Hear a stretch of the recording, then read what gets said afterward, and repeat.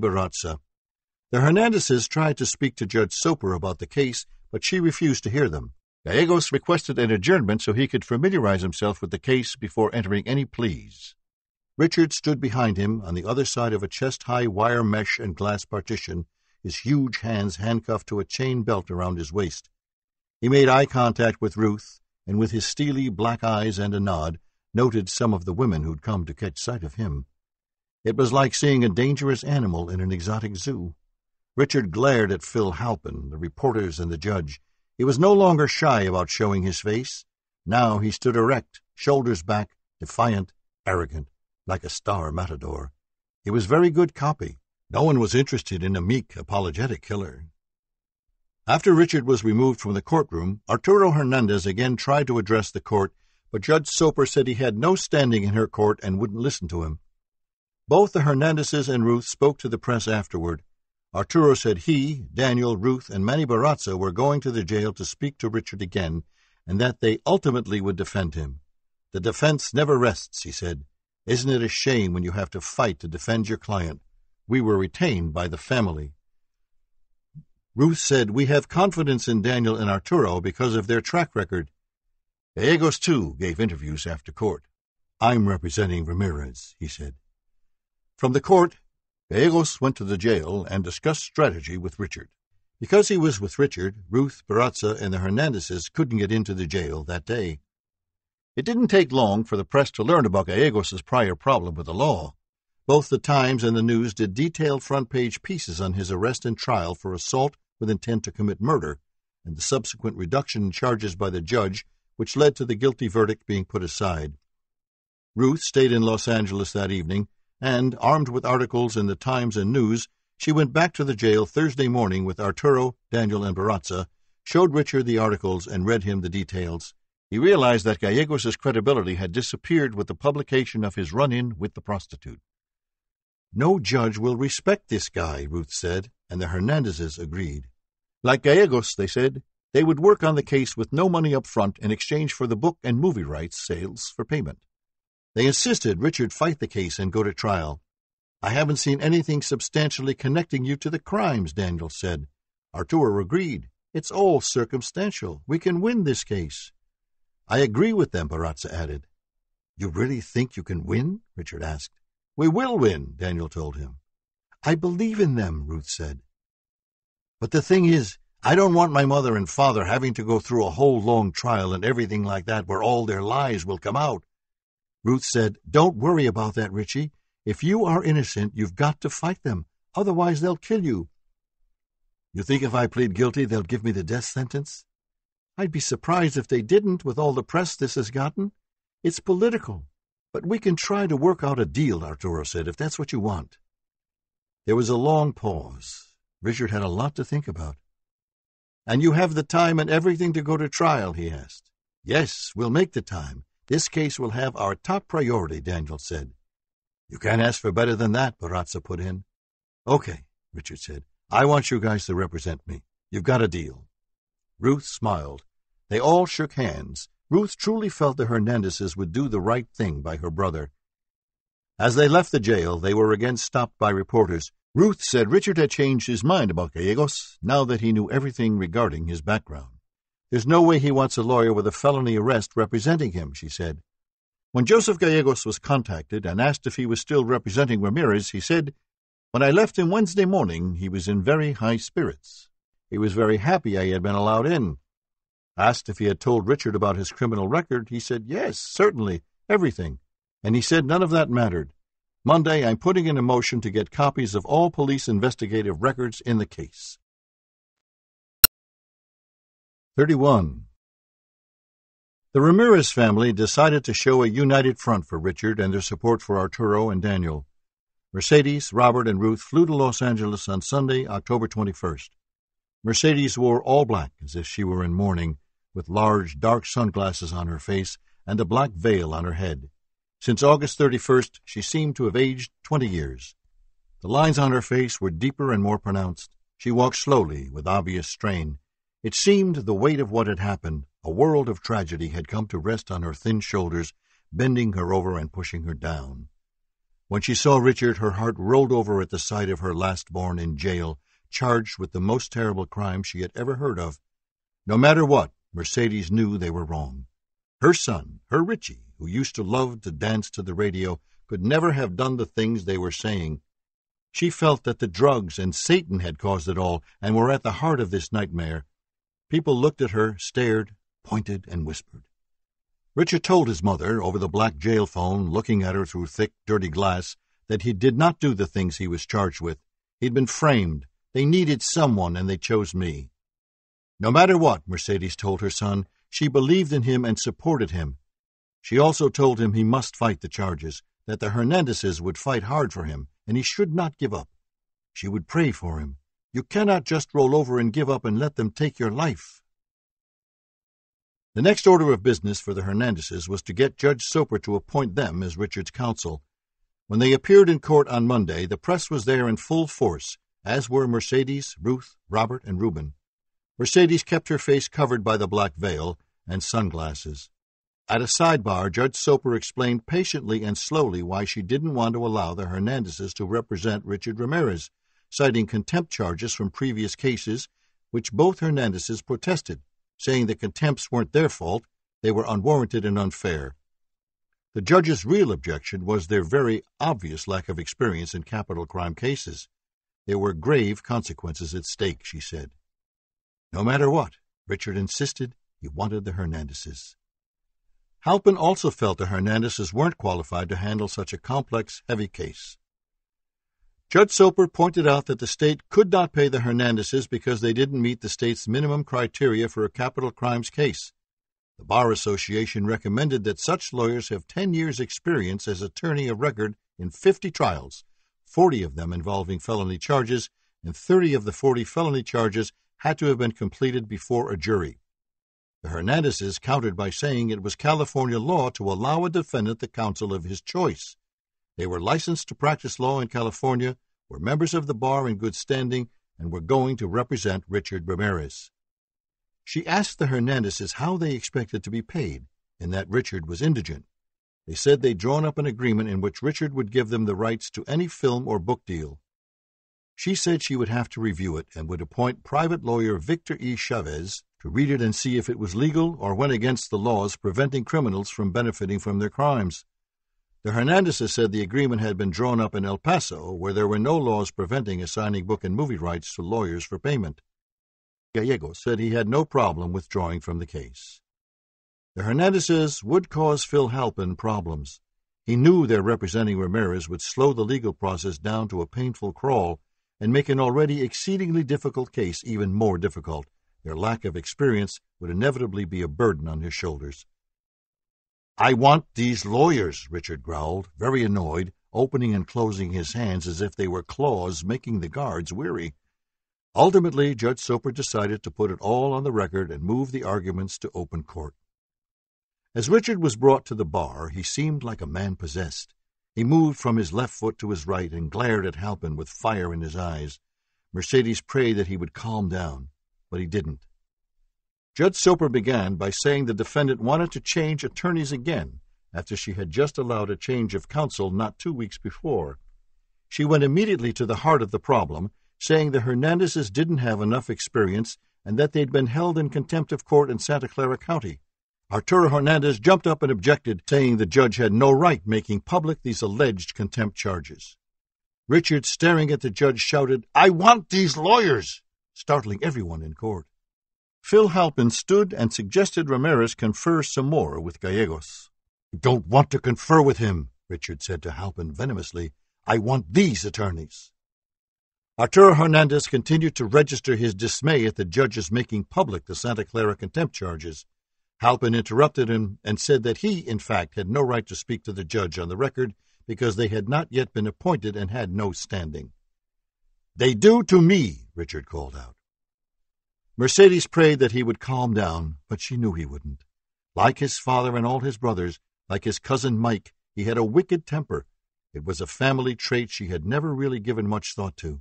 She'd just accepted it, like the color of their eyes or hair. She knew there were television cameras on him now, and she wished to heaven he would just sit down and not present such an angry face to the world. He was, God knew, already in enough trouble. Instead of being calmed by his family's presence, Ramirez seemed to be spurred on to be more defiant and angry. The reporters looked on wide eyed, shocked and pleased by Richard's fury. He was the personification of defiance, obviously very dangerous, and didn't care, apparently. Who knew it? Richard glared at the reporters as Judge Soper and Arturo Hernandez argued about the contempt charges. The judge ended by saying she was appointing a private lawyer to review the assignment agreement between Richard and the Hernandezes and she would render her decision on changing counsel on Thursday, the 24th. As Mercedes would not talk with them, the reporters took off to file their stories. The Ramirez family went to the jail after court. When their turn came and Richard's name was announced over the loudspeaker, all eyes followed Mercedes, trying to see some sign of how she could have spawned a child such as Richard Ramirez. With dignity and poise, she ignored the stares, the silence, the pointing. Why, she asked Richard, did he have to act like that when the whole world was watching? What were people to think? Richard said he didn't care what people thought, that Judge Soper had no right not appointing the Hernandezes as his lawyers. It was supposed to be a free country, and he had the absolute right to have the lawyer he wanted. Mercedes said she understood, but he mustn't act so aggressive, so hostile. Ruth agreed with her mother, telling Richard that scaring people only made everyone think he really was a killer.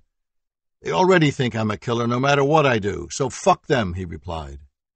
Ruth couldn't calm Richard down, and when the sheriff's deputies took him back to his cell, he was still cursing Halpin and Judge Soper. Outside, as Mercedes and Ruth left the jail, they saw a group of young women, all wearing black, milling about the entrance. One of them carried a sign that read, I love Richard. Mercedes looked at them incredulously, wondering what the world had come to. To malevolent occultists all over Los Angeles, Richard was a hero, someone who openly stood up and embraced the dictates of Satan and didn't care who knew it. Zeena LaVey, Anton's daughter, went to the jail to visit Richard.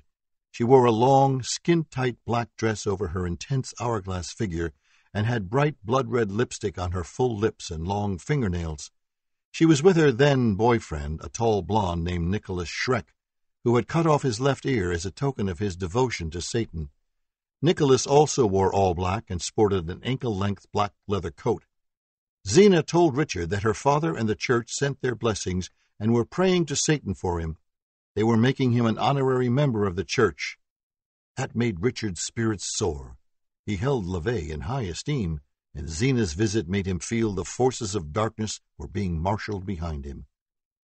Thursday morning, October 24th, 8 a.m., Richard was shackled taken out of his cell and driven in a sheriff's van to the courthouse, where the press were lined up hoping to get some kind of outburst from him.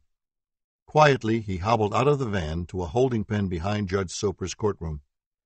Mercedes was too weak and distressed to go to court, and only Ruth, Robert, and Reuben took up seats at the back of the courtroom, not talking, sitting up straight as if they'd been called to the principal's office. In the holding pen, the guards noticed Richard was laughing to himself, walking back and forth, hyperkinetic, his chains rattling. His jailers wondered if he was trying to lay the groundwork for an insanity defense.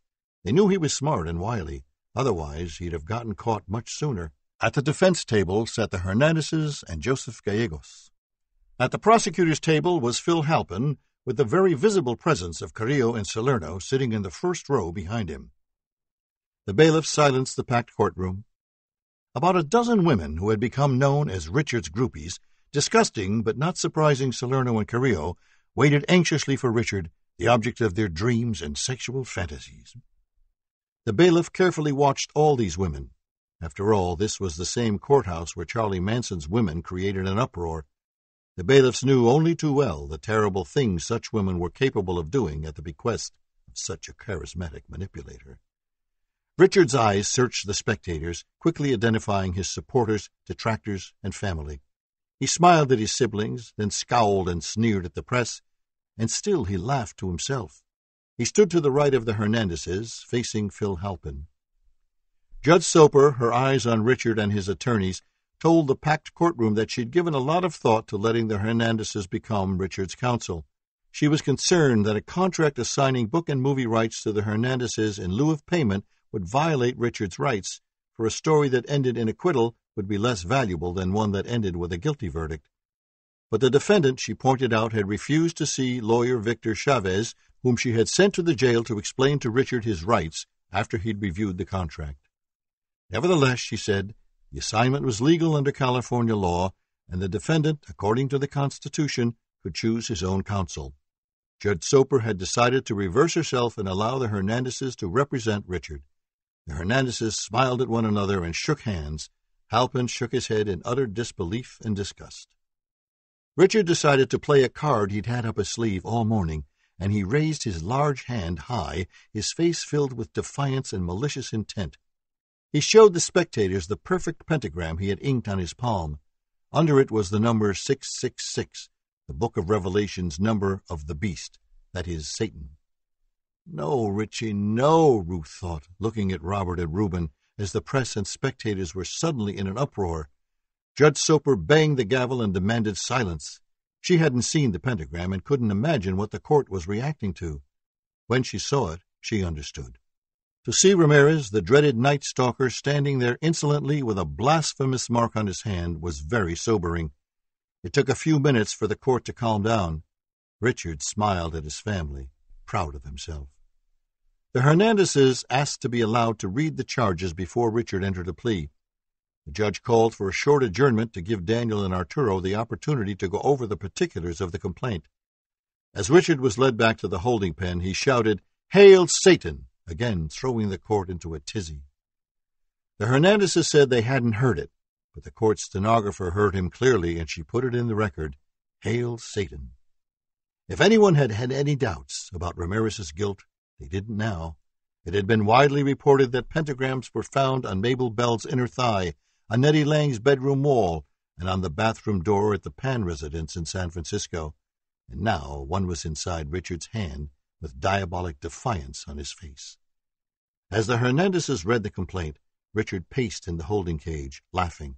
Cameras had been on him when he'd held up the pentagram, and the image had been beamed to televisions all over the country, making people move uncomfortably in their seats and in their sleep that night. The Hernandezes conferred with Richard after reading the complaint and told him they could win the case. The lineup had been unfair, as had all the suggestive statements. They felt confident they could get the contents of the luggage at the bus terminal thrown out, because the luggage had been gotten illegally. Richard had told the Hernandezes that he had never told any cops about the luggage in any voluntary statement. They had found the ticket in his wallet and had just taken it. The Hernandezes convinced him they really could win and he decided to plead not guilty. They begged Richard not to make any more outbursts and not to show the press the pentagram. That kind of behavior could only hurt him in the end. Laughing, he said he would behave. The Hernandezes told the bailiffs they were ready, and court reconvened. As Richard was led back to the dock, all eyes were on him. He was smirking, but he kept his left hand to his side and winked at some of his followers. I don't know what he's got to laugh about, Carrillo told Salerno. Judge Soper took her place at the bench and asked the Hernandezes if the defendant was ready to enter a plea. They said he was. Richard was ordered to stand and tell the court how he pled, which he did, saying in a loud voice, Not guilty. Again the courtroom erupted, and Judge Soper had to bang her gavel and demand order. Ruth's heart soared. For weeks she'd been fighting Richard not to plead guilty. She had worried herself into a thin, nervous wreck.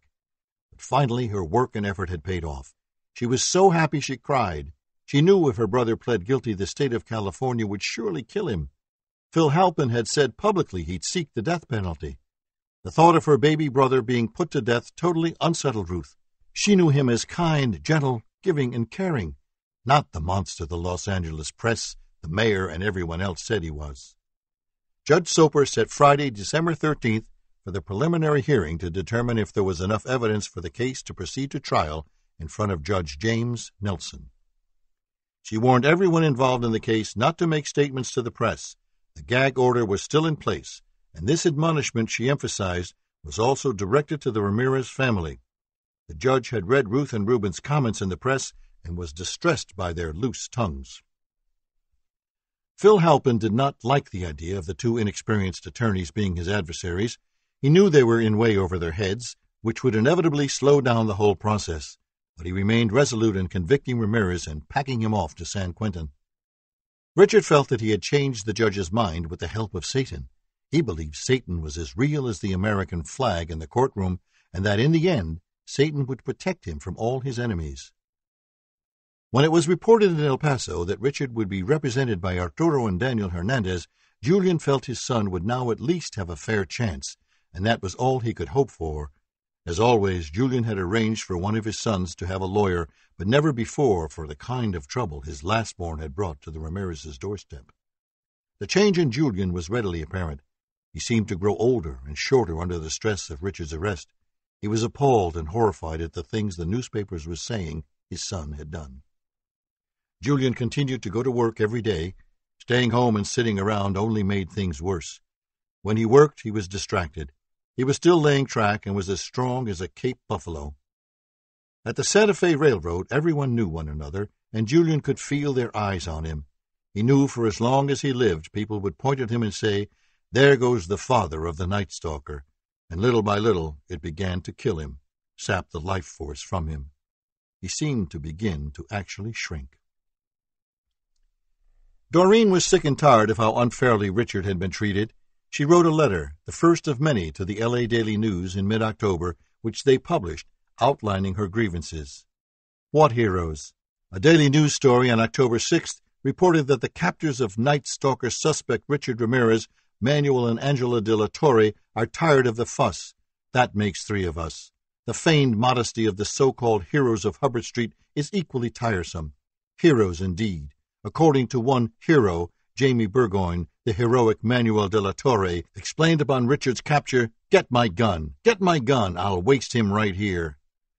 What makes de la Torre's brand of violence heroic, while Ramirez's alleged violence is considered satanic?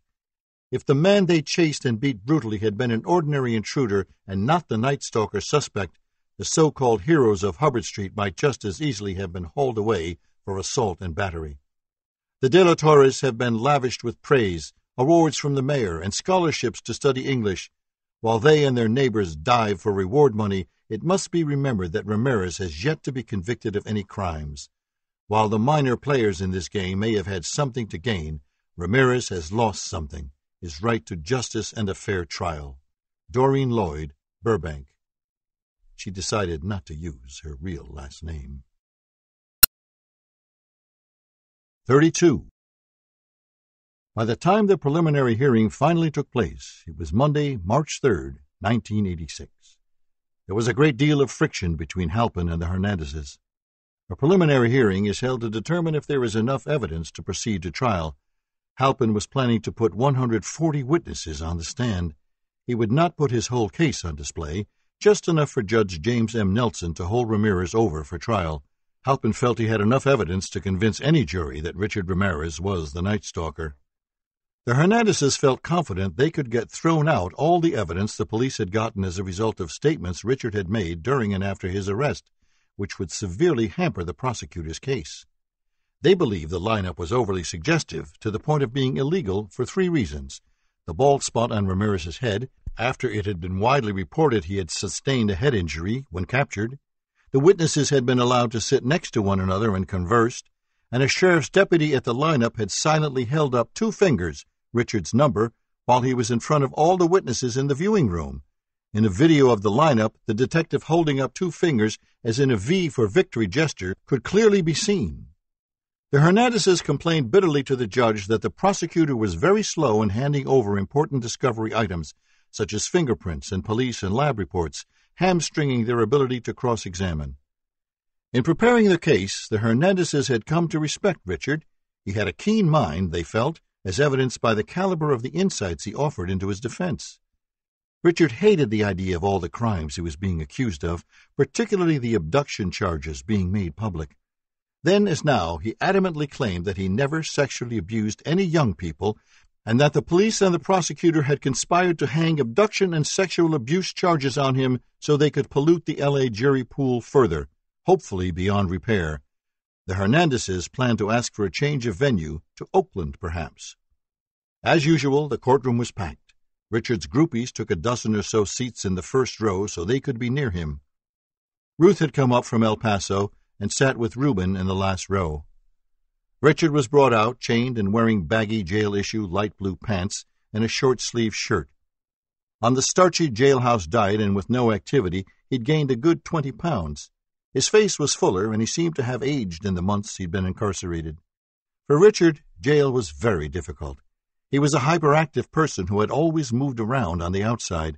Now he was locked in a six by eight foot cell 24 hours a day, and he hated every second of it. Richard's eyes sought out his girls. As he spotted them, he'd nod, giving them obvious thrills. His eyes then moved to the reporters and newsmen. He snarled at them and curled his lips, not shy about showing his disdain for them. Trematodes, worms, he mumbled, and sat down at the defense table, long and lanky and very annoyed at being there. Carrillo and Salerno sat in their usual seats just behind Halpin. The Hernandezes made a motion to move the trial, which was summarily denied. They then told Judge Nelson they were objecting to an audio tape of Richard making incriminating statements to Carrillo and Salerno at the first and only interview at the Hollenbeck jail. Judge Nelson said he'd listened to the tape in a closed session in his chambers. Both sides moved to chambers, annoying the press and spectators. Judge Nelson, a large, scholarly man who wore thick glasses and parted his hair on the left, listened to the tape. There were clearly incriminating statements in it, but the judge said he would reserve decision until such time as Halpin tried to put it into evidence and the proceedings were moved back to the courtroom. The Hernandezes asked that any evidence found in Richard's Pontiac and the bag at the bus depot be thrown out. Those things, Daniel told the court, were seized illegally because Richard had said he wanted a lawyer, yet still he was questioned. His constitutional rights were seriously violated, he summed up. Judge Nelson reserved decision on that motion, too. The hearing continued with Halpin calling witness after witness, including survivors of the Night Stalker crimes and criminalists the case against Richard seemed airtight. On all the important decisions, Judge Nelson ruled against the defense. He allowed in the evidence recovered from the bus station and from Richard's car and his sister Ruth's house. While the hearing was still underway, Richard was taken under heavy guard to Orange County, where he signed a speedy trial waiver. He wouldn't be adjudicated on the Carns attack until the Los Angeles charges were disposed of. When Ramirez was driven back to the L.A. jail, he found scented letters from female admirers and a copy of Justine by the Marquis de Sade, sent to him by Tamara Cruz, a Santa Ana Satanist who had been writing him. Reading had become the only way Richard could escape the reality of his predicament. He had always liked to read, but had never found the time to get intimate with a good writer. Now he had all the time in the world and nothing else to do. With books he could leave his cell and go wherever the story went. In the Marquis de Sade, Richard had found an ally someone who, he believed, was not hypocritical about sexuality and what he wanted. Society as a whole, Richard was sure, hid the truth, but de Sade told it and didn't care who knew it. Halpin did not want Ruth or Reuben in the courtroom, and he demanded they leave. He said they were going to be witnesses and had no right sitting in on the proceedings. The judge told them to leave. Ruth was very angry about being ejected from the proceedings, as if she had done something wrong, she was sure Halpin was keeping them from appearing in court because he didn't want Richard to have any show of support so people would think the family didn't care, indicating he was guilty. She wanted to go to the press and complain, but she was afraid they'd arrest her. Ruth went back to El Paso and followed the progress of the preliminary hearing in the papers. Her brother was the most infamous person ever to come out of El Paso, and his story was extensively reported. Julian kept reading the Spanish newspapers, and through them he learned the details of what they were accusing his son of doing. So far, he felt, the government hadn't shown anything that truly linked Richard to the crimes. Wednesday, April 16th, was a turning point in the preliminary hearing for many. Reporters who'd been thinking about writing a book on the case decided it was too upsetting a story to be that intensely involved with for months on end. The Hernandezes and Phil Halpin argued over every issue. At one point, the judge moved their bickering into his chambers. The Hernandezes complained that Halpin was not presenting the case in the order of the crimes and was therefore making it impossible for them to be properly prepared for cross examination. Halpin said he was not required by law to present the crimes in the order in which they'd occurred. There were over 150 witnesses scattered all over the country, making it virtually impossible to present all the crimes in their actual chronology. Halpin called Arturo a clown, and Judge Nelson took the case back into open court and on record. Arturo Hernandez demanded Halpin apologize for calling him a clown. Halpin refused. The Hernandezes then asked Judge Nelson to hold Halpin in contempt of court for leaving the hearing Tuesday to check on whether or not Ruth and Reuben were talking to the press. The judge refused and warned, Unless you are all very anxious to share the same cell, I would suggest you stop using the court record to cast aspersions on each other. The court was called to order, and 23 year veteran Sheriff's Deputy Russ Uloff took the stand and testified about the day he was called to the home of Vincent and Maxine Zazzara. He told the court how he and his partner had found Vincent Zazzara dead on his couch with a bullet hole in the left side of his head. He then described finding 44 year old Maxine. There was her eyes. There was a lot of blood and disfiguration, and the coroner examined that area, and the eyes were missing. Richard began to laugh, letting out a high pitched hyena like cackle. The bailiffs closed in around him. Uloff stopped testifying and glared at Richard. If looks could kill, Richard would have fallen over dead. Richard continued to grin. The bailiff's dislike for him was evident. What kind of monster was he? The silent question hung over the courtroom. Angry eyed, hard jawed, Uloff continued at Halpin's urging. There appeared to be numerous scratch marks around her eyes. Her purple pajama top was pulled up, and there were deep cuts, like an inverted cross, under her left breast. There were stab wounds in the chest, stomach, and pubic area. Her pajama bottoms had been pulled down. People in the courtroom moved and squirmed in their seats uneasily. None of those details had ever been made public. Richard began to study photographs of Maxine Zazzara that had been given to the defense by Halpin as part of discovery a slight grin still about his face. Could he, legal experts and members of the press wondered, be trying to lay the foundations for an insanity defense? He would have to be crazy to laugh in open court after such brutal descriptions and obviously risk further polluting the Los Angeles jury pool. Russ Uloff described distinct shoe prints found in the flower beds under two windows and on the joint compound can under the small rear window the killer had used for access to the house. He further described the ransacking and the phone disabling that were trademarks of the Night Stalker's work. Under cross examination by Daniel Hernandez, Uloff admitted that Vincent Zazzara's son, Peter, had told him he thought his father had been killed because of mafia ties and drug dealing. Phil Halpin objected, saying the Zazara killings were not a mafia hit. Judge Nelson ruled against Halpin, allowing further cross examination about Vincent Zazzara's alleged underworld ties which didn't, Uloff summed up, amount to anything but unfounded rumors. Under cross examination, Sheriff's Homicide Deputy Paul Archambault also admitted hearing rumors about Vincent Zazzara. He said he, Peter Zazzara, related to me at that time that his father was involved in mafia operations, that it could possibly come from a drug sale. Under redirect by Halpin, Archambault testified that the sheriff's office had thoroughly checked out what Peter Zazzara had said which, in his opinion, was not true. As the Hernandezes protested, Halpin used this to get Judge Nelson to reverse his ruling regarding Vincent Zazzara's mob ties and have it stricken from the record. The next fight between Halpin and the Hernandezes erupted toward the end of the day, when Daniel complained bitterly to Judge Nelson that the sheriff's office, the LAPD, and the prosecutor had not yet given them copies of fingerprint and footprint evidence they had in their possession, which the defense was entitled to by law. Judge Nelson ruled that all fingerprint and footprint evidence be brought to court on Monday, the 24th. Halpin complained to Judge Nelson that moving all the fingerprint evidence to the crowded court building could jeopardize and damage it. Judge Nelson was not interested. He said, If we have to, I'll order every jar and bottle and have them put on the table here in court. Halpin was very angered by this ruling. He wasn't going to put any of the fingerprint evidence up until the end of the case for the sake of expediency. He wanted the case to move along as quickly as possible, and with over 600 exhibits and 150 witnesses, that was not an easy task. There was another reason for hurrying to bring the case to trial. A few of the witnesses were close to death as a result of being attacked, and others could very well die of natural causes soon.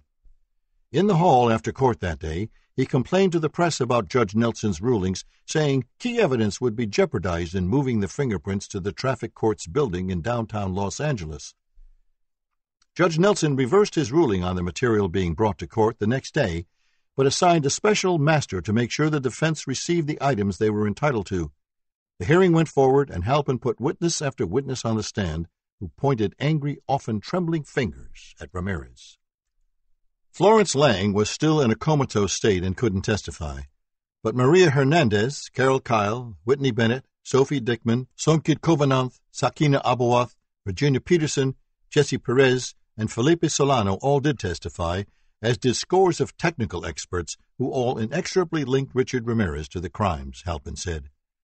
It was heart wrenching to watch Somkid Khovananth testify as she cried and sobbed, her shoulders shaking.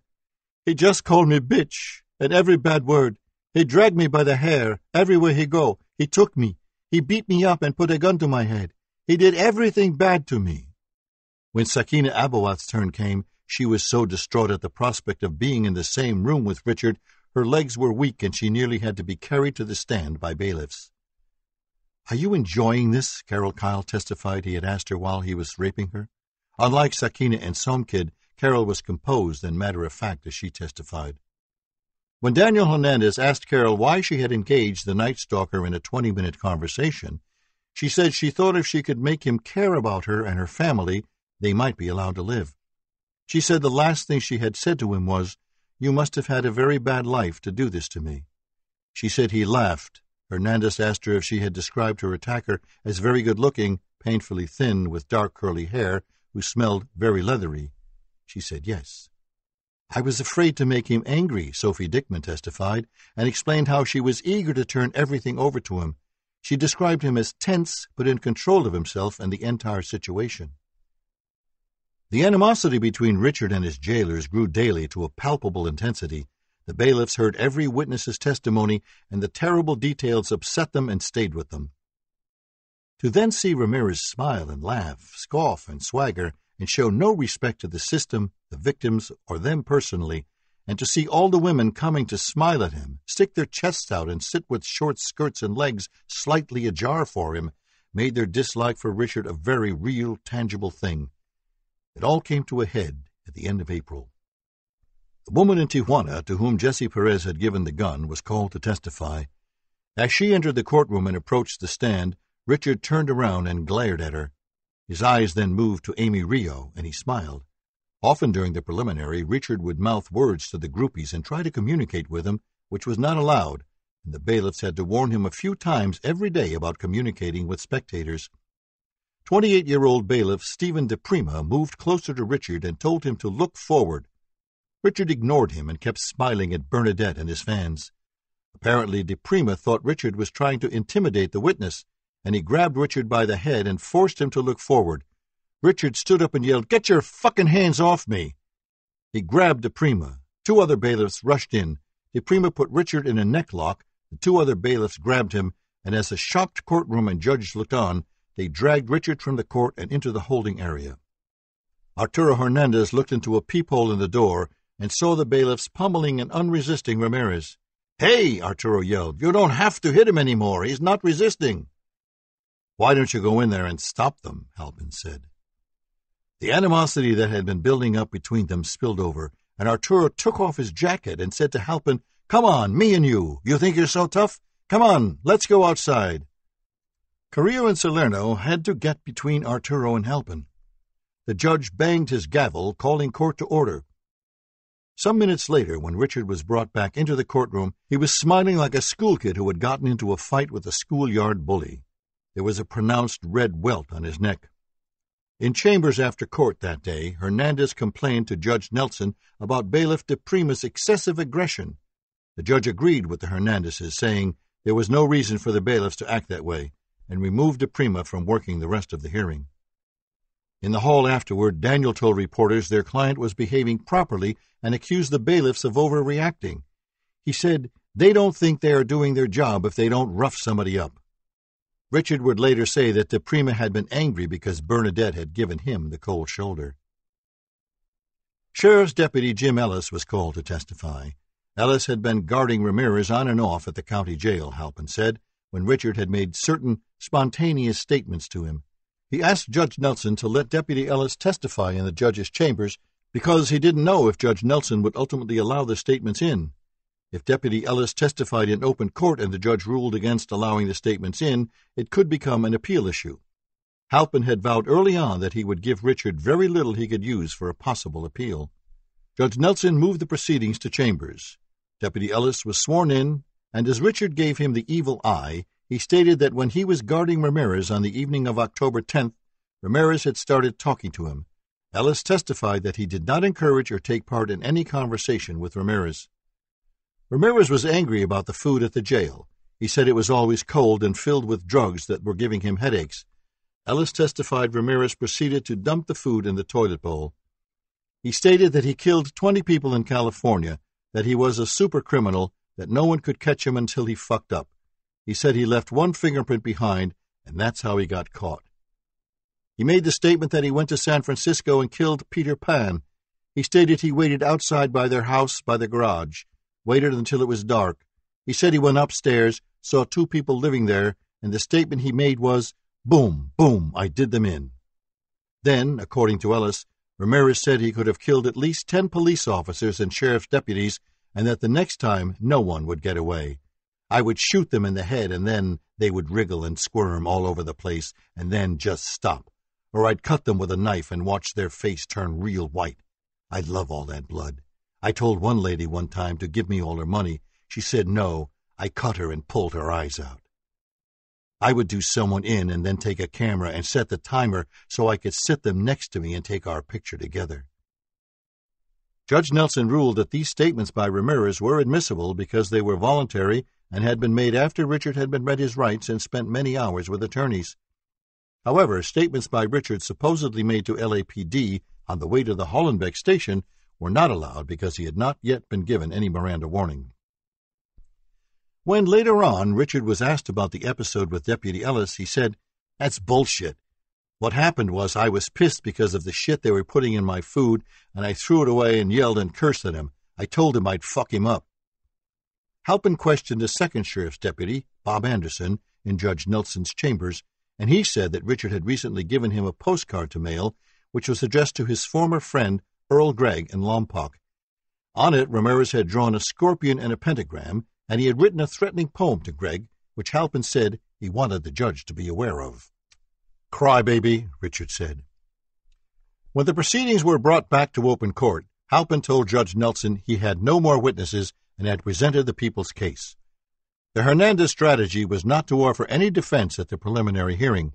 We'll wait for the trial, where guilt has to be proven beyond a reasonable doubt, whereas with the hearing, the prosecutor only had to show a strong suspicion of guilt. There's no reason to use up all our ammunition at this time, Arturo said. Halpin asked that 18 of the charges be dropped. These included three abduction molestation cases and the robbery of Clara Hadsalt's home because of her recent demise. The families of all three victims in the abduction cases didn't want them to be re traumatized. Richard would say later that that was the best news he'd heard since he'd been arrested. He hated the idea of being labeled a molester and said it wasn't true. The cops just made it up to get somebody to give me up. Judge Nelson announced he'd found enough incriminating evidence to hold Ramirez over for trial. Because of the multiple murder counts, Ramirez could face the death penalty. The judge read into the record all the counts 14 murders, 5 attempted murders, 15 burglaries, 5 robberies, 4 rapes, 3 acts of oral copulation, and 4 acts of sodomy. The attacks were on 16 different LA households between June 27, 1984, Vincow, and August 8, 1985, the Abowaths. While the judge read the counts in a factual, dispassionate way, Richard sat low in his seat and looked forward as all eyes in the courtroom focused on the back of his head.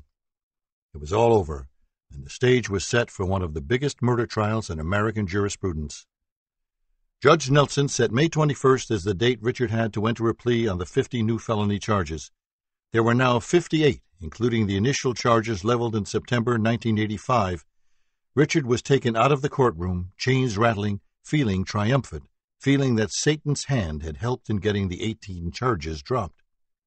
In the hall, reporters hungry for good quotes gathered around Halpin, Salerno, and Carrillo. Halpin said, It's gone smoothly because there was a lot of preparation. There were a number of investigators who worked on the case for a long period of time, and we were very prepared. I'm satisfied. I felt confident we had enough evidence to hold him over for trial. Frank Salerno, who hadn't said a word to the press throughout the whole preliminary, talked now. When asked how he felt about the long hearing being over, he said, It's just a big relief to get it in the system and get it going, to move on to the next step, which is the one that really counts. Halpin was hopeful the trial would start in the summer and he would push for it. The Hernandezes were also surrounded by the press. When asked how Richard felt about the day's proceeding, Arturo said, He advised me to tell the media he thought there were a lot of politics involved with the position of the judge. He feels we won, and there was a tremendous breakthrough in the case. At this early stage of the proceedings, I think that if you knock off 30% of the charges, you are talking about a significant breakthrough. The molestation charges, in particular, were bogus. He said they had a slew of pretrial motions to file, the most important of which was to move the trial out of L.A. County. They would, Arturo said, take any ruling against a change of venue to a higher court. In El Paso, the news of Richard being charged with so many more crimes hit like a thunderclap. Led by Mercedes, they had all been regularly praying, going to church every day, lighting candles, beseeching Jesus, Mary, and the saints to help Richie. Mercedes felt that Satan was the root cause of all these problems, and that ultimately the Lord Jesus would prevail. She constantly reminded everyone with an indomitable strength that seemed far beyond her capacity to have faith and to continue to pray. Satan, in the end, she predicted, will lose. After the preliminary hearing, Richard often thought about suicide. If he hadn't been on suicide watch, he would have tried to kill himself. He believed they'd convict him. They were bloodthirsty and hell bent on killing him. To him, death was preferable to a life behind bars, in a small steel cubicle, being told what to do and when and how to do it. But the sheriff's deputies were always sitting there, looking in on him every fifteen minutes, staring at him like he was a caged human oddity in a zoo, then writing down what they'd observed. Every day Richard received dozens of letters. He chose to answer very few. Some of the letters offered spiritual guidance, others sexual fantasies, others condemnation and scorn, still others high praise and congratulations.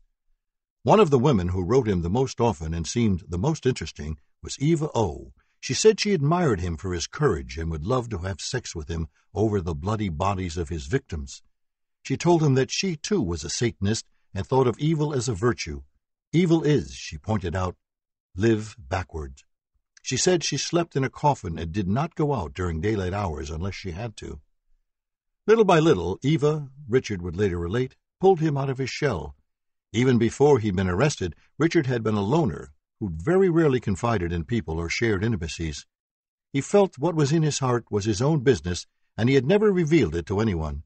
But Eva O, if she was sincere and not just looking for some of the heat from his notoriety, might be someone he could share intimacies and perhaps secrets with. He began writing back to her. She wanted to visit him.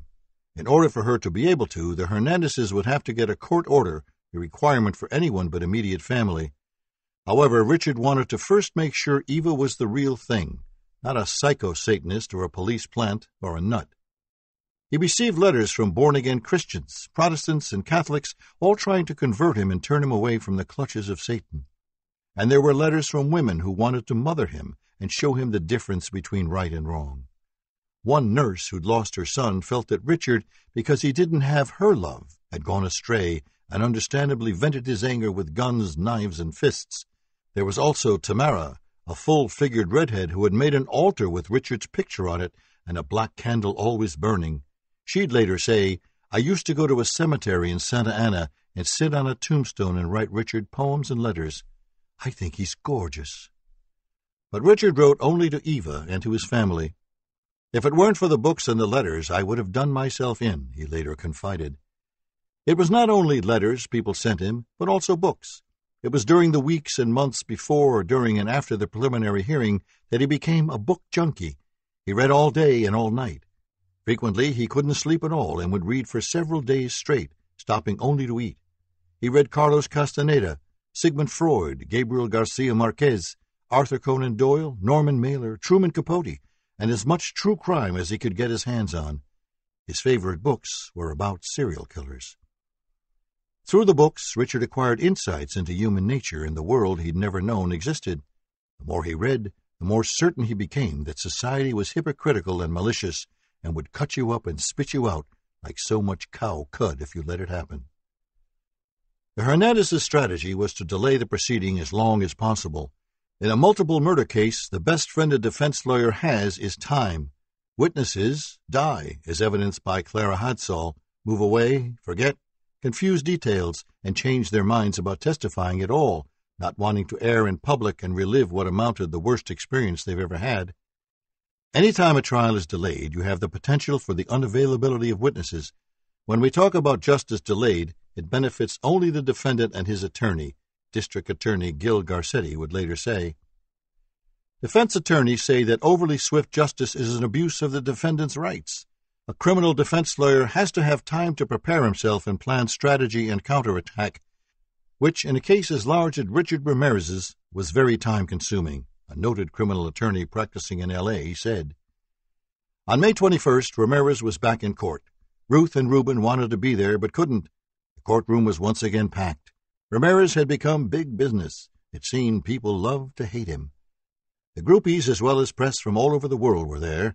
None of the reporters knew what to expect. Ramirez was an enigma who was capable of anything. He turned down all requests for interviews. He hated reporters and felt they'd been very unfair to him and made him guilty before he'd ever gotten to court. Eva O. was in the courtroom, wearing all black, as pale as white marble. She had dark hair parted in the middle, the part colored blood red. Her heart skipped a beat as Richard was brought into the courtroom.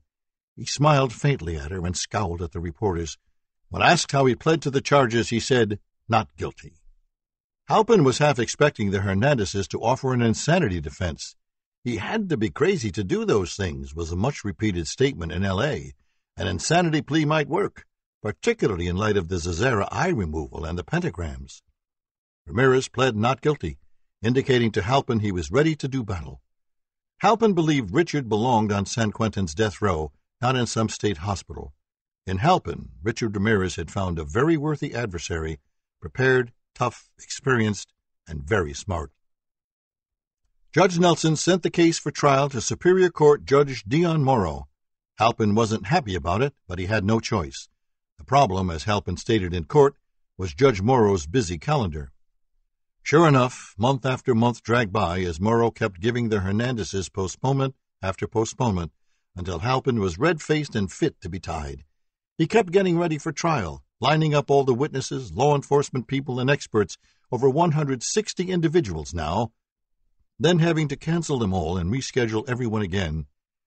By the end of November, Halpin had had enough. He made a motion to have the case moved to another judge, citing all the delays Morrow had allowed in the case. Morrow granted Halpin's motion, and the case was moved to Supreme Court Judge Michael Tynan, who would preside over the case to its resolution. Tynan was a no nonsense jurist who liked to move his cases along expeditiously. He had a gentle demeanor and was always polite. Halpin made the judge aware of the Hernandezes' delaying tactics, and Tynan promised not to let the proceedings be held up unduly. Judge Tynan wore thick wire-framed glasses, which often moved down the bridge of his nose. In 1981, he was appointed by Governor Jerry Brown to the Los Angeles Municipal Court, where he had been supervising judge of traffic court. In 1984, he was appointed to the Superior Court. On May 28, 1987, Judge Michael Tynan set September 30th for the trial, warning the Hernandezes to be ready. On September 11th, the Hernandezes again requested a delay of a few months, citing the prosecution's failure to turn over items the defense needed to plot strategy and plan defense. Tynan refused to give them six months and set trial for February 1st, 1988, only to grant another delay before then because the Hernandezes appealed to the District Court of Appeals to get certain evidence the prosecution was refusing to give the defense, namely crime scene photographs. On January 19th, Tynan announced that the state court had granted a last minute request by the Hernandezes for the state to turn over the evidence the defense wanted. On the 25th, he set March 22nd for the trial date because of the uncertainty surrounding the appellate ruling. On March 16th, the defense asked for yet another delay to review the new material they'd gotten as a result of the appellate decision, which Tynan granted, making April 29th the date for trial. Again, on the 29th, the defense asked for a delay, citing the huge amount of work as a reason why they weren't ready. Tynan then scheduled June 30th for trial, but on June 21st, the defense filed a motion to exclude Tynan, citing him as being racially biased against the defense, a tactic expected to buy more time. On July 8th, Orange County Superior Court presiding Judge Philip E. Cox ruled that Tynan was not biased. Finally, on July 21, 1988, jury selection began and the battle began in earnest. Richard had gone through a metamorphosis during the long months of delays, hearings, and more delays. He had gained weight and was thicker around the middle. His face was fuller and not as boyish. His hair was to his shoulders now, black and unruly, like a lion's mane. He had not been allowed out of his cell for exercise, only to shower twice a week and for visits and court appearances. He mingled with no other prisoners. All the reading had as notable effect on him as the starchy food at the jail, for he'd become quiet and introspective, and he seemed much more sure about who he was and what he stood for, what he cared and didn't care about. The visits from Eva and other female admirers had given him a newfound confidence and fueled his ego to new heights. Richard had asked the Hernandezes to have Eva approved for visits a year after she'd first written him. Through her letters and poetry, he felt she was truly evil in her heart, and as such, someone he wanted to get to know. When she first went through the jail, everyone who saw her did a double take, stood still and stared. It takes a lot to turn heads at the L.A. County Jail, where all sorts of characters regularly show up. But Eva did it, wearing all black with the blood-red strip down the middle of her head. Eva told Richard that he was blessed with the power of Satan, that he was special and the most desirable a man alive. She told him, too, about the macabre fantasies she had involving sex and cutting and killing people. She was obsessed with death. She'd even once had sex with a body, she told him. Richard listened to her wide-eyed, like a school kid hearing about sex for the first time from an older kid. Soon, Richard asked the Hernandezes to have other female admirers of his approved by the court, which they promptly did. What Richard wanted, Richard got. There were quite a few women now writing to him every day, wanting to see him. When it reached the point of his having three different women on his visiting list, the jail stopped asking for a court order and relaxed visiting policies for Richard, and soon there were lines of women showing up at the jail to visit him. Nothing like this had ever been seen before. It was a bizarre phenomenon that none of the guards at the jail could get over.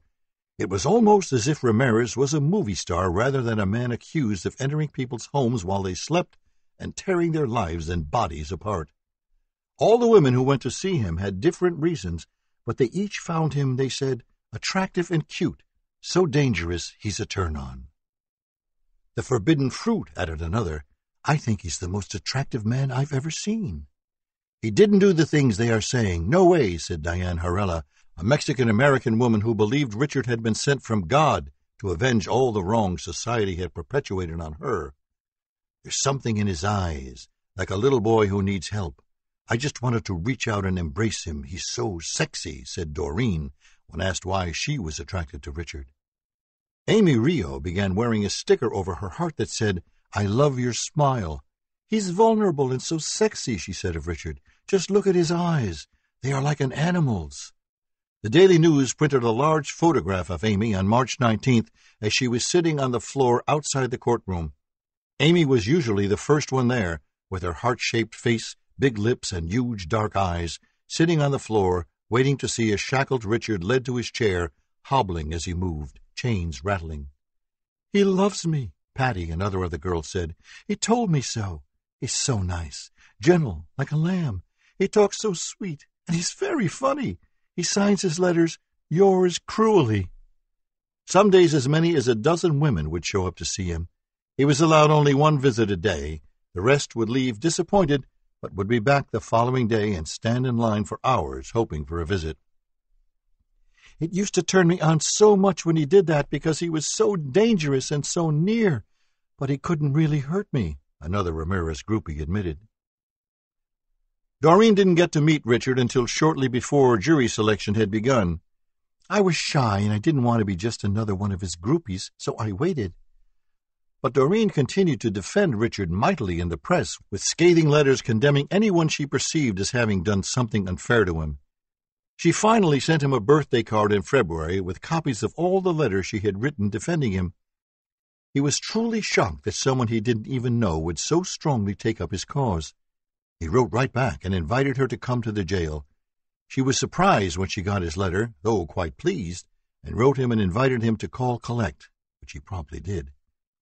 When I first spoke to him, my heart was going a mile a minute. I couldn't believe that it was him, that I was finally talking to him. He was so nice and sweet, like a little boy. Richard thanked her for taking on his cause, she told him she was in love with him, had been since she'd first seen his picture. Here, Richard thought, was someone he could really trust, and he told her to come and visit. The first time Doreen went to see him was at the end of June of 1988. She bought a new dress and fussed with her makeup and hair like it was her wedding day. When she was seated in a visiting booth at the jail and the sheriff's deputies brought him down, Doreen nearly fainted at the sight of him, so close she could touch him if not for the glass. Right then and there I told him how much I loved him. He told me he loved me too, that no one had ever protected him and cared for him like me. Ruth Ramirez came up when she could. Money was tight, but every few weeks she'd show up at the jail and have to compete with Richard's groupies. Reuben, too, visited Richard in jail. Julian would call him and remind him to go to the jail so Richard knew his family was there, behind him, concerned, always praying for him. From reports the Hernandezes gave Julian, there was a good chance they could win the case and prove his son had not committed the horrible crimes he was being accused of. Julian prayed for that every day, morning and night. In the two years since Richard's arrest, Julian looked like he'd aged fifteen years. His shoulders had rounded, his face had thinned, his walk had slowed, and deep lines had formed on his face. Book 4 The Trial These murders are in the first degree, were premeditated, and occurred during burglaries and other crimes. We are asking for the death penalty. Prosecutor Phil Halpin in his opening statement to the jury. 33. By the time of the jury selection, the state of California had spent $1,301,836 on Richard Ramirez, and the case hadn't even gone to trial. There were editorials and news commentaries condemning a system that would let a murder case take so long to come to the bar and cost so much. It was an outrage, was the sentiment of many of LA's citizens, Richard Ramirez had affected them in a very real, tangible way, and they wanted justice swiftly, not years after the fact. Jury selection finally began on July 21, 1988, from a pool of 1,600 citizens. The Hernandezes were looking for Hispanics and certain minorities. They felt that with a jury of all whites and Asians, Richard wouldn't have a chance. They believed Hispanics and blacks would have a more open mind. Richard now wore a shirt and tie and a black leather jacket Doreen had bought him, she, with the rest of the groupies, was in court every day, her heart and libido doing a flip every time he looked her way. Doreen felt that she and she alone was good for Richard. All the other girls were nothing but a bad influence on him and were a bunch of street sluts. Her love, she felt, was greater and more pure than any of theirs could ever be, and she would make sure Richard knew it. I loved him so intensely it hurt. All I would think about was him, day and night, night and day. I never thought of other men. I was a virgin, and Richard knew it, and that's why I was different. That's why he loved me, she later confided. On the first day of jury selection, fifty jurors were called. Thirty-nine were summarily excused, and the rest were questioned and grilled further. The Hernandezes knew that they had an uphill battle finding an impartial jury in L.A. County. They constantly complained to the press how biased everyone in L.A. was, and repeatedly made reference to a study they had done proving it. Richard felt the whole trial was a farce. If he hadn't been forced out of his cell, he would never have come to court. However, it gave him a chance to see his admirers and to stretch his legs. The juror selection was a slow, tedious process. It bored Richard, and he soon began falling asleep. He'd stay up late at night reading and would be tired for court. Judge Tynan didn't like his sleeping and warned him to stay awake. Richard took to wearing large black Porsche type sunglasses, also bought by Doreen, so he could close his eyes behind them. Toward the end of July, Richard reportedly told a sheriff's deputy that he was going to have one of his girls sneak a gun into the courtroom and he was going to shoot Halpin to death, then people in the audience, then himself. Security was already tight, but the bailiffs took Ramirez's alleged threat seriously, set up metal detectors, and searched everyone coming into the courtroom. On August 2nd, Halpin entered court in a huff, angry that he had been searched in front of 80 prospective jurors. I was forced to remove most of my clothing while standing in the hall, surrounded by jurors. It seems a strange approach to search the district attorney, but not prospective jurors, Your Honor. Judge Tynan apologized for Halpin's embarrassment. Daniel Hernandez told Judge Tynan that Richard didn't want to attend the jury selection. Tynan said that he had to, whether he wanted to or not. Midway through the jury selection, juror expert Jo-Ellan Dimitrius was brought in to help the defense. She had a long, thin face, intense dark eyes, and bouffant platinum hair. Richard often conferred with her. Jury selection took six months, longer than most had anticipated. On January 10, 1989, a jury and 12 alternates were sworn in, comprised of six Hispanics and six blacks, seven females and five males. The Hernandezes felt it was a victory for the defense.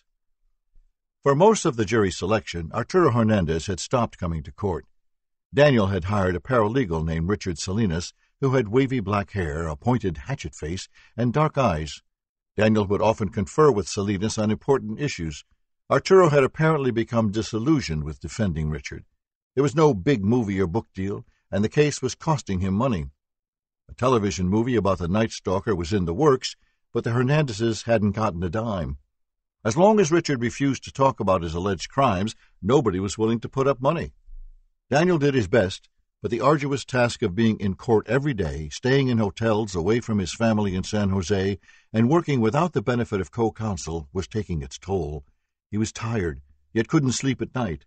He'd toss and turn and worry about the case, his two little girls, and his wife.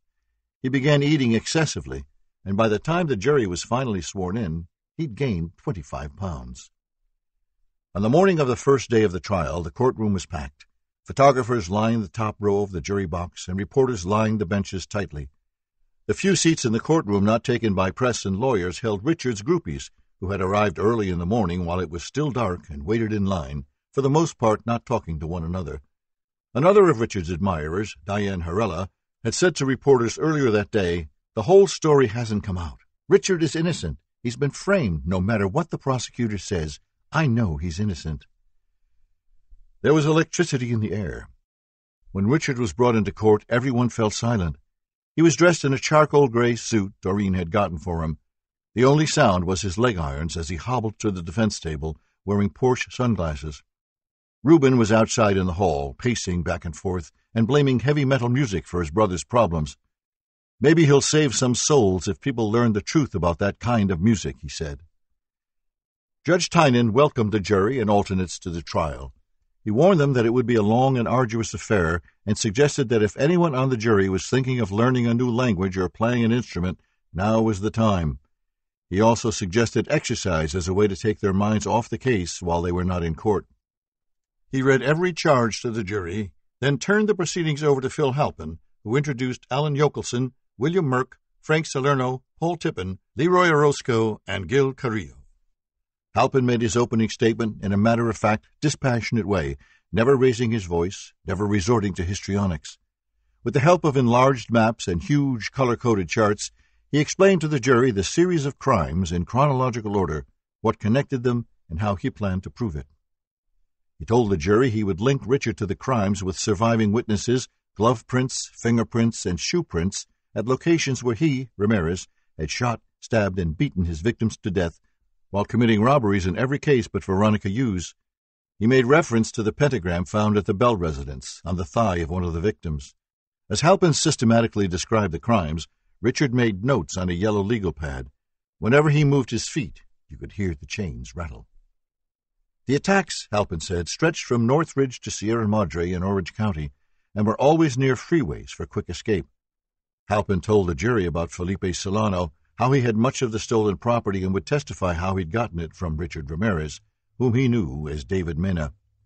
That stolen property, mostly costume jewelry, had been recovered from the defendant's sister's home in El Paso, Texas. He spoke about the similar language used in different crimes and described Carol Kyle's attack, how she'd suddenly felt a gloved hand over her mouth and a gun to her head, and heard, Where's the money? Don't look at me, bitch. He told the jury that Ramirez had left a handcuff key on the mantel so Carol Kyle could free herself. That key is identical to the key that was discovered in the home of Mabel and Florence Lang. Of Mrs. Lang, Halpin said, She cannot speak, and she is fed through a tube, but she is still alive. Therefore, the defendant is only charged with attempting to murder her. As Phil Halpin continued to describe the specifics of all fifteen attacks, for the first time made known to the public, there were audible gasps among the spectators, as well as the press and Richard's groupies. There were public defenders and ADAs in the courtroom who worked in the building, and even they, who dealt every day with the incredible savagery people perpetrated against one another, moved uneasily in their seats. Halpin told the jury about the luggage in the Greyhound bus terminal, saying items found in it, a nail clipper and a can of weight gain, had the defendant's fingerprints on them, and that there were 25 caliber cartridges with distinctive red marking in the primer. The experts looked at those cartridges and by examining the still live rounds ascertained that they had been operated through the same 25 caliber auto that had been determined to have been used in the Abowath murder and the Petersons' attempted murder. He said they'd be meeting Jerry Stubblefield, who had designed the Avia shoe with the distinct waffle pattern that showed up at seven of the crime scenes the Zazzara, Doi, Bell, Cannon, Bennett, Nelson, and Khovananth residences. With that, the prosecutor wrapped up his opening statement and told the jury they'd first be meeting Jack Vincow, son of Mrs. Jenny Vincow. Jack now lived in Brooklyn, New York, where he'd been born and raised. Since the 1984 murder of his mother, he'd been turned off to Los Angeles. He had taken the loss of his mother very hard. The pain and feelings of loss he felt hurt as readily as if he had broken bones. He had turned to meditation. I chose for myself two simple words to meditate on calm and relaxed. Jack was now writing a book on meditation. Jack walked into the courtroom with a slow, shuffling step, a big man with a very sad face. All eyes followed him as Richard's chains rattled in the silence of the courtroom. Jack described for the jury the afternoon of June 27, 1984, how he entered his mother's apartment that hot June day, finding things thrown all over. He described how he found her, how he ran out of the apartment in a panic, yelling for help, and the police arriving, taking his mother's lifeless body away in a black plastic body bag. Halpin finished his direct and turned Vincow over to Daniel Hernandez. Questioning a witness at a preliminary hearing without a jury present was one thing, but questioning a witness like Jack Vincow with anything but respect was inviting the jury to dislike you. Hernandez's strategy was that the first crime on Halpin's list was a third party defense, that is, someone other than Richard was the killer, and he was going to suggest Jack's brother, Manny, was that someone. The problem with this strategy was that Judge Tynan had already ruled the defense could not pursue that line of reasoning. Halpin had investigated Manny and learned he'd been in Brooklyn with witnesses to prove it. Daniel's plan to pursue this defense before the jury put him on a direct collision course with Halpin and Judge Tynan. He asked Vincow, Did you ever see yourself any type of behavior on your brother's part that appeared to be aggressive or violent toward your mother? Verbally abusive, but I corrected him. Nothing beyond verbally abusive that I saw personally. Never anything beyond verbally abusive, Vincow answered. But rumors you heard were beyond verbally abusive. Halpin's anger erupted. Standing, he said, Excuse me, Mr. Vincow. Let me object on two grounds, both hearsay and irrelevant. Sustained. Annoyed, Daniel asked for a sidebar, at which he described to the judge his third party defense. Halpin told Judge Tynan about his certainty of Manny Vincow's whereabouts the night of the crime. Richard turned around and, with a deadpan, sunglass face, disdainfully looked at the press, snarling slightly as his supporters admired his profile and pined for his attention. When court resumed, Daniel took Jack through the day he had found his mother again. Most defense lawyers would have wanted Vincow quickly off the stand. It looked like he might cry at any second. Hernandez asked, How long were you in the in your mother's bedroom when you found the body. How long were you there before you ran out? Very brief. Seemed like seconds. And what are the injuries you saw? Hernandez wanted to know, opening the door for details which could only work against the defense. Vincow testified the major injury, that there was a neck gash that looked like someone had attempted to remove her head and almost succeeded. Very serious neck injury. Hernandez interrupted. Non-responsive. I object and request that the latter portion be stricken. Overruled. Denied, Judge Tynan said. Hernandez then tried to suggest that Vincow had killed his mother because he had had a mental breakdown twenty years earlier. Halpin objected. Hernandez called for another sidebar, at which the judge slammed Daniel, telling him he was being cruel, that there was no evidence indicating either Jack or his brother had anything to do with Jenny Vincow's murder, and that he was to stop implying they had. Daniel argued he should be allowed to impeach Vincow. The judge didn't agree and ordered his cross to continue. Daniel countered that Vincow had refused to take a lie detector test. Tynan said that that was irrelevant. Daniel continued to try to tie Jack Vincow and or his brother Manny to the murder. His effort proved futile and made the jury restless and uncomfortable. He hammered away at Jack, trying unsuccessfully to shed suspicion on him over Halpin's constant objections right up to the end of court that day. In the morning, Jack Vincow was recalled, and again Daniel Hernandez tried to link him to the murder and drilled Jack, clearly traumatized and suffering, on all the details of June 28th, now implying he had killed his mother for money, as Halpin objected on grounds of relevance and was sustained. The jury began wondering what was going on. I felt so bad for that poor man, and here was Daniel Hernandez showing no respect at all, one juror would later say of Hernandez's cross of Jack Vincow. When Daniel asked Jack if it was he who'd handled his mother's financial affairs, Halpin strenuously objected, and another sidebar on the record was asked for by Hernandez.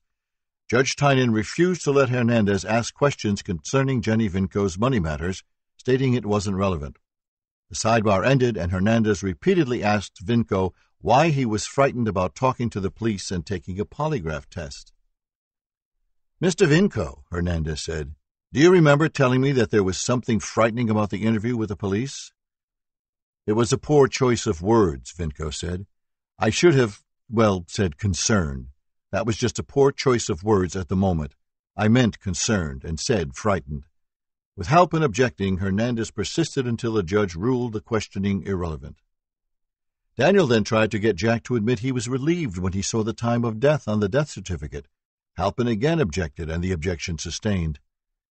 Hernandez moved to a statement allegedly made by Wanda Doss, the owner of the building. Halpin objected, Tynan sustained, suggesting Hernandez make an offer of proof at the bench at another sidebar. What is the statement Wanda Doss was supposed to have made? Tynan asked. That she saw someone like him having breakfast, or someone saw somebody like him having breakfast, and that would have made him that made him develop some type of fear, fright, reluctance to cooperate, that goes to his credibility, Hernandez said. Tynan said, I'm going to sustain the objection. It is hearsay. Back in front of the jury, Hernandez again asked about Wanda Doss. Halpin objected. The court sustained it. This would become a mantra, objection sustained, through the whole length of the trial. Halpin next put on the stand Jesse Castillo, the LAPD detective who had caught the Vincow homicide, and he told the jury how he'd arrived with his partner, Mike Wynn, secured the crime scene, and run the evidence gathering. Using photographs, Halpin helped bring Castillo and the jury back to that June day in 1984, five years earlier, and Castillo described the crime scene. Halpin asked, Can you describe the trauma of Jenny Vincow that you discovered during your investigation? Sir, she had received many stab wounds to the upper chest area and some wounds to the hands. Halpin handed him a photograph. And finally, let me show People's Exhibit 1H and ask you to tell the jury what is depicted there. Sir, that is the lower part of her body, the end of her dress, and depicting some of the panty girdle that she was wearing at the time. All right. And specifically, with respect to that area of the body, did you notice any trauma? Some to the legs and to. The inside was torn out, the inside of the panty girdle, the inner crotch area was torn. Richard moved. His chains rattled. Spectators shifted uneasily in their seats, wondering why. Halpin finished, and Hernandez stood and began his cross, taking Castillo through every step of what he did that day, which took much longer than Halpin's direct. Detective Castillo had, in fact, had some difficulty with Jack Vincow. How would you describe his, Jack Vincow's, demeanor in terms of his cooperation with you? Hernandez asked. Sir, he was difficult to interview. Can you tell me, can you describe his demeanor, what made it difficult? Well, it would depend on what day you were talking about. Sometimes he was very cooperative, and then he would turn hostile and be very uncooperative. Halpin didn't like that answer, but he could do nothing about it. Daniel proceeded to ask Castillo if his investigation of Vincow had moved out of state. Halpin objected on the grounds of relevance. Judge Tynan thought that it was a good note to recess for lunch, reminding the jurors and alternates not to talk about the case among themselves or with the media, reserving decision on Halpin's objection. Gil and Frank hurried back to the office and grabbed some sandwiches. Frank was still running Team 3, and there was a lot of work on his desk. He did what he could, and he and Gil hustled back to court. After lunch, and without the jury present, Judge Tynan took up Halpin's objections regarding Detective Castillo's going to New York State. When asked for a show of proof for that line of questioning, Hernandez withdrew the question. Halpin moved on to another matter. Hernandez's objections to his direct as being leading and his having been admonished in front of the jury. He complained to the judge that they gave the jury the impression he was doing something wrong when in fact he wasn't, and said he didn't want the record to reflect any kind of improper questioning on his part. Tynan said he understood his concern and promised not to admonish him about how he did his direct. He then ordered the jury brought in.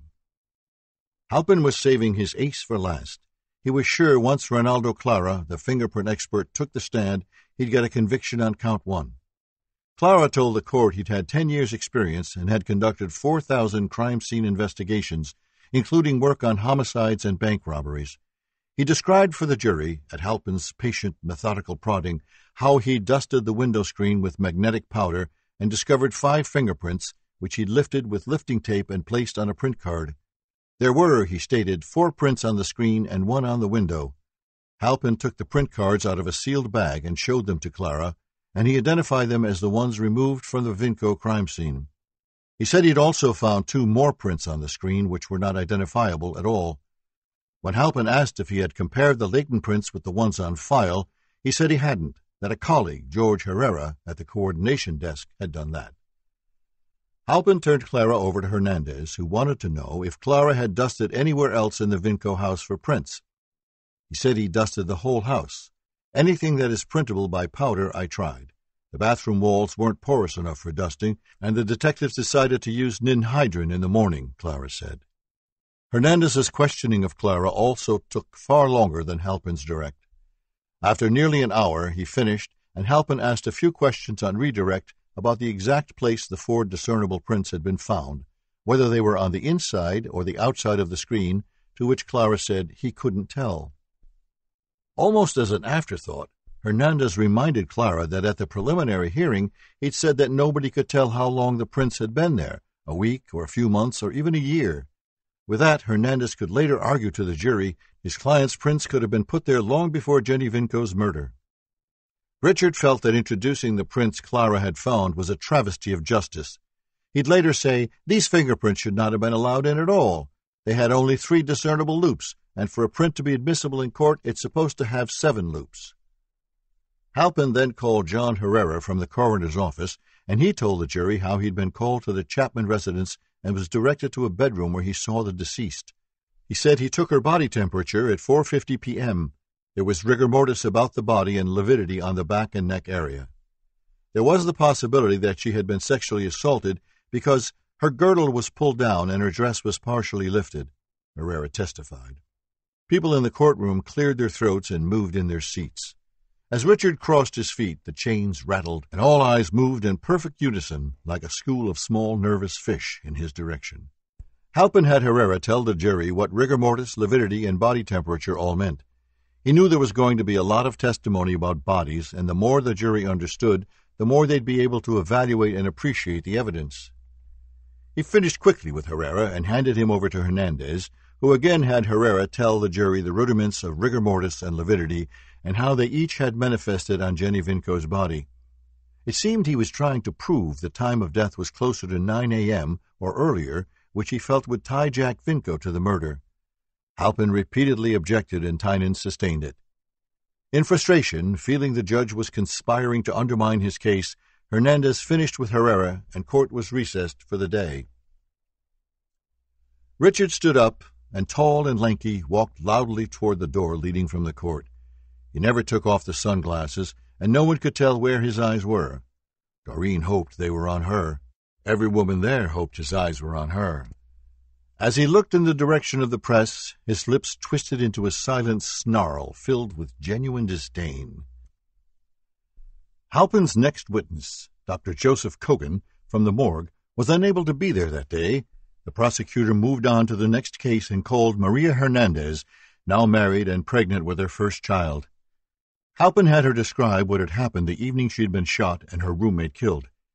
He showed her pictures of the garage and Dale's car, marked Exhibit 3C, and asked her if she recognized the ACDC baseball cap in the foreground of the photo. Maria said she didn't. Halpin knew he had witnesses who would put that hat on Richard Ramirez's head. He had her tell the jury step by step how she parked in the garage and heard a noise as she was entering her apartment. Her eyes were big and filled with the pain of the memory, and they never moved in Richard's direction. When Halpin asked what she saw after she turned around, she said, I saw a man pointing a gun. She described being shot and told the hushed courtroom the details of how her assailant went into the condominium and her then hearing a shot as she tried to flee. For a moment, she told the jury, she thought he was behind her and had shot at her again, but there was no one there. She ran around front and saw the same man walking away from her condo. He saw her and pointed the gun at her, then ran. Maria, testifying in a calm voice, told the jury how she found Dale dead on the floor. Dale's sister and other relatives were in the courtroom, and they began to cry. Now, Miss Hernandez, Halpin asked, do you see in the courtroom the man that shot you that night? Yes. And will you point him out to the jury, please? She raised the hand that she'd been shot in, pointed at Richard, and said, The man on the end, as all eyes moved to Ramirez. The defendant, Richard Ramirez, for the record, Judge Tynan said.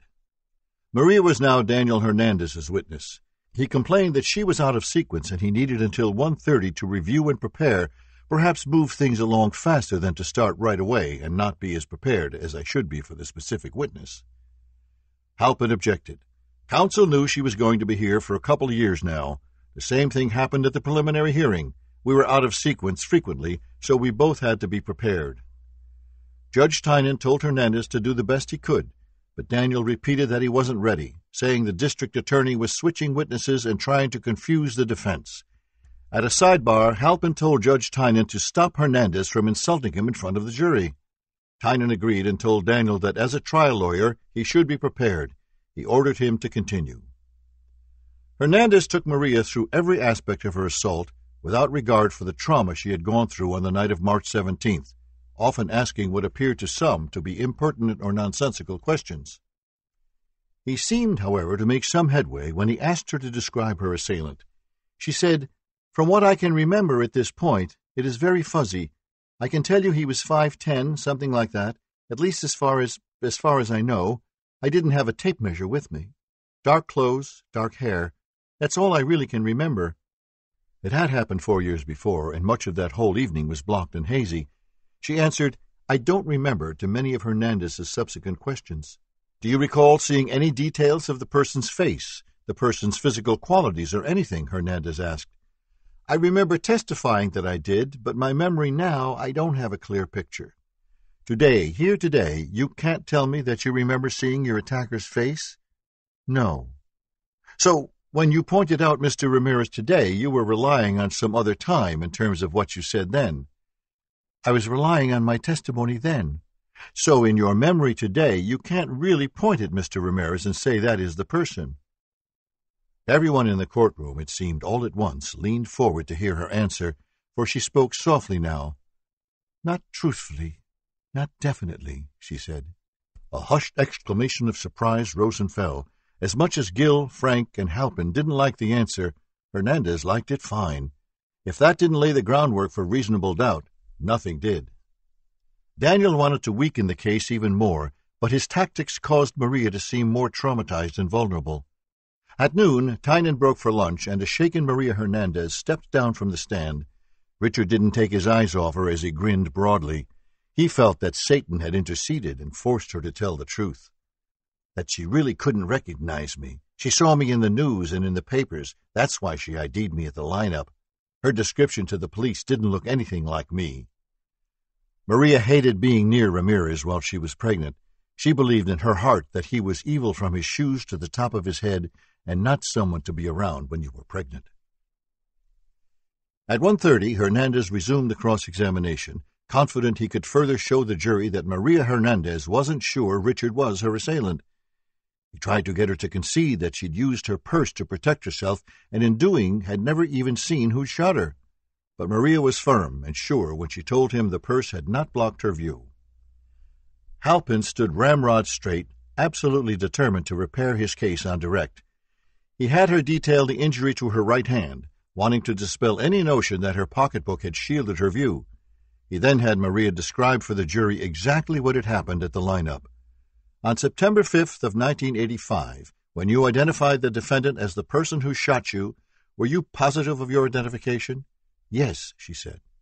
Daniel Hernandez objected, calling it hearsay, and Tynan ruled against him. Maria didn't remember if she had identified Ramirez at the preliminary hearing, but at an April 9 motion in front of Judge Tynan, she had recognized him as the man in black who'd shot her. Halpin conferred with Yochelson, then asked the court to let her read her testimony at the preliminary, to which Hernandez objected vehemently. There was now a question about her identification, Tynan said, and the people had the right to set the record straight. Maria silently read her testimony. And do you recall now if you identified the defendant as the man that shot you? the prosecutor asked. Yes, I did. Halpin questioned Maria on her recollection of how clear her memory was at her previous appearances in court and at the lineup, and she was confident that her memory of her attacker's appearance was fresh in her mind at those times. It appeared Halpin had repaired the damage of Maria's memory lapse. Daniel Hernandez, though, was determined to take back the advantage. He questioned her again about her identification, but Maria held fast, and he couldn't dissuade her in the slightest. He suggested Gil Carrillo had told her Richard was number two in the lineup, which she denied.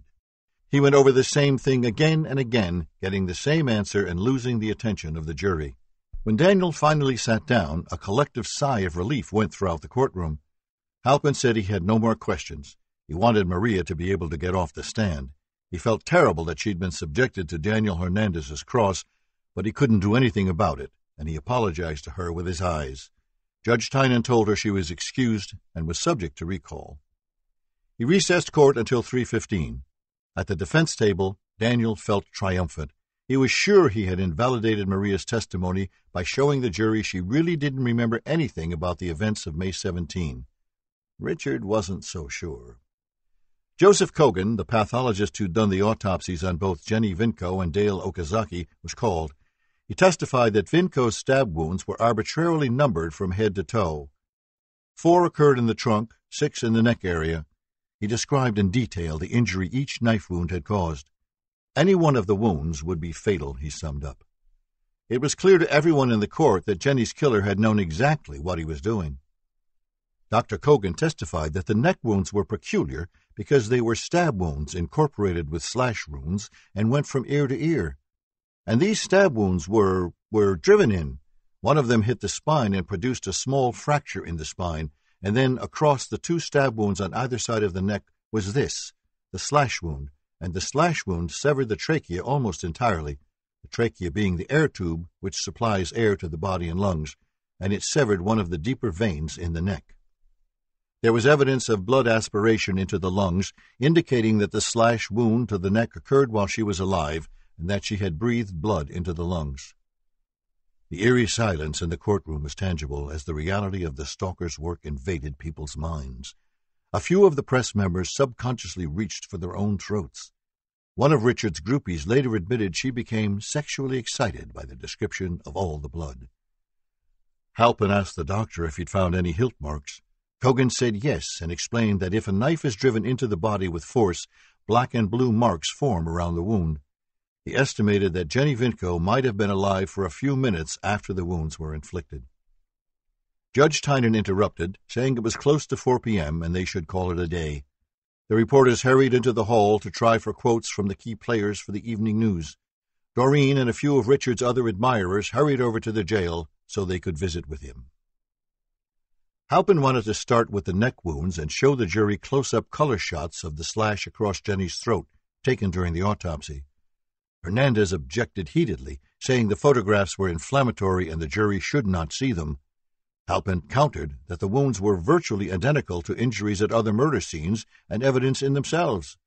Judge Tynan was very reluctant about showing these photographs to the jury. They were horrible and would inevitably cause emotional turmoil and nightmares. He told Halpin that if he could show him that the wounds that were identical, he'd consider it. Otherwise, only diagrams and drawings, which Hernandez had suggested, would be allowed. Halpin said he would need some time to go through all of the photos. Halpin said he had photographs with the same slash wounds from incident number four, Maxine Zazzara, incident number eight, Mary Cannon, and incident number 12, Max and Leela Kneiding. Alan Yochelson was sent to get them. Tynan would delay his ruling on the admissibility of the photographs until he had seen them all. In the meantime, Halpin would resume his direct examination of Kogan. James Wegner had done the actual autopsy on Dale Okazaki, but he'd left the medical examiner's office and wasn't available. Halpin intended to use Cogan to establish the facts. Hernandez objected on grounds of hearsay, but Tynan allowed it after much arguing based on its being an official business record. Allowed to read Dr. Wegner's report, Cogan told the jury the exact cause of Dale's death. A gunshot wound to the middle right forehead had caused massive hemorrhaging and hemorrhagic brain damage. He testified there was a second injury, blunt force trauma that had probably been sustained when Dale went down after being shot. Cogan said there was stippling, gunpowder marks, on Dale's forehead, indicating she'd been shot at relatively close range. The distance from the front of the barrel is about 18 inches. It varies from firearm to firearm depending on various factors, the type of weapon, ammunition, etc.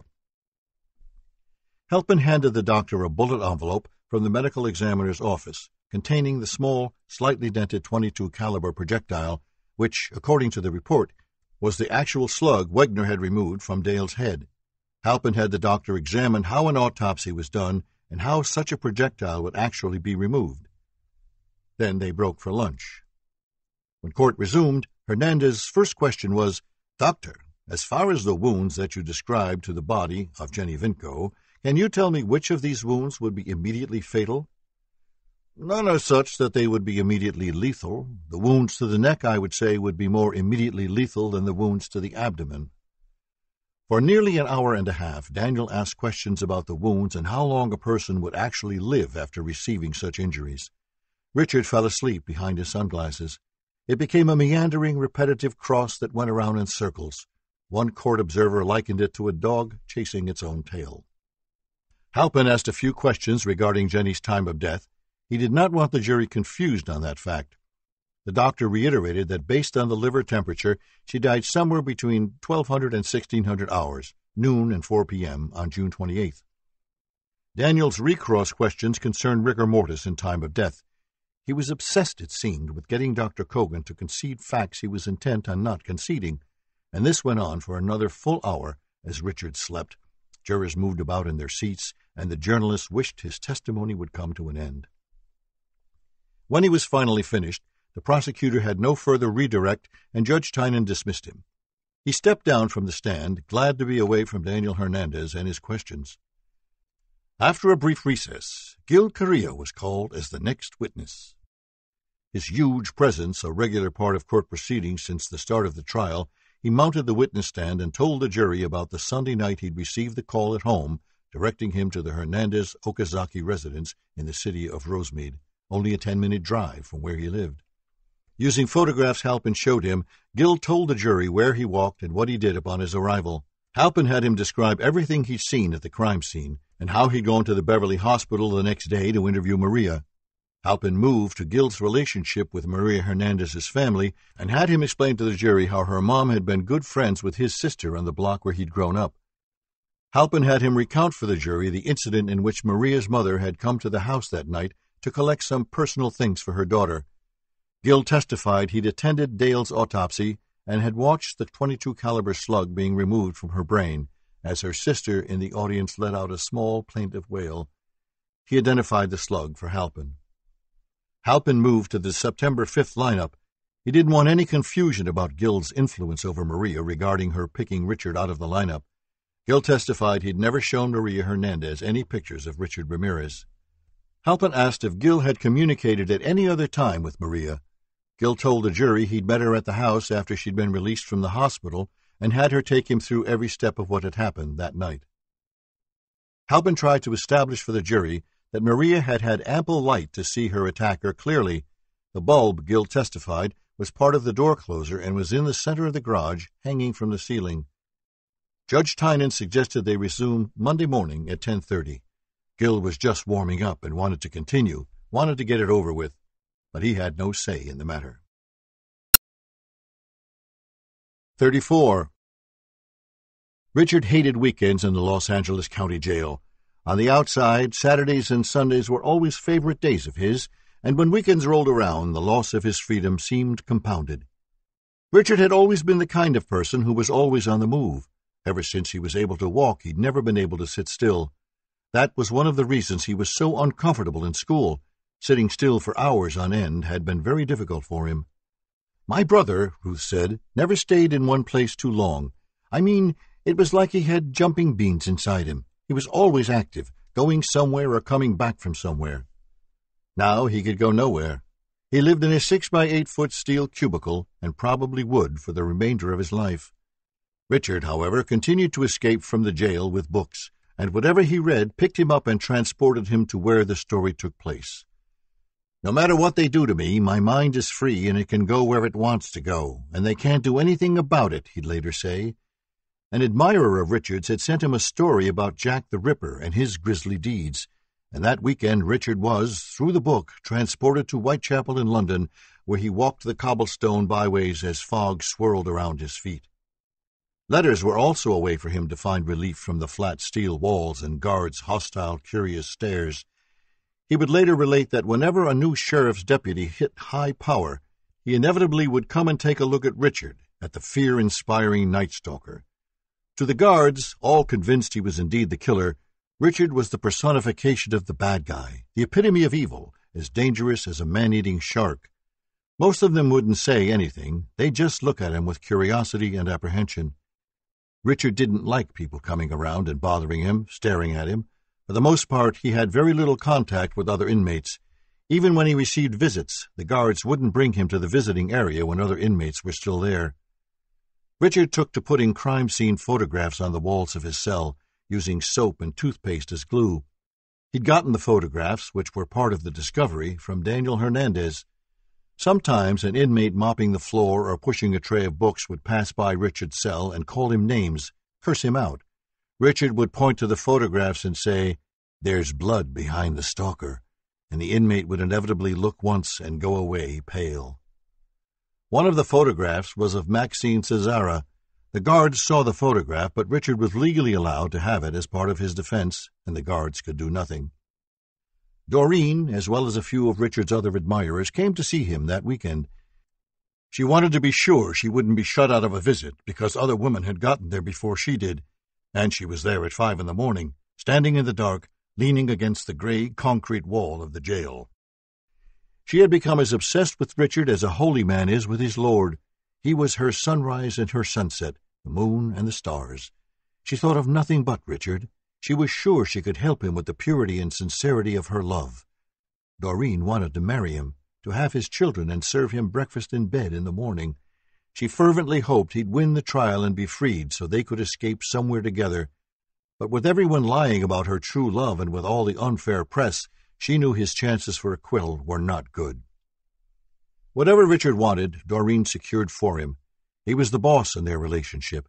She made sure Richard had money in his commissary account at the jail and sent him books and magazines, writing paper, and stamps.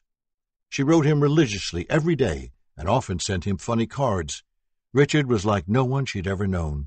She'd come from a quiet, conservative background, had never been in any trouble, and was always more interested in studying for school and in romance novels than in men.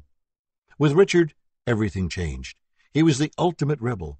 Combined with his dangerous Latin good looks, he turned Doreen on in a way no other man ever could, she says. Doreen planned to give her virginity to Richard. She knew, however, that might never happen. She would sacrifice everything for Richard, that's what real love is about, giving, says Doreen. Isn't it?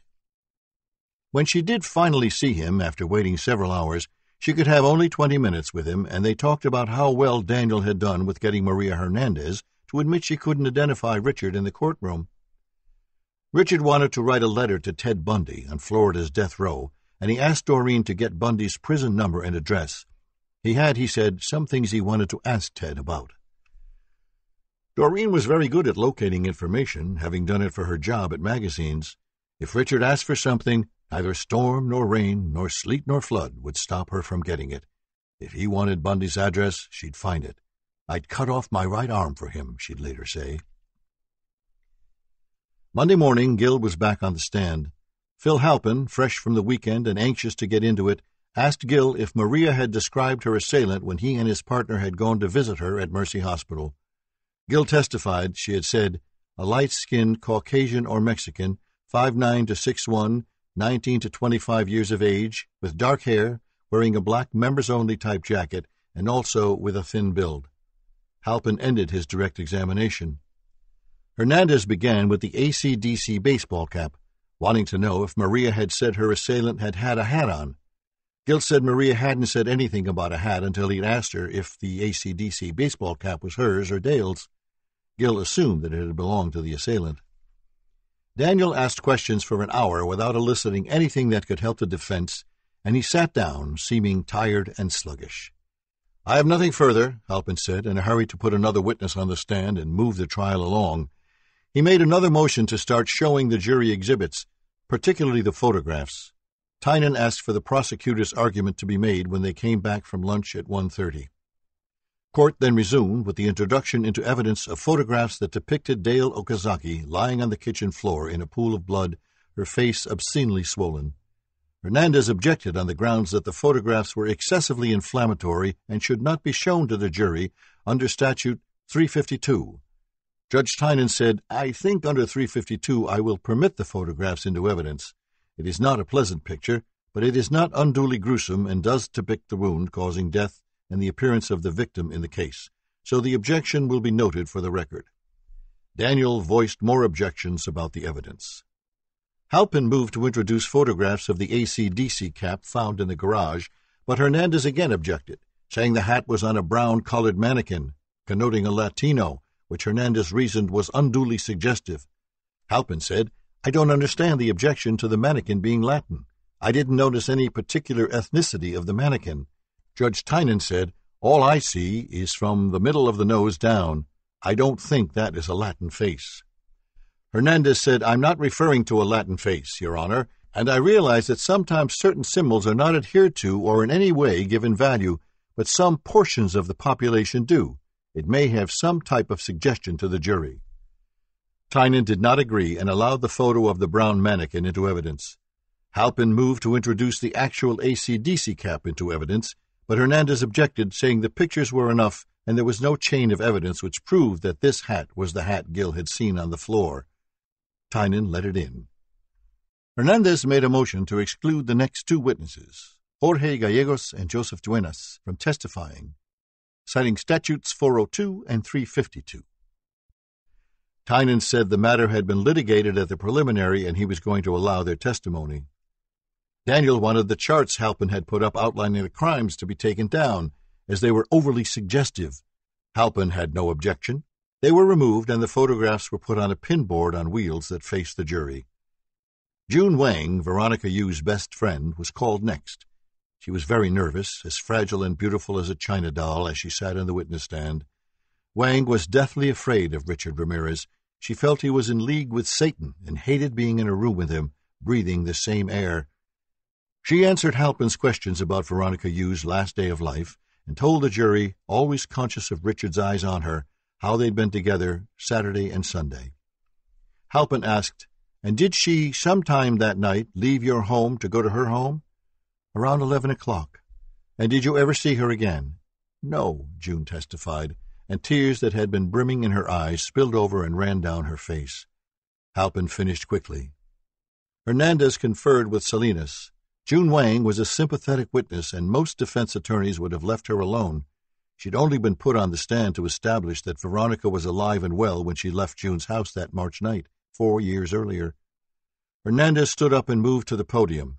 He asked her to tell the jury everything she and Veronica had done that Saturday and Sunday. Hernandez wanted the jury to suspect Veronica Yu's boyfriend as the vicious killer. Halpin objected on the grounds of relevance, and Judge Tynan sustained the objection.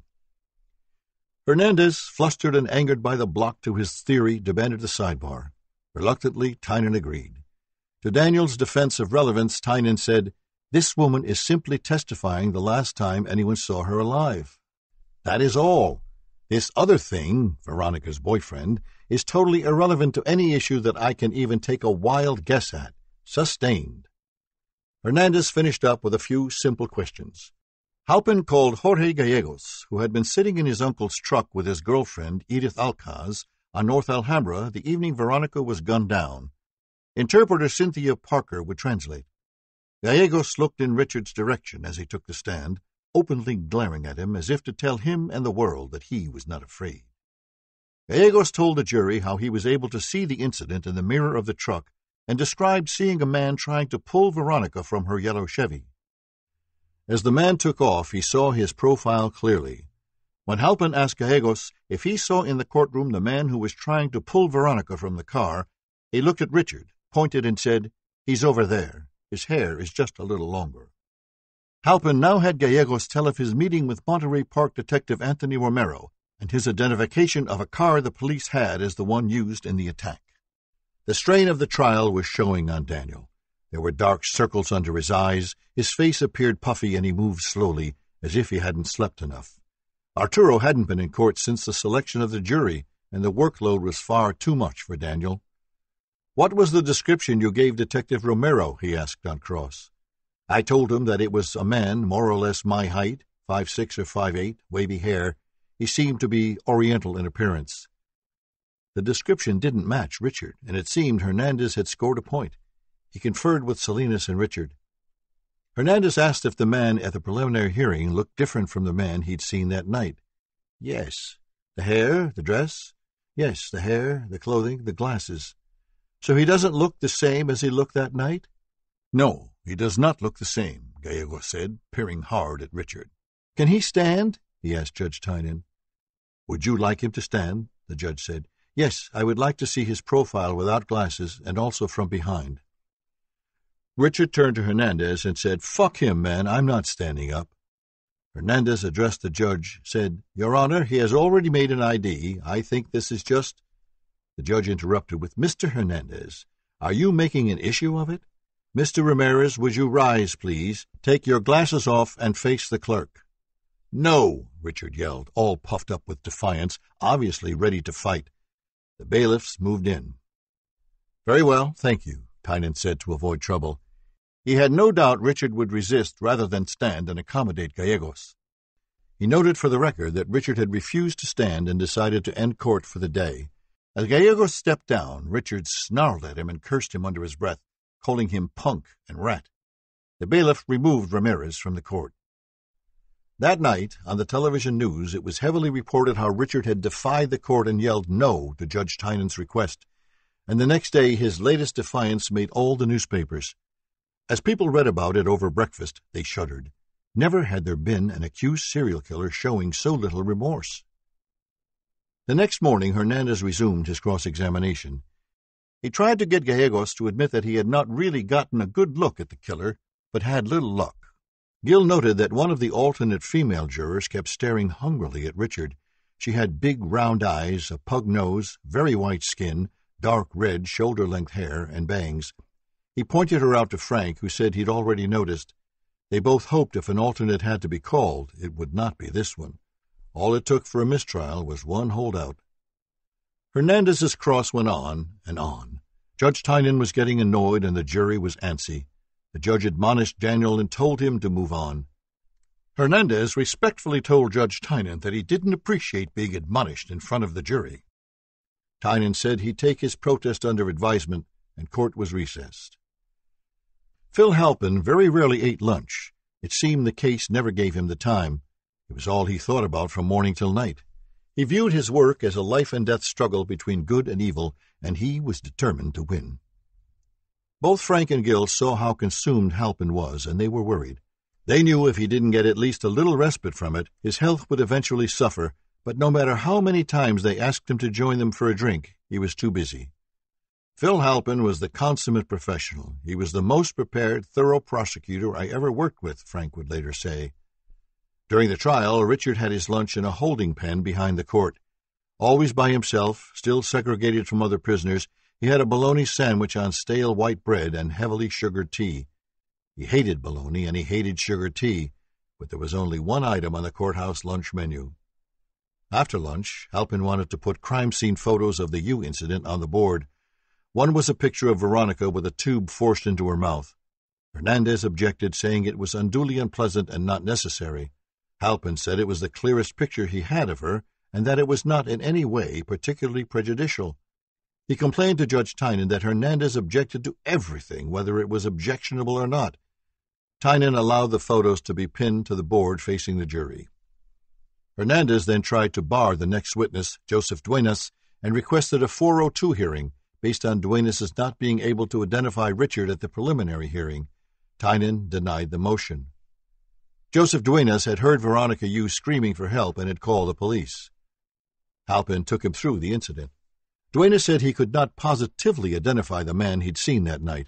He had described the man to police as about five seven to five eight, about 145, 150 pounds, light complexion, kind of long, shaggy hair, but I couldn't tell if his eyes were quite slanted or if they weren't. People in the courtroom tried to see Richard's eyes, but he was wearing his sunglasses and wasn't about to take them off. Halpin finished with Duenas, itching to keep the case moving. Hernandez stood and everyone dreaded another long cross examination. He set out to show the jury that Gallegos and Duenas were liars, only out for the reward money, the limelight, some false sense of justice. Daniel had Duenas describe every minute aspect of everything he did, said, and saw. When Hernandez asked him if he'd heard any gunshots, he said no. Everyone knew Veronica had been shot twice before she'd gotten out of the car. Duenas testified he was put in a police car by himself when he said he'd seen the incident. At the police station, he'd told the detectives he could identify the killer if he saw him. Yet in court today, he couldn't positively identify Richard. Daniel wisely ended his cross on that note, and court was recessed until 315. Monterey Park officer Ron Endo was the next witness. He told how he'd been sent to Alhambra Street, what he'd found, and what he'd done. Hernandez had Officer Endo describe everything he saw and did again, questioning him as if he were part of some large conspiracy. The jury appeared to lose interest, yawning and fidgeting. One of them even fell asleep. The following morning, juror number four, Alfred Carrillo, couldn't make it to court because Route 5 was closed. Judge Tynan was forced to cancel the proceedings for the day and excuse the jury with his usual admonishments about their not discussing the case. Phil Halpin told the judge that he would like to introduce to the jury all the photographs from incidents already presented. He suggested they be put on the board and the jury allowed to look at them. He did not want the photographs in the jury room because they could cause dialogue and comments among the jurors. The judge suggested letting the jury pass the photographs among themselves in groups relevant to each crime for 10 or 15 minutes and then let them have them when their deliberations began. Halpin and Hernandez agreed, and court was adjourned. Halpin next put Dr. Richard Ten on the stand. He'd been working in the emergency room of Garfield Hospital on the morning of the Yu shooting. He testified that Veronica had been brought in by a medevac unit and that he checked her vital signs, pronounced her dead, and filled out a coroner's report noting two gunshot wounds as the cause of death. As with previous witnesses, Hernandez had the doctor describe in detail the condition of the victim. Halpin summoned Dr. Susan Seltzer, and she testified she'd done an autopsy on Veronica at 10:30 a.m. on March 19th in the presence of Monterey Park Detective Anthony Romero. The cause of death was two gunshot wounds, and she briefly noted the injuries each had caused. Daniel Hernandez began his cross by asking, Can you tell me which nerves were damaged or severed completely? The question required Dr. Seltzer to describe the damage to Veronica in greater detail. He implied Veronica might have been bruised prior to being shot because there were some bruises on her legs. But the doctor said they'd probably happened during the time of the shooting. He asked if Veronica had any defensive wounds, to which the doctor said no. Daniel wanted the jury to believe Veronica had been killed by an estranged boyfriend in an argument that might have started earlier. Before he moved to the next incident, Halpin wanted the jury to see the crime scene pictures. With Frank and Gil's help, the photographs were distributed to the jurors. The jury comprised ordinary people leading everyday lives, and it was a very difficult thing for them to look at the bodies and not be disturbed. They'd been changed forever, a juror would say later, but they all knew the worst was yet to come. After lunch, Halpin told the court he wanted to show the jury crime scene pictures of the Zazzara incident. Hernandez protested saying the enlargements were enhanced by artificial lighting, were excessively brutal, and would only inflame the jury, particularly the women. Halpin disagreed. The male had been shot in the head, which was consistent with other crimes yet to be presented, and the stab wounds Maxine had suffered were like others sustained in stalker attacks. Judge Tynan ruled under 352, after careful weighing of all relevant factors, the court will permit these to be shown to the jury during testimony, and they, I assume, will be attempted to be bidded by the people after a foundation has been laid. The door was now open for all the pictures of the bodies to reach the jury. Bruno Francisco Polo, Vincent Zazzara's employee, who had discovered the crime, was next on the stand. He was nervous and cowed by the enormity of the proceedings. Patiently and professionally, Halpin had Polo tell the jury about how he discovered the tragedy on March 28th. He described finding the bodies, the police, the fire department, and a medevac arriving, then Peter Zazzara with his wife and small baby arriving. Halpin asked for permission to approach the bench and told Tynan he was finished with Polo, but before he turned him over to Hernandez, he wanted it made crystal clear that he would not tolerate defense counsel asking about time Vincent Venera had done in prison, his having guns in his house, nor his alleged underworld ties. Daniel said he had the right to ask such questions, but Tynan ruled that he didn't. With the Zazzara murders, Daniel was hoping to show the jury that Vincent's own son had said his father had mob ties, and that he and Maxine had likely been killed in a mafia hit. Though he knew it was out of the scope of his cross examination, unless Halpin brought it up first, he was still intent about getting Peter Zazzara's statement to Russ Uloth out for the jury's consumption.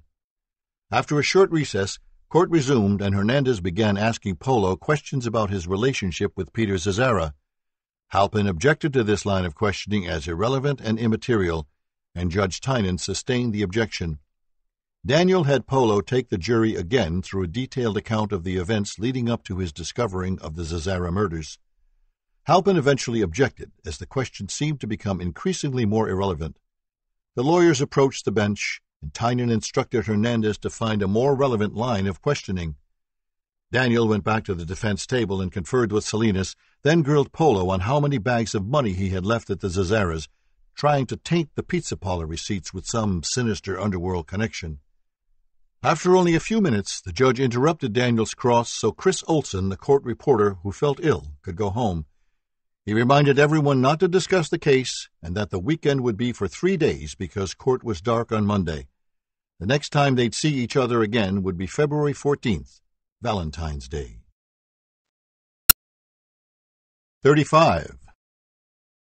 For the most part, Doreen was the only one of Richard's dozen or so regular admirers who was still there every day, all day. Doreen's job at the magazine allowed her to set her own hours. The other girls, as well as many of the journalists, were now there just for the morning sessions, but Doreen was there for both mornings and afternoons, always hoping Richard would turn around and acknowledge her. She felt Richard had come to trust her. He knew she was out there, protecting his rights, writing letters to newspapers denouncing his unfair treatment. Samantha wrote him letters detailing how she would love to have sex with him in a cemetery at night on a cold, overturned tombstone covered with the blood of one of the Night Stalker's victims. Eva O. told him when she came to visit how she wanted to have sex with him in her coffin, which she slept in every night. It, the coffin, would be their love nest, the place from which she guaranteed him she'd fulfill his every fantasy in the name of Satan, in the name of evil. Laura Kendall, a former fashion model turned professional dominatrix in New York, wrote to Ramirez that she fantasized about having sex with him in his prison cell. With Richard, she said, I'd want to be submissive. You can't dominate a man like that. Of all the women who claimed they were in love with him, Richard felt Doreen was the most grounded. She was a college graduate who didn't smoke, drink, or curse. Doreen's idea of profanity was gosh, golly, and oh my lord. She was still a virgin, and was certain that appealed to Richard most of all. He felt she was his. All the other women he knew had had sex already. Many of them had sexual fantasies involving Richard blood, knives, whips, and all kinds of sadistic abnormalities. All the attention from so many women changed Richard. On the outside, in the real world, he never had intimate sexual relationships with women other than prostitutes.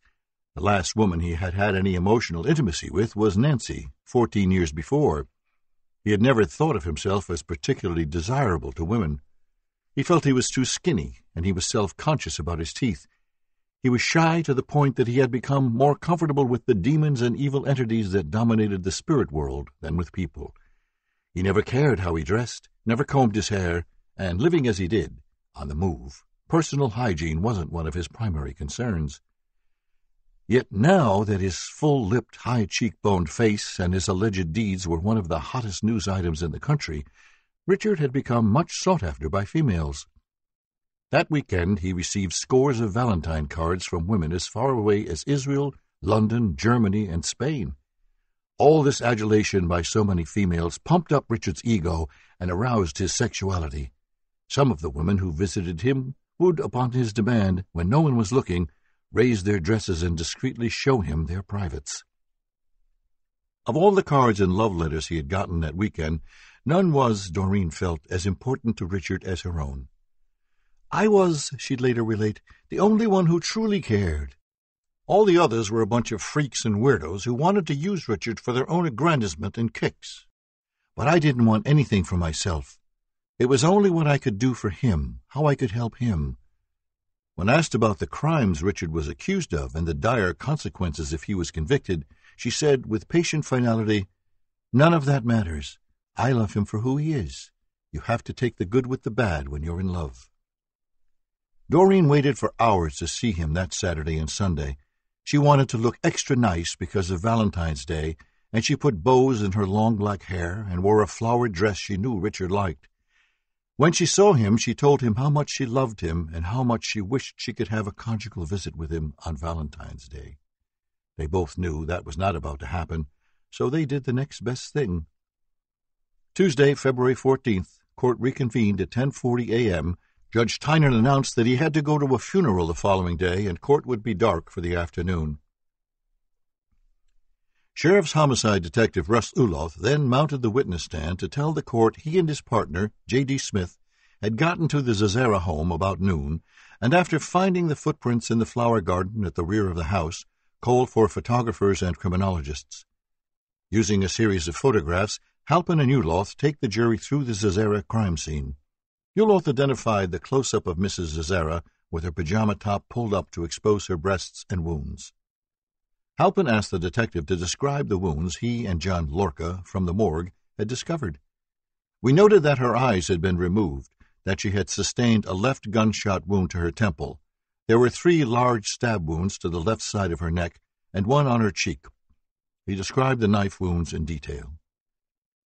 The testimony had a visible effect on the jury.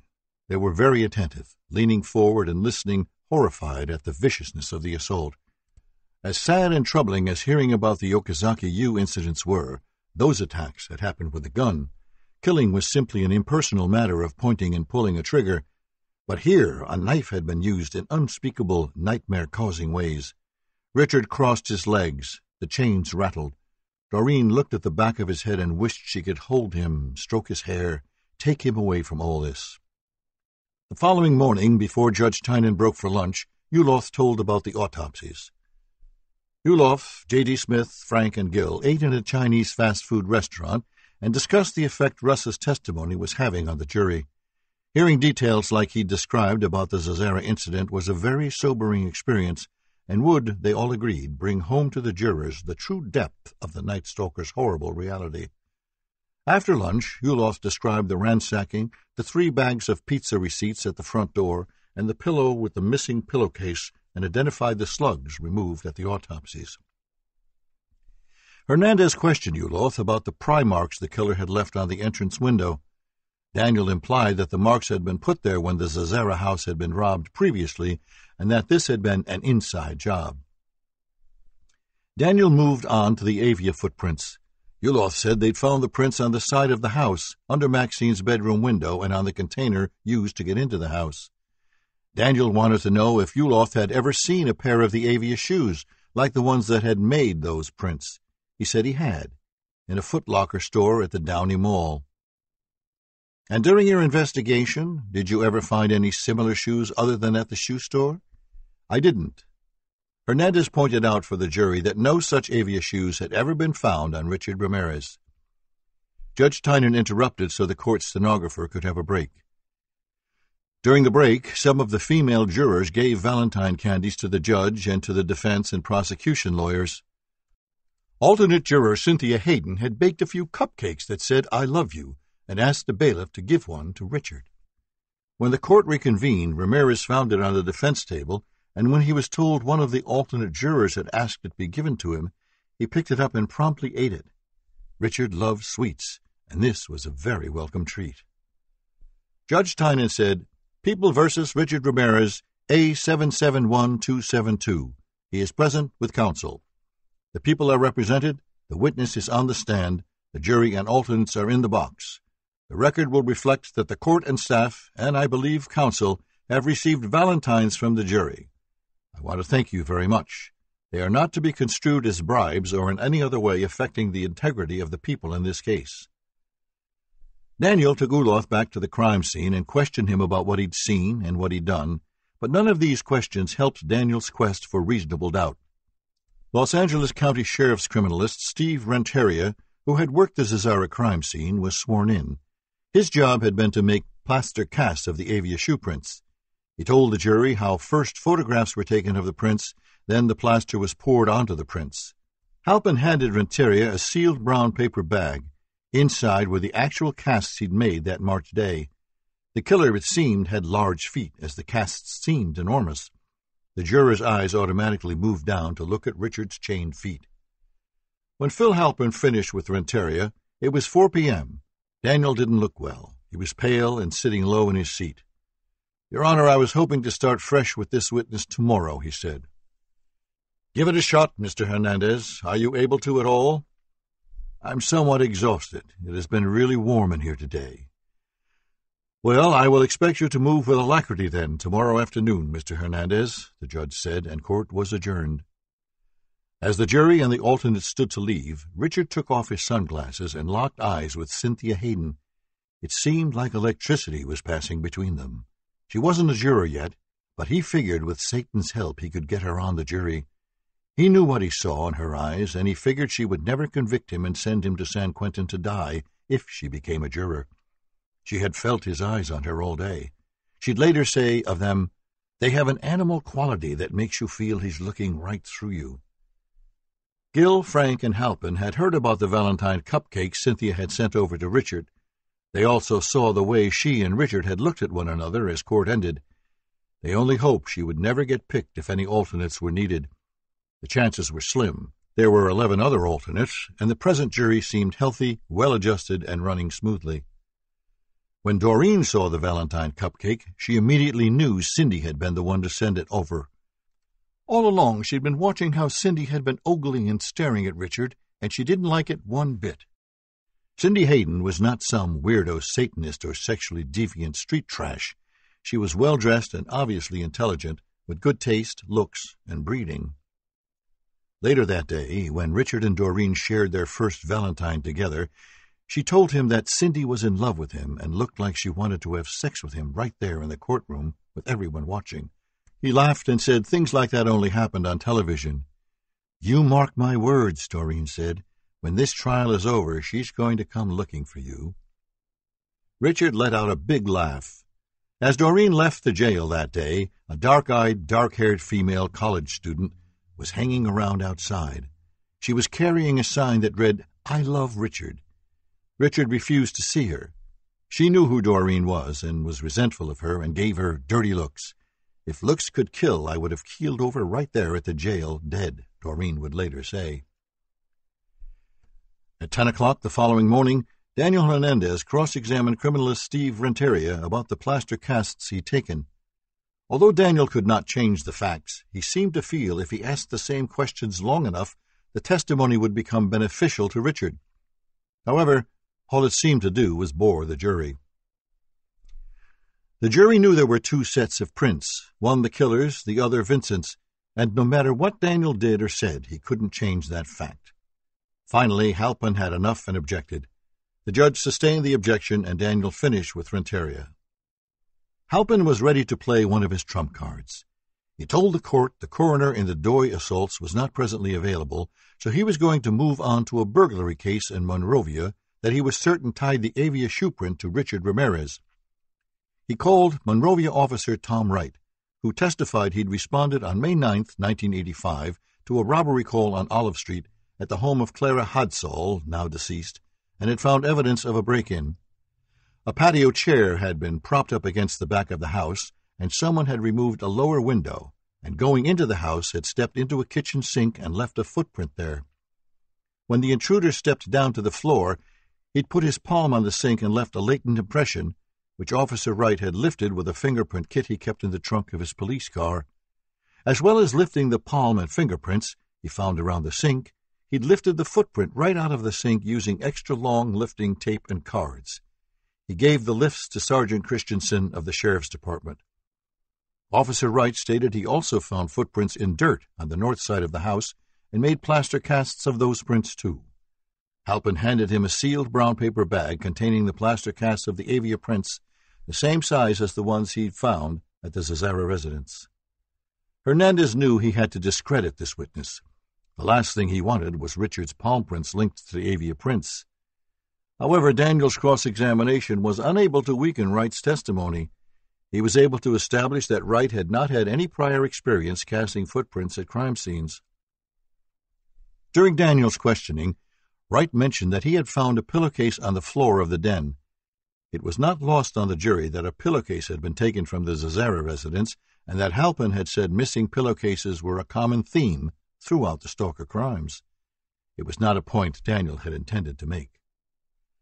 Halpin's next witness was Monterey officer Mike Gorojewski. He told the jury how he'd been dispatched to the Doi residence a little after 5 a.m. on May 14th and had found Lillian and a bloody Bill Doi on the floor being treated by paramedics. He described the ransacking and the sad emotional state of Lillian. Halpin, as he would consistently throughout the long trial, kept his direct examinations short and to the point. Very little of what Gorojewski had to say was in dispute, and Daniel quickly ended his cross of this witness. Judge Tynan said he had to go to a judge's luncheon in Pasadena and told everyone to take an extra long lunch break and return at 2 p.m. Richard was taken back to the court's holding pen, where he had the same sandwich and tea, lay down, and fell asleep, dreaming he was on a planet in outer space, where he was a king on a throne with everyone bowing and scraping around him.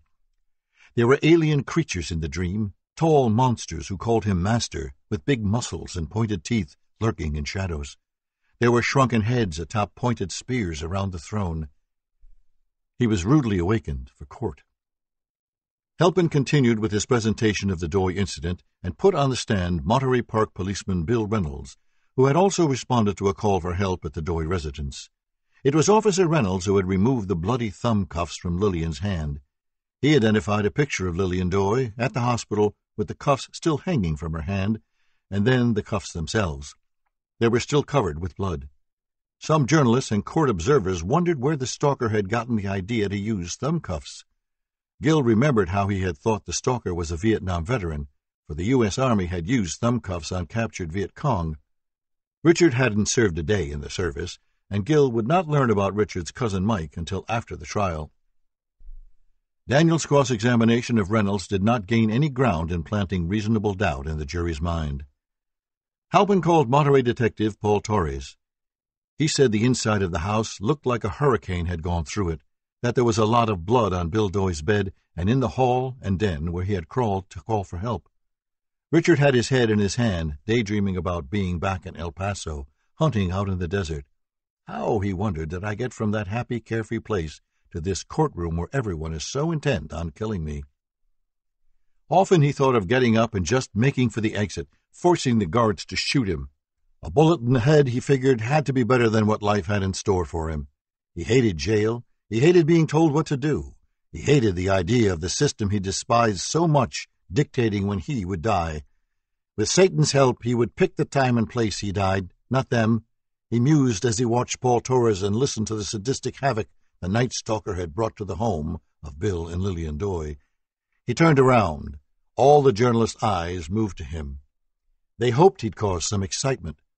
As soon as he turned, his girl sat at attention, smiled and winked and blew him quick, secretive kisses. Doreen nodded at him knowingly, as if she and he had secrets no one knew about. Because of his sunglasses, she could never tell if he was looking at her or at one of the other girls, who stuck out their chests and pouted their brightly colored lips suggestively. Even if he was looking at one of them, it didn't amount to anything. She was the only one who mattered. She was the only one he trusted. She was the only one he confided in. Sometimes he'd be able to make phone calls to her, and she'd tell him all the things she'd do for him to make him happy. She'd even play some of his favorite music in the background. Doreen was very optimistic about the trial, and she often talked about how they would go somewhere private after it was all over and live happily ever after. After Torres's direct, Halpin moved to put the Doi crime scene photographs into evidence, as well as the footprint casts, the thumb cuffs, and the bullets removed from Bill Doi. Daniel objected to everything and was overruled. Judge Tynan also allowed two photographs of Maxine Zazzara in bed that Halpin felt were necessary to establish the eye gouging and the viciousness of the stab wounds. Tynan then addressed the jury, warning them beforehand that they were going to see unpleasant pictures. He instructed them that seeing the horrible wounds was not to influence them against the defendant. He said, You must not assume guilt simply because the photographs depict somebody who has been severely injured. Do you understand that? That is your rule as jurors. You are to be as neutral and objective as you possibly can be. Given the intensity and the intimacy of the attack, that was a very hard thing to do, and Richard knew it. He didn't like the jury seeing those pictures. He was restless in his chair and moving around, rattling the chains. As the jury was given the pictures of the brutalized Maxine, Halpin moved to enter the palm prints, the fingerprints, and the footprints collected at Clara Hadsall's house in Monrovia. Hernandez objected strenuously. Judge Tynan offered a sidebar to hear the nature of the objection, which was that the crime at the Hadsall home was uncharged, and as such its evidence should not be allowed in. Also, it was irrelevant. No avia shoe had ever been tied to his client. Halpin reminded the court that he had never mentioned any crime happening there. All it did was put the avia on his feet because the fingerprints and palm prints were his, Richard's. The judge allowed them to introduce the photographs, fingerprints, and shoe prints. Tynan told Daniel if he could cite cases which showed he would be wrong in allowing the Hadsall prints in, he'd be happy to reverse his ruling. As the jurors studied the pictures of Maxine, some winced, some paled, and a few prayed. They were given the plaster casts of the Doi footprints and the Zazzara shoe prints and asked to handle them carefully as they passed the foot-sized casts among themselves. They could clearly see the prints were identical. After collecting all the exhibits, Judge Tynan called it a day and told the jury to enjoy another three-day weekend. Noticeably shaken and taking curious, angry looks at Richard, the jurors and alternates stood and left. Cynthia Hayden stared long and hard at Richard. When he turned around, Doreen was the only one still sitting there. It wasn't lost on the bailiffs that Doreen was present every day, and they kept a close eye on her. Though she looked innocent and had no police record, they were leery of any woman who was that obsessed with a man who was accused of cutting out a pair of human eyes for the fun of it. 36. When court resumed on February 21st, Judge Tynan announced that Daniel Hernandez was ill. He said he had spoken to him on the phone and that he was suffering from nervous exhaustion, was under a doctor's care, and should be all right in a few days. Therefore, he had decided to postpone the proceedings until Monday, February 27th, allowing a week for Daniel to recuperate. Salerno and Carrillo welcomed the break. They would use it to catch up on lost time with their families and other cases piling up on their desks. Halpin said he knew something like this would happen and was concerned about Hernandez having recurrent relapses. He saw this move as a stall tactic Daniel would try to parlay into a mistrial. The jurors welcomed the seven day hiatus from court. It was an arduous, difficult task, sitting still all day, listening to horrible stories and viewing photos of murdered people. At 9 a.m. on February 27th, an obviously annoyed Judge Tynan took the bench. Paralegal Richard Salinas sat at the defense table with Richard. Is Mr. Hernandez coming into court this morning? the judge asked Salinas. Salinas said no. Tynan told Halpin to approach the bench and explained that he'd received a letter from Dr. Pace, the San Jose physician who was treating Hernandez for nervous exhaustion and elevated blood sugar and blood lipids. The judge said Dr. Pace had told him he was putting Daniel on a weight loss program and that he was seeing to it that Daniel received stress management counseling. Daniel was not fit for the arduous task of representing Richard Ramirez and would need one to four weeks of recovery. Salinas said Daniel's secretary had called Alan Yochelson the week before to inform him of Daniel's condition. Halpin was unconvinced. He had heard that Daniel had used this tactic during trials before. He thought about all the time, three and a half years, and hard work that had gone into this trial, the difficult tasks of finding the jury and setting up all the witnesses, now he'd have to call the witnesses and reschedule everyone all over again. The judge was not going to accept at face value Daniel Hernandez's medical disability. He ruled that not only Daniel was to be in court for a hearing on his condition on Wednesday, March 1st, but Arturo as well. Arturo was still on record as representing Richard, and the judge wanted him in court. Halpin suggested he could draw up a subpoena and bring in Daniel's doctor as well. He said, I have been through this before with one of our local attorneys, and it turned out that he misunderstood his doctor and in fact was healthy enough to go forward with the case. Tynan agreed and said he'd supply Halpin with the doctor's address for the subpoena.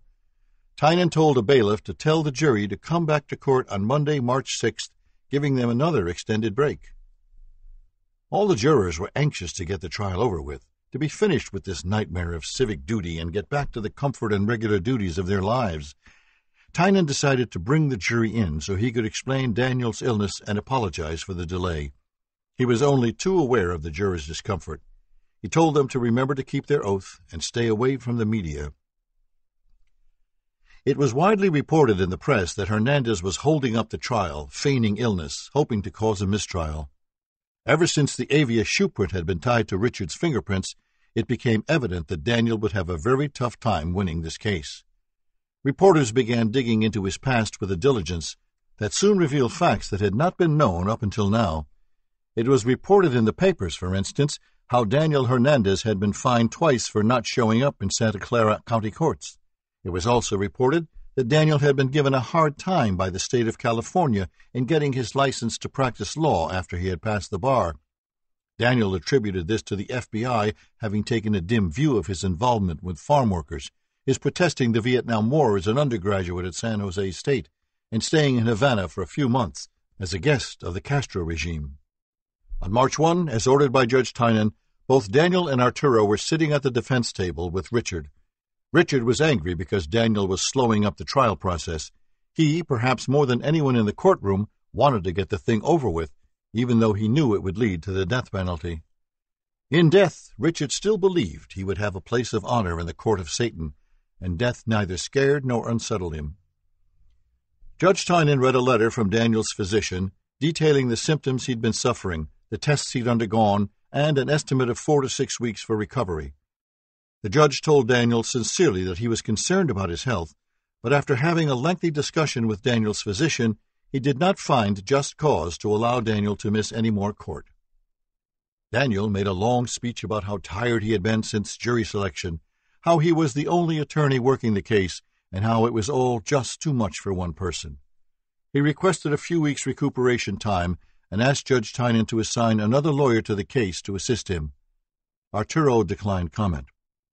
Halpin complained bitterly about having to keep rescheduling witnesses, some of whom had been terribly traumatized by vicious sexual assaults, and all these delays were further traumatizing and upsetting them. These people are getting disgusted, he boomed. Judge Tynan told Daniel that he knew death penalty cases were very stressful. Some of us have chest pains, some of us have belly aches, but the point is, we all suffer stress in these cases, even the court. And it is part and parcel of a death penalty case and we have to deal with them as best we can. The judge went on to say that he saw no good reason to delay the proceedings further and ordered both Hernandezes in court on March 6th, ready to proceed with the trial. Halpin remembered clearly how hard Arturo and Daniel had fought for the right to defend Richard. He'd known, when Judge Soper had ruled that Richard had the right to choose his own counsel, that it would come to haunt the proceedings, and quite possibly even cause a mistrial, meaning they'd have to do everything all over again. That possibility loomed over the court like a dark storm cloud sent by Satan himself to help Richard. Halpin had vowed not to try this case again. It was too much for any man to go through twice. He already had an ulcer and high blood pressure. Both Arturo and Daniel said they would obey the court's ruling. They knew Tynan would hold them in contempt and throw them in jail if they didn't comply. Monday morning, March 6th, Daniel showed up in court with a new strategy. He was now certain he could not handle Richard's defense properly, even with Arturo's help, and he turned to seasoned trial lawyer Ray Clark, a light skinned black man with salt and pepper hair and mustache. Daniel had been talking to him about coming aboard the defense team since January, and Ray had joined the defense team after Judge Tynan had agreed to see he was paid the standard rate for a capital crime case, $100 per hour, by the state. Tynan knew it would cost the taxpayers a lot more if Ramirez had to be tried all over again. Before court, Tynan met Ray Clark for the first time in a closed meeting with Daniel and Arturo. The judge had researched Ray's background and knew he was a capable professional who had had experience with capital crime cases. He even had special training enabling him to be a member of the group of California attorneys who met the standards required for death penalty cases. To Tynan, Ray Clark was a ray of hope. His arrival meant that this trial would actually move on to completion. No matter what, Clark told Tynan, I'm in for the duration. Ray Clark had been in private practice, handling criminal cases almost exclusively since he'd passed the bar exam in December of 1973, the year he'd graduated from Southwestern School of Law. He was partners with his daughter, Dawn Blaylock, and Ephraim Clark, no relation. They would be handling the firm's cases while he was committed to the Ramirez trial. Judge Tynan shook his hand and welcomed him aboard. Back in open court, without the jury present, the judge announced for the record and for Phil Halpin's benefit that he had appointed Ray Clark to the defense team. Halpin knew Clark and his reputation and was very happy to see him sitting at the defense table. Now, he believed, the case would move along quickly. Richard had no say in the matter. He knew Daniel was in way over his head, and he welcomed someone who brought as much experience to the defense table as Clark. Richard knew Clark didn't know anything about the case, though. Clark's appointment raised grave appeal issues. There was a landmark 1976 case in which a conviction against Charles Manson follower Leslie Van Houten was overturned by the California Appellate Court when a new attorney was substituted in mid trial after Van Houten's attorney had disappeared. The court held that even if the new lawyer pored over the transcripts of trial testimony, he had missed the opportunity to view each witness's demeanor as he testified. It is elementary that the right to counsel means the right to effective representation, the appellate court had said in the Van Houten case. In our opinion, an accused is denied effective representation if her trial attorney is unable to effectively argue the case. Not only had Ray Clark failed to see any of the witnesses testify, he still had not read the transcript. Tynan was in no mood, however, for more delays and didn't give Clark so much as an hour to read up on the case. He said, It is my understanding, Mr. Clark, that you will be co counsel and there will be no delays in the case for you to get up to speed, that you will do the best you can on your own time to prepare yourself, and that this case will continue apace. Is that correct? Ray Clark answered, That's correct, Your Honor. Very well, sir. You are appointed and welcome. Tynan set up a hearing for March 24th to resolve a dispute the special master was having regarding the prosecution handing material over to the defense team scientist. The 24th was a Friday, and the hearing wouldn't waste any jury time, Judge Tynan said. Daniel complained about the district attorney's office not trusting the defense and making things difficult. Tynan wanted to know why these issues hadn't been already resolved. Daniel, with newfound vigor from his rest, his new diet and stress management counseling, and boosted by the presence of Clark and Arturo, said he'd tried to resolve them, but the prosecution wasn't cooperating. The defense table now looked like a formidable force, with Salinas, Clark, Daniel, and Arturo all sitting there looking attentive. Halpin countered by saying he'd been waiting to be contacted, and accusations went back and forth until the judge put a stop to them and ruled the issues would be resolved at the hearing on the 24th. The jury was brought in. Halpin had pathologist Kogan tell the jury the details of Maxine Zazzara's murder. He described three gunshot wounds, eight stab wounds, ligature marks around her neck, and the way the upper lids of both eyes had been cut away to facilitate removal of the eyes. He described the stab slash wounds in detail as the jury squirmed and moved uneasily in their hard wooden chairs, trying to see past Richard Ramirez's sunglass facade of indifference as he rested his cheek on the palm of his huge right hand. At this point, Judge Tynan broke for lunch. At 1.30 sharp, Dr. Kogan was back on the stand. Halpin showed him the bullets removed from Vincent and Maxine and had the doctor explain what damage each round had done and from where each had been extracted. Halpin turned Dr. Kogan over to Ray Clark. Although he had not yet read the trial transcript, Clark asked questions that were precise and to the point. He knew what he was doing, and that soon became obvious. There was little Clark could do to help the defense with Dr. Kogan, who had been put on the stand only to authenticate the autopsies for the court. Halpin put Linda Doi Flick on the stand. She told the jury she was an intern in family, marriage, and child counseling. Halpin asked her to describe her mother's condition. She said, Cognitive level thinking ability to process information is at about a two year old child level. In the last few years, she's shown signs of senility. Certain things she is very sharp about, and other things she can't respond to as well. She testified that she lived four blocks from where her parents had lived. She had visited them early in the evening before the morning of the incident. Her dad was healthy and watching television, and her mom was walking around the home. She'd received a phone call from the police at 5:20 a.m. directing her to Monterey Park Hospital where her mother had been taken. She said her mother's face was swollen and black and blue, and she was disoriented. Linda told the jury that she had been trained at Casa Colina Hospital in Pomona to work with the cerebrally impaired and with stroke victims. With this background, she had developed a way of speaking with her mother. Halpin showed her photographs of Mrs. Doi in the hospital, which Linda described for the jury's benefit. Halpin moved to September 5th, when Linda went to the jail with her mother to view the property lineup seized at Felipe Solano's house and other places.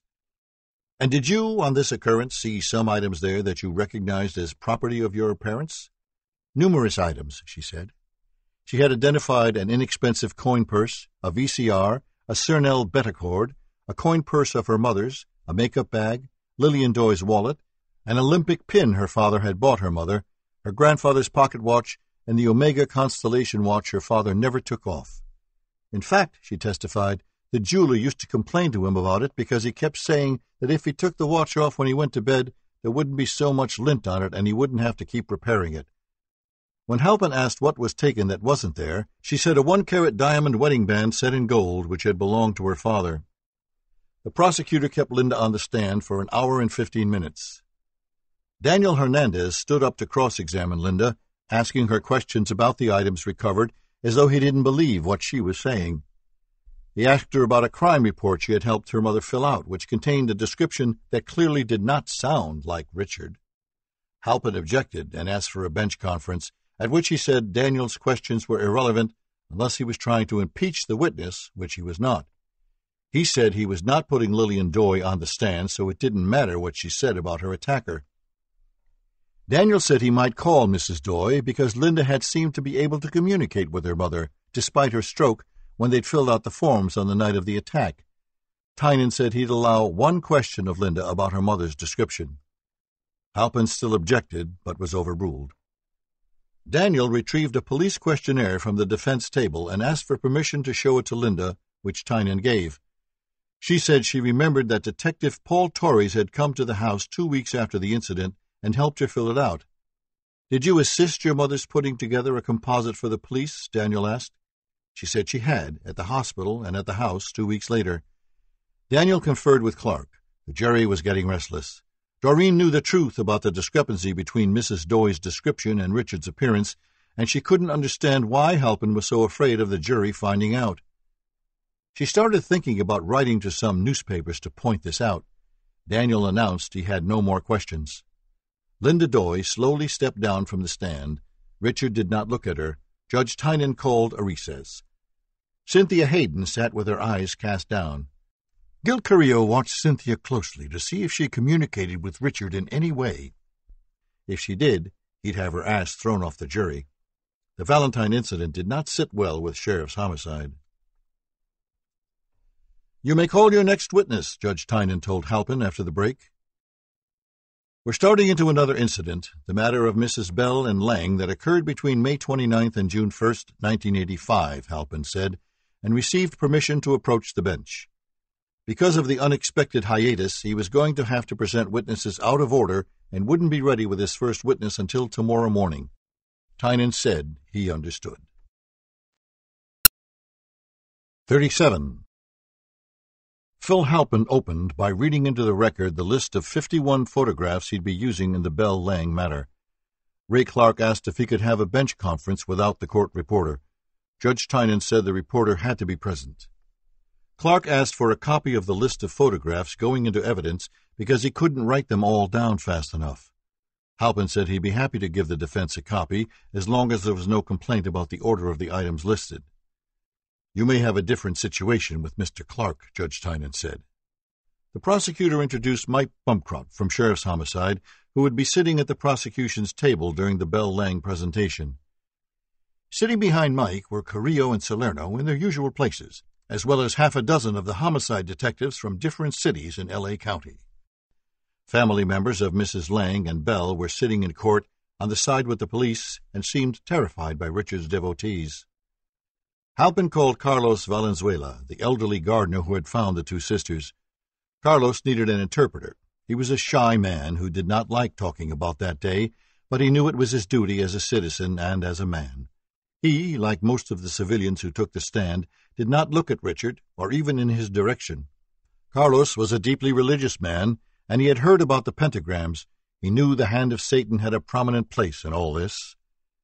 Carlos described how he had seen the newspapers and mail piling up at the front door at the residence of Nettie Lang and Mabel Bell, and decided something might be amiss.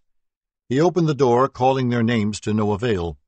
He found Nettie first, then Mabel, with the table the stalker had left on her chest still there. He removed it and saw the horrendous beating she had gotten and the pentagram on the bed, and hurried to neighbors to call the police. Clark stood for the cross examination asking Carlos how many papers were on the porch there. Carlos said four.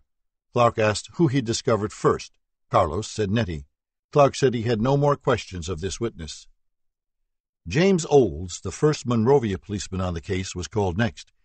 He testified he had cordoned off the house and taken pictures of the wounds and the general areas where each woman had been found. He made certain to get clear shots of the pentagrams and of the hammer, still speckled with dry blood. When both sisters were removed to the hospital, Officer Olds went along so he could take more photographs of the injuries after they'd been cleaned, he stated. He treated the assault like a murder because the wounds were so severe he knew death was probable, and he wanted all the evidence needed to convict.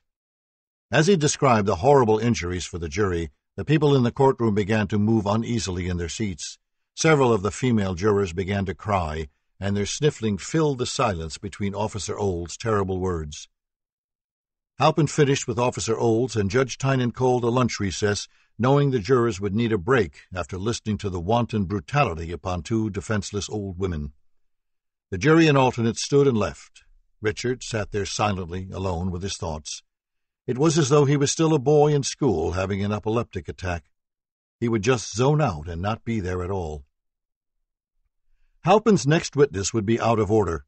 He called Dr. Claire Paul Naby, a general surgeon who had worked on Nettie Lang in Methodist Hospital in Arcadia, then Dr. Michael Agron, who had worked on Mabel Bell. Claire told the court she had done an examination on Mrs. Lang's genitalia and found two stretch marks. Appropriate smears and washing had been taken, and no usable secretions, that is, seminal fluid, had been found at that time. The injuries were very likely caused by sudden and violent stretching of tissue in that area, she testified, but she could not say how such injuries had occurred. Halpin had her read her preliminary testimony, then asked if she now concurred with what she had said then. Reading my testimony from that date, it was my opinion that some attempt had been made at entry to the vaginal orifice. That's what Halpin wanted the jury to hear. That 84 year old Nettie Lang, probably bound and already beaten, had been raped. The thick silence in the courtroom was broken only when Richard moved and the chains rattled. Halpin had no more questions.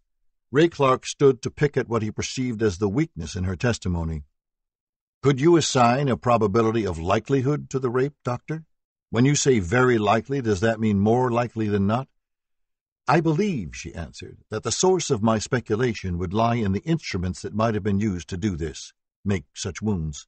Clark got her to concede that she had no idea what had caused the vaginal tears. Halpin summoned Sheriff's Homicide Detective Bumcrot to the stand, and he told the jury how he and his partner, Mike Robinson, had received the call and described what he'd observed at the Lang house. He had also attended the autopsy of Mabel Bell in the middle of July, after she'd finally succumbed to her wounds. Halpin asked the detective if he had interviewed Nettie Lang. He said, No, sir. When she would wake up and see me or my partner, she would pull away from us, become extremely fearful, and begin to cry. The best Ray Clark was able to do in cross to distance Richard from this crime scene was to ask if the soda cans had prints on them, to which Bumcrot replied one of the cans had some portions of a fingerprint, but it wasn't enough to make an identification. Satisfied, Clark ended his cross. Next, Charles van der Wende testified he had found a fabric print on the Mountain Dew can, which meant whoever had held the can had been wearing gloves. Halpin planned to prove glove prints were found at most of the Night Stalker attacks. Clark wanted to show the jury that the print wasn't necessarily a cloth glove, that it might have been a leather glove, but van der Wende testified that they could tell the difference between the texture of the surfaces. For instance, he said, the little pimples in pig leather would be picked up by the lifting tape after fingerprint powders were applied. Clark then had van der Wende tell the jury exactly how the fingerprints were taken. They had already been given that information early on, but Clark wasn't aware of that. When van der Wende finished, Clark suggested the prosecutor show the crime scene pictures now. Judge Tynan addressed the jury. Again, ladies and gentlemen, some of the photographs that you will be looking at this afternoon are not pretty. Remember, you are acting as judges here. You are not to be inflamed or emotionally involved in the photographs. They are evidence. You are to view them as evidence. They, in and of themselves, do not indicate that anybody is guilty of anything in this case. It is just evidence. You must view them as neutrally and objectively as you possibly can. He warned them not to talk among themselves about the prints. Halpin read the numbers of them into the record, and they were passed to the jury by Alan Yochelson. Stone faced, each juror thumbed through the 8 by 10 black and white prints. They were passed to the alternates and finally collected by Yochelson. Judge Tynan told the jury they were finished for the day. 38. Judge Tynan apologized to the jury for the air conditioning system not working well. The temperature in the windowless courtroom was in the high 80s or low 90s, and it made this difficult task even more difficult. He told Deputy Martinez to make sure someone from maintenance fixed the air conditioner. Halpin called to the stand Dr. Sarah Reddy, the medical examiner who had performed the autopsy on Mabel Bell on July 19th. Dr. Reddy told the jury that Mrs. Bell had died of cranium cerebral trauma and that there were wounds to her chest, abdomen, back, and buttocks. At Halpin's urging, she said the wounds were those of thermal burns, that is, electricity. Halpin showed morgue photographs of Mabel Bell with tubes protruding from her neck and mouth. The head wound was so severe the surgeon couldn't repair it, and brain matter was still visible. Halpin asked what effect such head wounds would have on the cardiovascular system, and Dr. Reddy said, These severe and fatal head wounds cause the brain tissue to swell and become soft and soggy and compress the breathing center and also the heart beating center, and that causes the stoppage of breathing and heartbeat. She told Halpin similar head wounds she'd seen previously had been caused by hammer blows. After conferring with Daniel, Ray Clark said he had no questions. Michelle Lopiesto testified next, telling the jury how it was she who'd picked up the alarm clock with the Avia print on it and wrapped up the section of wall with the pentagram on it that Monrovia firemen had cut out for her. Ray Clark asked her questions about sketches she'd made and whether or not she'd found any hairs. There were, Daniel Hernandez had told Clark, human hairs mentioned at the preliminary that hadn't belonged to Richard or to either of the victims. She said she had found some hair under Mrs. Bell's bed, but did not know if these were human hairs. Clark focused on these hairs, but all he could get from Lopiesto was, I don't remember. Clark felt the hairs proved that someone else did it. This was his basic defense strategy, as he really did not see any other viable defense except an insanity plea, which Richard was unequivocally against. Criminalist Lopiesto was excused. Halpin said they were going to move on to Incident 7, that of Carol Kyle, he read into the record the 29 exhibits he'd be using in his presentation of the Kyle matter, then they broke for lunch. Carol Kyle walked into the courtroom like a woman with a mission. Her head was back, her shoulders square, her step sure and confident, and when she sat down she looked directly at Richard. She was clearly not cowed by or frightened of him. He let out a laugh. Halpin had her tell the jury about the night she had been awakened with a gun in her face and a light in her eyes.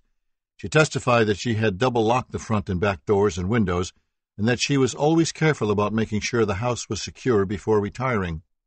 She had had a Lhasa Apso dog back then, and had installed in the rear kitchen door a doggy door, which her attacker had apparently used to unlock a lock and gain entry. She said the doggy door could be locked, but she only locked it when away on vacation.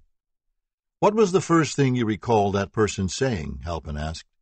I believe it was, Get up and don't make any noise, she said, and went on to describe her and her son's ordeal in detail. Carol's words seemed to hover and quiver in the air as she spoke, evoking vivid images all too clear to the jury in court.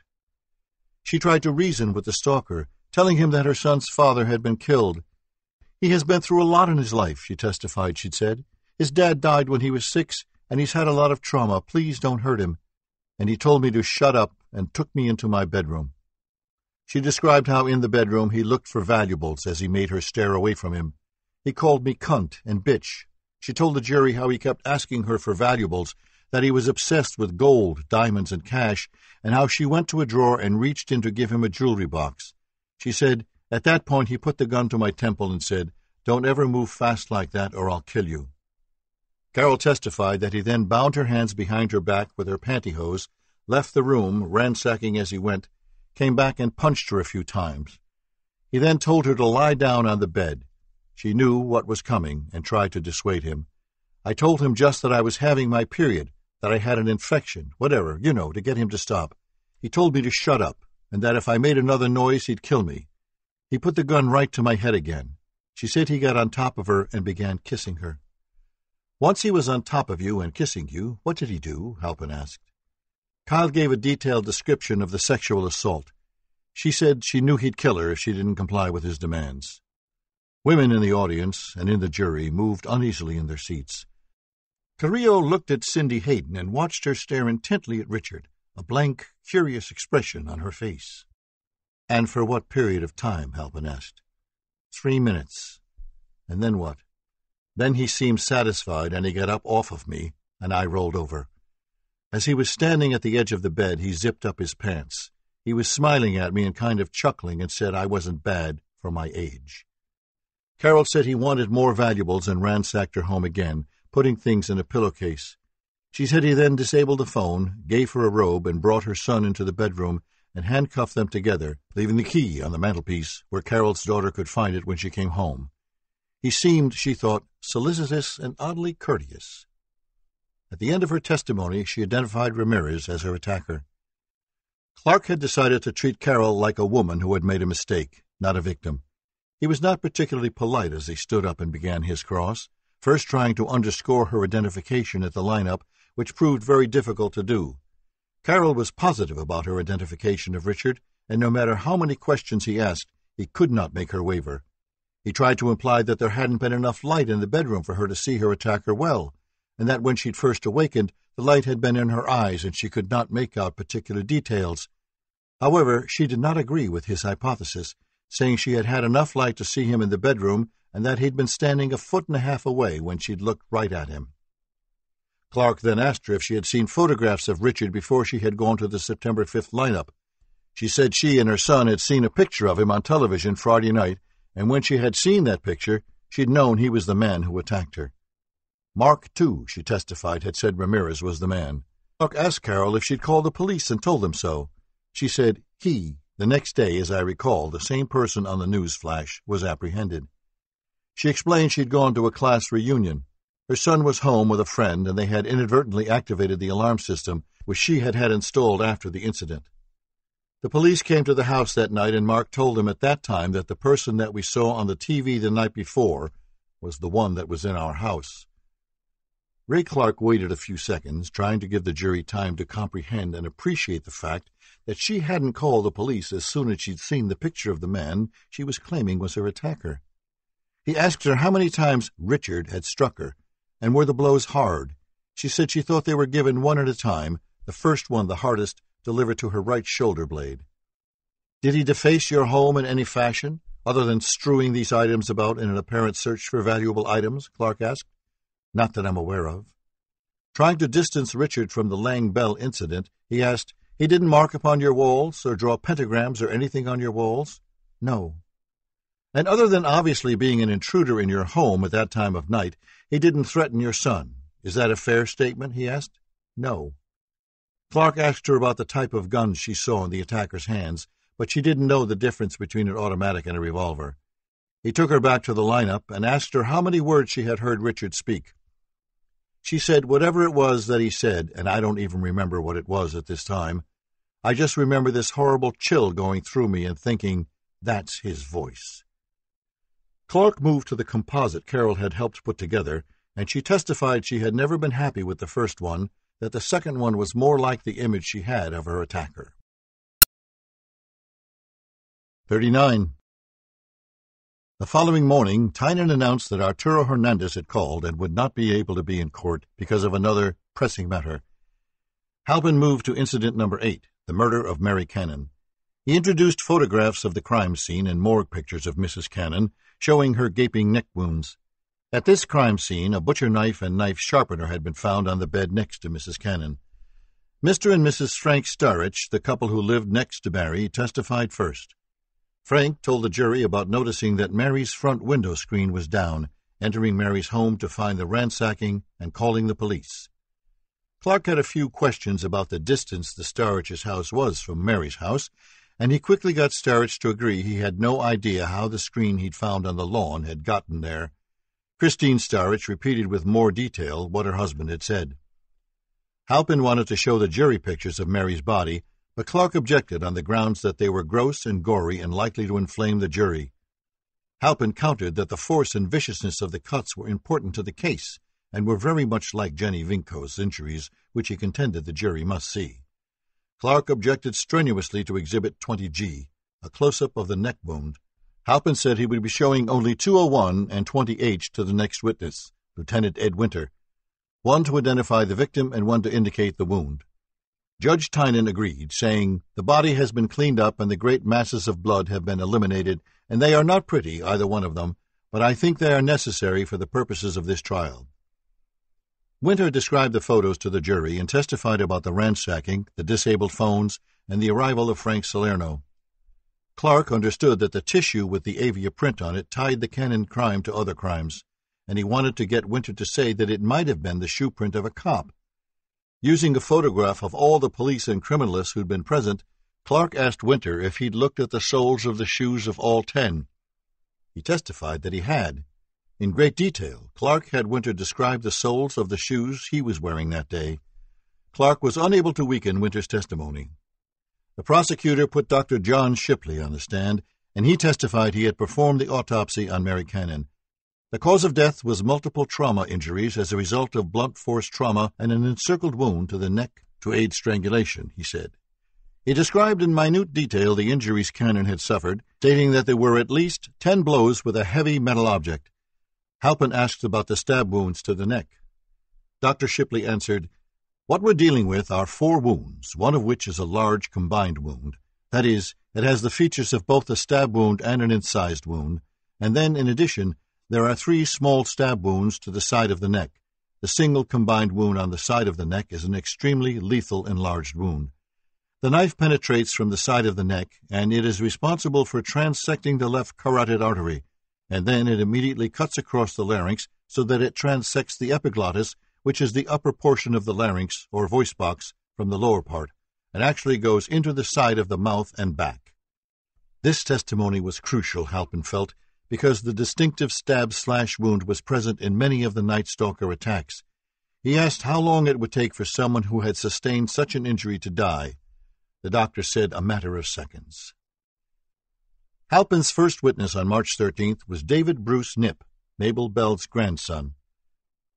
Walking slowly and not looking in Richard's direction, he took the stand, was sworn in, and identified morgue photographs of Mrs. Bell and Mrs. Lang and photographs of a cassette player he had bought his grandmother for her 87th birthday on April 6, 1985. Clark tried to suggest the cassette player might have been stolen before the May 29th attack, but without success. The prosecutor called Mark Cranebrink, David's brother, and he testified he had last seen Ma Bell and Nettie Lang two months before the attack, and that they were healthy and well on that occasion. He had gone to see them after the attack of June 1st in the Arcadia Methodist Hospital. They were both in a comatose state and could not communicate or acknowledge him. Halpin asked about the last time he'd seen his aunt, Nettie Lang. He said he had visited her at the Sophia London Hospital the day before, and that she she just lays in her bed and she is unable to speak. She can move her head to look at you, but you can't be positive that she knows you are there or knows what you are saying. How is she fed? She is fed through a tube. Halpin moved back to the Cannon incident and called criminalist Lloyd Mahany, who testified he had responded to a summons by the sheriff's office. He was greeted by Frank Salerno, who directed him to two footprints on the bedroom rug of Mrs. Cannon's home. He cut them out with a carpet knife, and they were rushed to the sheriff's crime lab, where they could be photographed under optimal conditions. Halpin showed the actual pieces of carpet, which over time had lost the impressions, and photographs of the rug with the prints still in them. They were very difficult to see. Clark went at Mahanney with a vengeance. He felt trying to introduce evidence that had once existed but had since disappeared was bogus, and he asked dozens of questions about how he'd cut the rug patch out, what exactly he'd done with it, and was it the right or left foot. The criminal said he didn't know, that he wasn't a footprint specialist. Clark was unable to undermine Mahanney's testimony. In fact, his cross brought out something harmful to the defense. The criminalist described for the jury how he had removed with a tweezer pieces of the glass lamp she'd been struck with, glass that had remained embedded in Mrs. Cannon's face. On redirect, Halpin clarified that the prints in the rug had been found in a second bedroom where there had been ransacking, not in the one where Mary had been attacked. Judge Tynan soon recessed court until 1.30, at which point Halpin was going to present the next case. Carrillo and Salerno ate together just about every day they were in court. If it was sunny, they'd leave the court building and take a leisurely stroll over to the mall, where they would sit outside and eat. It was relaxing to them both. Among the throng of people who worked in the downtown area and were at the mall, no one knew who they were, and they could relax and not think of Richard or the trial. They ate silently and watched people walk by and didn't talk about much. When court started up, Halpin announced they would be jumping forward to the residential burglary and attempted murder and the Bennett assault. He moved into evidence all the exhibits, photographs, the tire iron, and the comforter with the Avia print on it, then called Sierra Madre police officer Jerry Skinner, the first policeman to arrive at the Bennett house at 5.06 a.m. on the morning of the assault. He told the jury how he was greeted by Mr. Bennett at the door and appraised the situation, and he said a medevac team had arrived 30 seconds later to take a very badly beaten Whitney to the hospital. He described how he had discovered a bloody tire iron on the floor of Whitney's bedroom. Laying on the carpet in the middle of a large pool of blood, Frank Salerno had arrived and taken over the crime scene. Clark cross examined Officer Skinner, having him repeat much of what he had already said, in greater detail. The jury learned nothing new and became fidgety. Halpin told Judge Tynan the victim in this case had to be brought in from out of town and would not be available today. The judge said he understood, congratulated Ray Clark on moving the case along so quickly, and dismissed the jury until 10:30 the following morning. Halpin moved to introduce again the coroner's pictures of Jennie Vincow's neck injuries. Ray Clark objected strenuously, particularly to the fact that they were close-up shots, which made them twice as gruesome as they should be. Tynan didn't agree. He said they were morgue shots of the injuries and should, because the prosecutor was trying to show a similar MO in the knife killings, be allowed in. 40. Since the July 1985 attack on Whitney Bennett, Frank Salerno had grown close to the Bennett family, becoming personal friends with Whitney's father, Steve. Frank thought the world of Whitney. She had been through a nightmarish ordeal, yet rarely complained and often smiled when she should have been crying. Since her attack, she had had four operations to repair and remove the damage caused by the stalker. Steve Bennett came to the courthouse with Whitney. Frank and Gil stayed with them in the district attorney's office until it was time to take the stand. Whitney was nervous about testifying. She knew millions of people would be paying close attention to what she said, and she didn't like having to be in the same room as Richard Munoz Ramirez. She thought of him as the embodiment of evil, a human being possessed of demonic force straight from the deep recesses of hell. Frank had come to consider Whitney as almost a surrogate daughter. He was very protective of her, staying close and reassuring her that it would soon be over. Frank's youngest son, Mike, took off work to be in the courtroom when his father would be testifying. Mike was six feet tall, muscular, and well built, with dark hair and large dark eyes. He was a handsome man who had inherited his father's confidence. Mike was very proud of his dad and wanted to watch him testify. He knew his father had been particularly touched by Whitney and her ordeal. The people call Whitney Bennett, Halpin resumed. Whitney entered the courtroom, took the stand. She was no longer a teenager, but a beautiful young woman with honey brown hair and large blue eyes. She saw Frank Salerno. He smiled reassuringly. Halpin had her describe for the jury the July 4th night she had been assaulted. She testified about the party she'd been to, coming home very late and going to bed. The next thing she remembered was waking up on her stomach in a pool of blood and much pain about her head and hands. She did not remember being assaulted at all. She testified that she got up and made it to the hallway, where she collapsed and screamed for her father.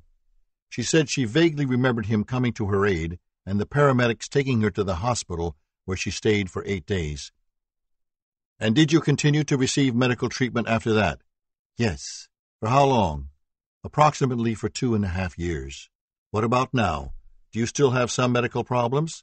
Occasionally I go and have my eyes checked and cosmetic surgery. I'm still seeing a plastic surgeon.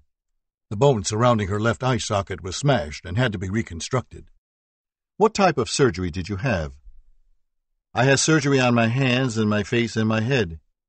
Halpin had Whitney recreate the attack for the jury using crime scene photographs of the bloody pink comforter with the avia print on it. Her bedroom dresser, where she testified she had put the jewelry she had been wearing, which was stolen that morning, and the can of Coke she'd taken into her bedroom. Halpin finished and turned her over to Clark, who asked Whitney if she had noticed anything unusual as she had driven home from the party, implying her attacker had trailed her home rather than indiscriminately going in the window, as the prosecution was contending. She repeated that she had not been followed. She'd been speeding because she was late and had kept a close eye on the rearview mirror. Clark seemed intent upon proving Whitney had been followed and asked her if her window was facing the street and had it been open, implying someone might have seen her through it despite the fact that the window was above the surrounding landscape. He asked her if she normally kept her window open with the curtains pulled back. She said she had earlier opened the window to tell her dad that he had a phone call and had never closed it. Clark's questions did not undermine Whitney's testimony, and he finished without weakening Halpin's case.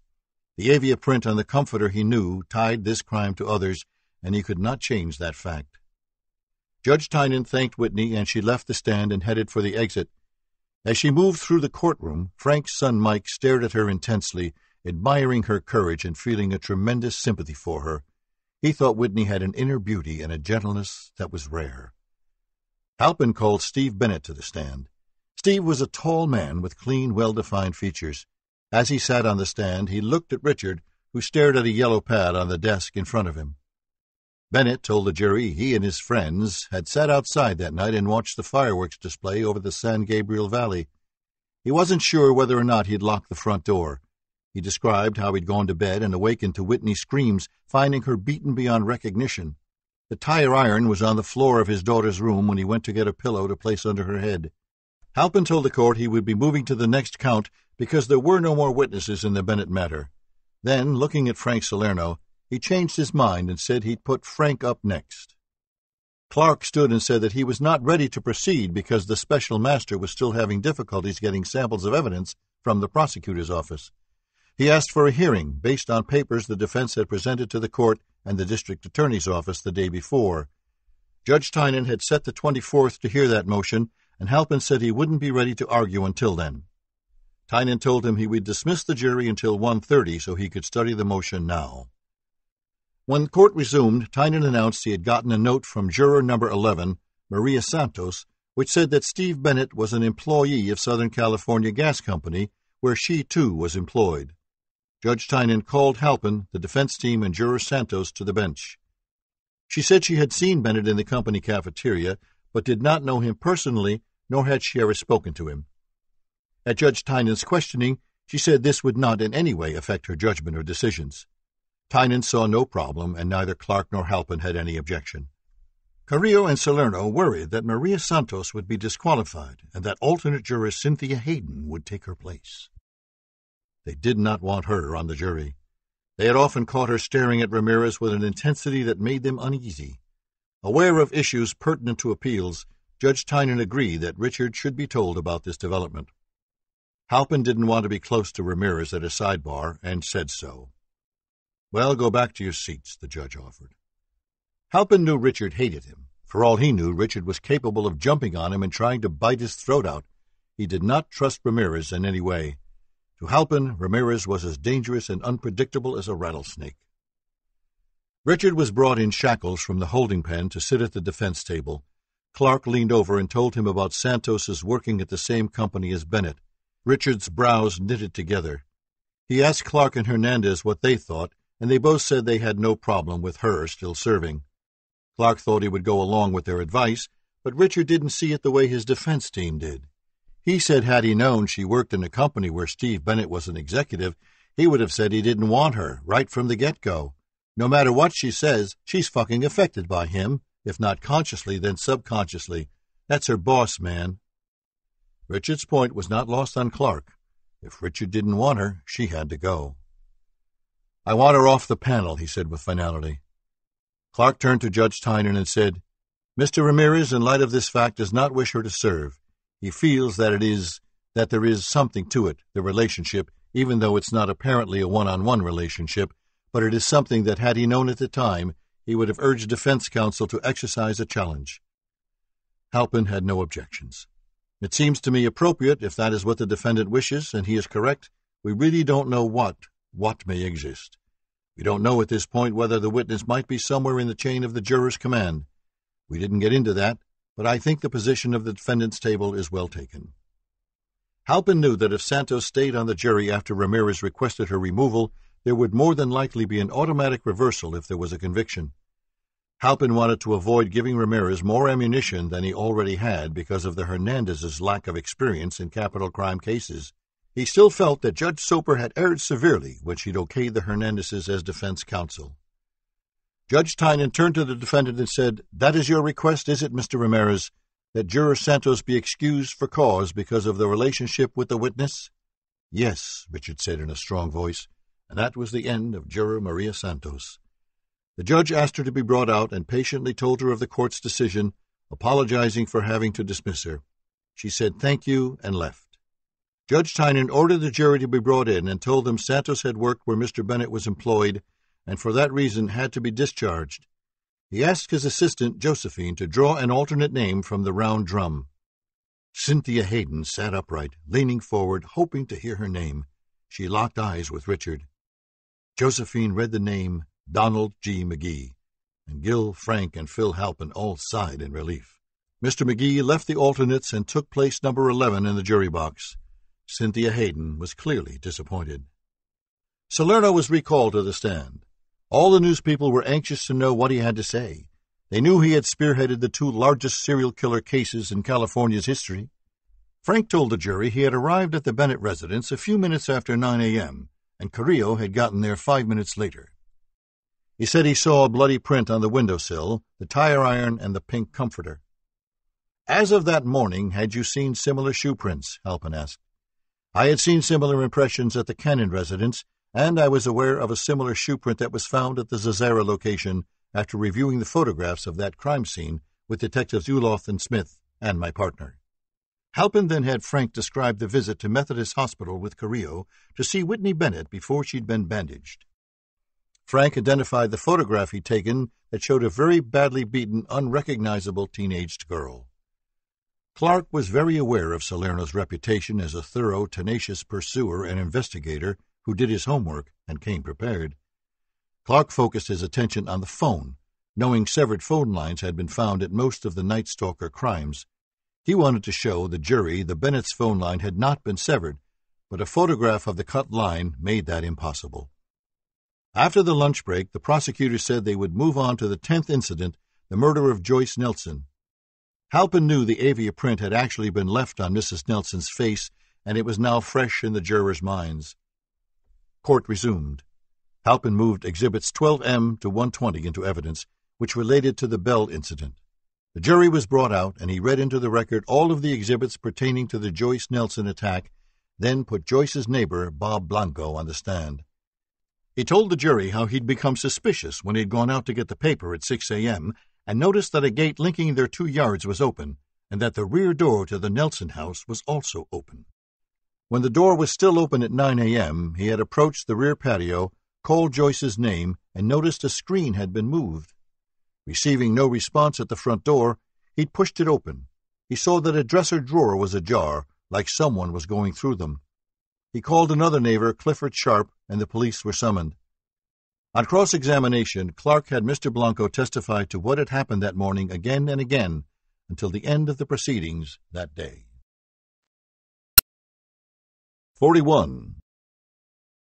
Court resumed with Halpin introducing all the photographs relevant to the Sophie Dickman attack. That done, a heated argument between the prosecutor and the defense team erupted over the material the special master was supposed to have gotten from the district attorney's office.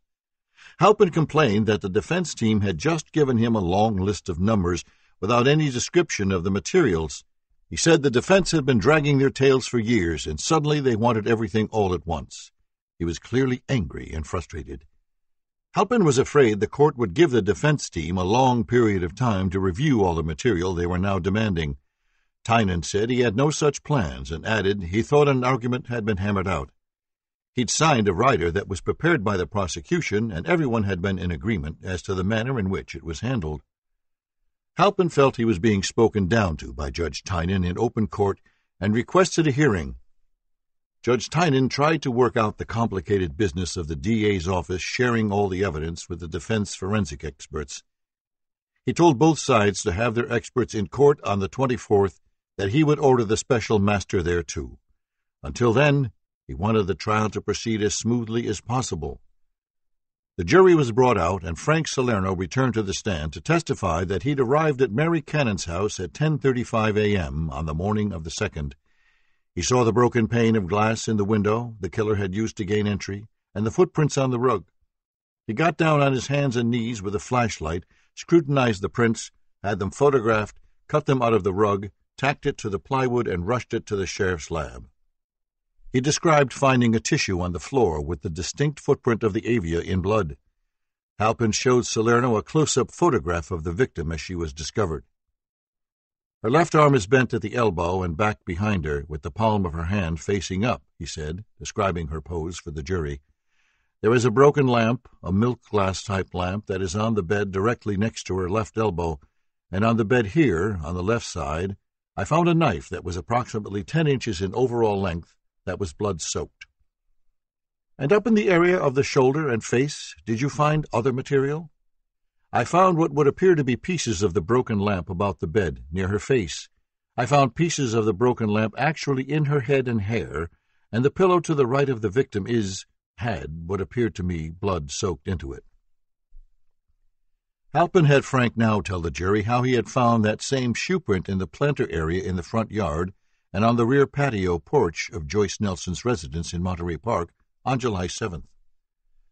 Salerno testified to assigning two detectives to learn everything they could about that particular shoe, the Avia Aerobic. Frank was about to tell the jury what he'd been told about the shoes when Clark objected, calling it hearsay. Halpin said it wasn't hearsay, that he was not asking for the truth of the matter, just an opinion. Judge Tynan reserved his ruling until after lunch. During lunch, Doreen grabbed a hamburger in a nearby fast food place. She wished she could bring Richard a nice lunch they could eat together in his little cell. As Doreen ate, she wrote Richard one of the several love letters she sent him each day. In them, she made observations about what was going on in court. She didn't miss much and often had astute insights. Richard had grown to trust and care for Doreen very much. She was, he'd come to believe, totally dedicated to him. She was probably the first woman he'd ever trusted. When court reconvened, Judge Tynan told the jury that Frank's observations of the shoe prints were noted merely to indicate the avenues he had taken in his investigation, not that the shoe was any particular brand. Halpin asked Frank to explain to the jury the great lengths the police department had gone to in analyzing and identifying the shoe print. He stated they'd even sent criminalist Burke to Portland, Oregon, to interview the developer of the Avia Aerobic, a Mr. Jerry Stubblefield. Halpin showed Frank crime scene photographs of Joyce Nelson as he had discovered her that day, and Frank said he noted the imprint of a shoe on the left side of her face, though he could not discern any particular pattern. Clark knew the Avia print connected the crimes. Although the district attorney had no proof they were ever on Richard's feet, he would do what he could to undermine Frank's testimony. On cross, he asked Salerno if the shoe prints had a serial number that distinguished them from all other shoes. Frank said, Not that I'm aware of. Clark asked a few more questions about the samples Burke had brought back from Oregon and whether or not Avia had a copyright on the sole, which it did. Clark was soon finished. Surprisingly, he did not ask Frank if such shoes were ever found in Richard's possession. Halpin now moved to the Sophie Dickman attack residential burglary, rape, and sodomy. His first witness, Dr. Gerald Bross, had examined Miss Dickman when she had been brought to the emergency ward the morning of the incident. He stated he had given her a complete physical examination, finding rips and tears in the genital area and damage to Miss Dixon's anus, where there were also tears and some bleeding. Clark had no questions, and Bross was dismissed. Sophie Dickman told the jury that she had a master's degree in psychiatric nursing supervision and had worked as a psychiatric nurse for 38 years. Halpin wanted her to identify Richard, but she had not worn her glasses and now had trouble distinguishing him from Daniel Hernandez. Halpin had to refer to Daniel's beard for clarification. Miss Dickman described how she was awakened at 3:20 a.m. as the light in her bedroom suddenly came on. There was a man standing in the doorway, very tall, very thin, dressed in black with black gloves on. He had a gun in his hand. He came round the table that the lamp was on, put the gun to my head and his hand over my mouth, and said, If you make a sound, I'll kill you. She took a deep breath and described the gun as a silver metal automatic. Halpin asked her if she knew the difference between an automatic and a revolver. She said she did. I was on the rifle and revolver team of Los Angeles County. She stated she was ordered to stand up, turn around, and put her hands behind her back. Embarrassed by her nudity, she told her attacker that the shutters were open. He pushed them closed and put handcuffs on her. He had ransacked her home, noticing immediately she had slipped off her sapphire and diamond ring to hide it. He made her lie on the bed, pulled off her underwear, and put one of his gloves in her mouth, telling her to bite down on this so you don't scream. She said the glove was leathery and had vertical and horizontal ridges, which she felt with her tongue. She told how he put a pillowcase over her head, threw himself on her, and proceeded to rape her. He asked her if she was enjoying it. Several jury members stared at Richard in wonder. Miss Dickman said the sexual attack lasted two minutes I realized that he didn't have an erection. He was just thrusting and pounding, and that was it. He turned me over after two minutes and tried sodomy. You say tried. What was it he did? He was thrusting and pounding against the rectal area, except it was more like my tailbone. Your hand still cuffed behind you? Yes.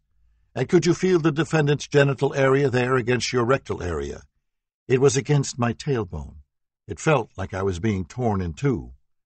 How, alternate juror Cynthia Hayden wondered, did it feel like she was being torn in two if he didn't have an erection? And how did she get those tears Dr. Bross had told the jury about? Halpin seemed to come to the same conclusion. Could you, he said, determine at any time if the defendant actually penetrated your genital area? I don't think so. He didn't have an erection, she said. Carrillo looked at Salerno with a curious expression on his face. They both knew semen had been removed from Sophie Dickman by Dr. Bross at the emergency room of the hospital. At this point, Judge Tynan recessed for the day. He asked Miss Dickman to come back at 10.30, and she and the jury were excused. Tynan asked Halpin and Clark to come up to the bench. He wanted to know why Miss Dickman had said she wasn't raped, and if the charge of rape should be amended to attempted rape. Halpin explained that Dr. Bross said she was confused about what exactly had happened to her. He wanted to leave the charges as they were because the attempt is included in the act itself. I just asked, the judge said. In the morning, Sophie took the witness stand again, facing a sunglassed, angry faced Richard Ramirez. She saw Richard as a mentally ill person who had no right being free in society. She believed that the forces that drove him were totally out of his control. Because she understood the ways of the psychopath, she harbored no wish for revenge. She just wanted him locked away forever. On the second day of her testimony, she seemed more composed than she was wearing her glasses. Halpin, like everyone else, noticed and asked her about them. She said she was nearsighted and could only see well for four or five feet. Halpin showed her the pictures of the crime scene, her home, and the pieces of jewelry that had been stolen, before directing her attention back to Richard. He asked if he looked different today than he had then, she said his hair was different and that he was wearing a suit and tie. Daniel Hernandez stood for the cross examination. He asked her if she was married or divorced. Divorced. And did you see your husband at all that evening? he asked. I hadn't seen him since 1965, she said, derailing his intent to apply she had had sexual relations with someone other than his client earlier that evening. Daniel proceeded to have her again take the jury through what the man dressed in black had done to her, getting her to agree that she had told him at the preliminary that her assailant's shoes were dark canvas topped with a white line around the sole, and not the now infamous Avia aerobics. Daniel tried to create a scenario in which she'd never truly seen her attacker because he had ordered her from the beginning not to look at him. This, combined with her bad eyesight, the poor light, and her having a towel placed over her head for much of the time, would prevent her from ever getting a good look at her attacker. He suggested she had chosen Richard because she had seen his picture in the news when he'd been arrested and heard comments by public officials promoting his guilt. She denied she'd told the police her assailant had been dressed like a camper and was five foot eight. No, I did not, she countered. Daniel asked if she had told the police her assailant was not Latino, and she said yes. She said he wasn't a Latino, Oriental, or black. Judge Tynan interrupted, saying he had to go to a meeting. As the courtroom cleared, Cindy Hayden and Richard stared at one another, to Doreen's displeasure. When court resumed, Daniel had a police report from Detective Corrigan, the officer Sophie Dickman had spoken to at the Monterey Park station the morning of the assault. Do you remember telling the person that you spoke to at the police department after the incident that the person looked like a hiker or mountain climber? Never, she said. Daniel smiled faintly. You don't remember that? I know I didn't say it. Her brows knit together and her lips tightened against her teeth. Daniel asked permission to show her the report. He seemed calmer and more in control of himself than at the beginning of the trial. Having Ray Clark lead the defense team had taken a very draining strain off Daniel's shoulders. He handed the report to Sophie, and he pointed to the third paragraph down. She read carefully.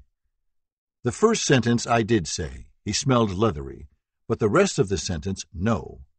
The report read that she had stated her attacker was dressed as a hiker or mountain climber, Daniel again asked her if that didn't refresh her memory, and Halpin interrupted, saying, Excuse me, Miss Dickman had already indicated that she did not tell him that. I will allow the question, overruled. You didn't say that, did you? the judge asked her. No, I didn't, she repeated. Then the report is incorrect. That line is. Daniel again asked her if she had told Detective Corrigan her attacker was not Latino. I don't know if I said it that way, Daniel directed her attention to the second sentence of the second paragraph. Does that refresh your memory as to having told the officer whether or not you told the officer that the person was not Latino at that time? Well, I don't remember if I said it, if I said it at the time, but I did say he was not black, Oriental, or Latino. Okay, Daniel said, and he had what he wanted. Salerno, Carrillo, and Halpin all knew Dickman had very bad eyesight and wanted her off the stand as soon as possible she was not a good witness for the prosecution. Daniel moved on to the cans of soda she had found out of the refrigerator and on the floor of the rear patio. He knew there weren't any prints on them and asked her if they'd been there before the incident. No, she said. He then asked her about the community meeting she'd attended in Monterey Park, if she had spoken there, to which she again said no. He wanted to know if the composite sketch she helped prepare was passed around at the meeting. She said it was. Daniel smiled. And the description that was on it, was that also your description? I don't remember, she told him. Doreen squirmed uneasily in her chair. Clearly, Dickman had described someone other than Richard, but wouldn't admit it, Doreen would later say. Daniel reminded Sophie that at the preliminary she had told him the leaflet passed out at the Monterey Park meeting had the description she had given on it. Well, she said, I don't remember telling you that, but if I did, I did. With her testimony damaged on several points, Daniel soon finished and turned Mrs. Dickman back over to Halpin, who was eager to repair the damage. He moved back to the lineup, and she said she had no confusion that Richard Ramirez was the man who had raped her and stolen her jewelry and dignity. How close did you get to him at that time during the lineup? I got up on the stage and walked past him and back again, only eighteen inches from him. Do you have any idea how this description of a mountain climber got into somebody's mind? I cannot imagine, she said, with a slight touch of indignation. He showed her another flyer of the Night Stalker suspect, which she said she'd had nothing to do with. Halpin put it down where the jury could see it.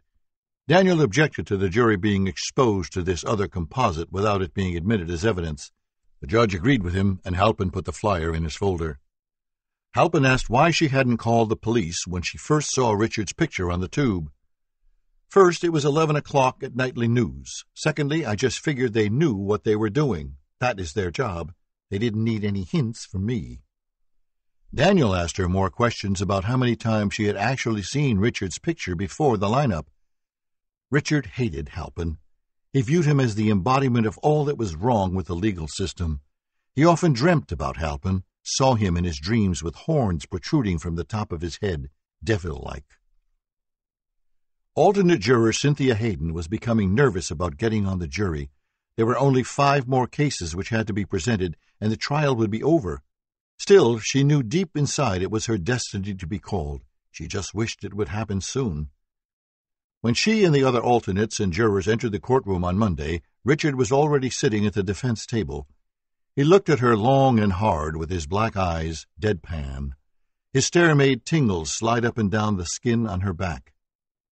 Doreen, ever vigilant, noticed him looking at her.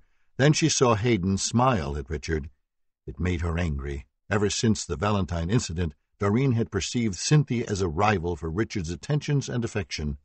She only hoped Hayden wasn't picked if another juror had to leave the trial. Newspaper delivery person Lowney Dempster was called. However, before she could begin, the defense handed the court a motion to exclude her testimony because, as made clear at the preliminary, she was not certain of the days on which she said she'd seen Richard. The judge read the motion and offered the defense the opportunity to state their claim. Tynan ruled her testimony would go to the weight rather than the admissibility of what she stated, and was going to allow it in. Halpin moved into evidence a large Thomas guide map and color photographs of the Pontiac. Lowney Dempster told the court about the three occasions she had seen a man in black near the Doi and Nelson residences and on San Patricio in Monterey Park. She identified Richard as the man she'd seen. On cross, Clark tried mightily to undermine Dempster's testimony, but she was strong and unwavering and wasn't about to let any defense lawyer get the better of her. 42. The following day, Halpin told the court he would, because of conflicting schedules, have to move on to the next case the murders of Max and Layla Kneiding, incident number 12. Glendale officer John Perkins joined Halpin at the prosecutor's table. Halpin first introduced all the exhibits, then called a friend of the Kneidings, Roy Tesley Murley, who testified he had seen both Max and Layla alive and well at the Seventh day Adventist Church on the evening of July 19, 1985.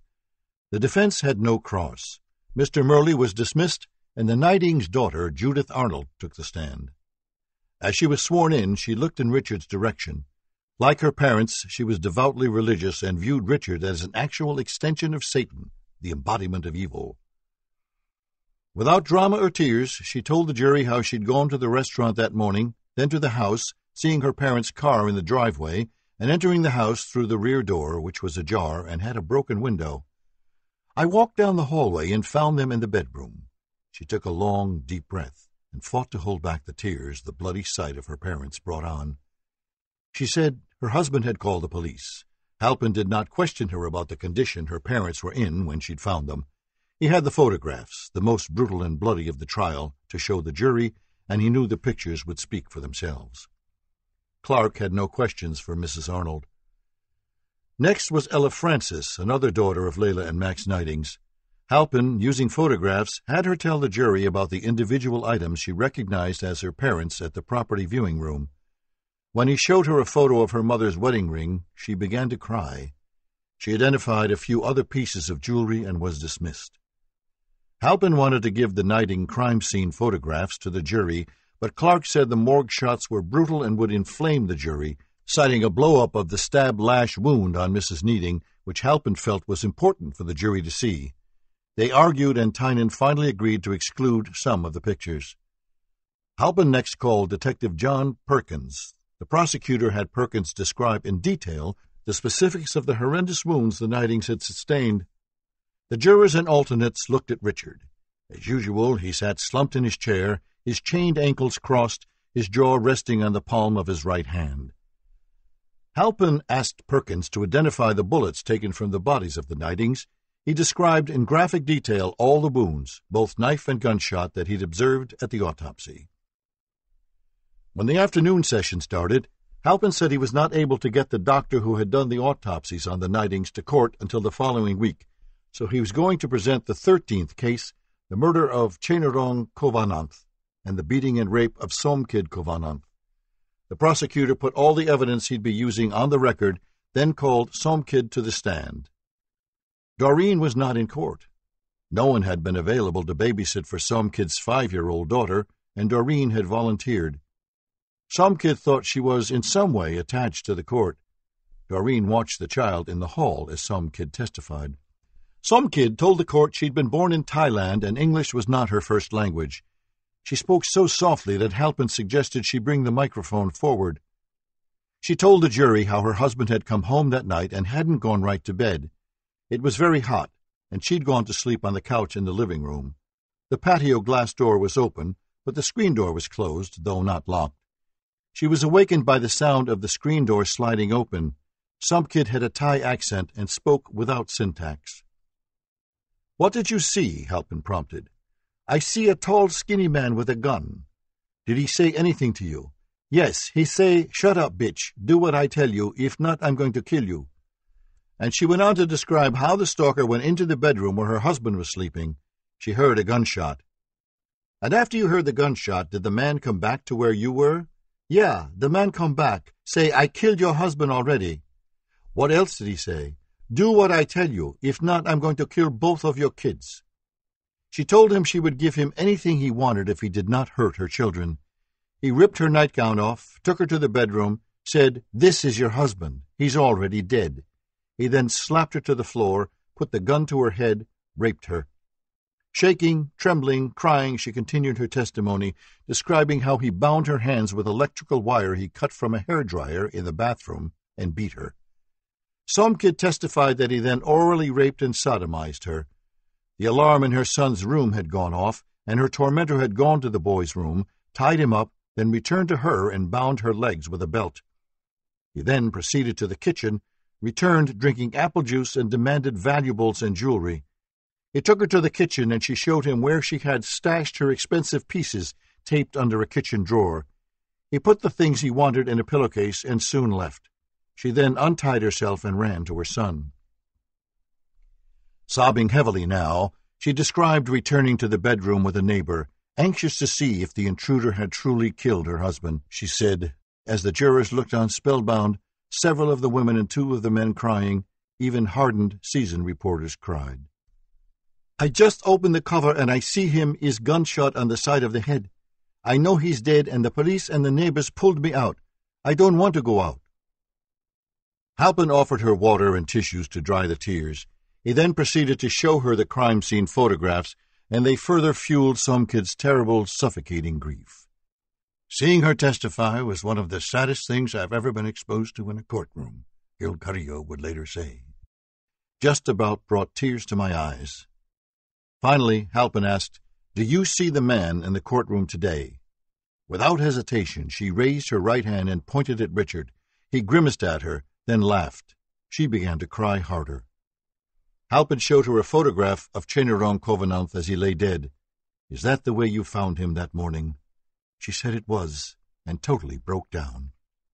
Clark, during the cross, brought out the fact that the light in her home had been poor when the stalker had entered, but she said she had gotten a good look at him, particularly when he had put on the bathroom light. Clark tried to undermine the description she had given the police by suggesting she had described her attacker as a white man.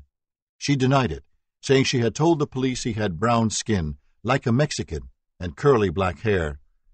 Clark asked her if she had seen Richard's picture on television and in the newspaper, intimating that was why she had picked him out at the September 5 lineup. She answered with resolution, But I know it is him because I never forget his face, even today. And no matter how hard he tried, Clark could not dissuade her. Diane Fitchner, the first police officer to reach the Khovananth residence that morning, was called next.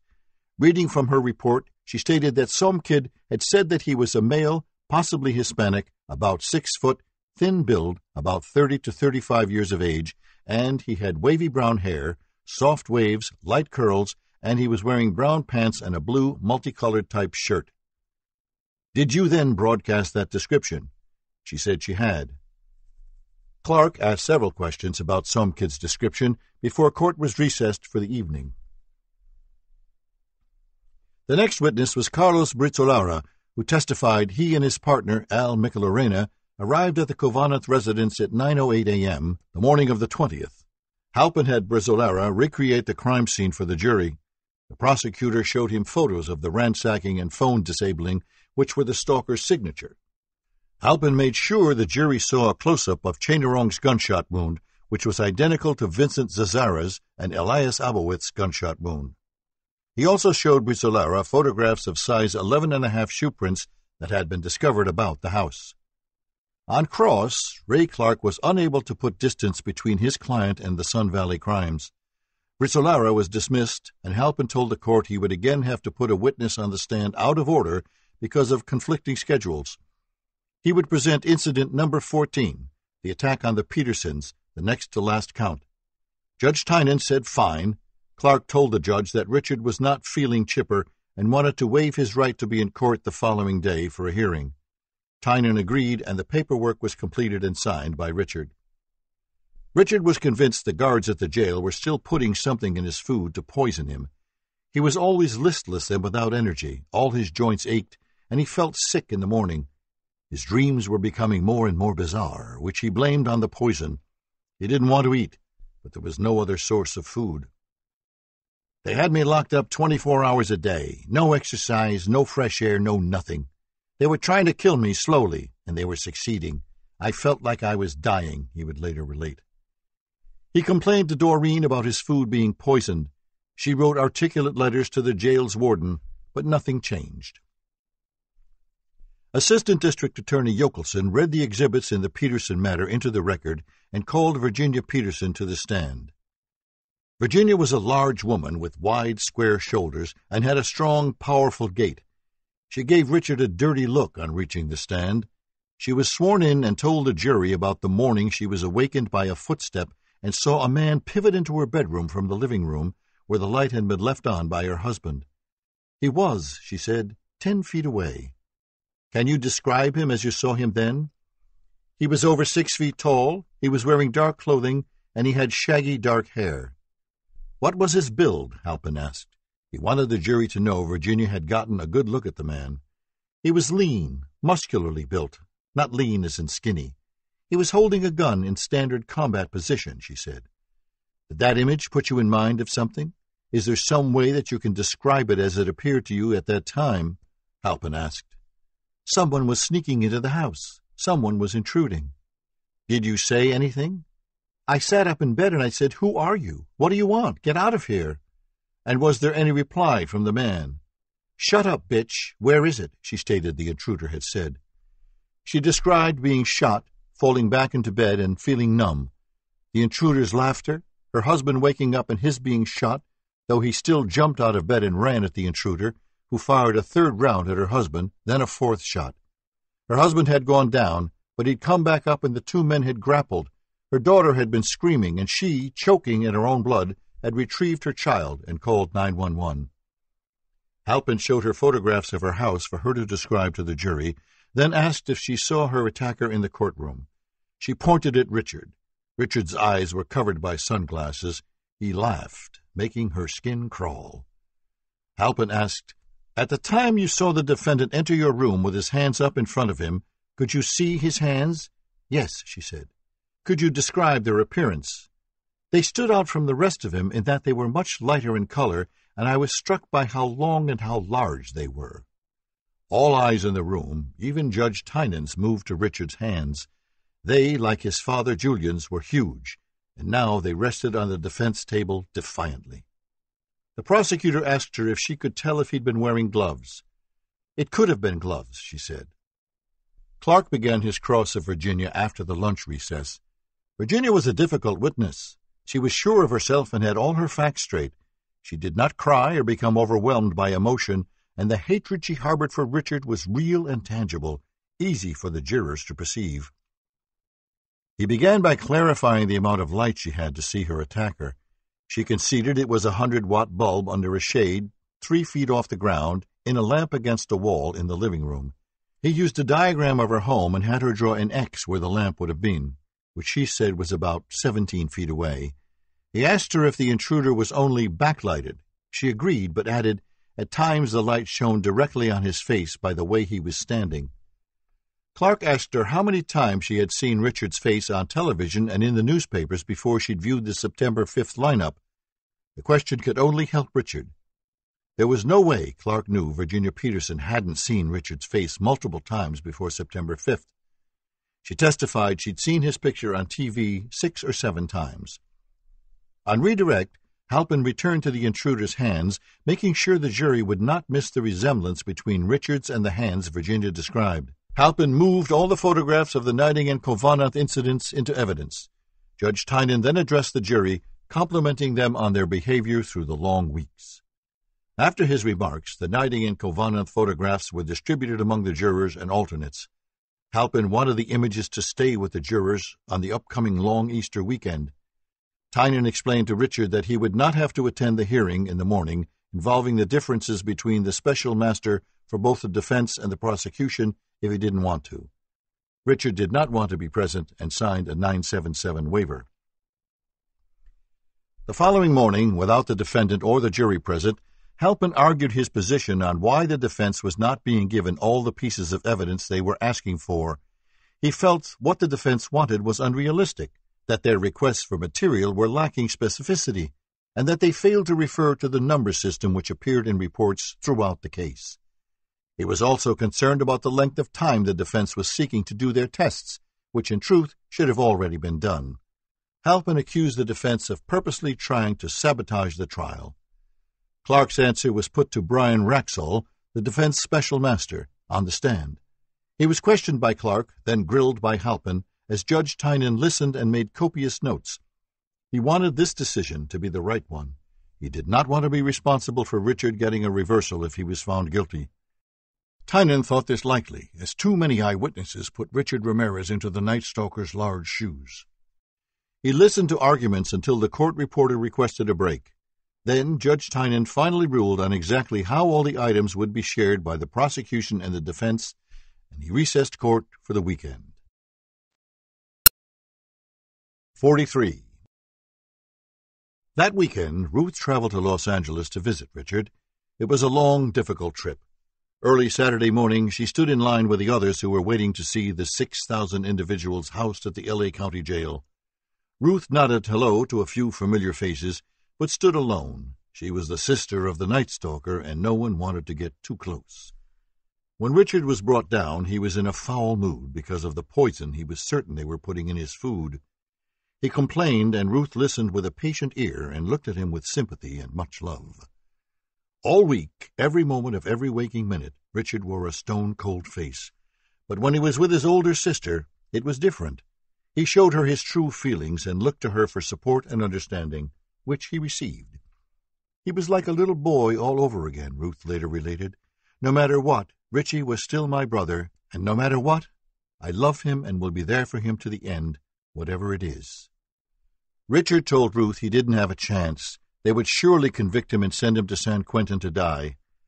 Ruth hated hearing him talk like that, but she knew it could very well happen, and deep inside, she prepared herself for that dreaded eventuality. She tried to give him a pep talk. She was afraid he might go mad and kill himself after all was said and done. She told him how much Julian and Mercedes missed him and loved him, and that Ray Clark was doing a fine job and he should keep up his spirits and not lose heart. You are a Ramirez, she reminded him. Remember that. When Ruth left the jail, she met Reuben for lunch. Ruth would still not go inside Reuben's house because of the running feud with Susanna. That night she again slept in the back of her brother's car, hidden under her raincoat, afraid of the rats, of the police, and of men who got their kicks from hurting women. Ruth knew it was a cruel world filled with people who were capable of terrible things. Richard didn't like her sleeping in the car, and he warned her over and over to be careful. He told Reuben to keep an eye on her, that if something happened to her, their father would go bananas. Early Sunday morning, Ruth went to church, prayed for Richard, prayed for her parents, and prayed that her younger brother would turn away from Satan and embrace Christ. If he was to find salvation, he must stop looking to Satan for redemption. Ruth visited Richard on Sunday, and their half hour together was spent very much as it had been the day before. Richard complained. Ruth listened attentively with love and understanding. She wanted to go to the trial, to show the world she believed in Richard's innocence, but because she was a potential witness, she still was not allowed in court. That weekend, Ruth met Doreen. She was at first leery of Doreen, but when she realized how much Doreen truly cared for Richard, she embraced Doreen as a friend. When court resumed on Monday, all but one juror looked fresh and more relaxed. Juror Phyllis Singletary looked worried and distracted. Some of her fellow jurors noticed a little swelling around her left eye. They did not ask what had happened, and she didn't offer any explanation. Cindy Hayden knew Phyllis was involved in some kind of abusive relationship, but she was not aware of how truly abusive it was. Cindy wondered if it would be this week that she was finally picked as a regular juror. There wasn't much time left, she realized, though she still felt confident she'd be chosen. Halpin told the jury they would be moving back to the Khovananth attack and put criminalist Charlie Vanderwend on the stand. Vanderwend stated that he and criminalist Gerald Burke had photographed and lifted footprints from several different areas at the Khovananth home. The prints were the same as what he'd seen in Joyce Nelson's home and on the clock at Mabel Bell's. Halpin handed him three footprint lifts. The jury could see they were the now familiar Avia aerobic shoe. Because of witnesses' schedules, they would now have to jump forward to the autopsies of Chainarong Khovananth and Elias Abowath. Yochelson read into the record all the exhibits in the last case, number 15, which included residential burglary, murder, rape, oral copulation, and sodomy. Dr. Joseph Cogan was called, and he told the jury he performed an autopsy at 10:30 a.m. on July 21st on Chainarong Khovananth. Halpin showed him photographs of the wound, which was just above the left ear. There was gunpowder residue around the bullet hole, indicating the gun had been very close when fired. Cogan estimated an inch or less. Dr. Cogan autopsied Elias Abowath on the morning of August 9th. The cause of death was also a gunshot wound to the head, also from about an inch away. This projectile was copper jacketed, while the one removed from Chainarong Khovananth was solid lead. Clark had no questions. Halpin had planned to put Sakina Abowath on next, but she was ill and would not be available until the following day. The prosecutor said he couldn't proceed any further. Court was recessed. Sakina Abowath dreaded being in the same room with Richard Muñoz Ramirez. In her heart, she was sure he was the man who had robbed her husband's life and her dignity, who'd made her grovel and beg and swear on Satan. Halpin called her name. She timidly entered the courtroom and slowly made her way to the stand, pale and trembling. She had been home in bed with the flu and a sore throat. Sakina was five feet tall, had pearl black hair, cut short, large black eyes. Halpin hated putting her on the stand, but he had no choice in the matter. In a small voice thick with a Burmese accent, Sakina first told the jury she had awakened that morning at 2.30 to nurse her ten-week-old son. Their other child, a three-year-old boy, was asleep in his room. After she breastfed the child, she turned off the air conditioner, went to the restroom, took a glass of water in the kitchen, and went back to sleep. Halpin knew Clark would question the available light, so he had Sakina testify that the night light in the bedroom had been on, as well as a lamp in the living room. Sakina said she then heard a popping. All of a sudden, someone hit me on the head real hard and turned me on my stomach, and he put handcuffs on me from the back. And what else was done? Halpin asked. Then he started banging me in the ears a couple of times real hard, and then beat me up like this, she said, indicating with open hands over her ears. Crying and sobbing, she went on to describe how her assailant had jumped on the bed and kicked her in the head so hard she landed on the floor, where he'd beaten her still more. He then went to the closet and grabbed a shirt of hers, and with it he bound her feet together. It was extremely difficult for Sakina to talk. She looked at the ceiling as if searching for strength. He said, You bitch, you motherfucker, you don't scream, otherwise I'm going to kill you.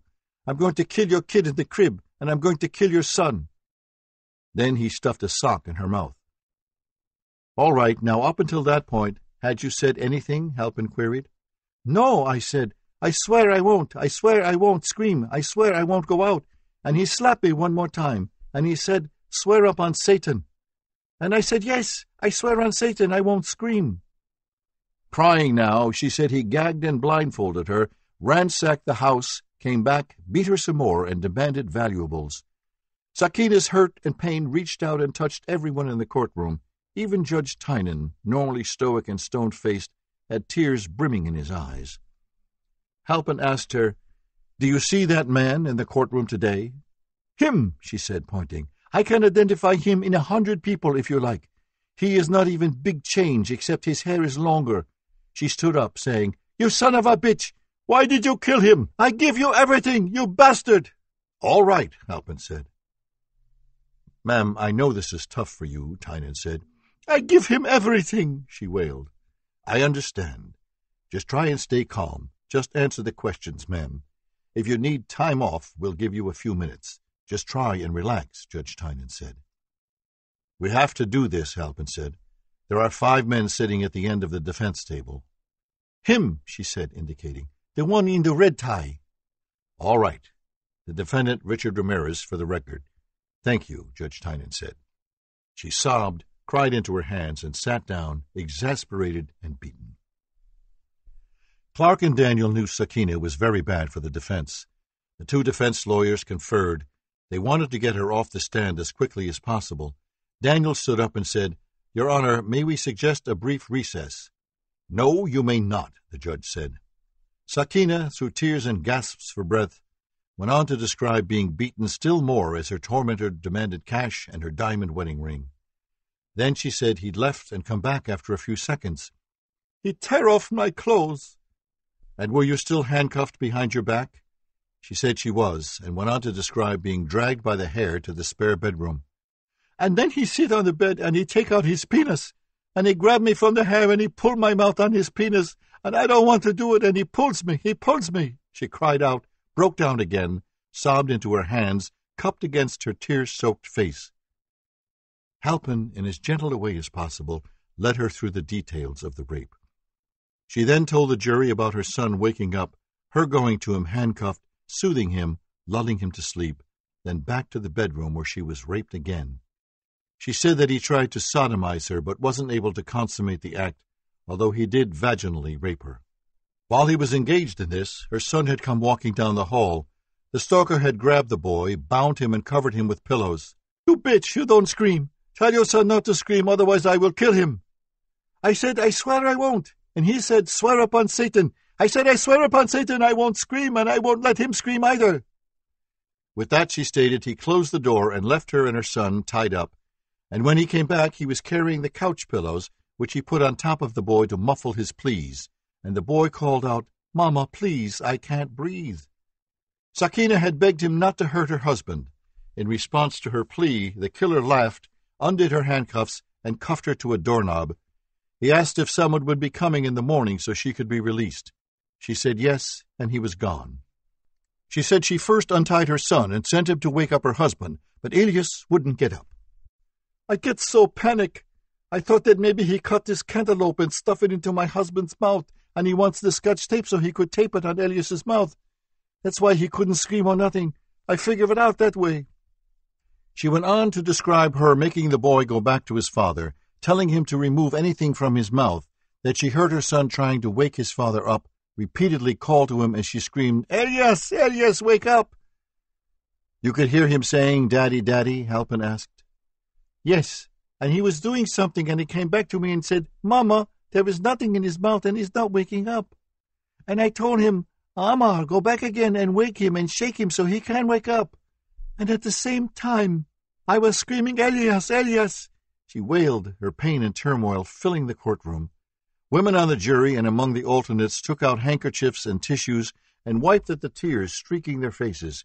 Even the male jurors were wiping back tears. Then she said she began the difficult task of getting the boy, still very traumatized and frightened by the stalker, to go out into the night to the neighbors for help. Sakina now told the jury that her neighbors did come, that Bob Wilson went and looked at Elias and came back crying. He didn't tell her Elias was dead, though she knew from Bob's reaction. When the police arrived several minutes later and she was freed, She ran to Elias to see for herself. Phil Halpin wanted to get Sakina off the stand as soon as he could, so he moved to the September 5th lineup. She testified she identified number two and wrote it on the card they gave her. She said she also found jewelry that belonged to her at the property show up two gold chains from Pakistan, a set of earrings, and an engagement ring her mother in law had given her, among other things, including a television and a VCR. Halpin proceeded to show her dozens of photographs of the inside and the outside of the house, which she described for the jury. Then he came to photograph number 40E, an autopsy photo of her husband's head. She took it in her hand, looked, and her eyes swelled and her face winced in sudden agony. You never showed me that before, she told Halpin, as if she'd been burnt. Please, just tell the jury who that is, Halpin said. My husband. This is my husband. Did he beat him up on the head, too? I didn't know that, she said, and again broke down. She turned to the judge. What did he get out of killing him? He's such a nice man. Ma'am, I can't answer that. I'm very sorry. I'm concerned about you now. Do you want to take a little recess? I want to go straight through, she said, anxious to get it over with. I have no further questions, Halpin said. You may cross-examine, Tynan said to the defense. Clark knew he had to be careful with Sakina. She was a very sympathetic witness. Before he could get up, Halpin stood and asked her, Did you see anything on his hands? Yeah, she said. He was wearing gloves. That was the answer Halpin was looking for. Did you ever see a picture of the defendant after this happened? No. It is our religion that after the husband died to give him respect. We didn't watch TV.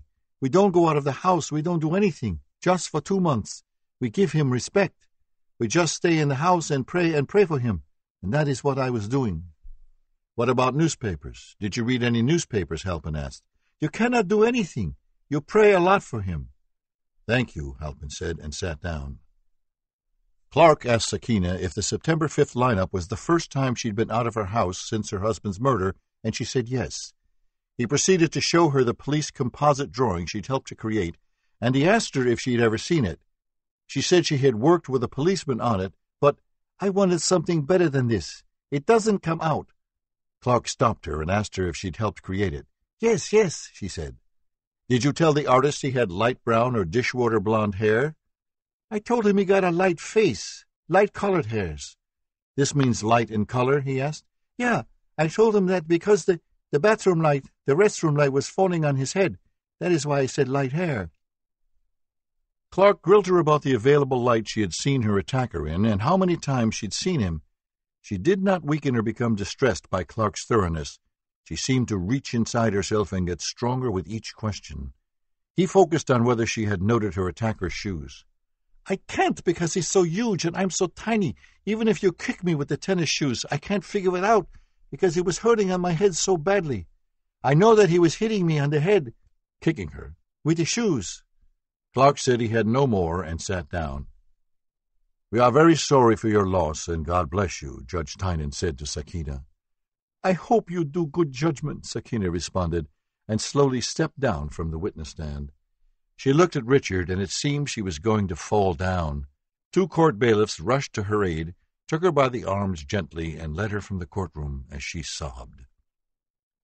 Halpin called Deputy Sheriff John Knight, and he told the jury about finding Sakina handcuffed to the door, locating Elias, and kicking the doorknob, holding Sakina off the door. Did she give you a sort of description? Halpin asked. Yes, sir. She described the person who was responsible as a light-skinned male Mexican or a dark Caucasian. She described him as being tall, and I stood up in front of her and told her that I was approximately six foot six and asked her where he would come up to on me, and she said, No, somewhere, you know, down by your mouth. And I said, Six three, six four, and she nodded yes. Judge Tynan ordered a break for the court reporter, and when court resumed, Halpin put Gil Carrillo on the stand. The prosecutor handed him the remnants of the handcuffs used to restrain Sakina to identify. There was no cross. As Carrillo passed the defense table, Richard smiled and said hello in Spanish. Gil returned the salutation and resumed his place at the prosecutor's table. Judge Tynan told the jury the case would be getting somewhat technical now and suggested they resist the temptation to rest their eyes. If they needed more fresh air or longer breaks, they should let him know. Court was recessed. 44. When Richard returned to his cell, he lay down on his bed and read letters from Doreen and a few of his groupies. He wrote a few letters and fell asleep, dreaming he was in hell with a Satan who had a face like Phil Halpin. He woke in the middle of the night with a start and in a sweat and couldn't go back to sleep. He read Carlos Castaneda for a few hours, dozed off, and was awakened by the guard to get ready for court. He didn't want to go. He viewed the trial as a total farce, and he hated being there, but he had no choice. He sat up, cursing, in a particularly foul mood. Halpin opened by showing a videotape of the lineup to the jurors. He wanted to clear up once and for all any ambiguities and accusations that anything untoward had been done at the lineup. The lights were dimmed, and the 35 minute tape was watched in silence. The jurors saw Richard step out from the other five men, walk to the edge of the stage, say a few words, and return to the line. When the tape was over, court broke for lunch. The first witness after the break was Richard's former friend, Donna Myers, flown in from San Francisco with Earl and Dee Dee Gregg for their court appearances. Of all the people in the world, Richard did not want to see Donna Myers in court. She was the first person he actually knew on the outside to take the stand, and as she was sworn in, he glowered at her. Halpin showed her a picture which she identified as Armando Rodriguez. Halpin then asked her if she knew anyone at the defense table. Richard Ramirez Whitney, she said. Judge Tynan asked what count Donna's testimony was relative to, and Halpin said, This will probably go to all of them. Donna described first meeting Richard when she went to El Paso for a visit with Armando in 1979. She saw him again when he went to visit them when they lived in Richmond, California, from 1979 to 1981. Richard had stayed with them when he'd visited. She had moved to San Pablo, and Richard often visited her there, sometimes with Armando, sometimes alone. She stated the last time he'd come to her house was in August of 1985, the 15th or 16th. He came alone, she testified, then with Armando. He gave her an octagonal jewelry box, asking her to hold it for him. When he came back to retrieve it, he gave her a bracelet and three rings, which she then gave to her daughter, Dee, and her son, Lloyd Vorak, who left San Francisco with one of the rings and returned to Utah, where he lived and worked. On August 30th, Donna said she was contacted by San Francisco policemen Frank Falzon and Carl Klotz. She told them where she'd gotten the jewelry, but said she did not know how to find Rick, that he'd stayed in different hotels and moved around a lot. Can you tell us how the defendant customarily dressed when you saw him? Halpin quizzed. Dark pants and shirt and dark shoes. Did he ever tell you why he dressed that way? So he couldn't be seen so well at night. Did he ever tell you what he was doing at night? Yes, he said he was ripping off people. Did you ever see the defendant wearing gloves?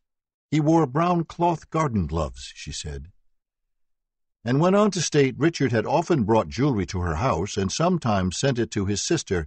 Once he'd given her $500 for her to hold, with instructions to give it to his sister if anything happened to him. He had not given her an address, just a phone number and the name Ruth. Halpin asked her if she had ever seen any tattoos on the defendant. No, he had a picture drawn of a pentagram on his arm, but it wasn't a tattoo, it was just drawn with ink. Did the defendant ever speak to you about Satan? Yes, he said he was the supreme being. She testified that Richard truly did believe in Satan, and that made him all the more menacing as he sat there with his sunglasses on, staring at Donna Myers like he wanted to take a bite out of her. She said she had seen Richard looking at a handgun Armando had for sale. Richard had said he wanted to buy an Uzi. When Halpin asked her if she knew what Richard was doing with the things he stole, she testified he had a fence in L.A. Richard had also shown her master car keys he had for Datsuns and Toyotas. Was there anything about the defendant's teeth that to you were remarkable? Halpin asked. They were decayed, and one of them was chipped, and they were discolored. She said there was a second time he had left money with her, seventy-five dollars. She ended up wiring it to him in L.A. under the name of Rick Moreno. She stated she saw Richard in possession of Japanese coins in coin pouches in the summer of 1985. Halpin asked about Richard's weight and his build. He was complaining. He was always complaining he was too thin. He used to drink a lot of this stuff called weight on. To gain weight? To gain weight. The prosecutor was pleased. He felt Donna had put everything in perspective and pointed the finger of guilt directly at Richard. Ray Clark knew how much Donna had hurt Richard, and he stood to do serious battle with her. Now, you told Mr. Ramirez that he didn't have the guts to kill anybody? he asked. Yeah, we were talking about it. The reason you told him was that you knew his reputation for peace and quiet, didn't you? You knew his reputation was that of a non-violent person, didn't you? he demanded. He had never been violent around me, she said. That's right, Clark quickly agreed, seizing the opportunity to make Donna Meyer a positive character witness for Richard. And he'd been in your home many, many times, right? She agreed he had been, and that seemed a plus for Richard. Clark returned to his client's passive nature. Okay, and had he in fact been around any relatives of yours? She said he had. Clark asked which relatives. My daughter Deline, most of my relatives. I have a lot of children living in the area. Most of them knew him. The defense lawyer asked questions about Armando Rodriguez, implying maybe he was in some way involved with the crimes Richard was charged with. Clark asked her if Richard had bought the gun Armando had for sale, and she said no. He grilled her on the exact conditions of Richard's teeth when she had last seen him. On redirect, Halpin asked Myers to describe Armando Rodriguez. He's about five nine, five ten. He has dark brown hair, he has a mustache, and his hair is kind of medium length. Would you say he and the defendant were the same size? No, the defendant is taller and thinner. Armando is a little heavier. The next witness was Earl Gregg, the fellow who had first gone to the San Francisco police and made them aware of Rick Ramirez. Gregg was tall, thin, and unkempt, and he looked like he wasn't eating or washing enough. He was very nervous, and he stole furtive glances at Richard as he took the stand. Halpin had him tell the jury he'd known Richard Ramirez for ten years and had met him through his mother-in-law. He had seen Richard at Donna Mayer's home shortly after Easter of 1985. Richard had tried to sell him a 25 automatic and showed him a small caliber black revolver. Halpin gave him the gun retrieved from Tijuana, and Gregg said it looked like the pistol Richard had shown him. Richard had wanted too much for the guns, 125 to 150 dollars each. It was high, that's why I didn't buy them, he said. He also had a couple of rifles for sale, he added. Clark stood to do the cross on Gregg, who was, according to Richard, white trash, a drug user, and a two-bit burglar. Clark asked a few questions about the bags Richard had the guns in, and if he had seen them in a pillowcase at any point. Gregg said they were in a brown gym bag with white handles, and he had never seen Richard with any pillowcases. He testified the same gun Richard offered him for $150 he'd bought new in a store for $53. Halpin now said he had a few fill-in witnesses, people who weren't available in the correct chronological order because of previous commitments. He called Dr. Irvin Golden, the medical examiner who had performed autopsies on March and Layla Kneiding. He told the jury in gory, heart-wrenching detail about the wounds suffered by the Kneidings. Clark had no questions for Dr. Golden. The prosecutor announced he was almost ready to move on to the arrest phase but he had a few witnesses coming from out of state on Monday and asked if the court could be darkened until then. Clark said he had no objections, and Judge Tynan recessed the proceedings until Monday, April 3rd. Jesse Perez was the first witness called. He took the stand tentatively and was sworn in. Richard hated Perez. He viewed him as a rat, a snitch, the lowest form of life there was in the world Richard had traversed. Perez wore a rumpled jacket, tie, and shirt. He looked like he hadn't slept in a week. He told the jury he was a little hard of hearing, sometimes wore a hearing aid, but wasn't today. He testified he had murdered a man in a barroom fight in Texas and had been arrested for burglary for stealing beer from a bar. Doreen made a face of distaste in Perez's direction, as if he had a bad odor. Richard kept moving. Being near Perez was making him very animated, and each time he moved the chains jingled, rattling Perez, whose eyes constantly darted about. Perez identified Richard Ramirez as someone he had met through his neighbor, Ruben Ramirez, three years before. He drove people around L.A. to Tijuana and back for a living. He had met Richard at the Greyhound bus terminal and started driving him places. He took him to Tijuana a few times and drove him to meet Felipe Solano at a barber shop on Alvarado and Third. Richard had told him that Solano owed him money, and he had waited in the car while Richard had spoken to Solano. Perez had a girlfriend in Tijuana who needed a gun for protection, and he had asked Richard if he knew where he could get one. Richard sold him a 22 for $50 on credit. Perez, in turn, gave the gun to his friend. Halpin showed him a picture of Richard's green Pontiac, and Perez said he had seen the defendant driving around in it. Halpin moved back to the gun, intent on putting it in Richard's hands. The prosecutor had Perez tell the jury about his two trips down to Tijuana to get the 22 from his friend. Perez said he learned of Richard's arrest over the radio just as he and sheriff's homicide men were crossing the border into Mexico. He testified he got the gun, gave it to the homicide detectives, and returned to L.A. with them. Daniel Hernandez's first question to Perez was to ask if the gun he received from Richard was loaded. That's right, Perez said. Daniel didn't elicit anything that could help Richard until he asked Perez when he'd bought the 22 from Richard. Perez said he didn't know, that he had nothing to hide, that it was he who had told the cops about the gun. Daniel asked him if he had said at the preliminary that he had gotten the gun from Richard nine months prior to his being arrested, which was clearly well before all of the assaults except Vincow. Perez said he didn't remember. Daniel showed him a page of the hearing transcript and asked him to read it. That done, Perez said, I don't recall saying this. I couldn't say this was definite. I am that's okay. I will ask you some questions. I'm senile. I can't remember that, okay? I don't know, he said contritely. Halpin was not happy with that answer. Daniel asked Perez if he had known about the reward money. Perez said he knew there was a substantial reward, but had thought the amount was a half a million dollars, not eighty thousand dollars split up among a few dozen people. Perez was contrary and uncooperative with Daniel, he often acted as though he didn't understand Daniel's questions or had not heard, forcing Daniel to repeat himself. Daniel tried unsuccessfully to get Perez to admit he'd scouted locations for different thieves to rob. Daniel said, Mr. Perez, when you were convicted in Texas of murder, what kind of weapon was used? No weapon, no weapon. What was the method? Knife, knife fight, knife. Okay, so you killed the person with a knife. We had a fight in a bar. My question was, did you use a knife to kill a person?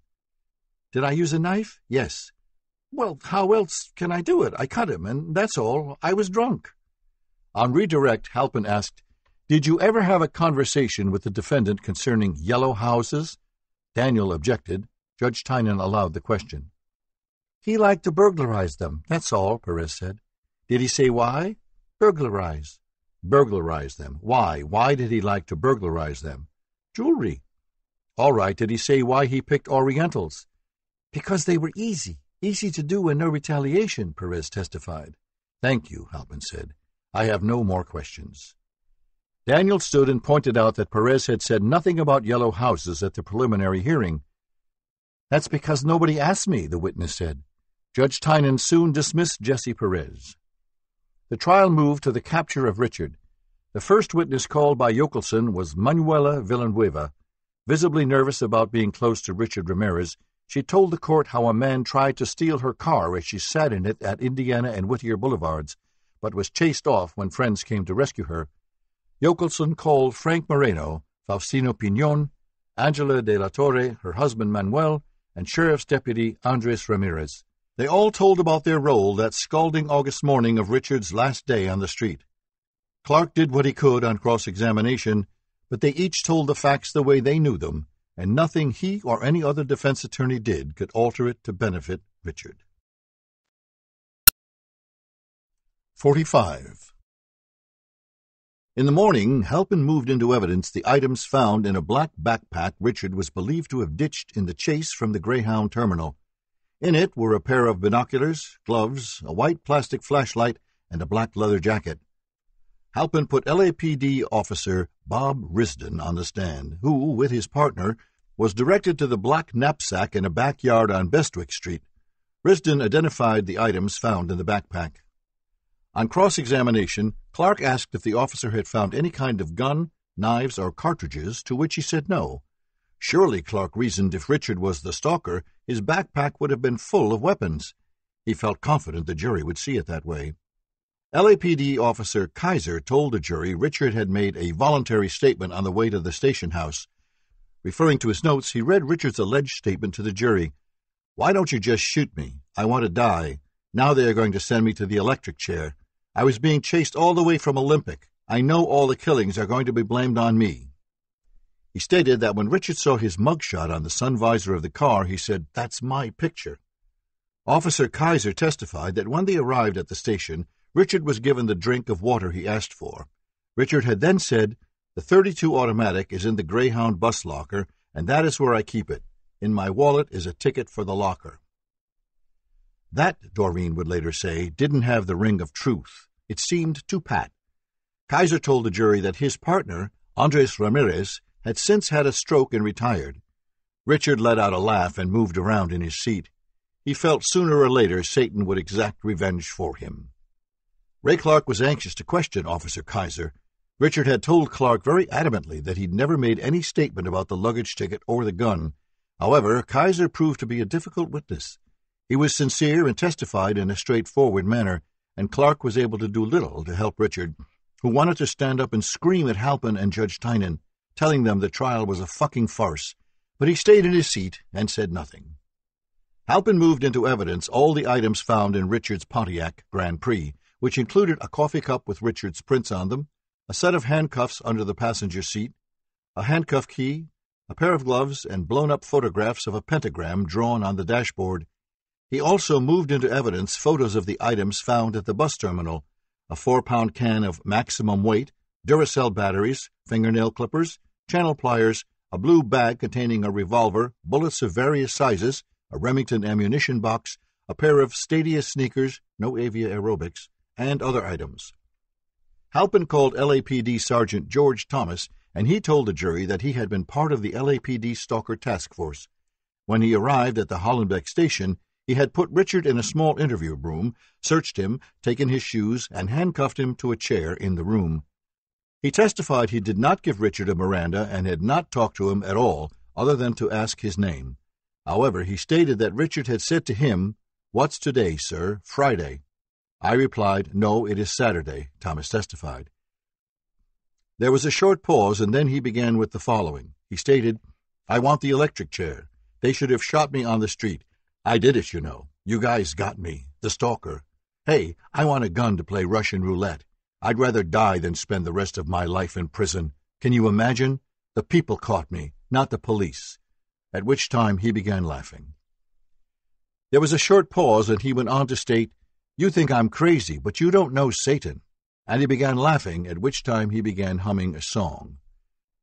Did you recognize the song? Halpin asked. It was The Night Prowler by ACDC. Thomas went on to testify how he and his partner, Detective Joy, had purchased ACDC albums and reviewed the covers and songs, hoping to find some clue that might help the investigation. Thomas said he had to listen to The Night Prowler 80 to a 100 times to get the lyrics straight. After you heard him humming The Night Prowler, what did he say? He stated, Of course I did it. You know that I'm a killer. So what? Give me your gun. I'll take care of myself. You know I'm a killer, so shoot me. I deserve to die. You can see Satan on my arm. And then he stated, Are you writing down everything I say? It was at that point he stopped talking, Thomas said. Daniel stood up to do the cross, and the jurors moved about uneasily. Daniel had Detective Thomas describe the function of the task force and the role he played in it. And would you say that your primary assignment on that task force had been to go and find some records and listen to the lyrics? That was one of my many, many jobs on the task force, yes. Daniel tried to wedge some doubt into Thomas's credibility, but Thomas believed what he said and was very specific on details and times. He had taken copious notes. On redirect, Halpin asked Thomas to tell the jury when the defendant had laughed. Referring to my report, after making the statement, Can you imagine? The people caught me, not the police, he began laughing. After making the statement, You think I'm crazy, but you don't know Satan, he began laughing. And after humming a short portion of the Night Prowler, he began laughing. And after those three times were the only three times he laughed. Did he cry at all? the prosecutor asked. No. After a ten minute comfort break, Halpin put Frank Salerno back on the stand, and he told the jury that he first became aware of Richard Ramirez on Friday afternoon, August 30th, and thousands of copies of his picture were distributed to every police agency in Southern California. Frank explained how the bag confiscated from the terminal was kept in the sheriff's evidence locker until Detective Bumkrot had a search warrant signed by a judge. When they learned about the Grand Prix, which Reuben had told them about, Frank had Bumkrot add an addendum to the warrant which would give the sheriff's detectives the legal right to search the car as well as the bag. Frank described in detail every item recovered from both the car and the bag. He said he'd found red circles around the primer of the 25 auto ammunition in the bag. Similar cartridges were found at several crime scenes. The prosecutor showed Frank a pair of aviator type sunglasses that Frank testified he'd found in the Greyhound bag. Richard had been wearing the same style glasses since the beginning of the trial. Although Cindy Hayden was not on the jury yet, she was feeling the stress of the trial as much as any juror. As an alternate, she'd listened to all the testimony and scrutinized the crime scene photographs. The sights and sounds of Somkid and Sakina's grief and pain would never leave her mind. Often, in the middle of the night, Cindy would wake up and make sure the windows and doors were locked. Having learned how open windows, front doors, and screen doors had caused so many innocent people to suffer, she'd never sleep with an open window again. Judge Tynan had told the alternates early on that capital cases were extremely draining and distressing, and that the jurors should take some form of exercise to help cope. As Cindy walked through the halls to the elevator, she could feel people staring at her. She was not allowed to talk to the reporters, and they left her alone. In the elevator, she stood next to a Ramirez groupie she had often seen in the court. She had blonde hair and a very shapely figure, and in a low voice she said to Cindy, He's really very nice, you know, really. Cindy didn't know what to say and remained mute. She didn't want to do anything that could get her thrown off the trial. She viewed serving on the jury as her destiny, and this blonde wasn't going to put that in jeopardy.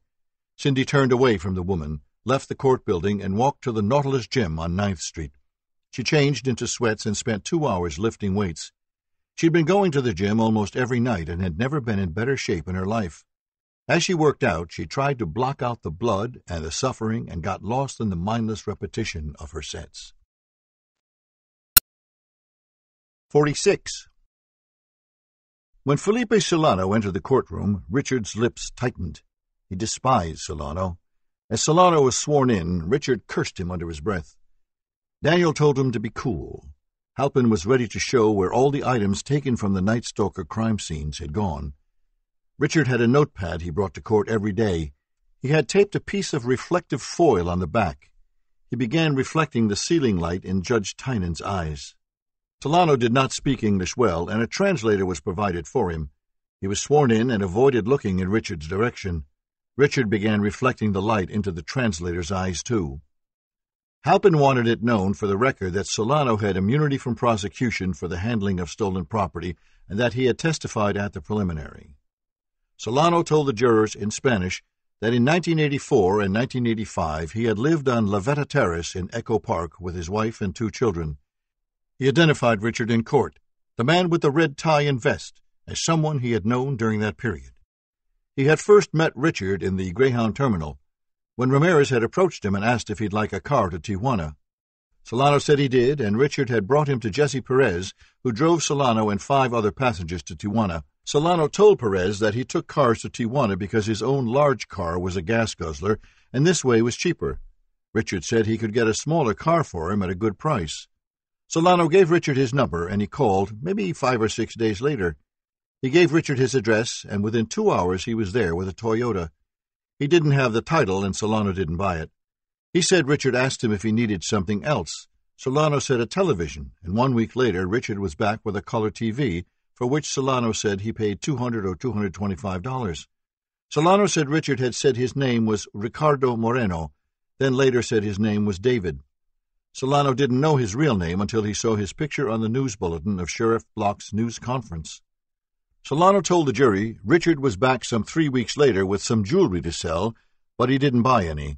Richard made a gift of a few pieces of costume jewelry. When did you see him next? Halpin asked. I'm not sure when it was, because I went to Mexico, and when I came back, I think he was in jail, and when he came out of jail, he came to see me. It was in 1985, but Solano said he didn't remember when exactly. On this occasion, he said Richard brought some rings and earrings with him, which Solano readily admitted buying.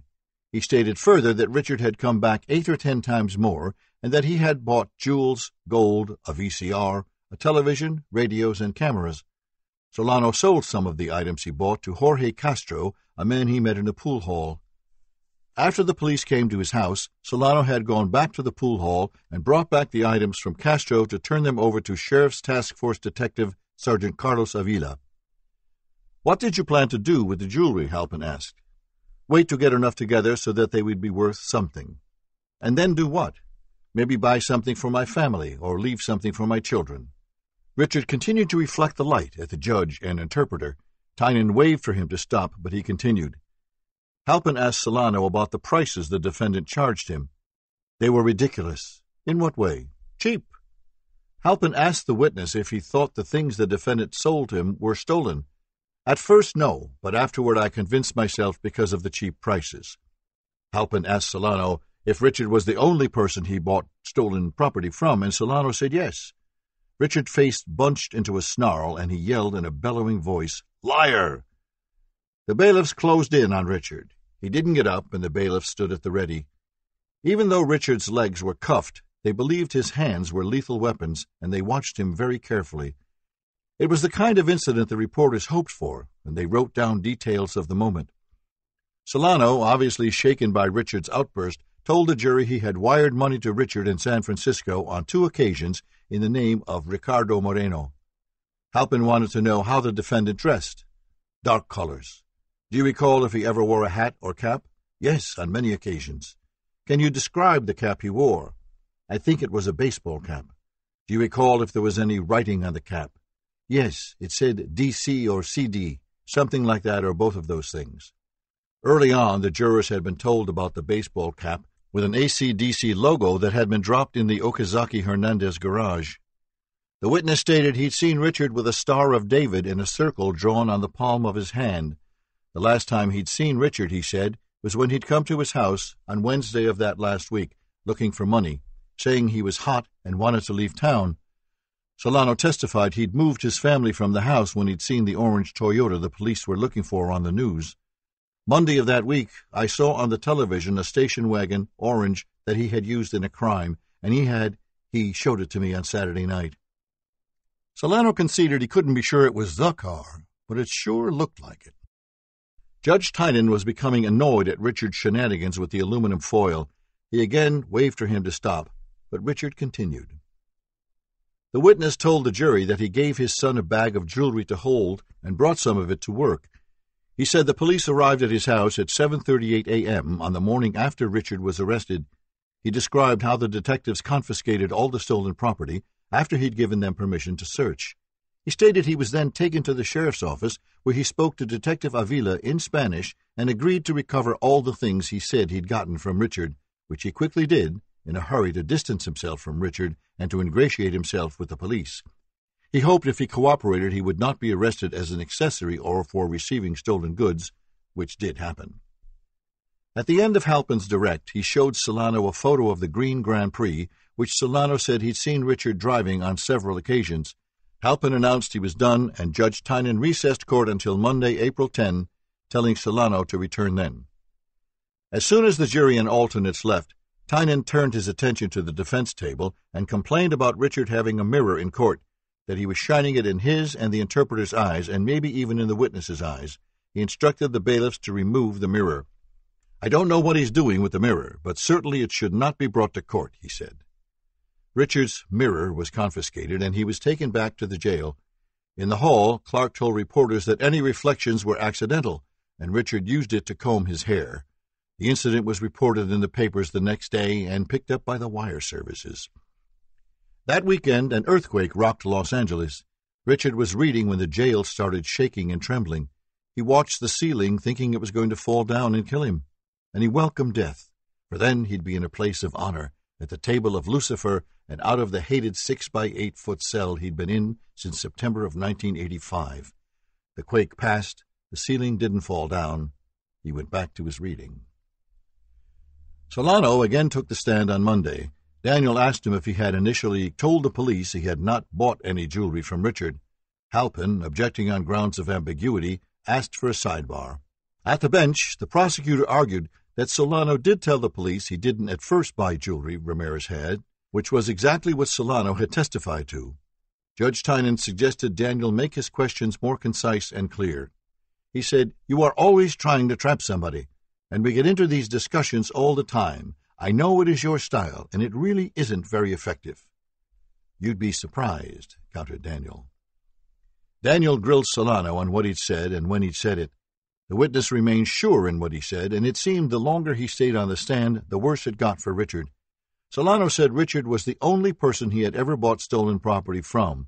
According to Richard, Solano had bought items from other thieves in the pool hall, one called Jorge and another called Cameron. Solano denied ever buying anything from them. After the lunch break, the judge wanted to know where Arturo was. Daniel said he didn't know, that he had beeped him over the weekend, but Arturo hadn't responded.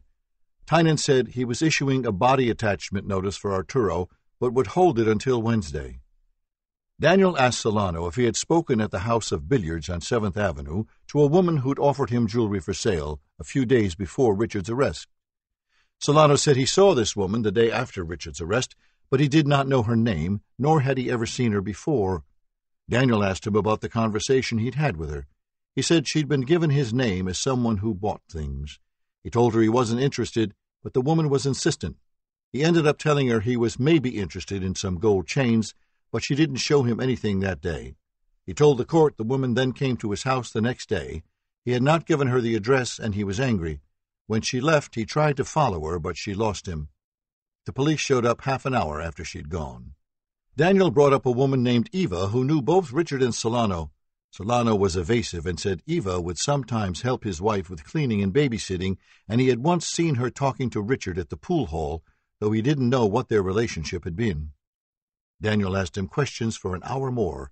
After some redirect and recross, Solano stepped down from the stand. Sheriff's Deputy Durazzo took the stand next and stated he had learned that Solano had bought stolen property from Richard Ramirez, but they didn't have enough information to get a warrant, so the police had decided to try and sell Solano some stolen property. They had recruited the help of a woman whose name he didn't know. She lived in the area and was known to use drugs and deal in stolen property. They outfitted the woman with a wire, and five detectives had waited outside the pool hall as she unsuccessfully tried to sell Solano merchandise. The following day, they had brought her to the Solano's house, but he wasn't interested in what she had to sell. Solano then readily let the police in his house and gave them permission to look around after he had signed a consent to search form.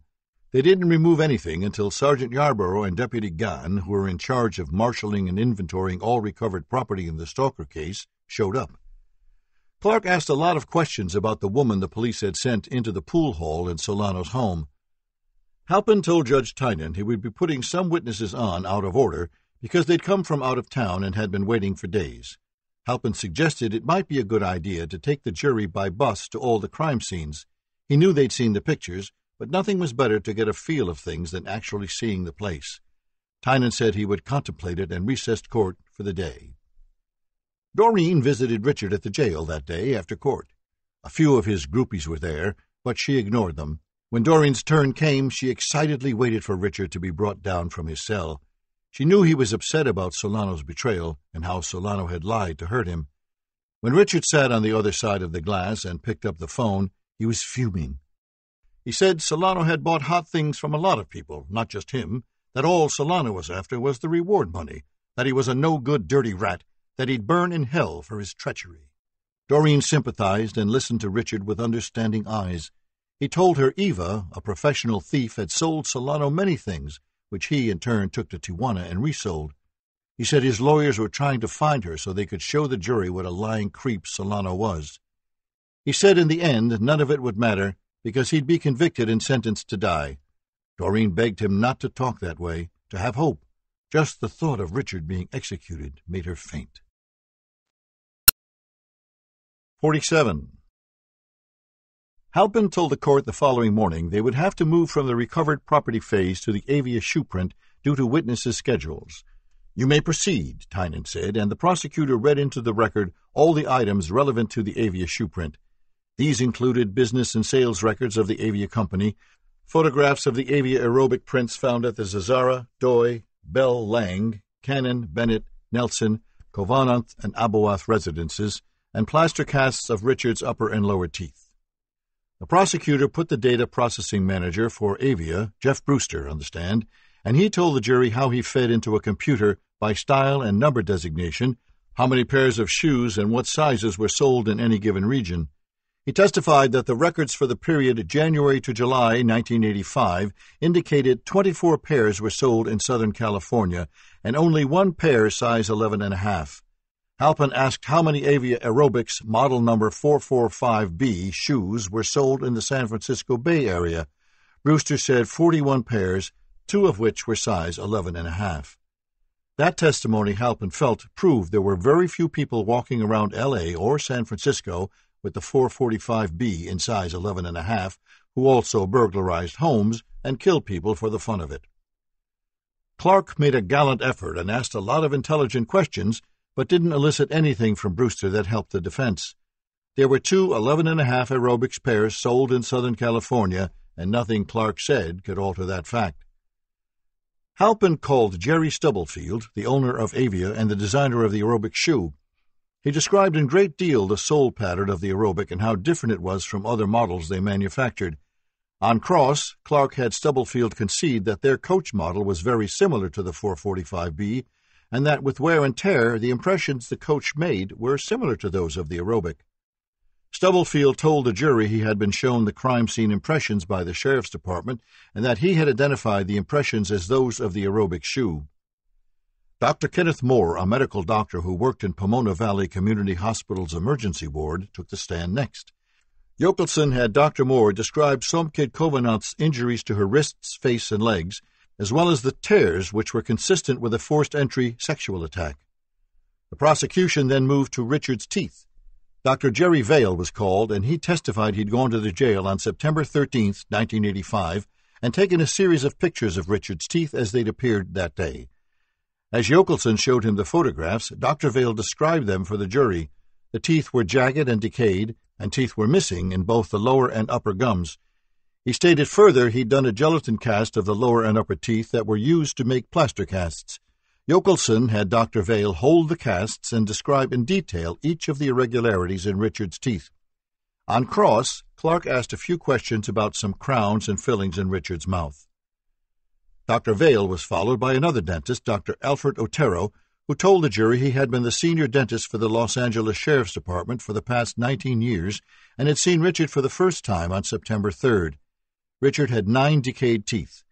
Over a period of nine months, the doctor had repaired nearly all the decay to Richard's teeth, filling them with a compound substance.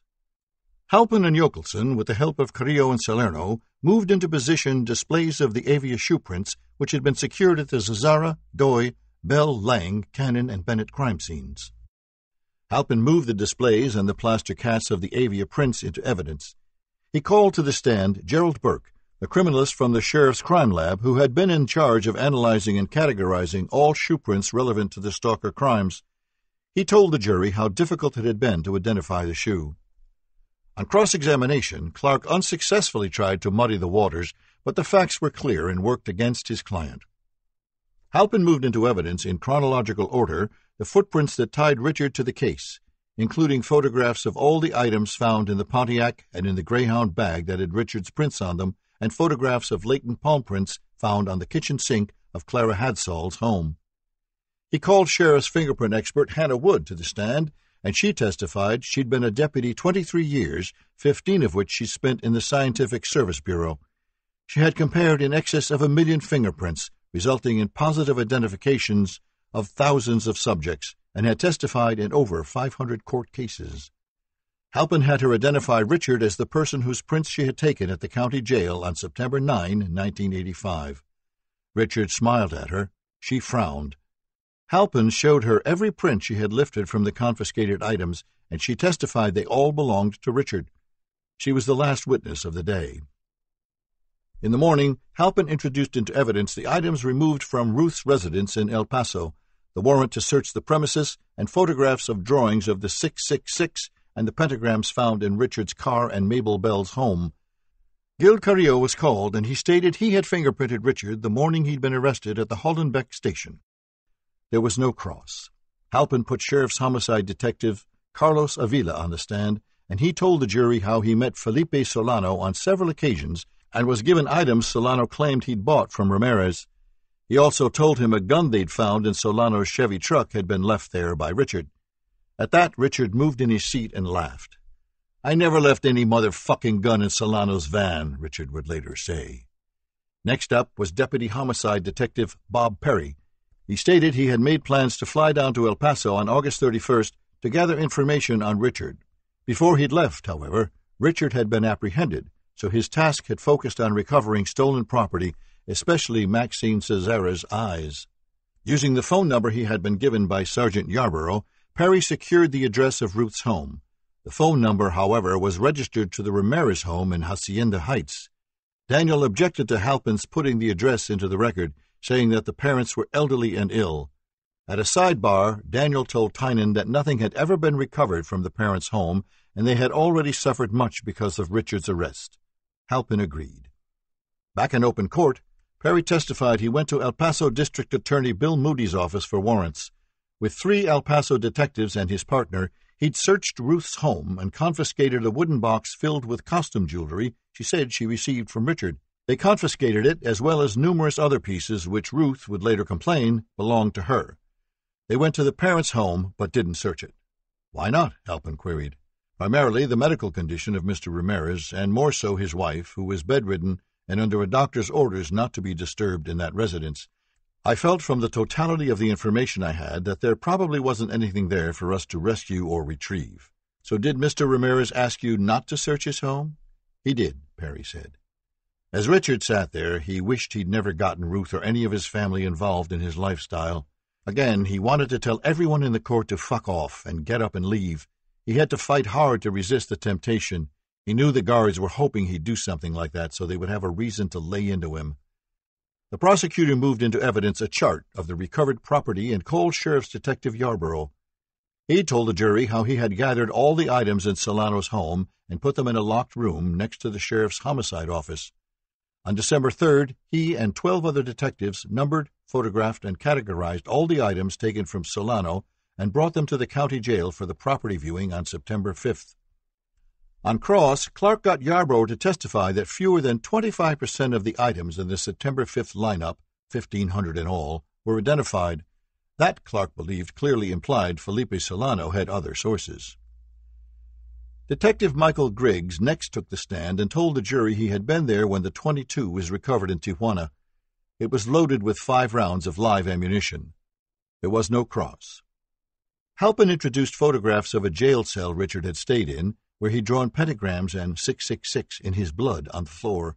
Deputy Sheriff Noilhad had been on suicide watch for Richard when he was first booked into the county jail's hospital wing on the day of his arrest. He stated he saw Richard sitting on the toilet bowl with some blood in his hand, and that he noted the 666 and the pentagram on the ground. I watched him with his left hand take blood from his right palm and write the numbers and that five pointed star directly on the floor in front of him testified he then advised his supervisor of this, and photographs were taken of Richard's artistic statements. There was no cross. Salerno was brought back to the stand to testify he was present at Richard's arraignment on October 24, 1985, in front of Judge Elva Soper, when Richard had raised his hand to the court and yelled, Hail Satan, as he held up his right palm, on which there was a pentagram. Daniel stood up for the cross and asked Frank if he'd ever seen a pentagram and 666 together at a crime scene other than at the Stalker crimes. No, never in my life, Frank said. Deputy Daniel Laws, the last witness for the prosecution, replaced Frank on the stand, stated he'd been on the PM watch at the jail's hospital wing and had guarded Richard for about a year and a half altogether. He stated that on October 30th, Richard had beckoned him to his cell, saying, Laws, come here. What did you do? Halpin asked the deputy. I went over. What did the defendant do? He showed me two pictures of a homicide victim. Can you describe them? The first picture was of a woman, Maxine Zazzara. The photograph showed from the face down. She was nude. And then the second photograph had the same woman lying on the bed with her head turned away from the camera. Did he, did the defendant say anything at that time? Not at that time. Did you ask him why he was showing you the pictures? Yes, I did. What did he say? He said, People come up here and call me a punk, and I show them the photographs and tell them there is blood behind the Night Stalker, and they go away all pale. Halpin handed the deputy two photographs of Mrs. Zazzara, and he identified them as the ones Richard had shown him. Halpin now moved into evidence a four page list, then announced, The state rests. Judge Tynan ordered a 15 minute break. As the jury and alternates got up to leave, Gil watched Cindy Hayden stare at Richard and was thankful she had never been put on the jury. When court resumed, Judge Tynan asked Ray Clark if they would be putting on a defense. Clark said he needed time to prepare, at least two weeks, as there were items that had still not been received by their experts. Tynan gave the defense two weeks to prepare their case and set a firm court date of May 1st to begin. 48. Richard didn't want to put on any defense at all. He had continually told his lawyers the trial was a circus and a farce. He refused to take it seriously or give it the dignity of putting on a defense. Clark strongly urged him to plead insanity and try to show the court through expert medical witnesses that he was crazy but Richard told him he would never plead insanity. He had his pride, his dignity. Clark and Daniel spoke to Ruth and implored her to try and change her brother's mind. She came up from El Paso to visit Richard that weekend, but even she couldn't alter his resolve not to put on a defense. If they convict you, the judges will sentence you to die, she said, her big brown eyes brimming with tears. I'd rather die than spend my life in jail. Any life is better than no life. If they execute you, Richie, it will kill Papa and Mama. Richard stayed silent. Ruth began to cry in earnest. She knew when her baby brother made up his mind about something, neither flood nor fire could change it. Against Richard's wishes, Daniel and Ray Clark went ahead and put together as good a defense as they could muster without their client's cooperation, support, or input. They hired private detectives to dig up more information on Solano and they had found several other thieves who dealt with him. They had also located a burglar who used to do burglaries with Richard, Sandra Hotchkiss, who was also the woman the police tried to entrap Solano with. On May 1st, the courtroom was filled with press, spectators, and Richard's groupies. Doreen took her usual place. Phil Halpin stood and told the court that a prosecution witness had lied, and he wanted to make the court aware of it and asked to reopen his case to straighten the matter out. It would take no more than ten minutes, he said, though he was not quite ready to proceed and asked for a little time to prepare. Tynan ordered the proceeding to resume at 10.30 the following morning. He asked to see defense counsel without Halpin present. The reporters gathered around the prosecutor in the hall. A witness lying in the Night Stalker case was big news, and they beseeched Halpin to tell them who it was. He refused to give any names, but said the lies were not earth-shattering. The witness had lied to protect a woman, there's nothing so unusual about that, he was quoted in all the Los Angeles newspapers as saying. In the morning, after Clark and Daniel Hernandez had had a chance to discuss the matter, Clark told Judge Tynan he thought that because the people had clear, accurate information that Solano had dealt with other thieves and knew he was lying on the stand, his testimony should be stricken altogether. Clark told the court a woman named Sandra Hotchkiss had a wire on when she went to Solano's house, and he talked on tape about buying items from people other than Richard Ramirez. Hernandez said the people having information that Solano was lying could be seen as subornation of perjury. He had spoken to Miss Hotchkiss, and she'd claimed Solano was wrestled to the ground by task force detectives and dragged into the house, where he was beaten and coerced into signing a form giving the police the right to search his home. These were grave charges, and Judge Tynan was suddenly interested in what Daniel was saying. If it could be proved all the materials confiscated at Solano should not have been allowed in as evidence, the prosecution's case would be weakened considerably. This could ignite a mistrial or a reversal if the jury convicted. When Daniel finished, the judge asked for Halpin's response. Certainly, this is a good example of the incompetence demonstrated by Mr. Hernandez. I am going to object. I'm getting tired of his ridiculous accusations. Judge Tynan tried to calm him. Mr. Halpin, why don't we just. The man is an incompetent. He has accused me of being a felon. Rise above it, Tynan suggested. There was, between Daniel Hernandez and Phil Halpin, a genuine, intense hatred, and they argued back and forth heatedly. Daniel said the only reason Halpin was reopening his case was because he found out the defense had witnesses lined up to testify and prove that Solano was a liar. The police and the prosecutor knew about it, yet they let him get on the stand and perpetrate a perjury. Tynan told Daniel to make his objection on the prosecutor reopening the case and he would rule on it. Daniel said he wanted a full 402 hearing to determine if the district attorney knew about Solano's other transactions and through the hearing determine if there was indeed subordination to perjury. Judge Tynan ruled there would be no hearing, that the defense had the right to cross examine Solano when the people reopened the case. He said, As I've indicated before, I've had my skin abraded by Mr. Halpin, but I have never known him to be dishonest, and I see nothing at this juncture that would lead me to believe that he has been. The jury was brought in. Tynan told them he was allowing the prosecution to reopen its case for the purpose of calling back a witness, Felipe Solano. Richard glowered at Solano as he took the stand. Solano was not happy about being recalled. In the few weeks since he testified, he seemed to have aged ten years. Halpin went right to the point and said, Were there some things you testified to that weren't true? Solano said there were. He had known Eva Castillo, also known as Rosa Solis, since August 1983, and he had bought stolen property from her on three occasions. But she had given things to my family as a gift a few times. Halpin asked Solano if he'd received any of the property identified at the September 5th lineup from Eva Castillo, and with certainty he said no, that he'd received that property from Richard Ramirez. Richard moved about in his seat nervously, and his leg irons rattled. When Halpin asked why Solano had lied about receiving stolen property from Eva, he said, Just because I wanted to protect her. She's a mother. He said he had also bought things from a thief named Monje and from another who went by the name Cuba. Halpin showed photographs of confiscated items Solano identified as some he'd gotten from Eva, Cuba, and Monje, and the prosecutor said he had nothing further. At 2.50, Daniel Hernandez rose to do the cross on Solano.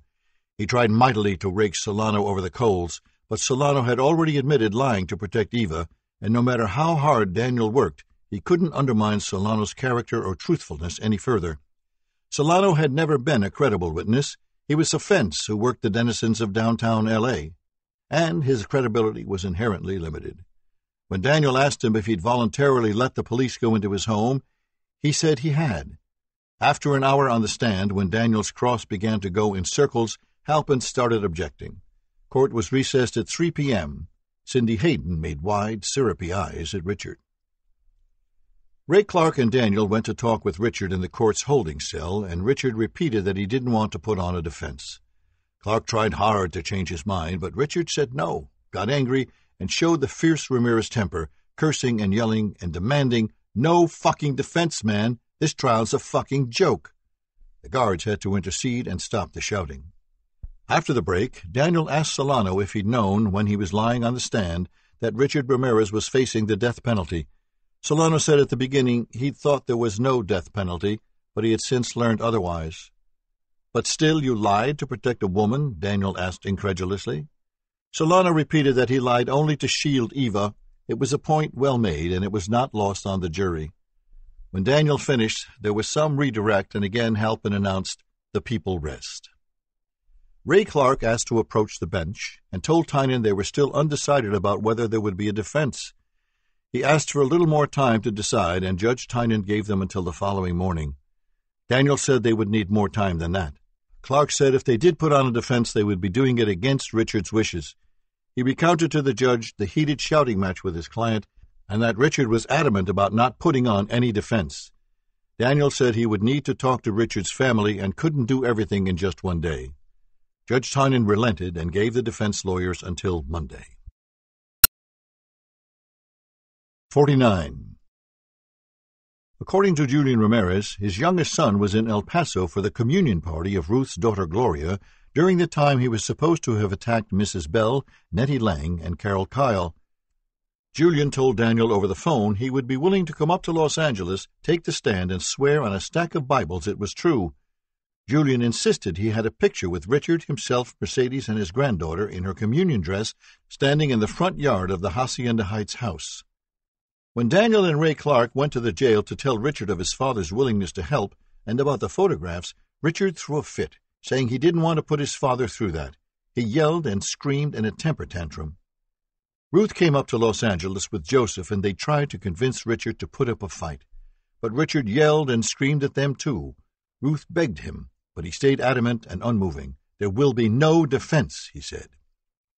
Monday morning, Ray Clark, with large circles from stress under his eyes, asked Judge Tynan for an ex parte meeting in the judge's chambers with defense counsel and the defendant. Halpin objected, saying at this juncture the prosecution had the right to be privy to all proceedings. Tynan disagreed and moved the proceedings to his chambers, minus the prosecutor. Richard was in a foul mood. When Tynan asked him if he wanted a defense, he yelled no and cursed the judge, calling him a motherfucker. He told him that he thought the whole trial was a scheme, a joke, and that he wouldn't take part in it. He said that he would put up a fight not to come to court. They'll have to bind me and fucking drag me in the courtroom. I won't go. Tynan said that could be arranged. He quickly saw the futility of trying to reason with Richard and ordered the proceedings back into court, after Daniel and Ray asked for a little time to talk with their client. In open court, a motion to drop the sodomy charges in the Sophie Dickman matter got under way.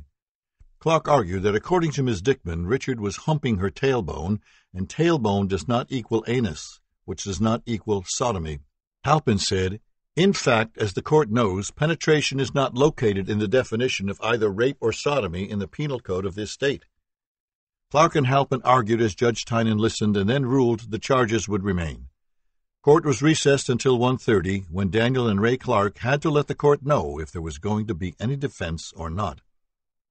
As Richard was being led from the courtroom, he turned and faced the press, an angry snarl on his face. He said, Media, sensation seeking parasites, and was led from the court. The press was taken aback for a few beats, then hurried to phone in this latest defiance of Richard Ramirez. Ray and Daniel returned to the holding pen and worked hard to convince Richard to change his mind. They both knew if no defense was put in, he would surely be convicted and given the death sentence. They didn't want that to happen. Neither of them wanted Richard's execution on their hands. Clark said it was stupid not to put his father on the stand. Daniel told Richard he had spoken to his mother and she had cried and begged him to convince her youngest spawn to put up a defense. That seemed to strike a chord somewhere deep inside of Richard. He said he would like to talk with Dr. Jo-Ellan Dimitrius and ask how the jury might react if he didn't put up a defense, didn't take the stand, and deny the charges. When court resumed, Clark told the judge Richard had changed his mind and was now thinking about putting on a limited defense, but he wanted to speak with Dr. Dimitrius. Reluctantly, Tynan agreed to give the defense until morning to decide what direction they were going to take. Halpin moved into evidence all the documents he had relative to Eva Castillo's arrest and incarceration. Daniel didn't want them in and objected strenuously, but Tynan allowed the documents in and the jury would see them. That evening, Jo-Ellan Dimitrius went to the county jail to visit with Richard. He trusted her judgment, thought she was very observant and knew human nature. Dr. Dimitrius advised him to tell his counsel to put on what defense it could, and that it would be a good idea for him to allow his father to testify. Richard told her he did not want to take the stand and asked her if that would hurt him in the eyes of the jury. She said it would not, that frequently defendants in capital crime cases do not take the stand, and that during the charge the judge was obligated to tell the jury not taking the stand was not to be held against him. The next day, Richard showed up in court wearing all black. Daniel announced they would be going forward with a defense and told the court he was ready to make the opening statement. Halpin had no objection. Judge Tynan gave Daniel the go ahead to make his remarks. Arturo was now at the defense table again. Daniel faced the jurors and, using a large chart of the evidence as the defense saw it, began systematically to go over all the counts, pointing out weaknesses and discrepancies.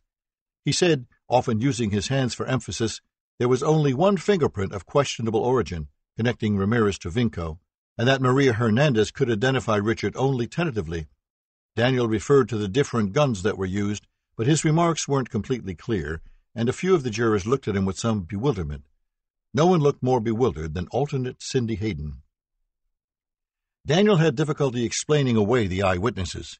He spent a long time breaking down the credibility of Felipe Solano and Jesse Perez, describing Solano as a downtown fence, a liar, a man who couldn't be believed about the correct time. He said Solano had recruited Richard and others to sell stolen items he'd bought at very cheap prices in the downtown area. He returned to Maria Hernandez, saying she had never had time to see her assailant because the lights had gone out. Richard took off his sunglasses turned in the direction of his admirers, and smiled. The judge interrupted him and suggested a lunch recess. Halpin asked for a sidebar, complaining that Daniel's statements of facts were off base and that he wasn't just making an opening statement, but was arguing his case. The judge agreed and warned Daniel to move along. Daniel brought up a September 4, 1985 Daily News article by Arnie Friedman, which clearly implied that Richard Ramirez was the Night Stalker and said that he would begin a lineup at the jail on the 5th. It had accompanying photographs of Gil Carrillo, Frank Salerno, Phil Halpin, and Ira Reiner. Halpin objected. There was no offer of proof that Maria, or for that matter any of the witnesses, had seen the Friedman piece. Tynan agreed. Unless Daniel had eyeball witnesses, that is, people who had identified Richard, testify they'd been contaminated by the press, his argument was moot. Tynan ruled Daniel could not make reference to newspaper articles in his opening statement unless he made an offer of proof that witnesses had in fact seen a particular article. Daniel continued with his opening. He said no expert witness for the prosecution had come forth to testify that the ACDC cap left in the Okazaki Hernandez garage definitely belonged to Richard. DNA tests on the sweatband could reveal that Richard never wore that hat. He claimed the defense had had such tests done and would put witnesses on the stand to say that the DNA in the sweat was not Richard's. He moved to the Yu matter and said Duenas had admitted on the stand he could not honestly identify Richard as the person who'd shot Veronica Yu.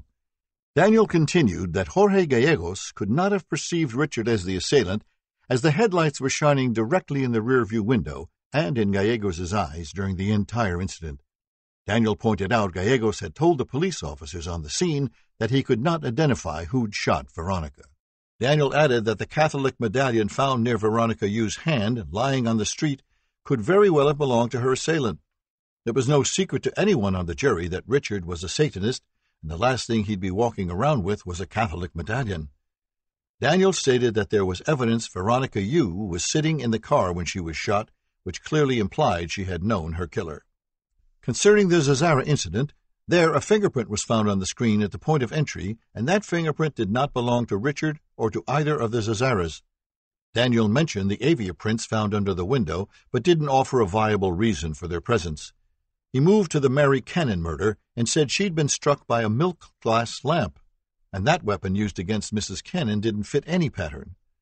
Again, he mentioned the avia print had been there without addressing how it had gotten there. But more importantly, there was a light brown hair found in the bed that was not Richard's, as well as an unidentified fingerprint located on a green metal file in Mary's home. Daniel made reference to blood other than Richard's, and at Ms. Cannon's the police had found blood on the knife left on the bed and the lamp. He said and that when a lamp is struck against someone's head and broken, that the person holding that lamp could very well get cut and lose some blood onto that glass, onto that weapon. Halpin moved about in his chair anxiously, having difficulty with Daniel's view of the facts. The defense lawyer moved to the Bennett assault, skirted over the shoe print, and made reference to a beer bottle found in the home with a print on it that didn't belong to the Bennett family or to Richard. More important, he said, were bloodstains the police had found on a blue sash on Whitney's bed, which was neither Whitney's blood nor Richard's. He said fingerprints found on the air conditioner near the point of entry also were not Richard Ramirez's. Daniel told the jury there had been testimony about glove prints having been found at crime scenes, but no glove prints like those had ever been linked to Richard. Moved to the Bell matter and the open can of soda seen by Carlos Valenzuela, who thought it was odd for the sisters to just leave it lying around. The criminalists, Daniel said, had collected that can and inspected it and tested it for fingerprints, and there were no fingerprints found. About the Kneidings, he said both victims had been killed and there were no witnesses. He again offered no explanation for the presence of avia prints. Instead, he told the jury about a T shirt found at a construction site next door to the Kneidings' home, which had been photographed and tested by the police. It contained light brown hair similar to hair found on a nightstand in the victim's bedroom, which didn't match Richard's. Daniel was sweating profusely now. He consulted his notes, took a few deep breaths, and told the jury that there had been avia prints found at the Joyce Nelson murder scene, but he skirted over them, too, making reference to some brown hairs and fingerprints found in Joyce's home, which did not belong to her or to Richard. Finally, Daniel addressed the avia prints at all the crime scenes. No such shoe had ever been found on Richard, even though all his things had been confiscated, nor had a receipt for any avia shoes been found, nor any witnesses who could say Richard wore avia aerobic shoes. He said of all the glove prints found at so many crime scenes, no such glove had been located in Richard's belongings. Daniel seemed winded, obviously needing a break, and suggested to the judge they take a recess, which Tynan agreed to. Richard, Ray Clark, and Richard Salinas congratulated Daniel on the fine job he was doing. Halpin thought Hernandez was going in circles and grabbing at straws. Whatever might be said about Daniel's opening statement, he was impassioned and seemed to really believe Richard wasn't the stalker. When court resumed, Daniel brought up the murder of 26 year old Patty Higgins in her Arcadia apartment, wanting to tell the jury about her. This was one of the murder counts against Richard which had been dropped by the state. Daniel said there was a similar M.O. in this murder the slashed throat. Serological tests done on Miss Higgins showed that there was another party there other than Miss Higgins or the defendant. Judge Tynan asked Halpin his thoughts on that, and he objected on grounds of relevance. Tynan sustained it, saying he'd instruct the jury to disregard anything Daniel said about Patty Elaine Higgins. The defense lawyer again reviewed all the inconsistencies he perceived with the people's case, then moved on to the Abowath assault pointing out more brown hairs and fingerprints found on the premises which didn't belong to the Abowaths or to Richard. He said Mrs. Abowath had told police her attacker had light brown hair. He mentioned a private security officer who had heard the first police call go out and was speeding to the Abowath residence to assist when he ran into a man in a Datsun pickup truck who seemed to be fleeing the direction of the attacks. Daniel promised the jury this fellow would be testifying. He attacked Jesse Perez, pointing out there would be testimony that Perez had received the recovered gun in Tijuana many months before Richard Ramirez's arrest, up to a year before, and he ripped into the credibility of Perez and his testimony. He moved to Sophie Dickman and her statements that her assailant had brown hair and was not Latino. He reminded the jury she had admitted on the stand having seen many news shows and read many papers about Richard's capture. The evidence is going to show that she was identifying the person she saw on television rather than the person she saw the evening that she was assaulted. He described how terrible the light had been when Virginia Peterson had seen her attacker. There was no way that person could be seen. He pointed out that Chris Peterson, who was closer to the attacker, was not able to identify Richard as his assailant. Daniel now tore into the lineup, saying there had been a lot of media waiting for witnesses, that there was an air of celebration that Ramirez was on stage, he said the witnesses waited in the halls of the jail together and spoke to one another, and that there was some communication from the people running the lineup about which person to focus on. He said Richard clearly had a shaved spot on his head, and it was reported widely he had sustained a head injury as a result of the chase on Hubbard Street. He would be putting Alan Adashek on the stand to tell the jury how concerned Adashek had been about this obvious head injury on the day of the lineup. Daniel talked about James Romero III and said he was flown by helicopter from Orange County to the lineup and had been given rewards and plaques and even a motorcycle. The press had virtually crowded the streets and stopped traffic around the jail during the lineup. Daniel said of Romero's identification, and this gentleman will testify that he felt obligated, after the awards and after all the congratulations, he felt obligated to identify Mr. Ramirez. Daniel again reviewed his salient points, sincerely thanked the jury for listening to him, and ended his day long opening. Judge Tynan wrapped up the proceedings, and the jurors stood to leave, weary and anxious to be out of the courtroom. The press didn't move, hoping Richard would show some new defiance, but only his chains rattled as the bailiffs led him from court. The first witness for the defense was Dave Frank, a private detective with 13 years' experience.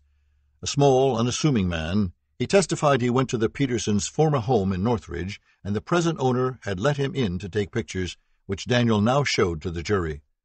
According to Frank, it would have been nearly impossible for Virginia Peterson to have had enough light to make out the features of her attacker.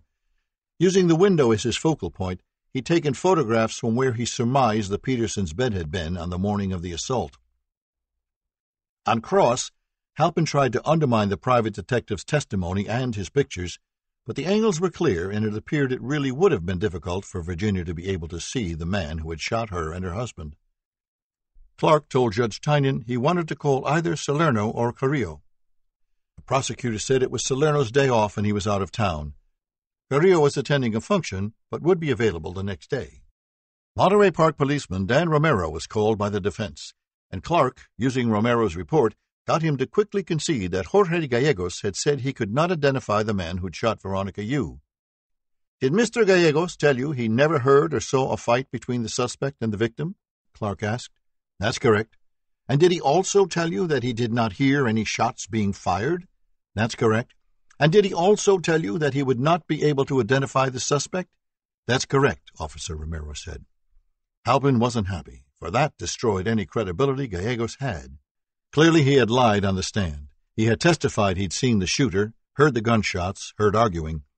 Clark had Officer Romero tell the jury that Alhambra was a dark street with a lot of trees on it. Phil Halpin stood to try and repair the damage, but this time the facts worked against the people.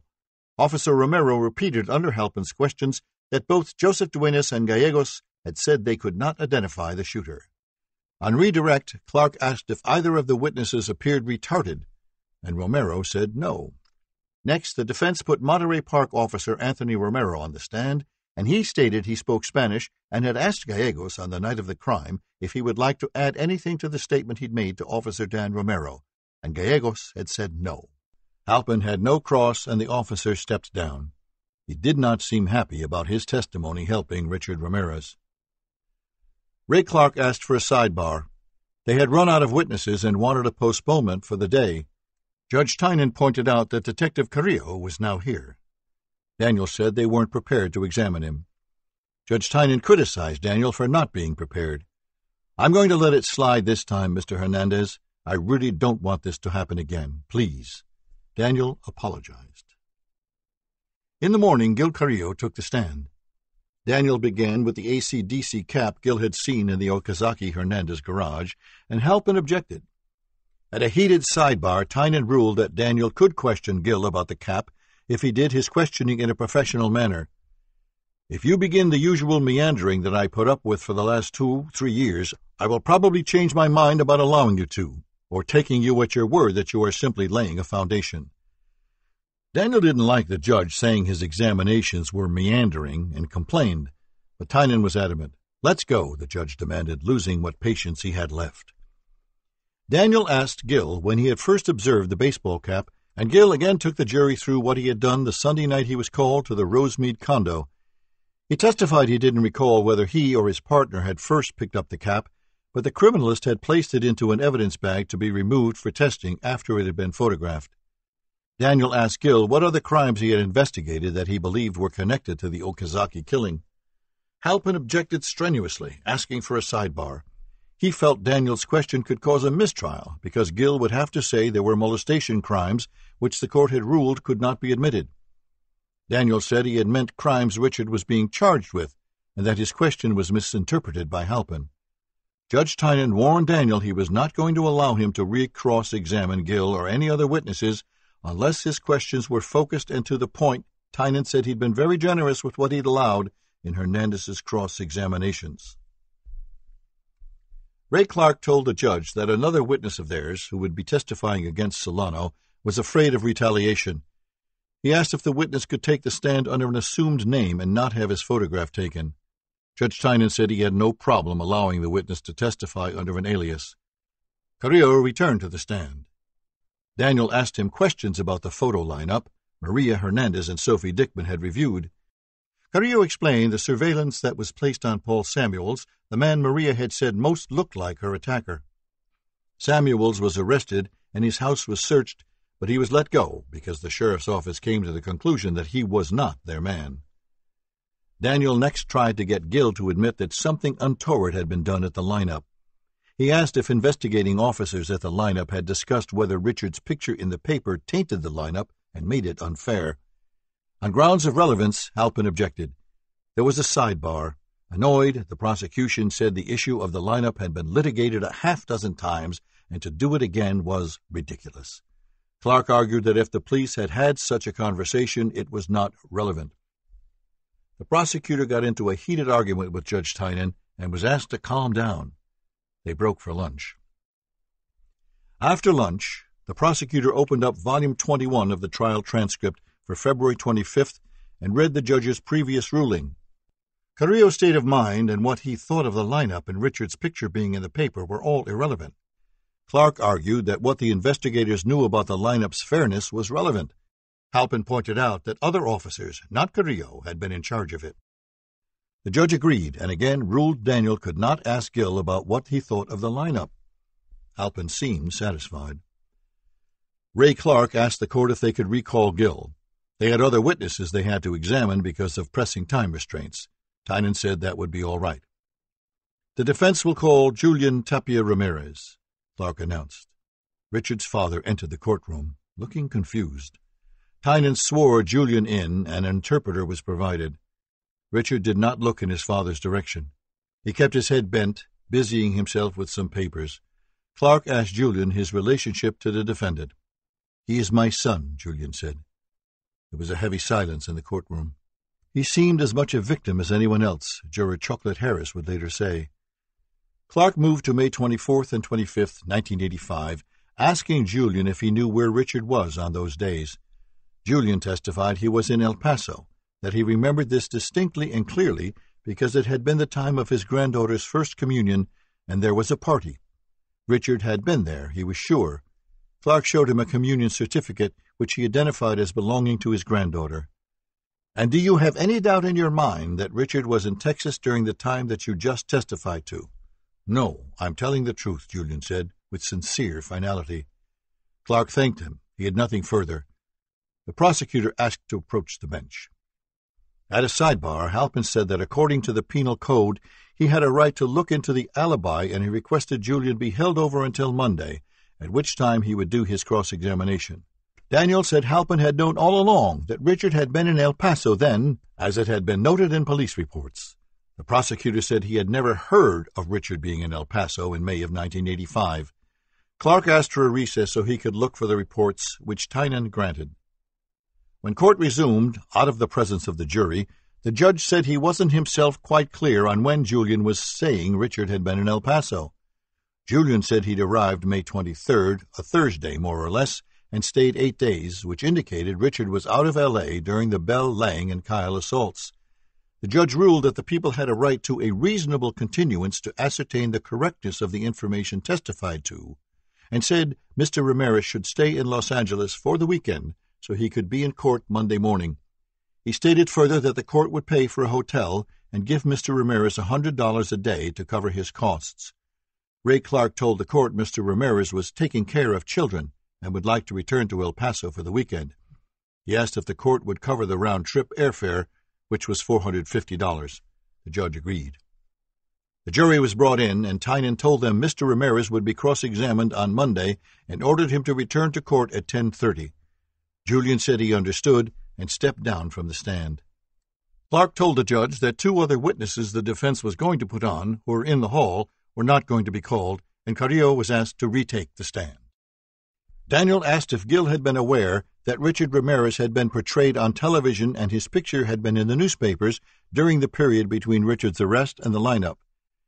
Gil said he had been, and Daniel tried again to find fault with the lineup, Gil told the events the way he knew them, and Daniel was able to do little to assist the defense.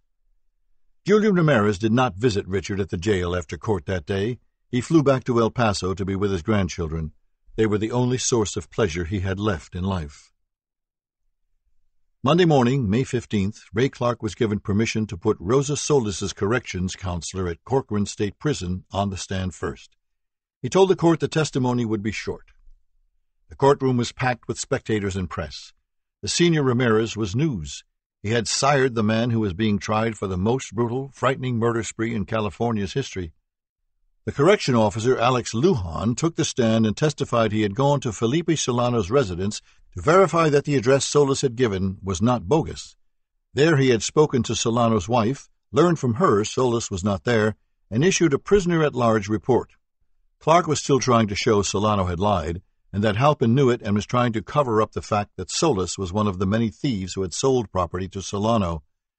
That was important for the jury to understand, Clark knew, if he was going to have a viable someone else did it defense. Halpin's cross examination of Lujan was interrupted because he didn't have all the pertinent files with him. Julian Ramirez was called back to the stand. Mercedes, who had returned with him, waited in the hall, sitting on a wooden bench and praying to Jesus that the jury would see the truth. Julian mounted the stand. Richard stared down, avoiding looking in his father's direction. Tynan told Julian he was still under oath, and Halpin asked Julian how many grandchildren he had, to which he replied, Six.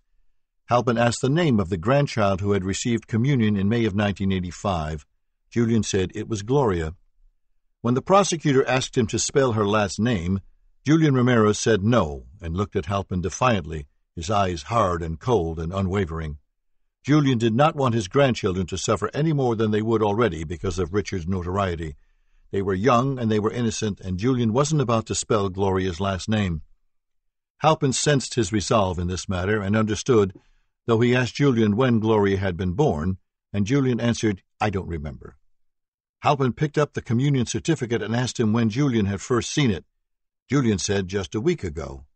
Using a calendar, the prosecutor asked him to put a red circle around the day his granddaughter had received her communion. He circled May 25th and stated that Richard had come to El Paso to attend the communion party they'd had for Gloria at his home. Richard started to move about in his chair. It was just the family, Julian said. Clark interrupted, requesting a sidebar, at which he stated Richard was going bananas at the defense table. He didn't want any pictures taken of his father, which the court had agreed to, but Richard had seen the camera facing his father, and that had set him off. The cameraman was warned not to photograph Julian, and the proceeding continued, with Halpin asking what date Richard had left. The father said May 31st. Julian said Richard had come to El Paso a few times in 1985, but he didn't remember the dates. He said Richard had stayed in a hotel the first night he was there in May, that Mercedes had gone and picked him up and brought him to the Hacienda Heights house, where he stayed the full week. The prosecutor moved on to when the L.A. detectives had come to El Paso and searched his home. Julian said they had searched Ruth's home, not his.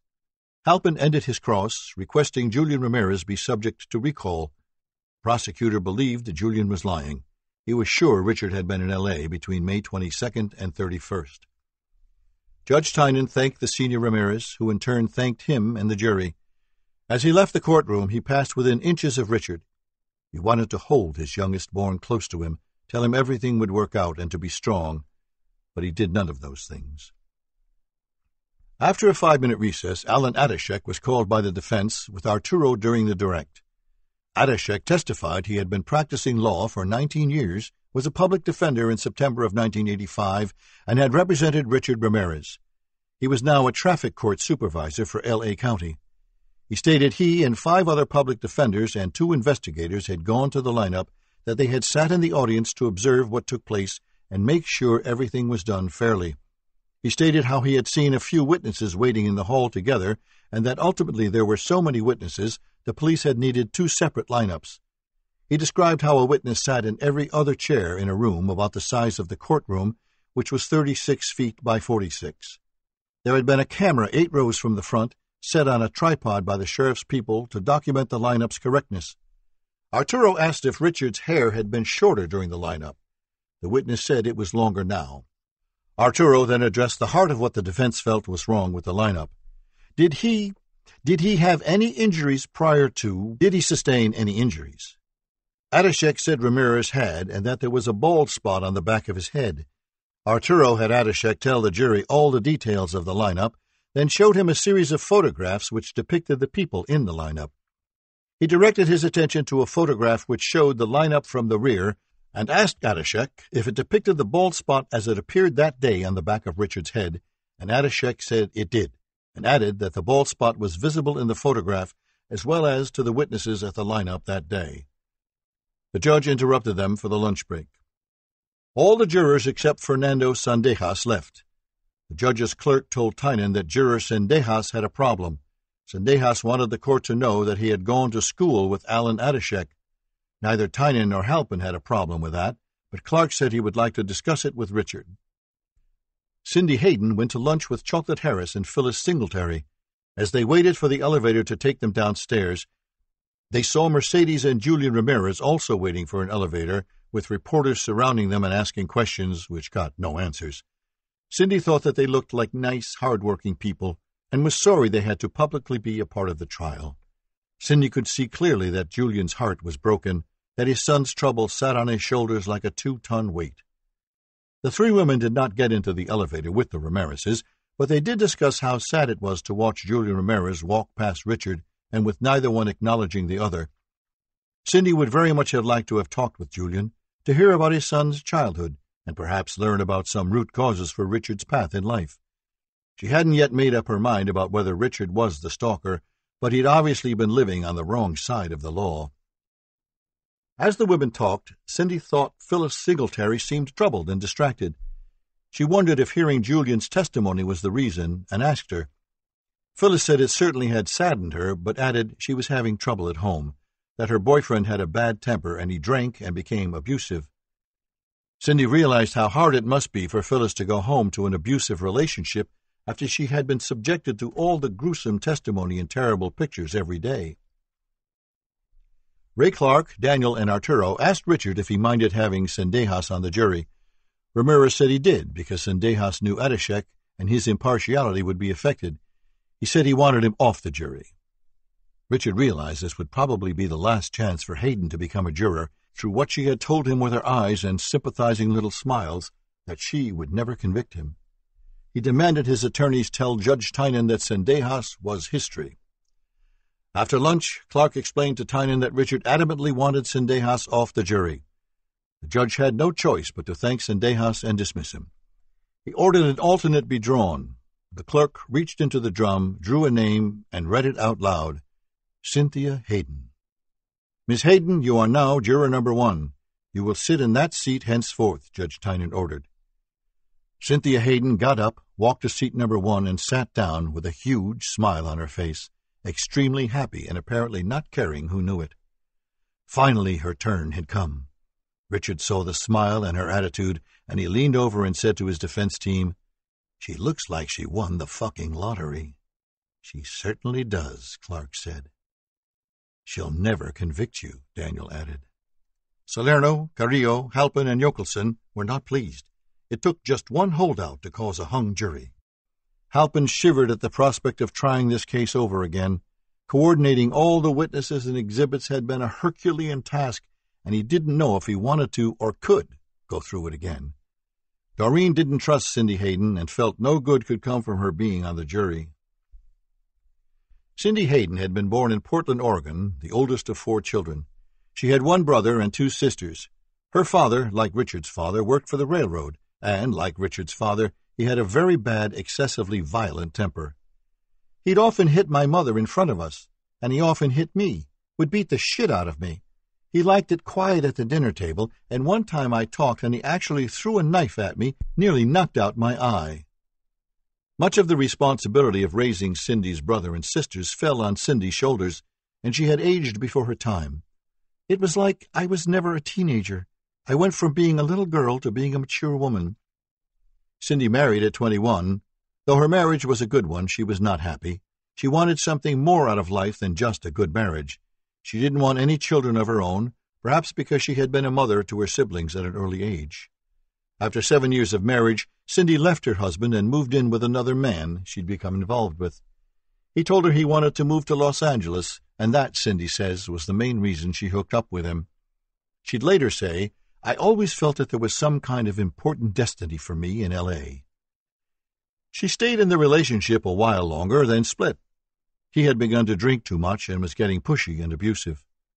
Soon after, she got called for jury duty for the murder trial of Richard Ramirez, and she knew that was why she had come to Los Angeles, that the Richard Ramirez trial was her destiny. Arturo went back to his examination of Alan Adashek as Cindy Hayden looked on from seat one of the jury box the smile still on her face. Arturo showed Adashek the photograph of Captain John Jones making the V for victory sign, showing two fingers, and asked him if that represented what had taken place that day. The former public defender said it did, and Arturo said he had nothing further, feeling confident the jury appreciated the significance of the gesture. Captain John Jones had held up two fingers indicating Richard's place in the lineup to the witnesses. Halpin asked Adashek if he remembered speaking with him at the lineup about whether or not Richard's injury was evident, and Adashek said he didn't remember. To nearly every question the prosecutor asked Adashek, he said he didn't remember. He couldn't even remember whether or not he had objected to the bald spot on Richard's head. Solis's corrections counselor retook the stand for Halpin's cross, but said he didn't have the files because his superiors wouldn't release them. Annoyed, Tynan ordered Halpin to draw up a subpoena for the files and told Lujan to return to court at 10.30 in the morning with the files. Arturo called Public Defender Roy Wallen to the stand, and for the most part he testified to the same facts that his former colleague had. He gave Halpin a list of concerns the public defender had had, namely that the participants of the lineup didn't smile, showing good teeth, that Richard's head wound was exposed, that the young people at the lineup would say something to their parents which might be inadvertently overheard by other witnesses, and that all the participants didn't have angular faces. On cross, Halpin first said he had never gotten any objection sheet from Wallen, then looked through his file and found the objection sheet. He handed it to Wallen, who read it out loud for the jurors, proving Halpin had been wrong. The prosecutor got Wallen to concede nothing overt had been done to draw attention to Richard's head wound. He stated he hadn't seen any police officials indicating the number two, but that public defender Judy Crawford, who also had been at the lineup, had come to him later at the office and told him she had seen policemen indicating the number two with extended fingers toward the witnesses. Alex Lujan retook the stand and testified that Rosa Solis's real name was Eva Castillo, that she was now a fugitive from justice, and that the address she had given prison officials was not Solano's address, which Halpin was intent upon showing the jury. Solano was a strong link in the prosecutor's case, and he didn't want it weakened by the jury learning that Solano had dealt with many thieves. Lujan also stated that Eva Castillo was supposed to have been deported after her release from prison, but she had fallen through the cracks and gotten away. She was, according to the record, a junkie, an alcoholic, a thief, and a prostitute. Richard was bent out of shape about his father's picture being shown on the news, and he complained bitterly to his lawyers. He told them he didn't want his father to suffer any more than he already had because of his troubles. He was very agitated and walked back and forth in the holding pen like a caged panther. After lunch, Clark complained to Judge Tynan about Julian Ramirez being seen on the news when the defense had specifically asked he not be photographed. He would be putting on other witnesses who would not testify if their pictures were going to be broadcast. The judge apologized and said he would have the bailiff speak to the camera people. From now on, he would make sure no one would be photographed if they didn't want to be. Halpin complained to Tynan about the defense subpoenaing civilian witnesses, saying there was no reason to put them back on the stand after they'd already been grilled during cross examination. Tynan agreed and reminded the defense to clear any subpoenas they had for civilians with him.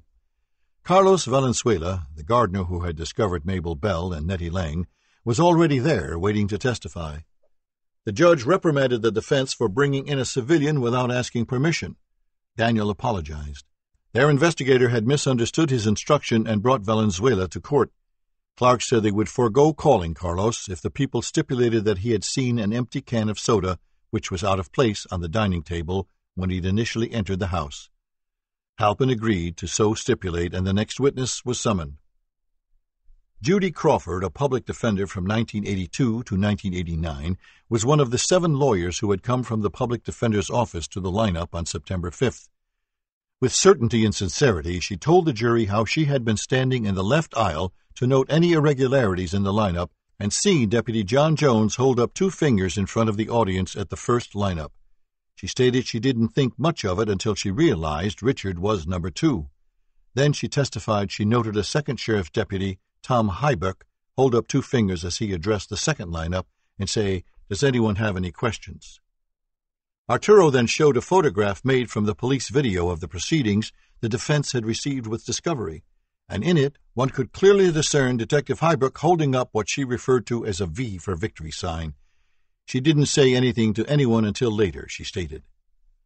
After a comfort recess, the prosecutor went at her with a vengeance, asking why she hadn't said anything of these illegal improprieties at the lineup. There was nothing I could do, she said. Well, now, what makes you say that? Halpin asked. She stated the lineups were in progress and it was already after the fact. Those answers didn't sit well with the prosecutor, and he made sure the jury knew it. Knowing laws had been broken, how could she not do anything until so long after the fact? he asked. She said she had tried to tell Adashek, but he was very busy and there was a lot going on. She had told him when they were leaving the lineup, but she didn't know what he'd done with the information, and it hadn't been her case. Halpin asked if she kept notes and wanted to see them, but she refused, saying they were work byproducts. Cynthia Hayden found Crawford's testimony hard to believe. She saw the photograph of Hybuck holding up two fingers, and Crawford's certainty and resolve were unwavering before Halpin's cutting questions. Halpin turned to the preliminary hearing transcript and had Crawford read into the record what she had testified then. She had not told Adashek about the fingers at the lineup. On that note, Judge Tynan released the jury for the day. At a sidebar, Carlos Valenzuela was discussed again. The defense wanted the people to stipulate the dates on the newspapers that had first drawn Carlos's suspicion. Halpin said there was no proof as to what those dates were. Tynan agreed with the defense, ruling Valenzuela could take the stand and testify about what he knew of the dates. Halpin changed his mind and agreed to stipulate that the dates on the papers were May 30th and 31st. 50. Felipe Solano, Jr. took the stand at 10.50 the next morning to tell the jury that his father had given him a bag filled with jewelry to hold, then returned with the police for the bag, and that was the sum of his testimony. Monterey Park policeman Dave Corrigan was next, and he further undermined Jorge Gallegos' credibility. He testified Gallegos' description was vague and imprecise, and that he hadn't been sure if the attacker was Latino or Oriental. Photographer Dennis Lee testified, at Ray Clark's urging, that he had gone to Alhambra Street, the spot where Veronica Yu had been shot to death, and, with Richard Salinas' help, had taken 35 millimeter photographs there, as well as at the spot where Lowney Dempster had said she'd seen Richard near the Doi residence in Monterey Park. Clark showed the photographs to Lee and the jury, but not much could be seen in them. Halpin knew the photographs were not objective. Film ASA, shutter speed, and f-stop could all affect the photograph's clarity, and in cross he made that clear to the jury. Criminalist Giselle Lavigne was recalled by Clark. She had found on parts of the lamp that had been used to crush Mary Cannon's skull blood which did not belong to either Mary or to Richard. Sheriff's criminalist Gerald Burke testified after Levine about hairs found at the Abowath residence that didn't belong to the Abowaths or to the defendant. At a sidebar, Clark requested more time to interview Sandra Hotchkiss, who was in jail and was a very important witness for the defense. The judge gave him an hour and a half instead of 60 minutes for lunch. Without Richard's knowledge or authorization, the defense team went to the holding cell in the courthouse where Miss Hotchkiss was being held. She was serving a 14 year sentence in the California Institute for Women for a violation of her parole she had gotten. As a result of help she had given police in the Stalker investigation, as well as in three other cases, her sentence was commuted. Back in court, Hotchkiss was called as the next defense witness. When Richard heard her name, he looked up, startled and surprised. He had told his lawyers he didn't want her called, and they had gone against his wishes. He was furious. Sandra was forty, thin, with dirty blonde hair, and had a jailhouse pallor. Through Clark's direct, the jurors learned she used to caper with Richard, but it stopped because he was too messy and amateurish. She preferred not leaving a mess in any of the homes she robbed, unlike Richard, who threw things all over. She added that Richard was never violent, and she never saw him with any weapons. She described how she had been cooperating with Burbank police and setting up fences. She had been caught burglarizing a Burbank home, and the police told her if she gave up some fences, they would write letters to the judge. She testified Detective Knight had said if she gave up three fences, he'd personally make sure she didn't do any time on the Burbank robbery. Three for one, she said he had told her, and she successfully had two men arrested who'd operated out of jewelry stores in the downtown area. This brought her to the attention of the sheriff's task force when they decided to send someone to Felipe Solano to sell him stolen property, thereby giving them an excuse to enter his home. She stated she had known Solano before the sheriff's deputies had taken her to a downtown pool hall to try and set him up. Solano was a known fence who dealt with many thieves and even carried a jeweler's loupe through which he could often be seen looking at a particular piece someone was trying to sell. Sandra said she knew another fellow named Huero who had also sold Solano stolen property. One time she had seen Huero go after someone who had ripped him off with a tire iron. Sandra had first met Ramirez in the High Pool Hall. She had seen him try to sell jewelry that he obviously didn't know the real value of. Always ready to take advantage of an opportunity, she'd approached Richard and bought the gold chain, turned around, and tripled her money. After that, they'd started burglarizing together. Part of Richard's problem, she sincerely told the jurors, was that he didn't know the value of jewelry and would take junk and costume pieces. They only worked during daylight hours while people were away working. Clark had her tell how she had met with Carrillo, Salerno, Yarbrough, and Gahn, that they'd put a wire on her and sent her into the Yee High Pool Hall to trap Solano. She had asked a woman who worked behind the counter to call Felipe, and the woman had used a black phone book to retrieve his number. He'd shown up in twenty minutes.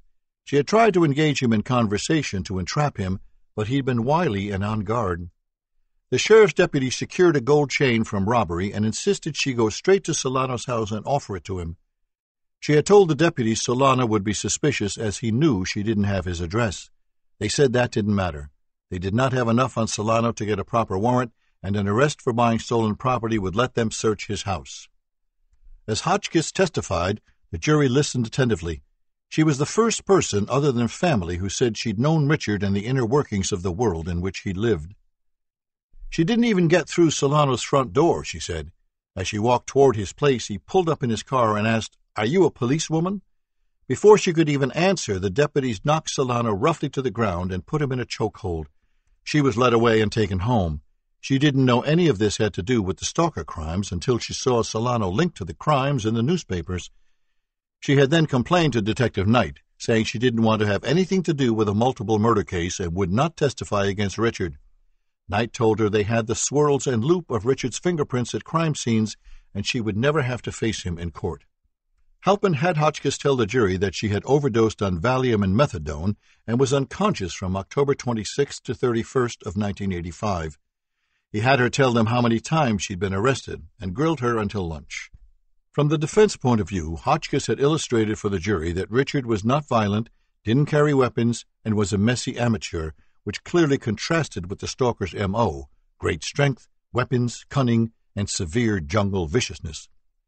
When Halpin began asking questions about what crime she had committed with Richard and when, she requested a lawyer. Tynan was inclined to provide counsel for her, and Matt Cooper was sent over from the bar panel to talk with Hotchkiss about her rights. So time wouldn't be wasted, Clark asked Judge Tynan if they could interrupt Halpin's cross of Hotchkiss to accommodate their next witness, Chainarong Khovananth's sister, who had two small children and had to get back to them. Halpin objected about being interrupted and objected to the defense putting the sister on the stand at all, but Tynan ruled she could testify. Debbie Pierata Fipat stated that Somkid had told her the morning of the crime that the perpetrator had dark skin and was black with curly black hair. She cried as she testified, still devastated over her brother's loss. There was no cross of this witness. The defense called sheriff's criminalist Melvin Kong and had him tell the jury that negroid pubic hair had been found at the Abowath crime scene the morning of the attack, which didn't match up with Richard's. They had not been able to get a sample of either Somkid's or Chainarong's pubic hair. After a recess, Cooper told the judge that Hotchkiss was afraid to testify. Her protective custody status had been taken away, and he had advised her not to talk about any of the robbery she had done with Richard, in which the statute of limitations wasn't up or about a murder case she had been involved with. Tynan said he'd reinstate her protective custody status, and Halpin agreed not to go into those crimes. Criminalist Kong was put back on the stand. He stated that brown hairs found atop the Kneiding's pillows did not belong to them. They both had gray hair, nor did they belong to the defendant. There were hairs found at the Nelson crime scene which did not belong to Richard either. Sandra Hotchkiss retook the stand on May 24th. Cooper was not available, and a Harvey Sanford peerless had been found to replace him. Halpin was angry his cross examination had been interrupted for so long, but he went at it with renewed vigor.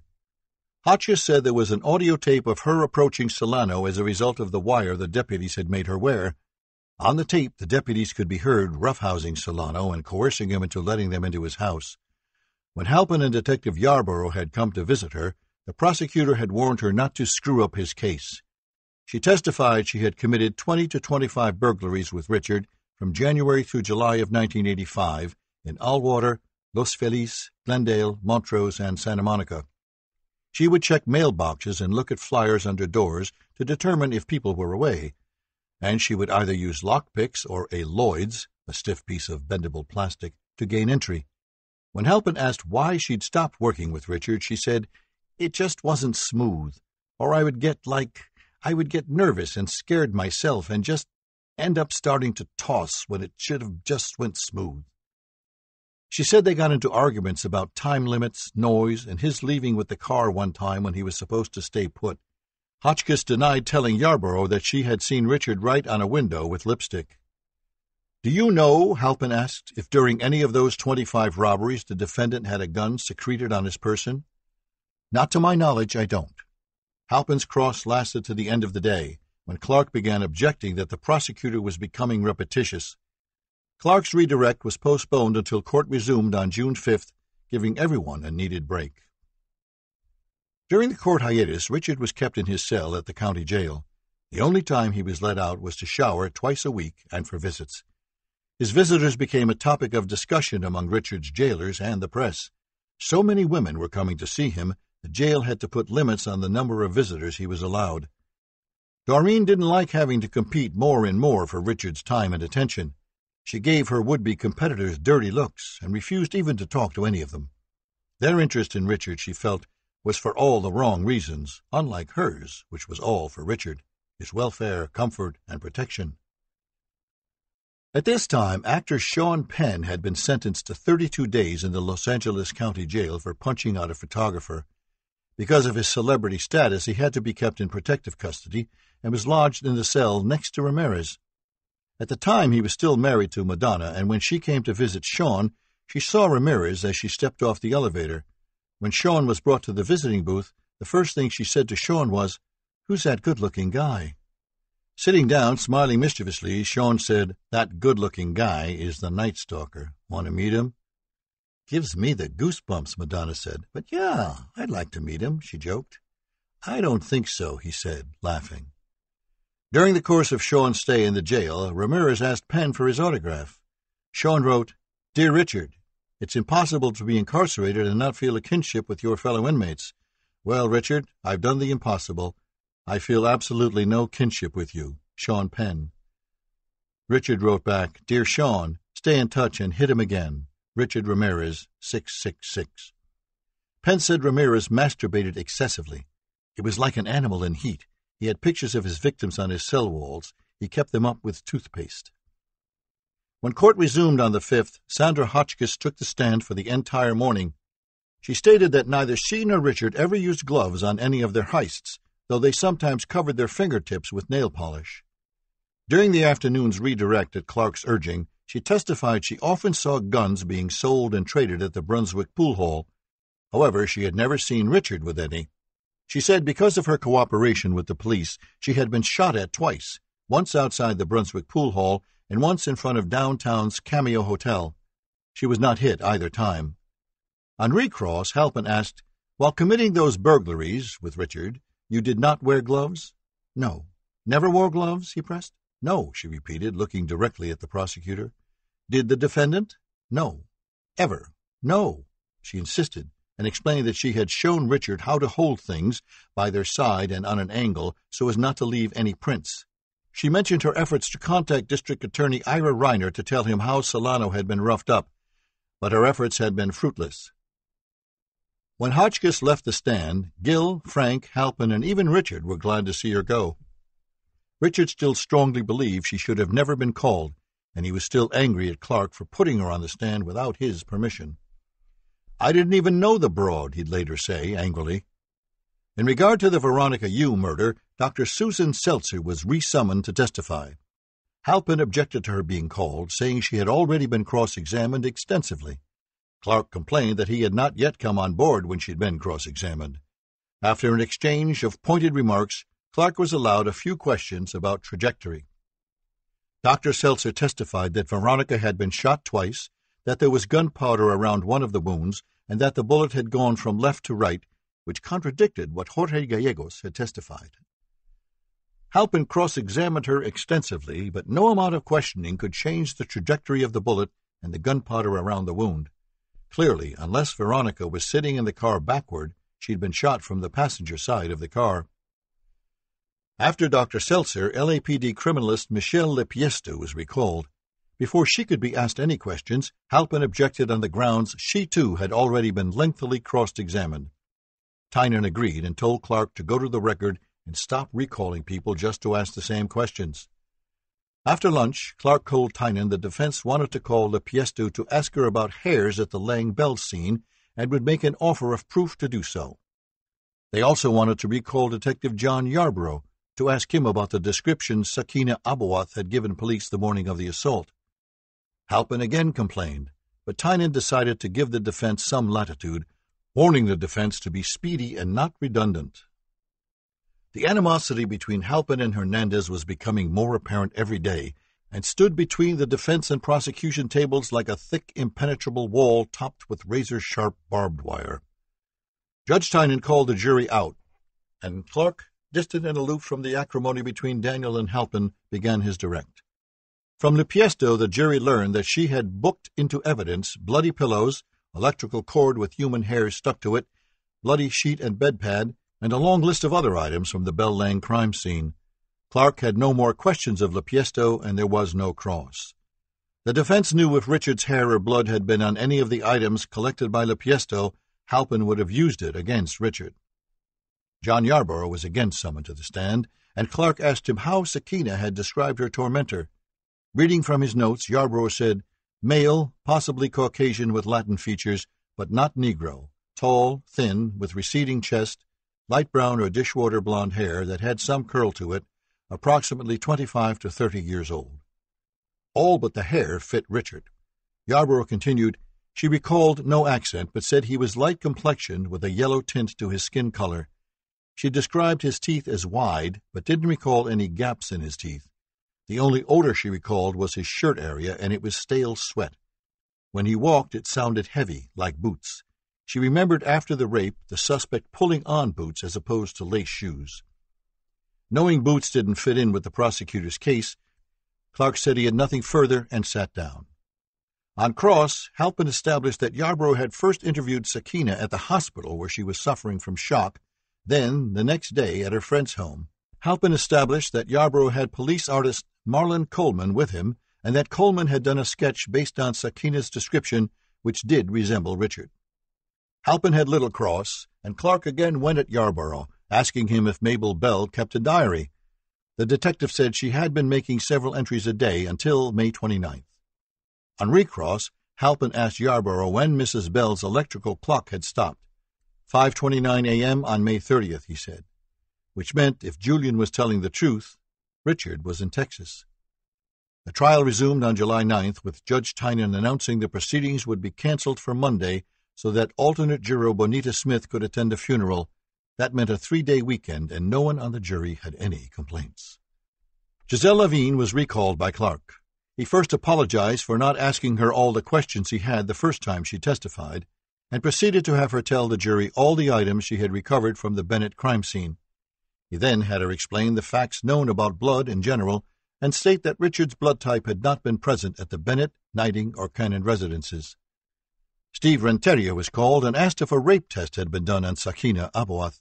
He said there had been one, and the tests on the semen recovered proved to be inconclusive. He did find a 2 plus band, a genetic marker, which did not belong to Richard. As Cindy Hayden got up to leave at the end of the day's court session, Richard took off his glasses and stared at her. It seemed he was talking to her with his eyes, telling her to acquit him, telling her he'd give her what she most craved from a man. His eyes gave her goosebumps all over, she'd later relate. As she went down in the elevator, she realized that Doreen and some of Richard's admirers were also in the elevator. She could understand why these women were attracted to Richard. The guy was fiercely good looking and dangerous. Since the beginning of time, women have never been able to resist that combination. The defense called Dr. Werner Spitz, who stated that he had studied the morgue photographs of all 14 murders in the case. In his opinion, Veronica Yu was shot inside her car and going by body and ambient temperatures, Jennie Vincow had died two hours before she'd been found. Not happy with this witness, Halpin demanded to know why the doctor was so sure Veronica had been shot from inside the car. Spitz replied that the wound was on the right side of the chest and the bullet's trajectory left to right. He then told the jury how he had calculated Vincow's time of death. Thirteen had always been a very unfortunate number for Richard. He knew it and was very leery of the number. He was being tried in Department 113 on the 13th floor for 13 murders. When court resumed, it was the 13th of July, and he was sure something bad would happen. A little after the jury settled back into their chairs, the rear door opened, and Zeena LaVey, with Nicholas Schreck and five others, entered the courtroom. Walking in, single file, all grim faced and wearing black, they took seats on Richard's side of the courtroom. Zeena wore blood red lipstick and smiled seductively at Richard when he turned in their direction.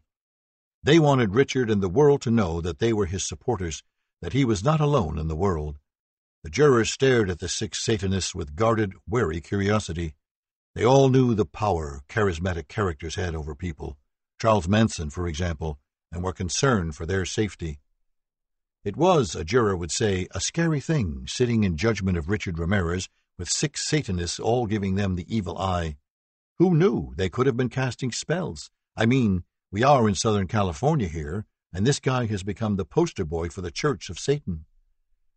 Daniel Hernandez announced the defense wanted to call invalid Lillian Doi to the stand, but needed the court's permission. When asked why they wanted to call Mrs. Doi, Daniel said because of the description she had given to the police the morning of the attack. Halpin was beside himself. He called this another example of Daniel's inattention. The police had trouble communicating with Lillian, and this issue had been gone over many times. He had spoken to Mrs. Doi himself, and she could only barely make herself understood, though, he added, she had identified Ramirez at the September 5th lineup.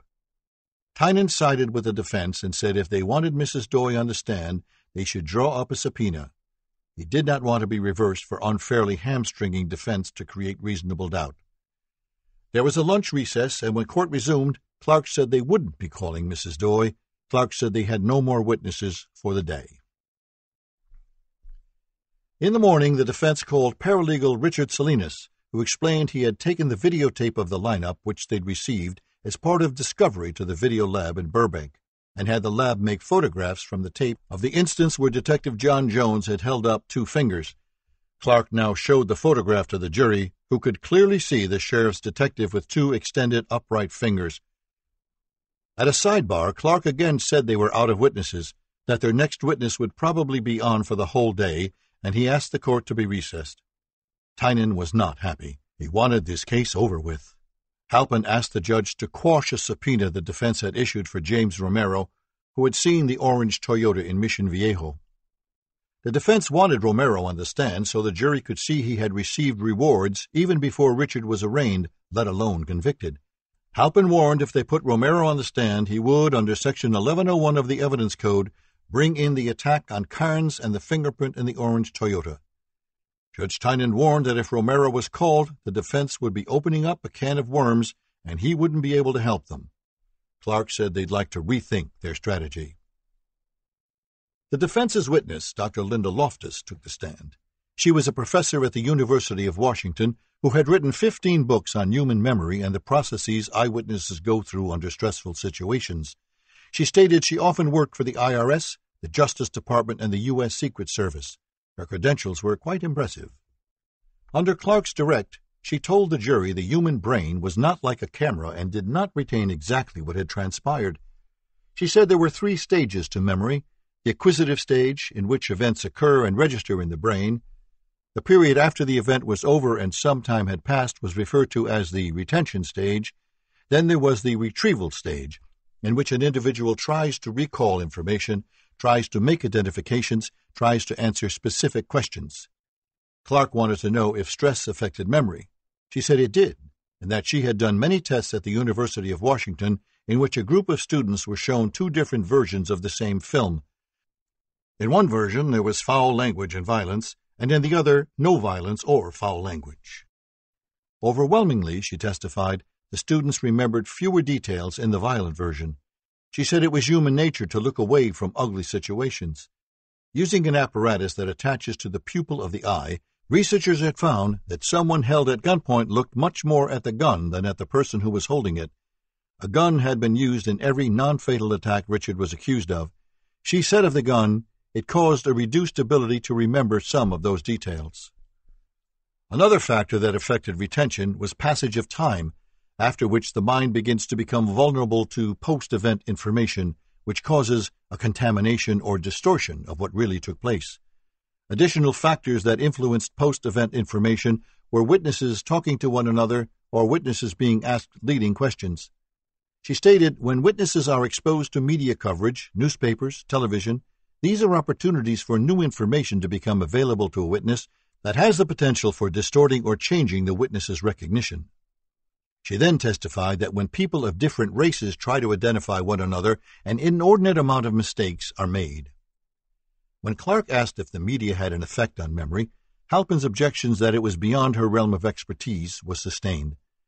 Clark asked her if she had done any tests on media exposure in memory. She said, They, witnesses, will adopt what they've been exposed to in the media and claim that they experienced it themselves.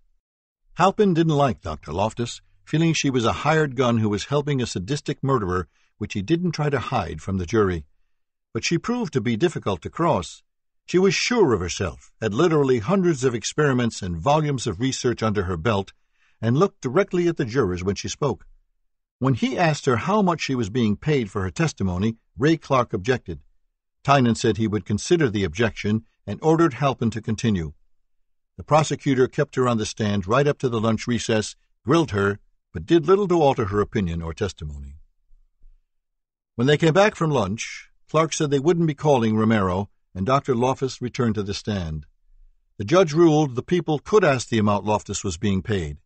Halpin, aggressive and unfriendly, proceeded to cross examine Loftus the rest of the day. It seemed the more questions he asked her, the more bona fide and sure her position became. The jury was clearly becoming tired of Dr. Loftus, but Halpin kept banging away at her and the credibility of her work. In the morning, Dr. Loftus again took the stand, and the prosecutor asked one very salient question. He wanted to know if constantly telling someone not to look at you will cause that person to, in fact, look.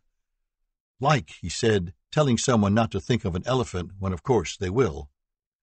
The doctor agreed, saying that it would be human nature for the pupil to move in the direction of a person giving such an order.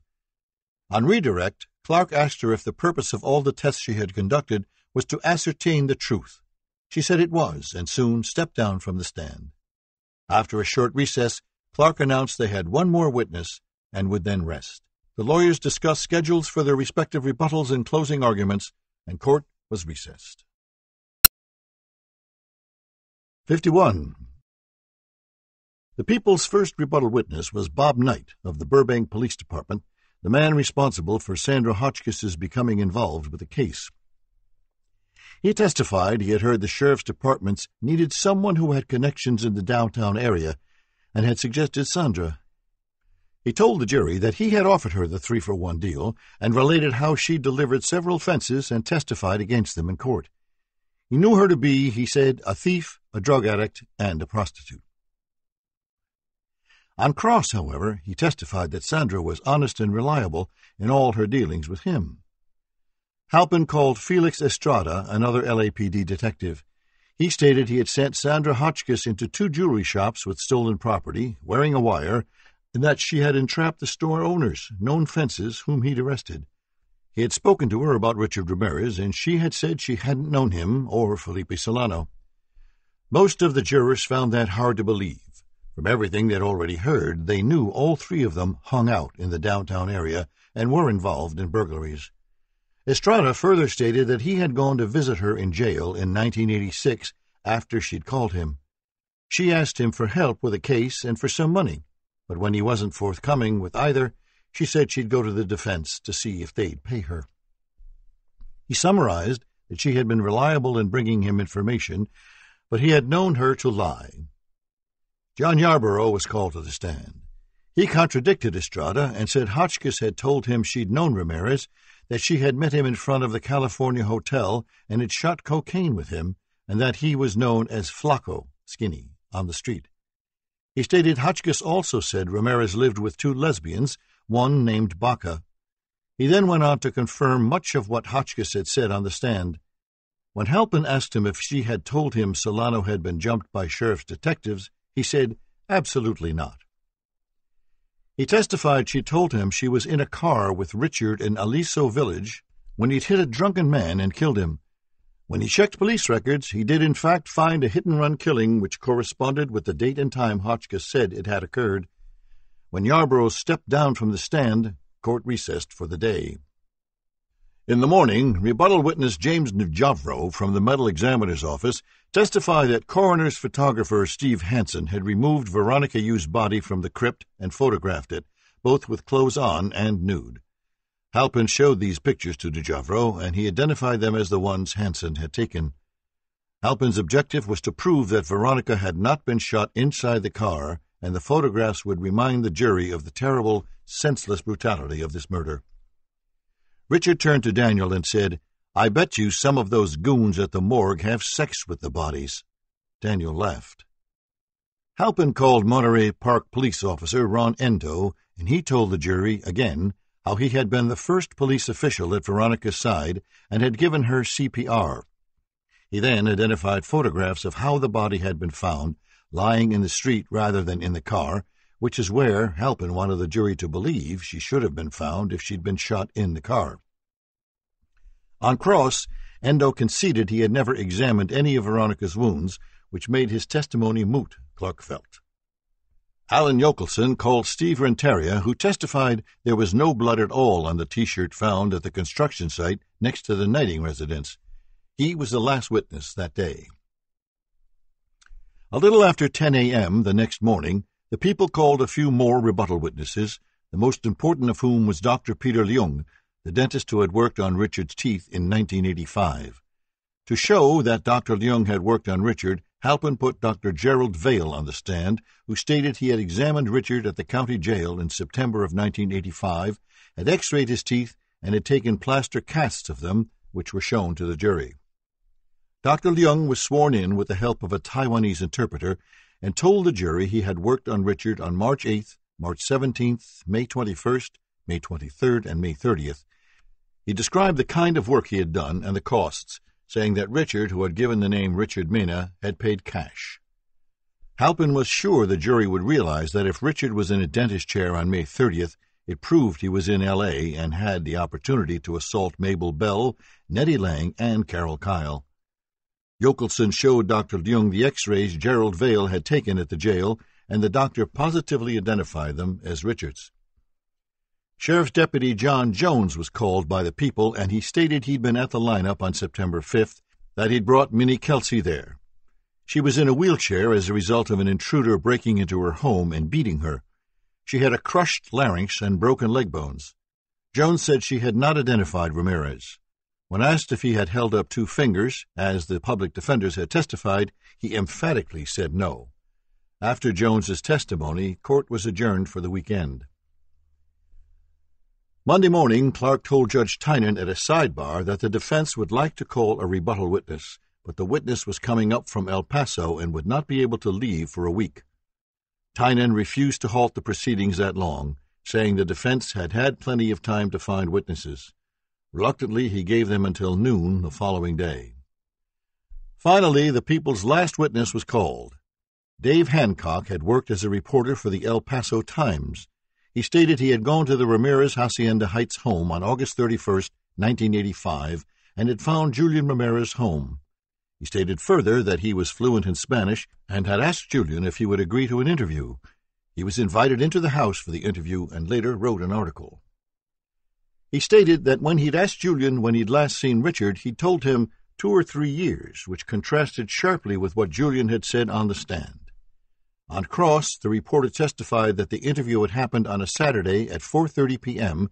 and had lasted 10 minutes, that Julian had been alone in the house, and that he had taken notes but had thrown them away. He had found his way to the Ramirez home by talking to old neighbors of the Ramirezes on Lato Street, then calling his editor at the paper who helped track Julian Ramirez to Hacienda Heights. Clark asked him for a copy of the article, and Judge Tynan gave defense counsel 15 minutes to read it. Dave Hancock testified that he had taped his interview with Julian Ramirez and that Richard's father had been very distraught over what had happened. Clark also pointed out that Julian's remarks in the article were not in quotes. The defense had an ex parte meeting with Judge Tynan in his chambers. Clark said the defense could prove, by way of two eyewitnesses, that Richard truly was in El Paso from May 22nd to 31. Daniel would have to go to Texas to interview the witnesses during the court's July break. The judge was dismayed by the request, but he wanted to avoid a reversal at all costs, and reluctantly, after consulting his calendar, told Clark he would grant the request, give them until July 10th. He added that all this should have been done already. In open court, Tynan announced he was reluctantly going to allow the defense team to bring up witnesses from Texas to refute Dave Hancock's testimony and was going to give them until July 10th to do it. Phil Halpin was livid at this news. He reminded the judge that Dr. Leung had identified Richard and even had x rays and dated charts to prove he was in his office. The jury was told they were on vacation until July 10th. Welcome back, ladies and gentlemen. I hope you had a nice little respite from our work, Judge Tynan told the jury the morning of July 10th. The defense called Raimundo Pantoja, a thick, powerful man with a tough, weather-beaten face, for thirty years a friend of Julian Ramirez's. With the help of a Spanish interpreter, he stated that they'd worked together and that he had loaned Julian a plumber snake to clean his kitchen drain on May 25th, a Saturday. When he went to the Ramirez home to lend the tool, Ruth's daughter was having her communion party. He had seen Richard there. Raimundo Pantoja had a lifetime of hard labor on his face, and he seemed quite sure of himself, like a man who was telling the absolute truth, a court observer would say. Though Halpin stood and cross-examined him extensively, wanting to know everything about his visit to the Ramirez home, Pantoja said he didn't stay, didn't talk to Richard. He had gone there just to lend his friend a tool and had seen Richard. I just saw him, that's all, he said with annoyance to the unbelieving prosecutor. On redirect, he stated that the trip to Los Angeles was the first time he'd ever been on a plane. The defense wanted the jury to know this was a simple, hard-working, honest man who didn't have a dishonest bone in his body.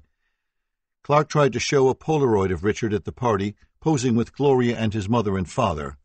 Halpin's objection was sustained. The judge said there was no authentication as to when the picture had been taken. Halpin said the 25th had nothing to do with the 30th, that Julian Ramirez was lying when he stated Richard had been in El Paso on the 30th.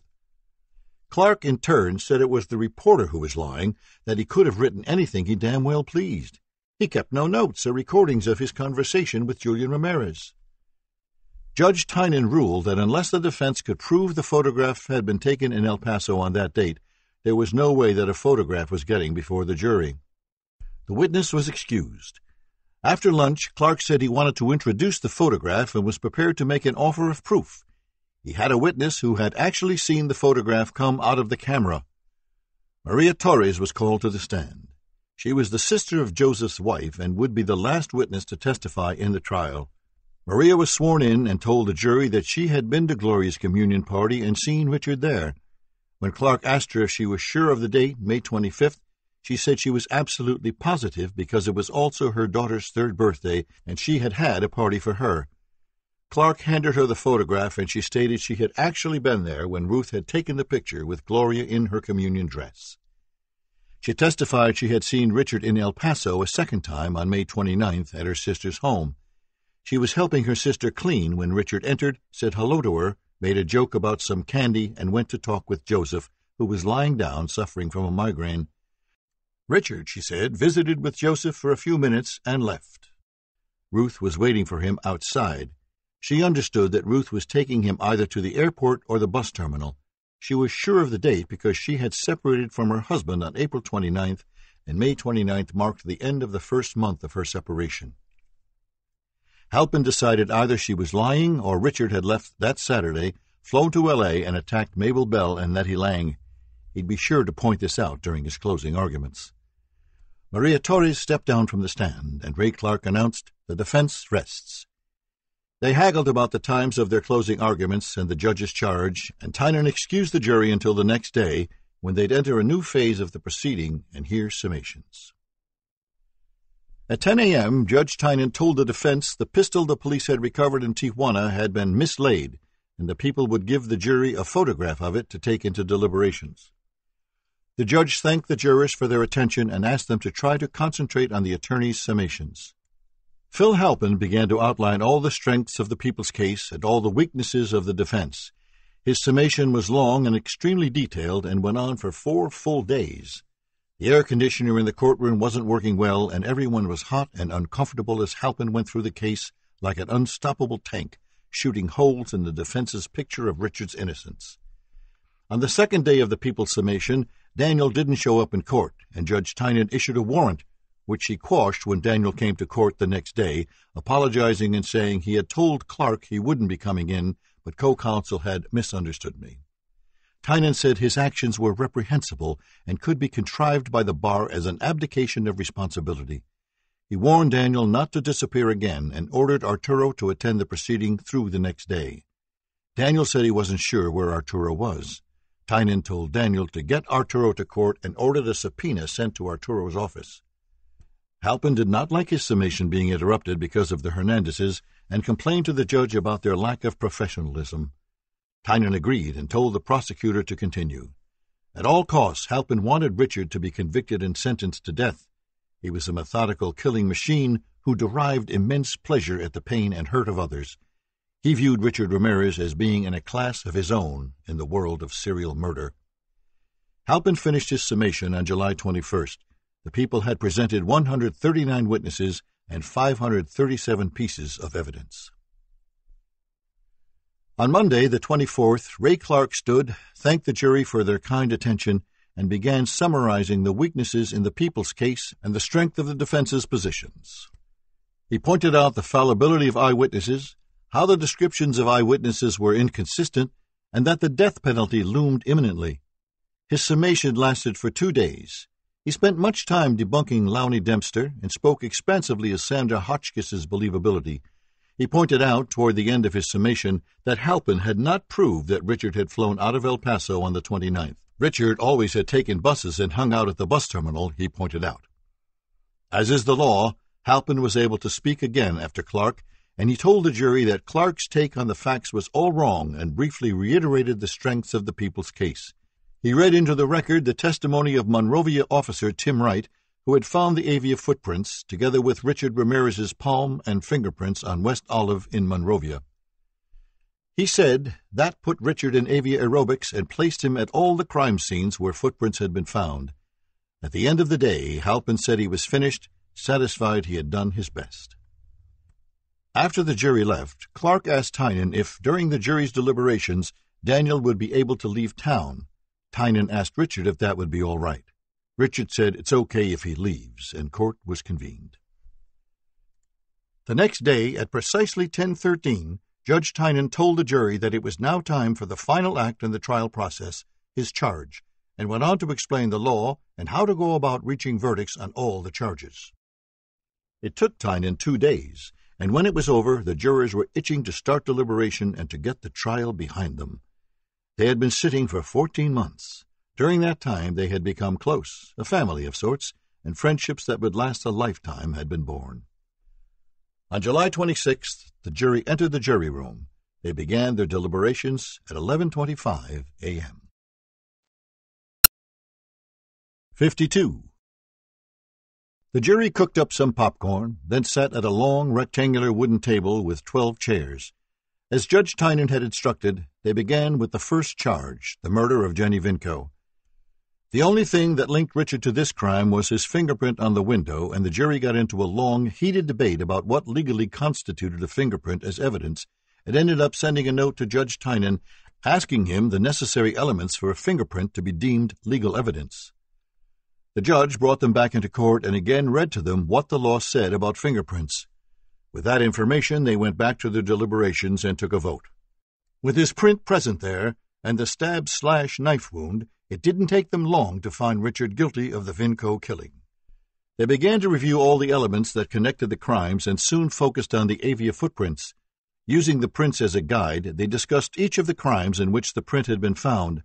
They went over the pros and cons of all the events, with Cindy Hayden playing the devil's advocate, saying things like, more than one person could have had such a shoe. They took votes on each of the crimes, and Richard was convicted of all the assaults where Avia footprints existed. They moved to the cases where there were no prints, talked over what other factors interlinked the crimes. They reviewed the ransacking, phone disabling, burglary type entry, and similar language shut up, bitch, don't look at me, where is it? Everything was moving very quickly considering the volume of charges. There was little disharmony among the jurors. They got along well and were always courteous to one another. The first problem they had was juror number four, a black man named Lee who kept falling asleep. They would be taking a vote around the table, and when they got to him, he would be sleeping, his head bobbing about. The jury foreman finally wrote a note to Judge Tynan and complained. The judge saw this as a serious problem and summoned the attorneys. Clark said he didn't necessarily want him removed. Halpin said he thought it best he be removed. Tynan ruled Lee had to go, that his sleeping could become an appellate issue. Lee was replaced by Vernon Sutton, another black man. The jury continued its deliberations. Some of the women brought in cookies and pies, and everyone would bunch away as the deliberations moved on. On August 14th, juror Phyllis Singletary didn't show up. Judge Tynan brought the jury into court and told the jury they couldn't continue without Mrs. Singletary, and court was recessed to the following day.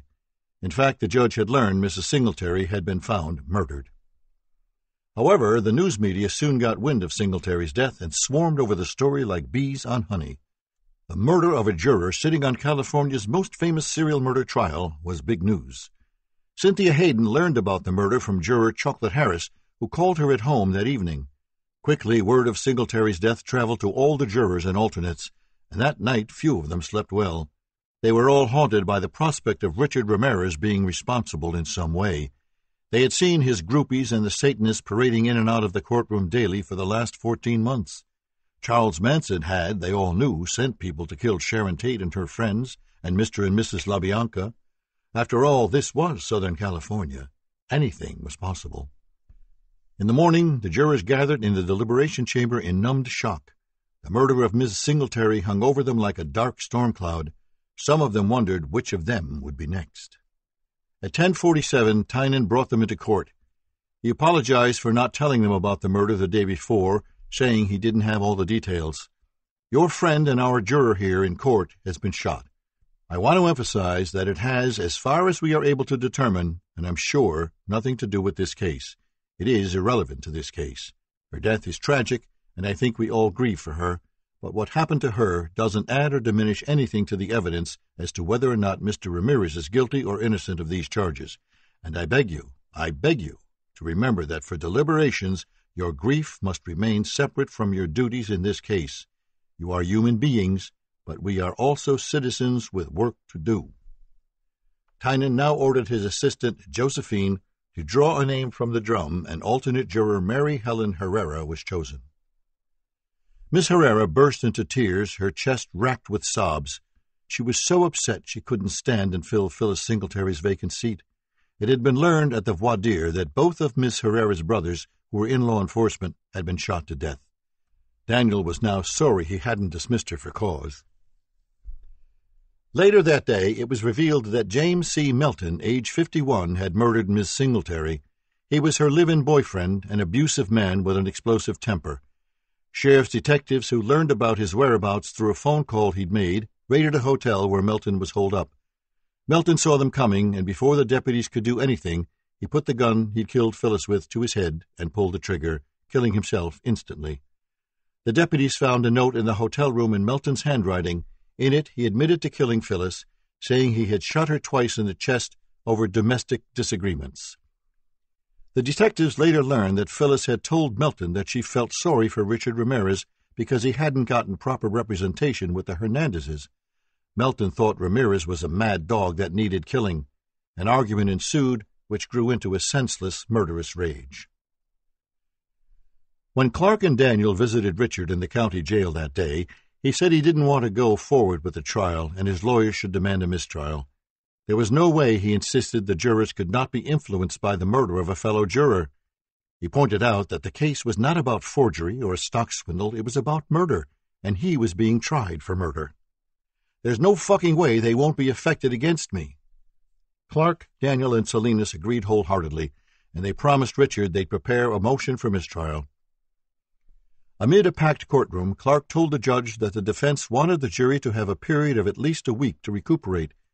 If the judge wasn't inclined to give them a week, Clark asked that the juries be polled to see if they could still be impartial. He had been in contact with two psychiatrists, Dr. Jo-Ellan Dimitrius and Dr. Carla Weber, and they had both unequivocally advised him it would be wrong and improper to let this jury sit in judgment of a murder defendant without their being polled. He reminded the judge that the jurors had become as close as siblings, husbands and wives.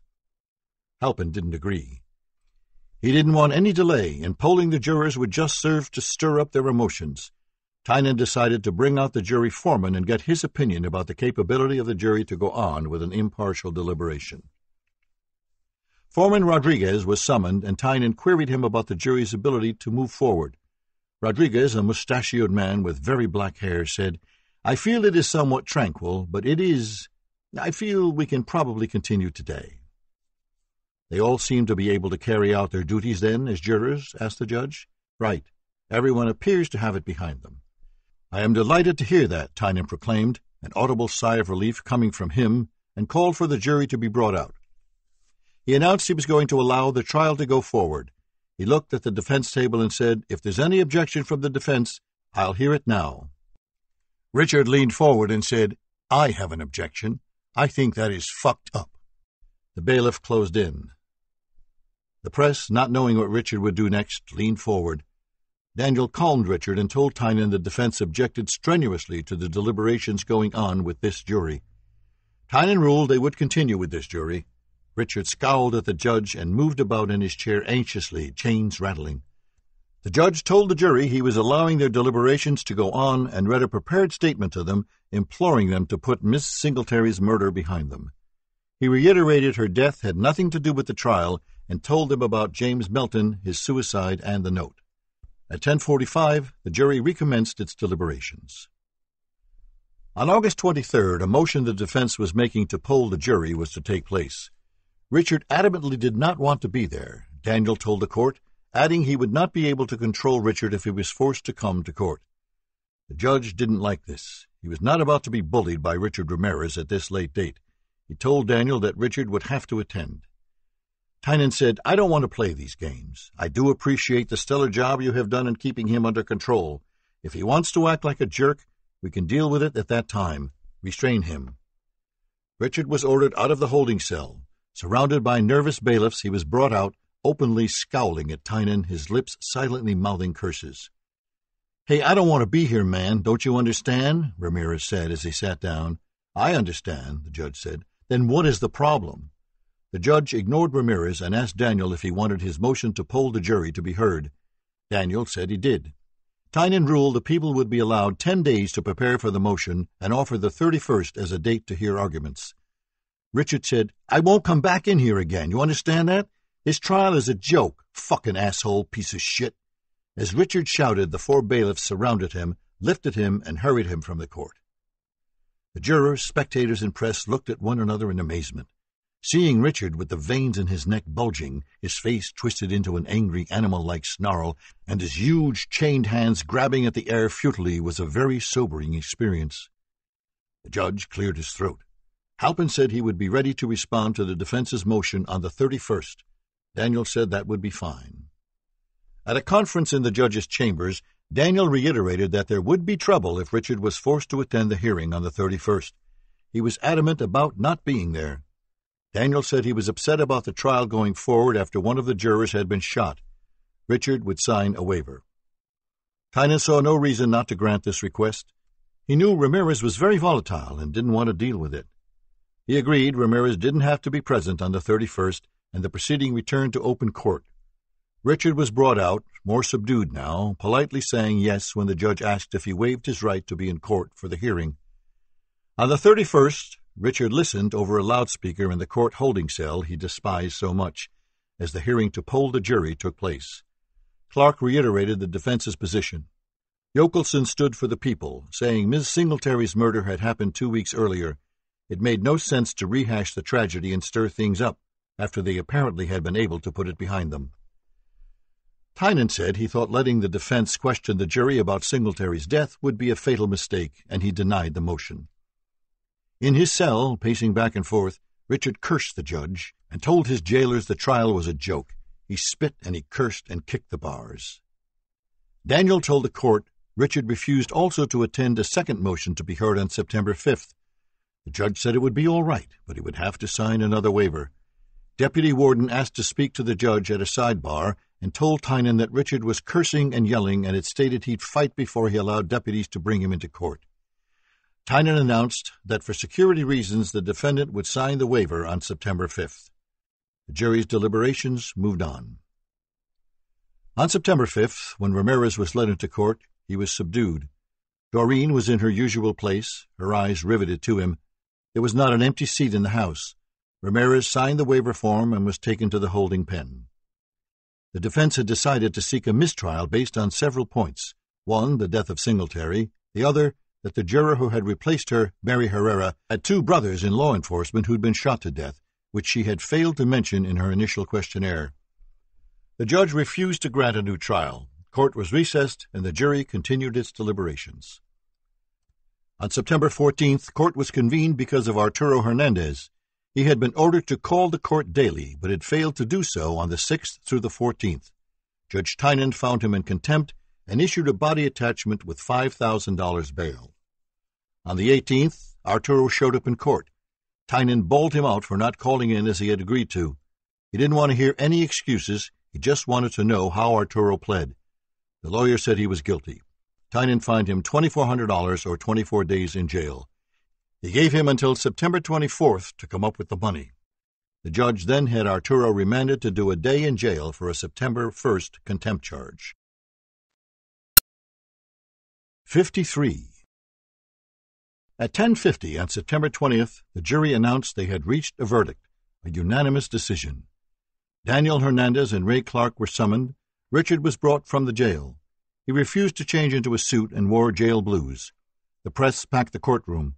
All the networks interrupted broadcast to announce that a verdict had been reached. At 2:12, everyone was gathered in the packed courtroom. Carrillo and Salerno sat in their usual places. Clark told Judge Tynan that Richard did not want to be present for the verdict. Halpin said he wanted him there. Tynan refused to have Richard chained up to hear the verdict. It wouldn't be good for the jury to see him that way before the penalty stage. He ruled Richard could hear the verdict from the court holding cell citing the Ninth Circuit of California versus Spener. He queried Richard on the record, asking him four times if he relinquished his right to be present during the verdicts, and each time Richard said yes. He signed a waiver and was taken back to the holding cell. The jury was summoned. Solemn and silent, heads cast down, they entered the courtroom. There was no sound but the soft shuffling of their feet. Good afternoon, folks, Judge Tynan said, and explained that the defendant had elected not to attend the verdict reading and that they weren't to infer anything from his not being present. He read each juror's name Cynthia Hayden, Martha Salcido, Verb Sutton, Alfred Carrillo, Arthur Johnson, Lillian Sagron, Felipe Rodriguez, Mary Herrera, Chocolate Harris, Arlena Wallace, Don McGee, and Shirley Zelaya. The judge then read the verdict sheets, announced they were in order, and gave them to the clerk, Josephine Williams, to be read out loud. Beginning with the Vincow charge, the jury voted guilty on every one of the 46 counts. No one in the audience was surprised. Doreen stood and, crying, hurried from the courtroom. Judge Tynan, at the defense's request, polled the jury, and each one said he'd heard the verdicts read out loud and agreed with them. It was over. The judge thanked them and said they would now be moving to the penalty phase. He asked them to step into the jury room. Judge Tynan asked the defense how long they would need to prepare for the penalty phase. Clark said three days. Daniel asked for at least two weeks, saying they were bringing people in from out of town. Tynan told Daniel he should have already lined up any witnesses and gave the defense one week to prepare. The jury was now brought out and told the penalty phase would take place on the 29th. The judge reminded them not to talk with anyone in the media. He offered them the use of the back elevator to avoid the waiting reporters and cameras. As Cynthia Hayden was leaving, Phil Halpin asked to speak with her up in his office for a minute. She followed him and Alan Yochelson up to the district attorney's floor. Halpin thanked her for the verdict and asked her not to talk with the defense if they approached her. She said she wouldn't and left, a bit bewildered about why they had apparently spoken only to her. When she got home, she called a few of the other jurors, and they said they'd not been approached by the prosecutors. That evening, Richard Ramirez's conviction was the lead story on all the news shows. Commentators gave their opinion as to whether or not Richard would be given the death sentence. In El Paso, Mercedes, Julian, and the rest of the Ramirez clan went to church and prayed Richard wouldn't be given the death sentence. In her prayers to Mary, Mercedes explained it was a big Satan inspired mistake, that her son could not have done the things they said he'd done, that Satan's hand was at work here. She implored Mary to speak to her son and tell him the truth. As cameramen and reporters taped news pieces in front of their home, Mercedes Ramirez cried herself to sleep. Julian sat in his easy chair and stared at the floor, immobile, unspeaking. When Ruth and Joseph visited and tried to talk with him, he ignored them. He had, Joseph thought, aged ten years in just a few hours. When Richard's lawyers went to visit him at the county jail that evening, he said he wasn't surprised he'd been convicted. The trial was a farce, and there was no way the jury would not convict him after Singletary's death.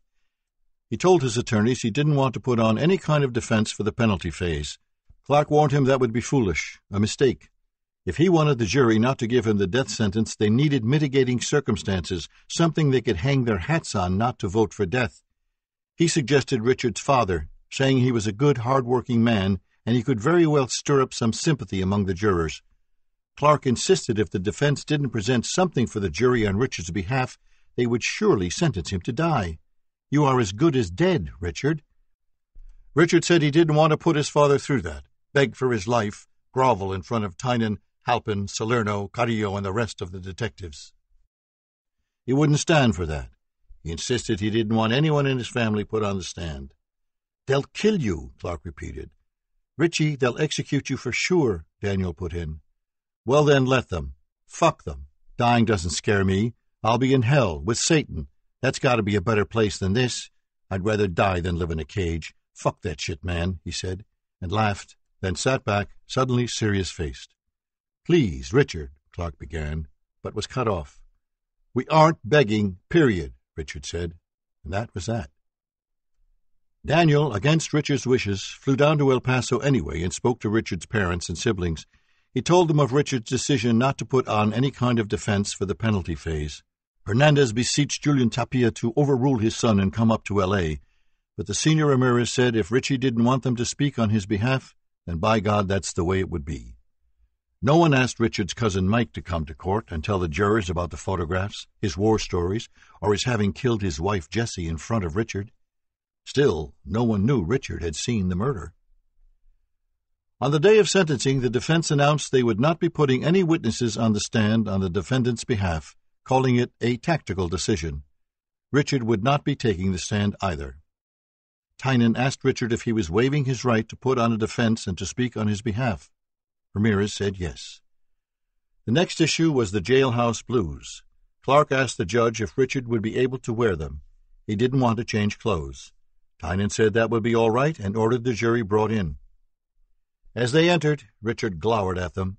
Cynthia Hayden couldn't look him in the eyes. She felt guilty about having convicted him. She thought the Hernandezes were so woefully inadequate that Richard hadn't gotten a fair shake. He was sold down the river, she would later say, and would make correcting that injustice her life's work. Court was recessed to 1.30 to give Judge Tynan time to read some amended charges the prosecutor had. After the recess, a few issues involving the charges were ironed out between Halpin and Clark. The jury was brought out and told by the judge that the people would now present the reasons they felt Richard should be given the death penalty. Halpin stood, and filled with anger and with fire in his eyes, told the jury that according to Webster's, the word justice meant a reward or penalty as deserved, just deserts. If the death penalty was ever warranted, it was in this case, he said. He reminded them that they had each said at the onset that they could administer a death sentence if the evidence warranted it, and he went on to read the special circumstances the penal code outlined about extenuating circumstances which precluded the death penalty. None applied to the crimes Richard had been convicted of. He outlined each of the murders and why, in every case, Richard should be sentenced to death. Of Jennie Vincow's murder, throat slit from ear to ear, very violent and very brutal, inexcusable, not just a murder, not just a murder in the commission of a burglary, but an inexcusably violent act resulted in the death of that woman. Of Dale Okazaki's murder, very cold blooded, deliberate act, and inexcusable. Of Veronica Yu's murder, another terrible act, again with no time to mutilate as with Dale Okazaki, but someone obviously that, across from whom, the defendant just came at that particular time and place and took her life. Of Vincent and Maxine Zazzara, in their own home, again, not only murdered, but Maxine Zazzara horribly mutilated. For what reason? Horribly mutilated, eyes cut from her head. Why?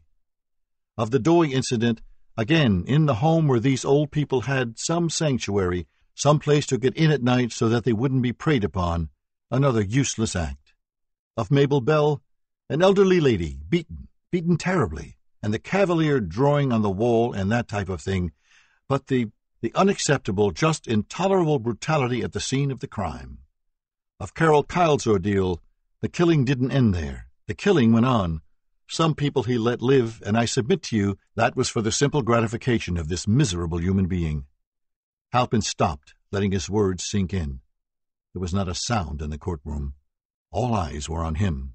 Spectators expected Ramirez to stand up, snarl, and curse at Halpin, but he stayed mute in his chair, looking at his hands folded on the desk. Mary Louise Cannon, Halpin continued, an elderly woman living alone in her home, beaten repeatedly beyond recognition, strangled. Her throat was slit from ear to ear.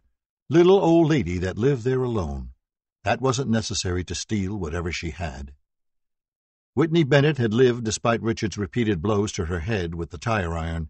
Four and a half linear feet of stitches on her head. No question the defendant tried to beat this sixteen-year-old child lying in her bed to death. He failed because of what? Because of her constitution. He said of Joyce Nelson, again, when we talk about this, a carbon copy of the Cannon murder, beaten senseless, multiple, multiple fractures to the skull and head. Of the Sophie Dickman incident, Somebody tells you that was an act in mitigation, not killing her. He could have killed her. Yeah, he could have, except that she was a psychiatric nurse and knew how to handle that type of situation. Of Max and Layla Kneiding. And why the mutilation again? Was it necessary to steal what these poor little old people had? Of the Khovananth attack. A bullet deftly put in the head of Chainarong Khovananth, his wife terrorized and beaten and raped and sodomized, put through all sorts of things. August 6th of 85, Christopher and Virginia Peterson, both alive today, miracles, both of them shot in the head. You recall what else? Remember the colloquy between Mrs. Pearson and the defendant? The usual language, and then he laughed. What was he laughing at? Halpin demanded of the jury. Of the Abowath incident, again a bullet deftly placed in the brain of Elias Abowath and his wife brutalized, dragged down the hall by her hair, raped, sodomized in the bedroom of her husband's dead body. In summation, he said, I submit to you that you have to look this case in the face. This man is the personification of evil, and if anyone ever deserved the death penalty, Richard Ramirez does. I urge you to vote for the death penalty. Thank you. Ray Clark stood to try and save Richard's life. He knew it was an uphill battle, but he was going to give it his all. He first spoke about Mercy, Richard's father, the love of his parents. He told the jury, by virtue of their verdict, Richard would die in prison, that he would live in a six by eight foot cell for the rest of his natural life. Life without the ability for parole means he will never see Disneyland again. He will never see Playa del Rey. He will never be free. This is severe punishment. He pointed out that the stalker had let people live, that he had asked Carol Kyle if someone would be coming so she would be freed, that he had left a handcuff key for her. He asked them to show Richard compassion and sympathy. Then he tried to hang the blame on the devil. And there is not a lot to be said here as to as to he was a good boy, he did this, he went to this school or that school. Obviously, you don't consider that. That wasn't presented, and I don't know what school he went to. You do know him between 1984 and 1985, principally in 1985, I think it is inescapable that something was wrong and that we don't know what it was. Even if we knew what it was, I'm not sure that would change your task any. Let's say that we believe that he was possessed, if there is such a thing as being possessed. The extension of mercy goes to the devil, because I guess it is one thing to say he is considerably more in need of mercy than anyone else. He went on about showing Richard Ramirez mercy, talking up a storm about why Richard should live, but the jury was as immobile as a rock their countenances as fixed and still as the faces on Mount Rushmore. In their eyes, one did not see the slightest glimmer of sympathy for the defendant, who had belligerently refused to take the stand or even deny the crimes he'd been convicted of. Clark politely thanked the jury for their attention and wrapped up his arguments at 4 p.m. After a recess, Judge Tynan charged the jury as to the legal parameters of the death sentence and sent them home. The jury began the deliberations of the penalty phase at 9:50 the next morning, September 28th. 54. After a few bowls of popcorn had been made, the jury got down to the business of deciding Richard's fate. They first took a vote to see if they could each recommend the death sentence if the law warranted it. All twelve jurors said they could. They began to discuss the particulars of each murder. There was not, Cindy would later say, any mitigating circumstance which could have steered us away from the death sentence. It was criminal, absolutely criminal, that the defense had not put anyone on the stand on Richard's behalf.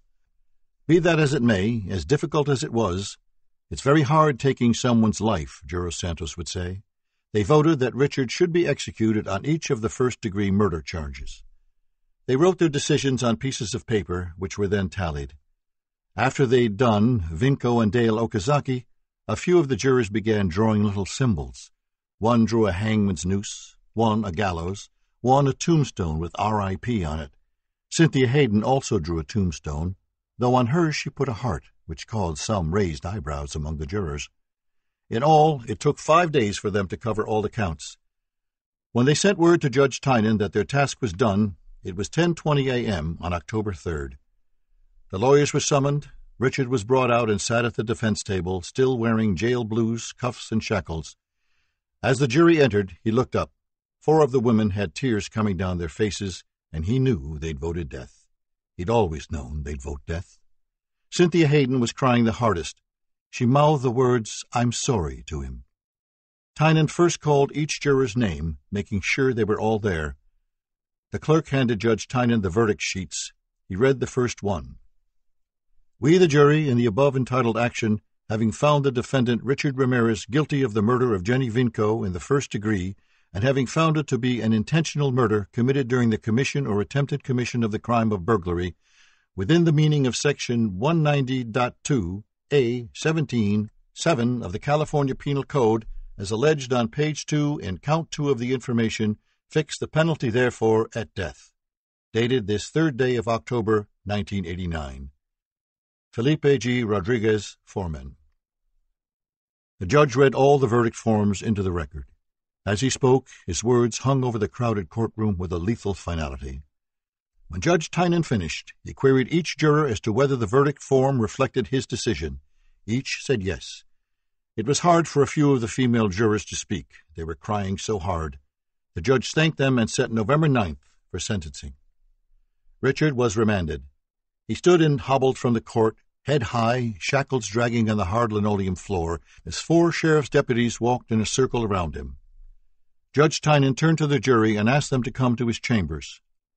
For the record, I would like to thank you on behalf of the people of the state of California, all the citizens, perhaps, of this country, for your work. You worked under extremely difficult situations, and I'm very proud of you, and I know you've had a tough time of it.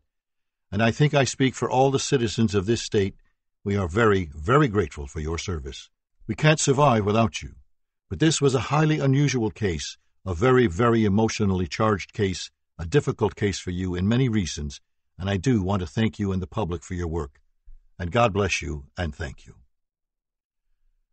The whole Ramirez family was gathered at the Hacienda Heights house when the verdict reached them. Daniel called to tell them. Ruth picked up the phone. The lawyer said one word muerte, death. Ruth told him to hold on. With tears filling her big brown eyes, she turned to her father and repeated, Muerte. Julian Tapia got up and went to the bedroom to tell Mercedes. She was kneeling in front of her white candle. She took one look at her husband's face and knew the state of California would be killing her last born. It should be Satan who was to die, not Richie, she said, and began to cry.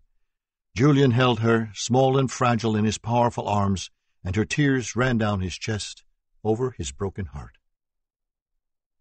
The day of sentencing, the judge told the press swelling the courtroom and hall outside the court that civilian witnesses, victims of the case, were absolutely forbidden to be photographed. He moved on to the sentence.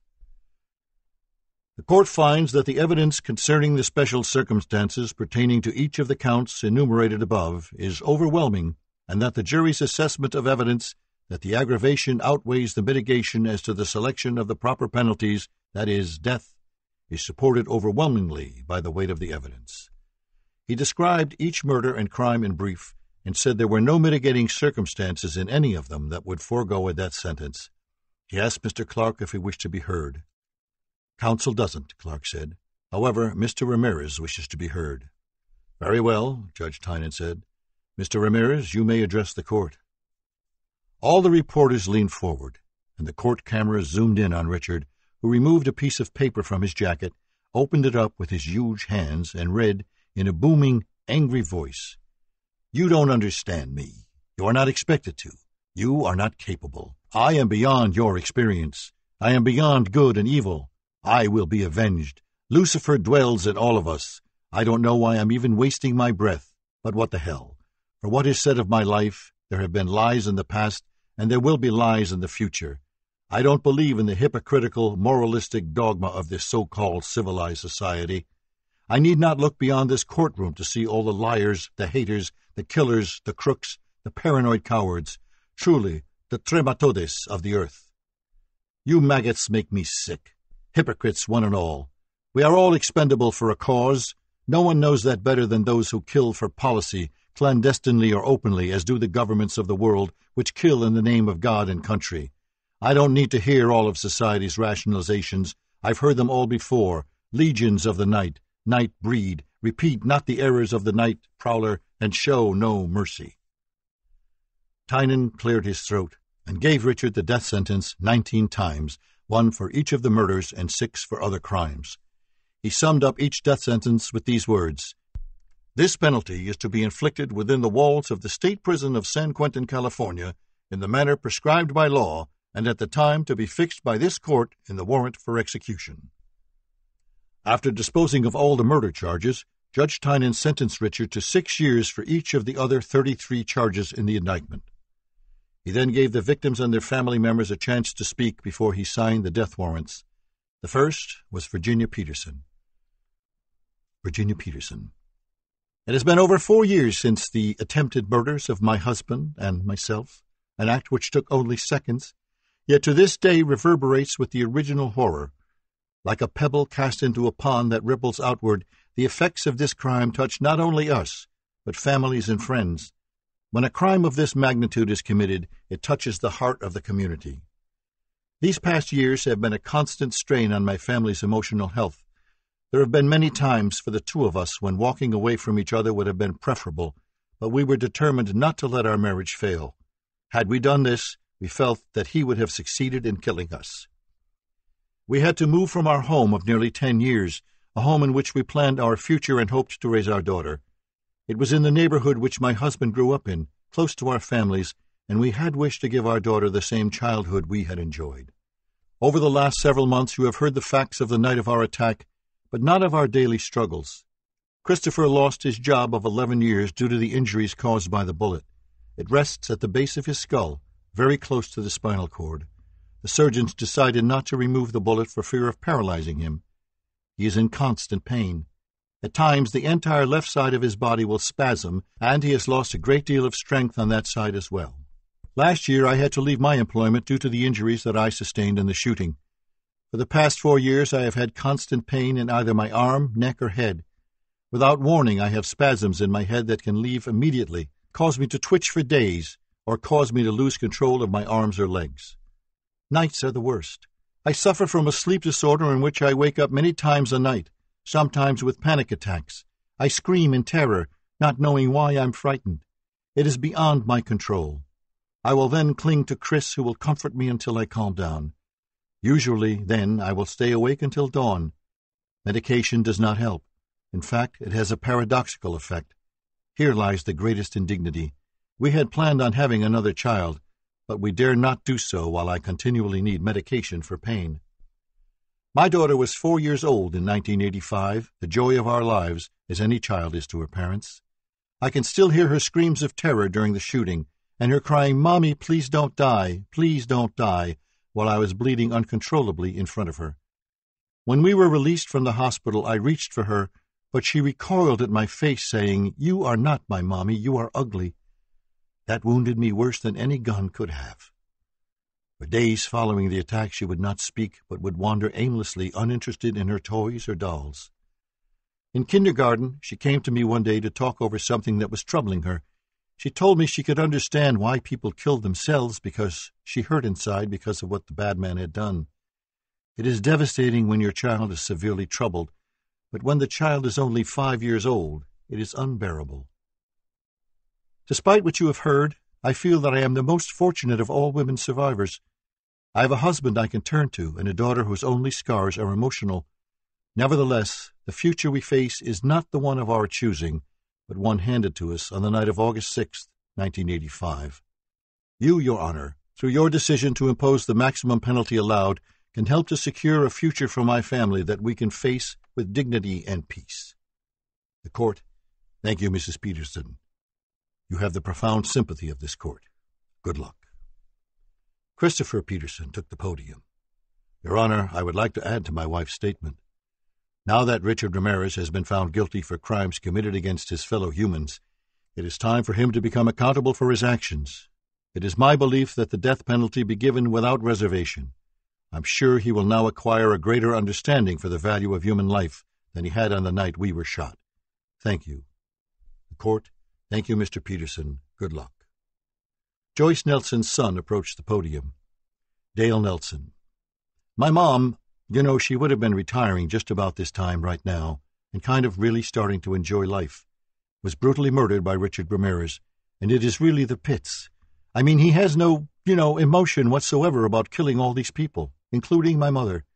And I just don't see why he should have any life left in him whatsoever. I mean, going to my mother's neighborhood, there are bars on windows all through it. He terrorized the whole state of California. And you know, then there is the implementation of the death penalty after it is even given. It should be done, I think, rather quickly. And as far as it being a deterrent, I heard you mention that a little bit ago. It isn't just being used, so how could it be a deterrent? I mean, you have to start, I believe, in the state of California, using the death penalty to make it effective. And as far as this even being other people, I understand there is 260 people on death row. I mean, I don't know about there being a line, but this guy ought to be in the front. So that is what I have to say, sir. The court, thank you, Mr. Nelson. Don Nelson, also a son of Joyce Nelson, spoke next. Don Nelson, Your Honor, Ray Clark, defense counsel, spoke of the quality of mercy demonstrated by my mother's murder, spoke of Richard Ramirez allowing several of his victims to live. I would like to talk about the other side of Richard Ramirez's mercy. Richard Ramirez murdered my mother three times. He beat my mother in the head with a heavy metal object. The same beating caused my mother to lose blood, blood that my brother and I cleaned up. People wonder when somebody dies, who cleans up the mess? It is the family, the survivors. He then strangled my mother. My mother was found by the police the next day. She was in a fetal position with her arm locked behind her back. She weighed about 110 pounds, stands about five two. Now, I just cannot imagine how anybody could get, could do this to a human being. This was the true nature of the mercy of Richard Ramirez. Thank you, sir. The court, thank you. Finally, a granddaughter of Joyce Nelson's addressed the court. Colleen Nelson. Basically, I'm just speaking for all my other cousins and my brothers and sisters because I don't think our lives will ever be the same. When I go outside, I'm scared of people because I just can't imagine how anyone can do this to people for every person that he killed, he has put so many others through so much pain, a lifetime of pain that will always be there.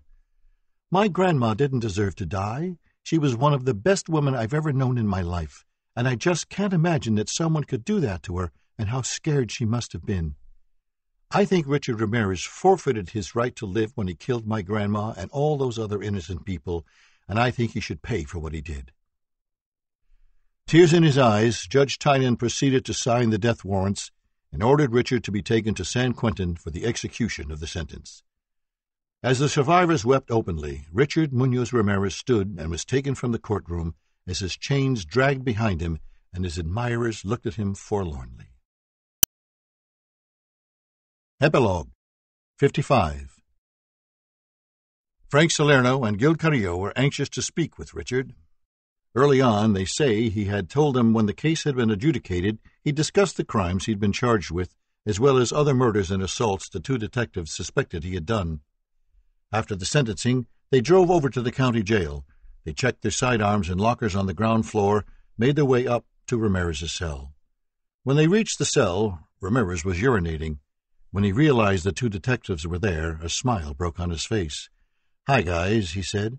At this point, the cell door was opened by a sheriff's deputy. You have a minute, Richard? Frank asked. I've got a lot of minutes, he said, and they all laughed. A prison cell is like a man's home, and the detectives wouldn't enter it without being invited. Come on in, Richard offered, and they stepped inside. Richard told them he hadn't been referring to them in the speech he'd made in court. Frank reminded him he said he'd talk about his crimes after the case was over, and asked if he'd be willing to talk now.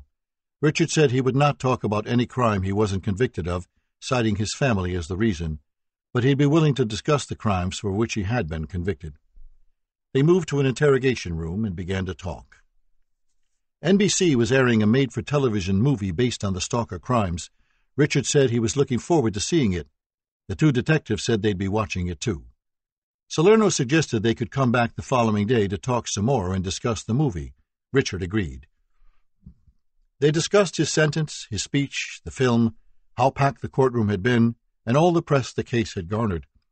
Salerno asked if it would be all right if they taped their conversation, and Richard said no. The detectives promised to come back in the morning. Could you use anything? Salerno asked, knowing the only way to get anything out of Richard was to treat him like a human being. Richard said he'd like some chocolate. Later that day, Richard was taken to the shower room and left alone. He saw a grated duct cover in the ceiling and decided to try and get it off. He couldn't move it with his hands, so he tried to kick it out of place. The sheriff's deputy on guard heard the kicks and caught Richard vandalizing state property, he wrote in his report. As punishment, Richard wasn't allowed to watch Manhunt, the TV movie he had inspired. Doreen hadn't been in court when Richard was sentenced. Daniel Hernandez had promised he'd call her at work and let her know what time to come to court, but he never did. She heard over the radio that Richard had been sentenced to death. She got pale and dizzy and nearly passed out, she later said. She was very angry at how the news people on the radio seemed happy Richard had been given the ultimate punishment. She had to see him and console him and let him know she'd be there to the end, that nothing would stop her from helping him, that she'd do anything for him. She left work, went home, and cried her eyes dry. With great effort, she then pulled herself together, put on a yellow flower dress, makeup on her face, combed her hair, set the VCR to tape the movie, and went to see Richard at the jail. Visiting hours didn't begin until 5:30 p.m. She got there at 3 and took her place at a long line filled with hard-eyed women and unruly children. It was very difficult for Doreen, standing there, not to cry. Two sheriff's deputies came out of the jail and asked her to come with them so they could look in her pocketbook. When the deputies were convinced she wasn't carrying any firearms or weapons, they let her get back into the line. When her turn came, she took the elevator up to the second floor, where the sheriff's deputies again searched her pocketbook, and a female deputy searched her person thoroughly. She was told she'd have to wait for all the other inmates to have their visits, then they'd bring down Richard. She sat on a bench, dazed, shocked, and stunned, for two hours, until the whole visiting area was cleared and Richard was brought out.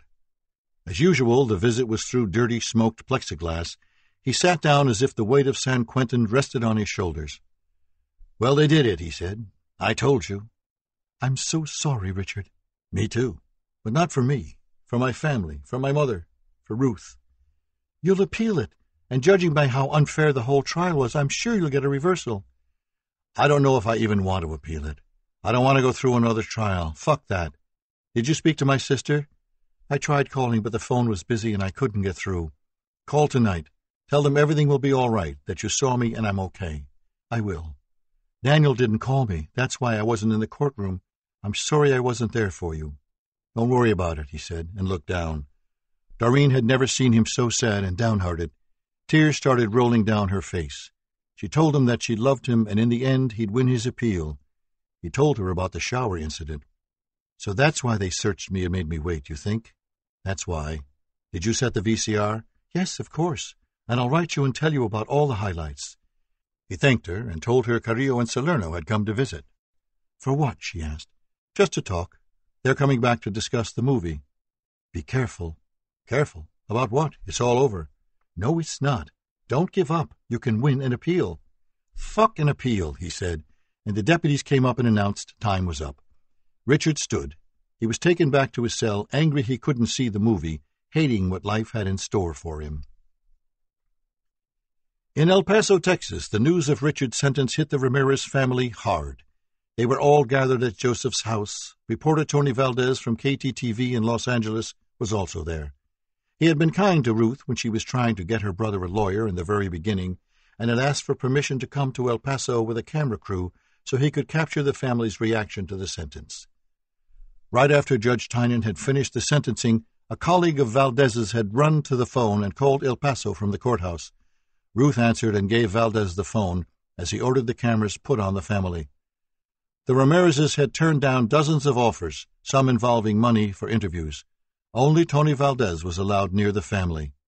He listened to his colleagues say nineteen death sentences, turned to Julian Ramirez and said, Muerte, diecinueve veces.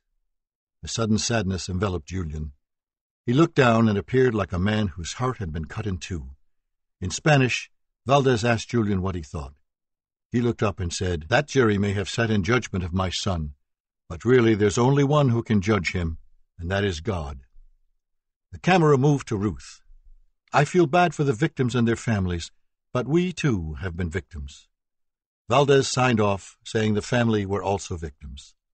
The piece was shown on the 4, 5, 6, and 11 o'clock Los Angeles news broadcasts, and family members and survivors of the Night Stalker crimes called the station, complaining that Valdez had no right saying the Ramirez family were victims. They didn't want any sympathy extended to Richard's family. When Mercedes Ramirez left Joseph's home, she and Ruth went to church. Mercedes knelt in front of the Virgin Mary and prayed for her youngest boy's salvation. Ruth was crying too hard to be able to pray. Julian went home and sat in his easy chair, his powerful shoulders bent by the weight of Richard's imminent execution. He told Joseph and Robert he wanted to be alone. The boys refused to leave him. They were afraid their father might commit suicide. Julian looked down and stared at the floor without blinking. Tears rolled from his unseeing eyes and fell on the backs of his huge, large knuckled hands. At seven o'clock that evening, the whole jury panel met at Juror Shirley Jones's house. It was supposed to be a party, but there was a somber, sad cloud over everyone's head. It had been a very, very difficult thing for some, not all, of the jurors to render a death sentence. Regardless of how heinous the crimes were, Richard was still a human being who was going to be put to death because of our decisions Juror Martha Salcido said. Cindy, as well as Chocolate Harris and a few of the other female jurors, felt Richard had been railroaded into the gas chamber. Cindy said she thought the Hernandezes should be prosecuted for incompetence. They had no right not putting some evidence forward when it came to the penalty phase. Los Angeles Times photographer Mike Wu was there, and he took pictures of the jurors in which they wore serious, stern countenances. Later, when Cindy arrived home, she couldn't sleep. She felt haunted and deeply troubled by what she perceived as a terrible injustice. Her heart ached at the thought of Richard being executed because of her.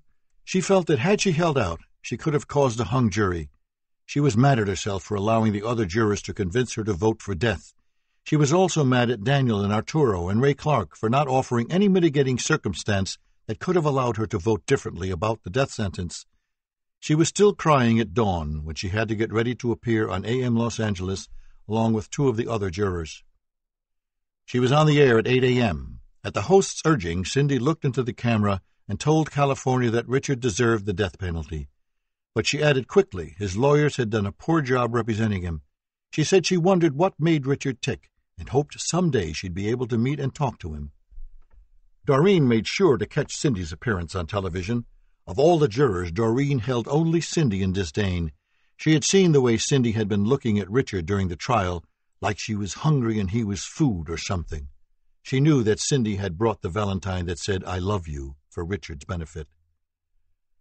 Gil Carrillo and his whole family had gathered at his home to watch Manhunt. He was very proud of being portrayed on television. He knew there was much more to the story the film hadn't even touched on, and hoped one day the complete story would be told the way it had really happened. When the movie was over, the Carrillos had a celebration. It wasn't every day one of theirs was featured in a movie.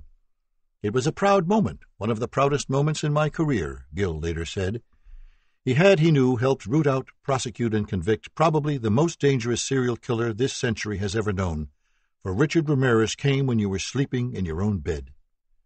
Gil shivered at the thought of Ramirez stalking around people's darkened backyards, looking in windows, salivating at the very prospect of having a helpless woman in his control. It didn't matter what age, at his mercy.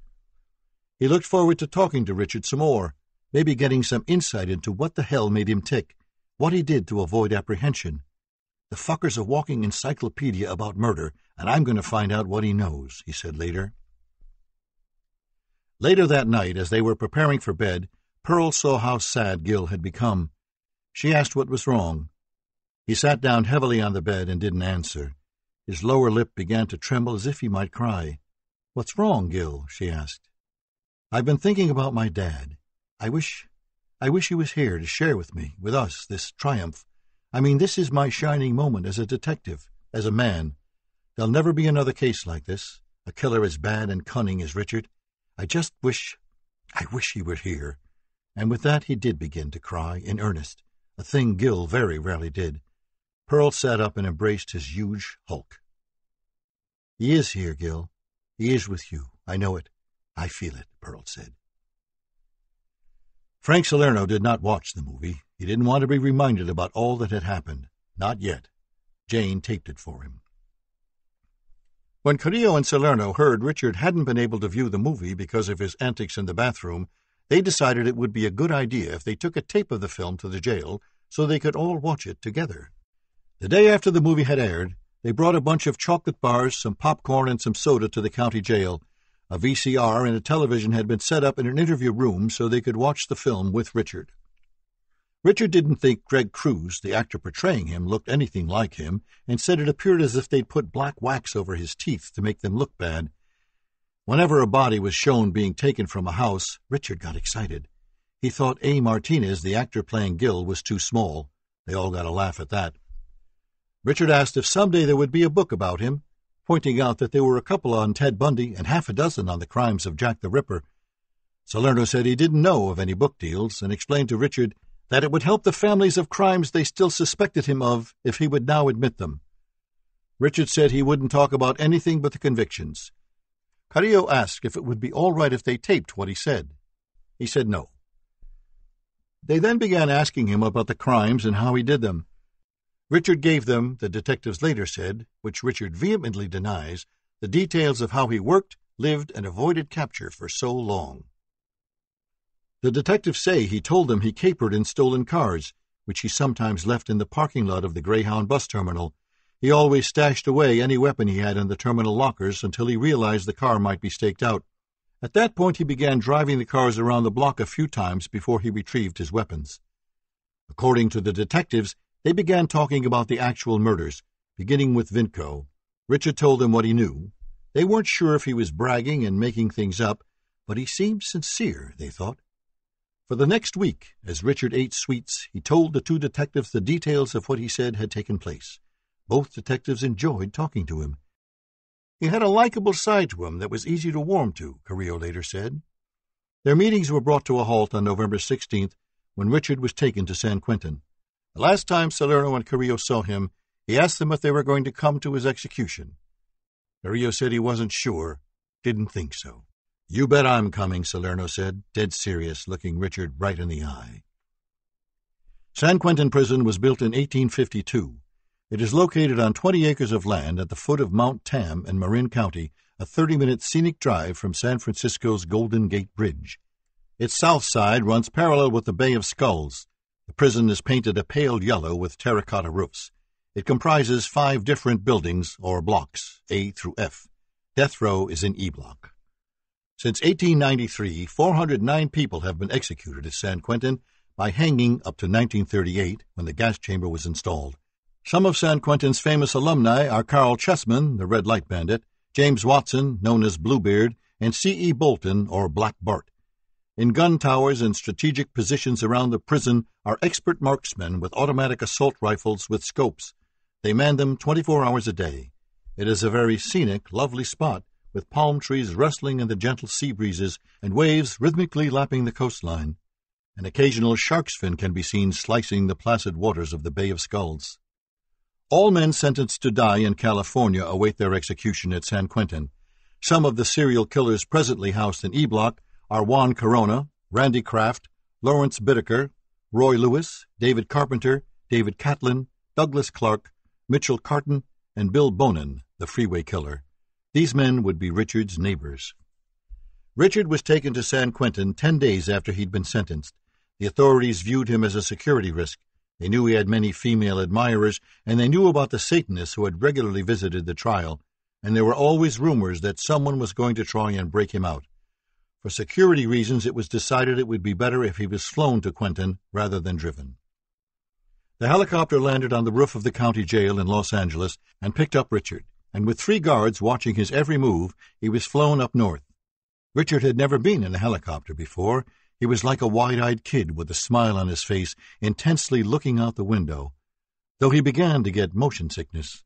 Still, he liked the idea of being flown to Quentin. It made him feel important and dangerous. He was shackled at the wrists and ankles and was wearing a blue Los Angeles County jail jumpsuit.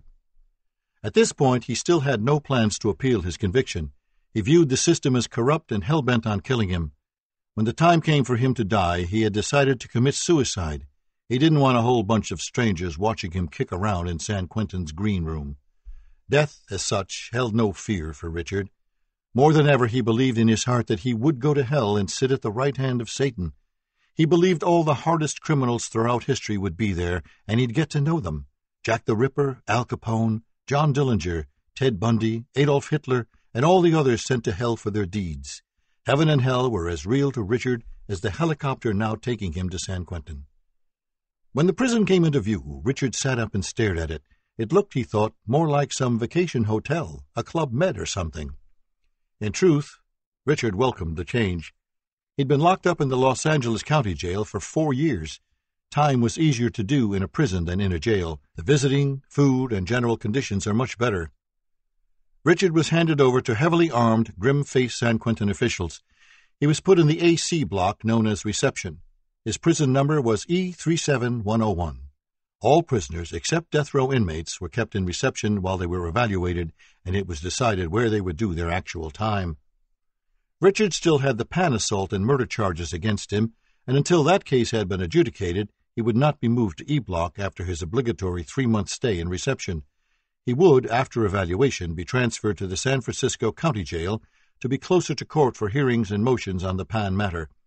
Lawyers from the San Francisco Public Defender's Office would be representing Richard in the Pan incident. Richard was put in another six by eight foot cell with an aluminum toilet, a sink, and a bunk bed. Prisoners in reception did not have access to phones, and their visits were for only two hours a week. In E Block, the inmates were allowed 24 hours a week for visits, and reception inmates were kept in the cell nearly 24 hours a day. Richard was assigned cell number 3AC8. Cindy Hayden was having a hard time keeping Richard Ramirez off her mind. He was all she could think of. His intense black eyes, his wavy black hair, his absolute and undeniable arrogance and danger. She dreamt of him nearly every night, often wondering if he had put some kind of spell on her. She would later say, the truth of the matter is, I think I fell in love with him the first time I saw him. I know it's nuts and everything, but I couldn't help it. It was just one of those things. A week after the sentencing, the Hernandezes asked to meet with her in the office of an attorney in downtown Los Angeles. After she'd waited for two hours, she called Ray Clark's office, hoping to locate the Hernandezes there. Clark didn't know they had requested a meeting with her. Cindy took the opportunity to complain to Clark about the defense, which she thought had been woefully inadequate. It was a sin no evidence had been presented on Richard's behalf during the penalty phase. Why didn't you do something during the penalty phase? she demanded. Because he wouldn't let us, Clark said. He's very stubborn. When the Hernandezes arrived, they told her Richard wanted to talk with her. If she was interested, she could write him in care of San Quentin Prison and gave her his prison number and address. Daniel then asked her what she thought of the defense they had mounted on Richard's behalf. Cindy Hayden laid into the Hernandezes, saying they had done a terrible job of defending Richard, that they hadn't had enough experience, that they'd missed the most crucial element to their client's benefit. When Daniel asked what that was, she told them it was Satan. She believed Richard had been possessed by some demonic force when he'd committed the crimes, and they'd not even mentioned it, let alone tried to highlight it as a viable defense. It was something the jury should certainly have known about, she said. When she got home, Cindy wrote Richard a long letter saying how sorry she was about the death sentence and tried to explain that she and the jury as a whole had had no legal alternative but to vote for death. She mailed the letter and anxiously waited for a response, which took only four days.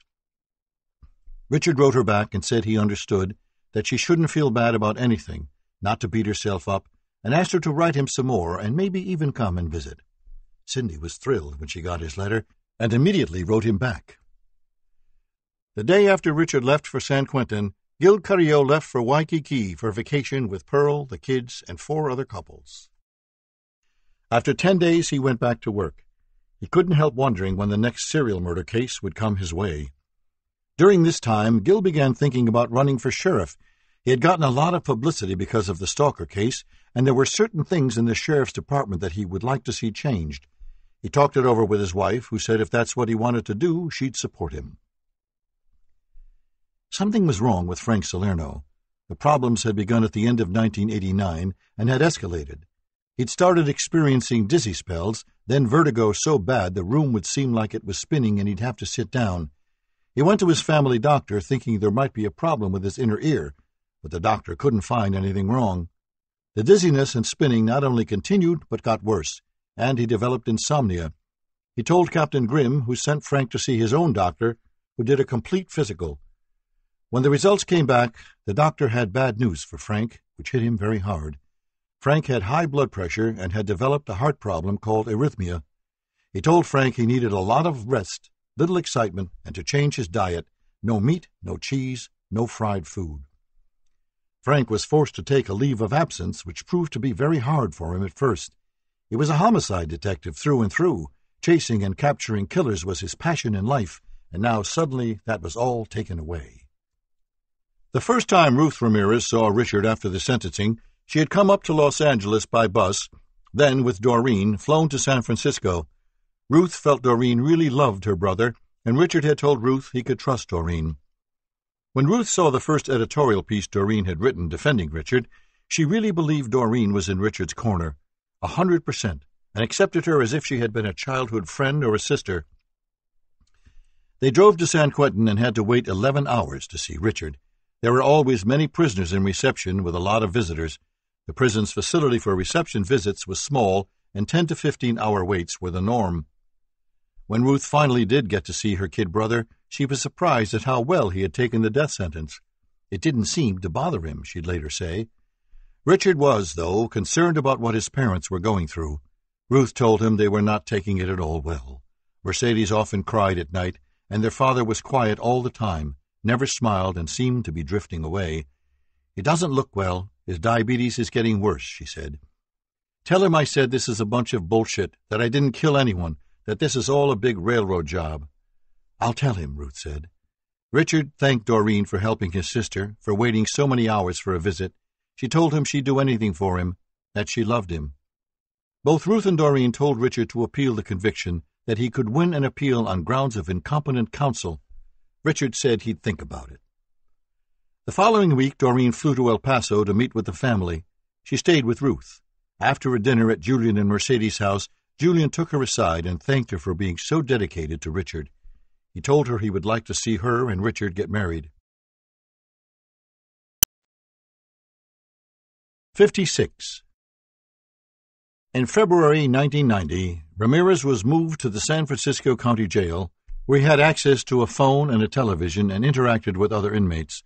Almost immediately, he got into a fight over the phones and beat up some guy who'd called him a punk. Richard knew he couldn't let anyone abuse him in any way, for the abuse would surely get worse and more than likely end up as an assault against him. He was quick to let everyone in the jail know if you bothered him, you'd better be ready to fight to the end.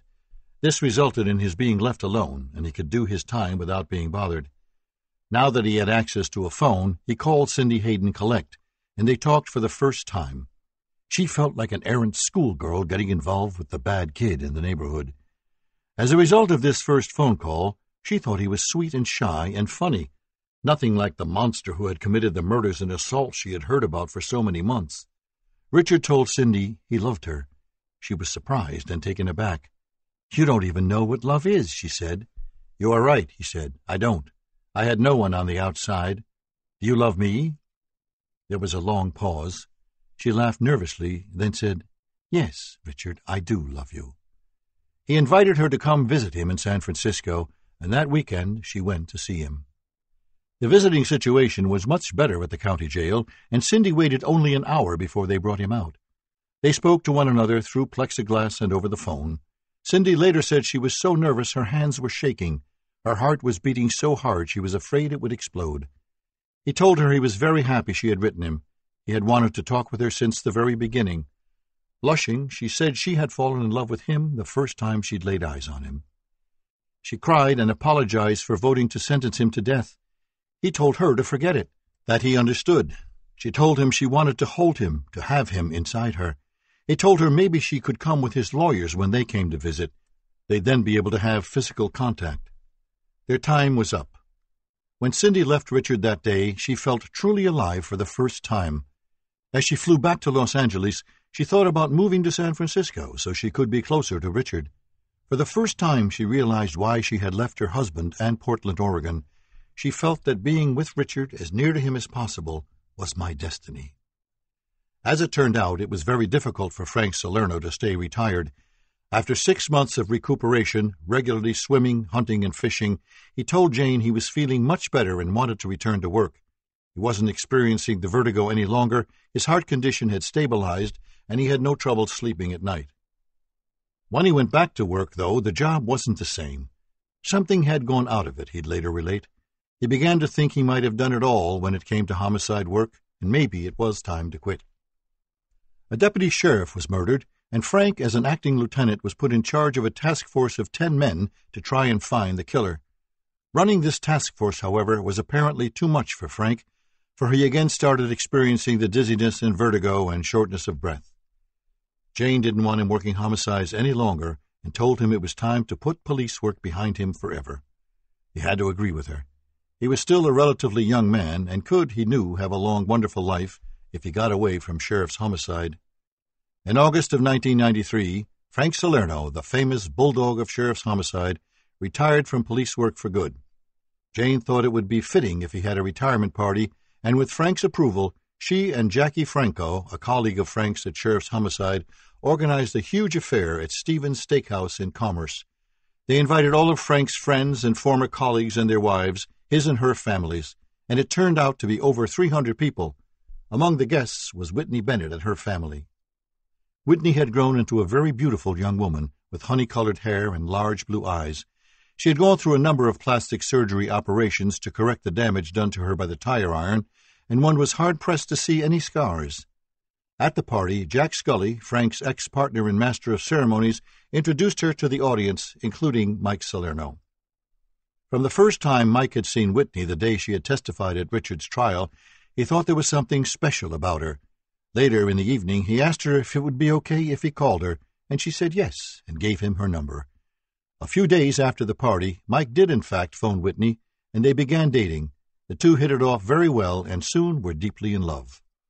It didn't take long for Mike to decide he wanted to be with Whitney forever, and he asked her to marry him.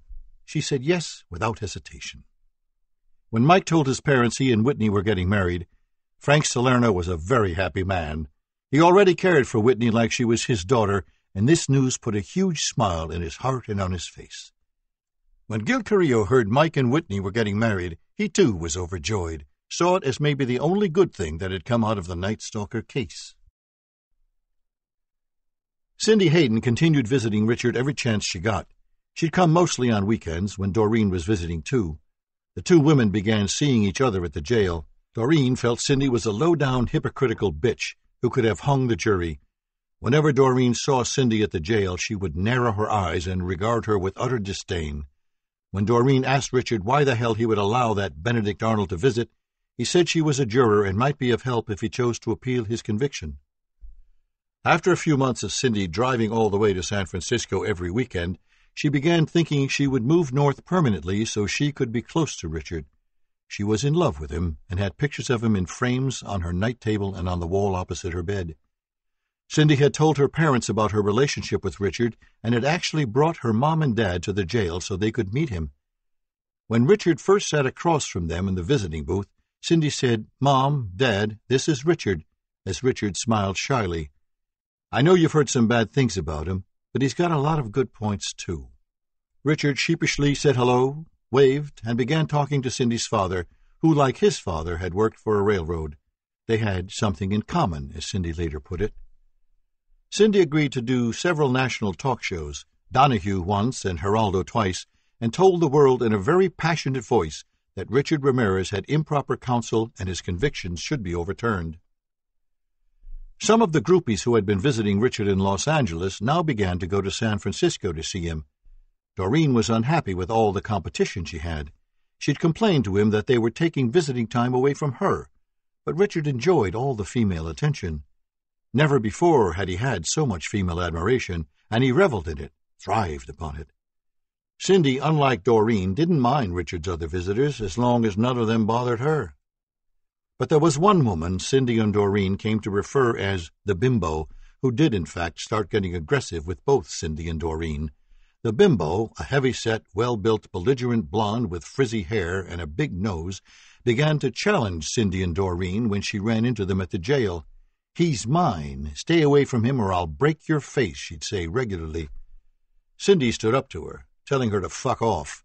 But Doreen did not have Cindy's combative nature and would take Bimbo's threats, taunts, and admonitions. The Bimbo began regularly to step on Doreen's toes and called her dog green. It got to the point that Doreen began asking the jail guards to walk her to her car. She was so afraid of the Bimbo. Doreen again complained to Richard, but he didn't stop the Bimbo from coming to the jail. Several of the Ramirez women would bring phallic shaped vegetables with them on their visits and would sexually excite themselves with the vegetables while Ramirez watched. For many of these women, Richard Ramirez was a turn on. The fact that he was so dangerous and so close, yet couldn't hurt me, got me excited as soon as I sat down for a visit, one Ramirez groupie would later admit. It was like the Beauty and the Beast kind of thing. Cindy Hayden wanted to be able to touch Richard, hold him, and be close to him, and she constantly thought of ways she could make that happen. When her employer had a mass layoff and she was fired, she decided she would become a private detective. If she had a detective's license, she'd be able to work with Richard's new San Francisco attorneys and have a visit with Richard in a private room. She applied for a job with a San Francisco security firm, was hired, and moved to San Francisco. She took a quiet apartment in Richmond. The security firm sponsored her for a license, and she passed the required examination. She went to one of the San Francisco public defenders representing Richard and talked him into taking her inside the county jail with him when he went to visit Richard. She and the attorney were shown into one of seven rooms allocated for lawyers who come to see inmates. It was ten by ten and had a wooden table and a few chairs. There were panels of glass in a wall so guards could look in. As Cindy waited for Richard to be brought down, her heart raced. She paced back and forth, her hands trembling. When Richard got there, the guard uncuffed him and he sat at the table. They were like two school kids, laughing and giggling. Under the desk, she raised her foot and put it on Richard's thigh. His eyes bulged. He couldn't believe he was actually sitting with one of the jurors who had handed him a ticket to the death room. After a few minutes, Cindy later related, the attorney went to look for a bathroom. When he left and Cindy was sure there were no guards about, she stood and quickly gave Richard a deep kiss as he groped her with his huge hands. She nearly passed out, she was so excited. When later asked if she was afraid to be alone with Richard, she said, No, absolutely not. He'd never hurt me. When the lawyer returned, Cindy sat down, breathless, her heart pounding. On subsequent visits to the jail, as she helped with Richard's legal problems, she says, she was able to have more contact visits and was actually alone with Richard. Gil Carrillo decided to run for sheriff. He felt there were grassroots changes he could make which would vastly improve the efficiency of the sheriff's office. His platform would be that of a detective who had intimate working knowledge of the problems inherent in any huge police department. He took a leave of absence in the spring of 1994 and began campaigning intensively. Pearl and his sisters pitched in and helped run his campaign office, made mailings, and hung up posters. His opponent, Sheriff Block, had become a giant in L.A. law enforcement. Gil's going up against him was akin to David taking on Goliath. Gill lost in the primary and dropped out of the race. As a result of his involvement in the Stalker case, Gil is often asked to speak to police agencies around the country, including the FBI Academy at Quantico, Virginia, and he always warns his colleagues to never discount any possibility when it comes to serial killers. Gil Carrillo is presently working homicides out of the East LA station. He is not at all bitter about losing the election. He always knew it was a long shot, but he had to give it a go. Today he is again trying to solve Los Angeles homicides, enjoying the work as much as ever. 57. Doreen continued to visit her true love on weekends and whenever she could get away. She wanted to move to San Francisco, but couldn't because of her magazine job. Whenever she saw Cindy, her stomach would turn. She'd later confide, I knew she was up to no good and really wished she'd just get lost. Doreen acted as Richard's confidant and secretary, took care of his correspondence, and passed messages to his lawyers and family. Often he received mail from all over the country, and Doreen helped him with his letters. He'd call her collect from the San Francisco jail, and she'd play heavy metal music for him over the phone. She put what money she made as an editor in his commissary account and did whatever she could to help him. When asked if she ever thinks about the crimes Richard was convicted of, she says, When you love someone, you only see the good in them. And that trial was a travesty of justice. Doreen's family was quite displeased with her for getting involved with the likes of Richard Ramirez, but that didn't put a dent in her feelings for him. He was her sunset and sunrise, as she puts it, and she hopes one day to be Mrs. Ramirez. Indeed, she says Richard has asked her to marry him, and she's accepted. Richard was becoming a problem for his San Francisco jailers. He was having just too many female visitors, some of whom argued and fought with one another at the jail. A current affair learned of Richard's admirers and did a story about all the fans coming to see him, which they appropriately called Death Row Romeo. It was decided Richard should be moved back to San Quentin for security reasons, the county jail told the press. On September 21, 1993, Richard was returned to San Quentin. He didn't want to be there, for he'd be housed in the adjustment center, where visits were exceedingly limited. He had no access to the phone, and he was locked up almost 24 hours a day. Doreen finally decided she had to be closer to Richard, and she moved to the San Francisco area and got a job as a caretaker. Although she didn't have to drive the seven hours from Los Angeles anymore, in order to have a visit with him, she now had to go to San Quentin in the early morning hours to get a number. There were only three shifts of 13 visitors each visiting day for inmates in adjustment. Visitors' days were Thursday, Friday, Saturday, and Sunday.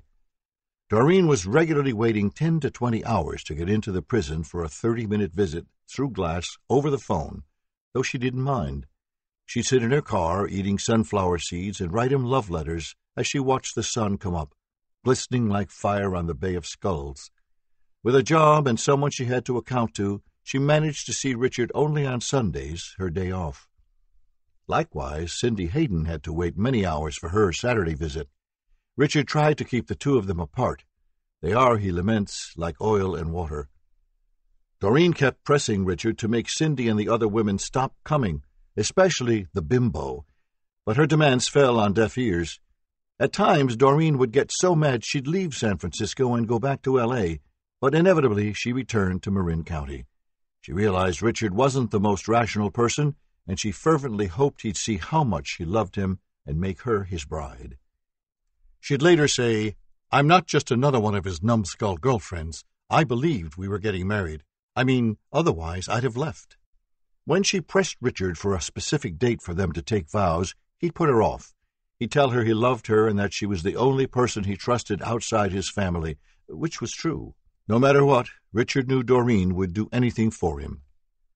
When recently asked if she believes Richard is innocent, Doreen said, I've always fervently believed in his innocence. I can't even conceive of his being guilty of the terrible things they say he did. He received an unfair trial with very inadequate legal representation. Some day the truth will be known. Julian Tapia Ramirez took his youngest son's plight to heart. After the conviction and sentencing, his diabetes progressively worsened. He lost weight every week. He had tomatoes and chilies growing in the backyard, but he stopped tending them and they died. His broad, powerful shoulders were shrinking and rounding. More and more lines formed on his high cheekboned face. Nothing Mercedes did or said could bring Julian out of the deep depression that followed Richard's sentencing. The only thing that put a gleam in his eyes that he looked forward to was being with his grandchildren. Like her husband, Mercedes had been devastated by the death sentence. She aged twenty years in the months following her son's sentencing.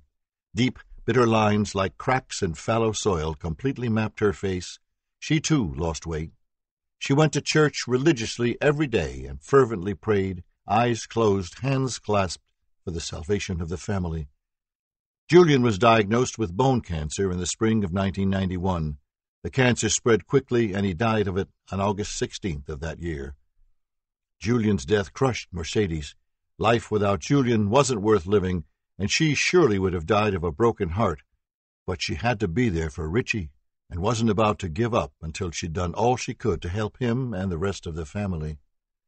Joseph's children were stigmatized by being related to Richard. It was no secret the feared night stalker, now even more famous than John Wesley Harding, was their uncle.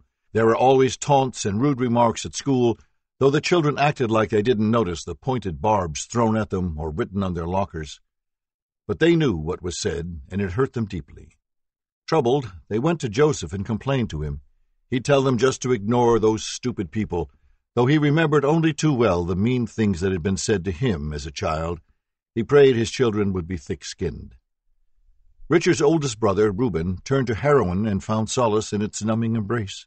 He felt responsible to a degree about what had happened to his kid brother, and after the death of his father, he very rarely smiled. Ruth never remarried.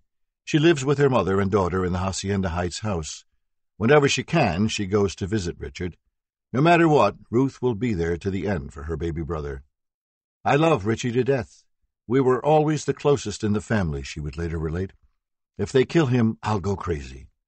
Joseph has a good job designating maintenance people at the Fort Bliss Army Base. He has many commendations, plaques, and awards. He works hard every day and goes to church several times a week. He still has much difficulty getting around, but he does his best and rarely complains. He too visits Richard when he can, twice a year or so, but it is a difficult trip for him, though he gladly makes it. Joseph loves Richard dearly. He gets a heavy heart and is brought to tears when he thinks of his brother's fate. Joseph, like Richard, Robert, and Reuben, often gets migraine headaches that are so bad he must lie down in the dark. You can't even talk to me when they come. It's like having hot needles in your brain. Robert still lives in Morenci, Arizona, working in its mines. He is divorced now and sees his two daughters on weekends. When he can, he drives to El Paso to see his mother and his siblings. He has stopped using drugs and avoids trouble at all costs. Cousin Mike, the person most people believe put Richard on the path he traveled, died of a massive heart attack in April of 1995. He was overweight and still haunted by the ghosts of things he'd done in Vietnam, regularly using heroin. The Army gave Mike a hero's burial with a 21 gun salute. For the first time since he'd been arrested, Richard has excellent, very competent legal counsel in the form of five foot seven Michael Burt with the San Francisco Public Defender's Office. Burt is a handsome, nattily dressed advocate who knows the law backward and forward and comes to court very well prepared.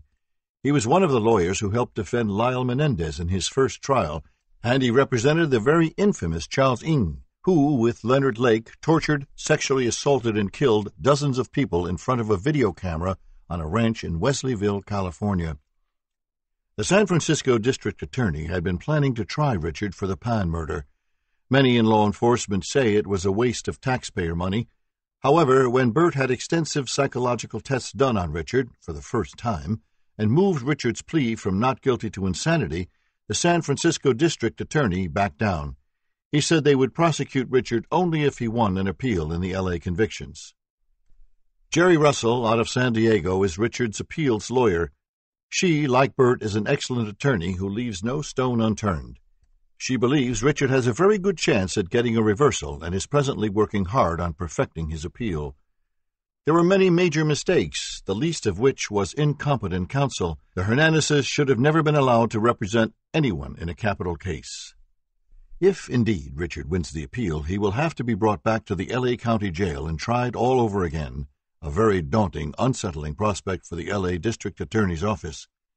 The appeal, Russell says, won't be ready until the end of the century, and by then it will be nearly twenty years after the crimes, which would put the prosecution at a huge disadvantage.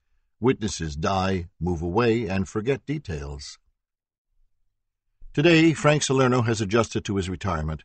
He has no heart problems, the vertigo is all gone, and he sleeps well. He doesn't miss being a homicide detective at all. I did it all and saw it all. There just wasn't anything left I'd not done. I got out just in time. It takes its toll on you. You think you are okay, but it breaks you down.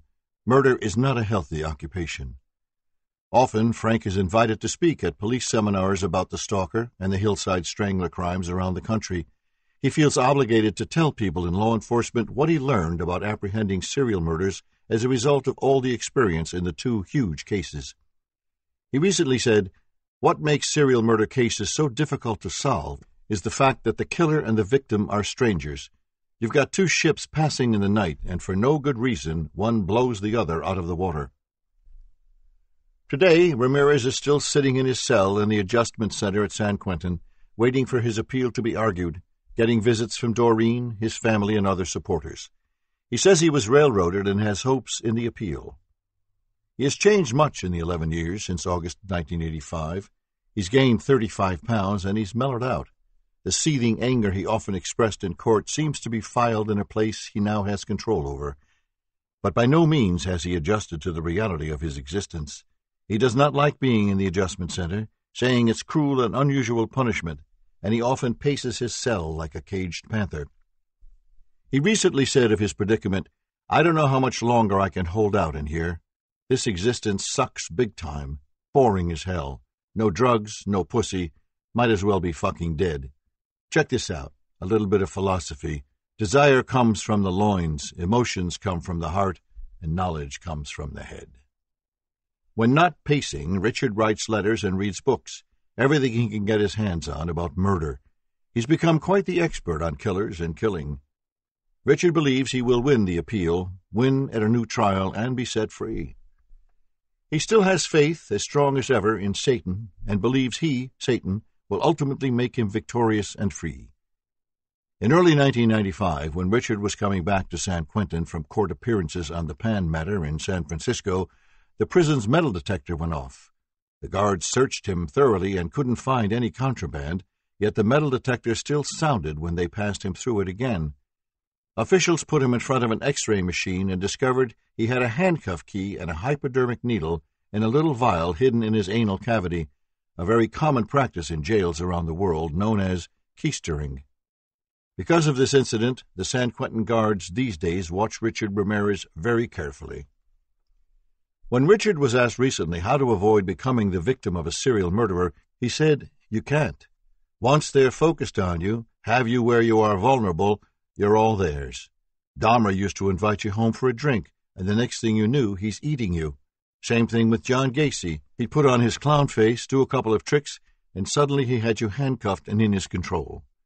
What people can do is not trust someone you don't know, and to always be aware of what's going on around you. When you drop your guard, that's when a serial killer moves. 58. The Wedding Thursday, June 27th of 1996, Richard Ramirez was moved out of the adjustment center to San Quentin's East Block, Death Row, where he would be allowed regular contact visits with his family and friends, the first since he'd been arrested. His attorney, Michael Burt, had been writing letters to the prison for many months demanding that Richard be taken out of the adjustment center. His family had been praying for that, and Doreen wanted him to be moved more than anything in the world, for in East Block Richard Ramirez would be allowed to wed. Richard had taken the bimbo off his visiting list and had told Doreen that if he was moved to East Block he would marry her. Since the first time she'd seen Richard on TV being taken away from the angry mob on Hubbard Street, she had wanted to marry him, to fight his battles, to be known as Mrs. Richard Ramirez. That day, Doreen went to the prison for her regular Thursday visit, but was told that Richard had been moved. Moved to where? she asked the guard. Don't know yet, she was told curtly. Doreen had always been afraid that something terrible would happen to Richard while he was at San Quentin. She knew it was a dangerous place. Men were being killed all the time in fights with other prisoners. In a panic, she went back to her little apartment in San Rafael and sat by the phone, hoping, praying that Richard had been moved to East Block. She sat by the phone, not eating or sleeping the whole night. As each hour passed, her heart sank lower and the knots in her stomach grew tighter. As dawn slowly broke in the east, she looked out the window. A low, gray sky hung over San Quentin like a funeral shroud, portending something ominous. At 8 a.m., the phone rang. She jumped at the sudden sound, nearly falling out of her chair. It was Richard calling from East Block. When he told her he'd been moved, she cried with joy, almost unable to believe she would actually now be able to touch him for the first time. He told her that his cell was smaller in East Block and that he didn't know anyone there and was very uncomfortable. There were, he said, some very infamous serial killers in the cells to either side of him Randy Kraft, Juan Corona, Lawrence Bittaker, a.k.a. the Pliers, because he ripped off the nipples of his victims with a pair of pliers. Doreen was so excited she could barely hold the phone. She said, Well, now that you are there, are we getting married? I said, he said, we would and we will. Promise? Promise. Oh, Richard, I love you, she gushed, crying uncontrollably with joy now, gasping for breath. He told her to put away all the tears and come on over to the prison. I'm on my way, darling, she said, and in a whirlwind of activity, her heart pounding away as if she'd been running, she showered, did her hair, put on her makeup and a new special flower dress she'd been saving for this occasion, and ran out the door. She jumped into her car and sped over to the prison, went through security, and with trembling legs and sweating hands, walked the 150 yards from the front gate to East Block. Just above the entrance to the short, squat, red brick building streaked with water stains stood a serious faced prison guard affectionately cradling a glistening blue black assault rifle. He held it, she thought, as if it were a small child. She wanted to wave to him, to say hello, but she knew Richard wouldn't like that. And she walked up to the East Block's tall door. A guard opened it electronically from the inside. She gave him her driver's license and visiting pass, and with hesitation walked slowly into the room where all death row inmates have their visits. It was two hundred feet wide and fifty feet deep, the walls industrial gray. A hundred hard orange plastic chairs were bolted to the gray cement floor in neat rows going left to right. On her right there was a bank of coin-operated machines that dispensed coffee, candy, hot soup, and sandwiches, even foamy cappuccino. Nearly all the chairs were filled with the condemned and their visitors. Wearing their Sunday best, children of the convicts ran about. Doreen's eyes quickly scanned the room. Richard was not there yet. She recognized women she'd met over the years, visiting with their men. One or two waved to her, small, sedate movements. Doreen recognized notorious Los Angeles gang member and serial killers whose faces had been plastered all over the newspapers and television. She was so nervous her stomach felt as if there were huge butterflies fluttering about in it. Then, off to her right, on the far wall, a thick steel door opened, and there, suddenly, was Richard Ramirez. She couldn't believe her eyes. She walked slowly toward him as if he were a mirage that might disappear any moment. When people in the room realized who was abruptly among them, there was a hushed silence. Richard had not walked free among men, women, and children since the day of his arrest, one hundred and thirty-two months ago. Eleven years, she thought. He looked like a spooked deer caught in the headlights of a speeding car. He had to wear glasses now. They were silver, large, and round, making his dark eyes appear huge, owl-like. He spotted Doreen and slowly moved toward her. As she got closer to him, Doreen felt as if she might faint. She reached out and embraced him. He flinched at her touch and led her to a corner of the room where there were two empty seats. Awkward, uncomfortable being around people, he sat. Doreen kept thinking he would disappear any moment. She couldn't stop crying, which annoyed Richard, and he kept telling her to put away the tears. I can't. I'm sorry. I'm just so happy. She reached out to caress his face. He recoiled. He was not, she'd later tell a journalist, accustomed to being touched affectionately. He again told her they would be married, and they talked about getting his family up from El Paso. Marriages on death row occur every four months, and Richard promised her he would tell the prison to put him down for it. The next time they'd be able to wed, he said, was October 3rd. Before she knew it, her time was up. They embraced goodbye, and she said she'd be back the next day. Now that Richard was in E Block, he could have contact visits from 8 to 2 p.m., Thursday, Friday, Saturday, and Sunday. The thought of being able to spend so much quality time with Richard made her head swim. When she arrived home, feeling as if she were walking a foot above the ground, she called Richard's sister Ruth in El Paso and told her the wonderful news that Richard had been moved and that they were going to be wed on the 3rd of October. Ruth, too, cried with joy, congratulating her soon to be sister in law.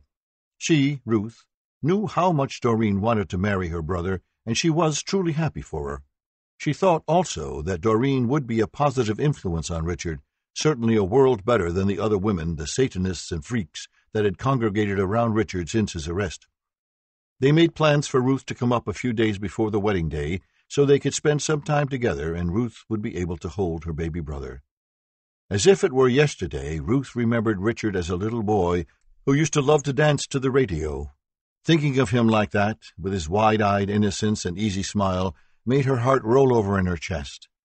When Ruth hung up with Doreen, she told her family the good news. Her brother Joseph said he wanted to go to the wedding, and he immediately arranged to take time off of work. His older daughter, now seventeen, wanted to come.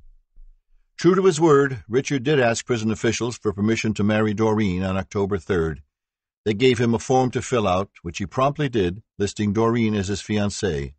According to the California Penal Code, prisoners have the legal right to marry. The prison approved Richard's marriage, and his and Doreen's names were added to the list of ten inmates marrying that day, three from death row. It was quickly pointed out to a curious journalist by San Quentin's Public Relations Department that prisoners on death row do not have the right to conjugal visits. Doreen had to have an appropriate wedding dress and went from store to store searching for one. I wanted something plain, not a gown with a veil, anything like that. I've seen women in bridal gowns at the prison, and they, well, they look silly. Mine, I decided, would be simple and plain, and of course, white. Doreen was, she would tell anyone who asked, a virgin, and she would, she said, wear a white dress proudly. Richard knew I'd never been with anyone else. I'm sure that's one of the reasons he asked me to marry him. A suitable dress, though, was much harder to come by than she imagined. She finally found the right dress at Macy's. Tasteful and appropriate, it was satin and lace, knee length with a wide neck, and cost $145. Next, she had to shop for the rings. She drove to San Francisco for them and picked out two simple wedding bands, hers gold and Richard's platinum. When later asked why Richard told Doreen not to buy a gold ring for him, he said because Satanists don't wear gold. The press got wind of the wedding on Saturday, September 22nd. The first reporter to contact Doreen was Marcia Ginsburg of the San Francisco Examiner. Doreen, for the most part, was very distrustful of reporters and what they thought of her impending marriage to Richard but Marcia assured her that the piece would be respectful. Doreen agreed to an interview, and the story ran on the front page of the Examiner's Sunday edition. The headline read, Night Stalker Gets Virgin Bride, Death Row Wedding, and the article went on to describe Doreen as a Catholic who vowed to retain her virginity until marriage. Says she loved the Satan revering Ramirez from the first time she saw him in 1986 and doesn't believe he committed the crimes.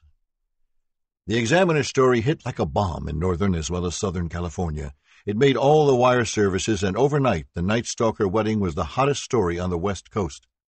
Reporters descended on Doreen like hungry vultures with no table manners, she would say. They soon found out where she lived and staked out her house, but she saw them and took off, checking into a nearby hotel.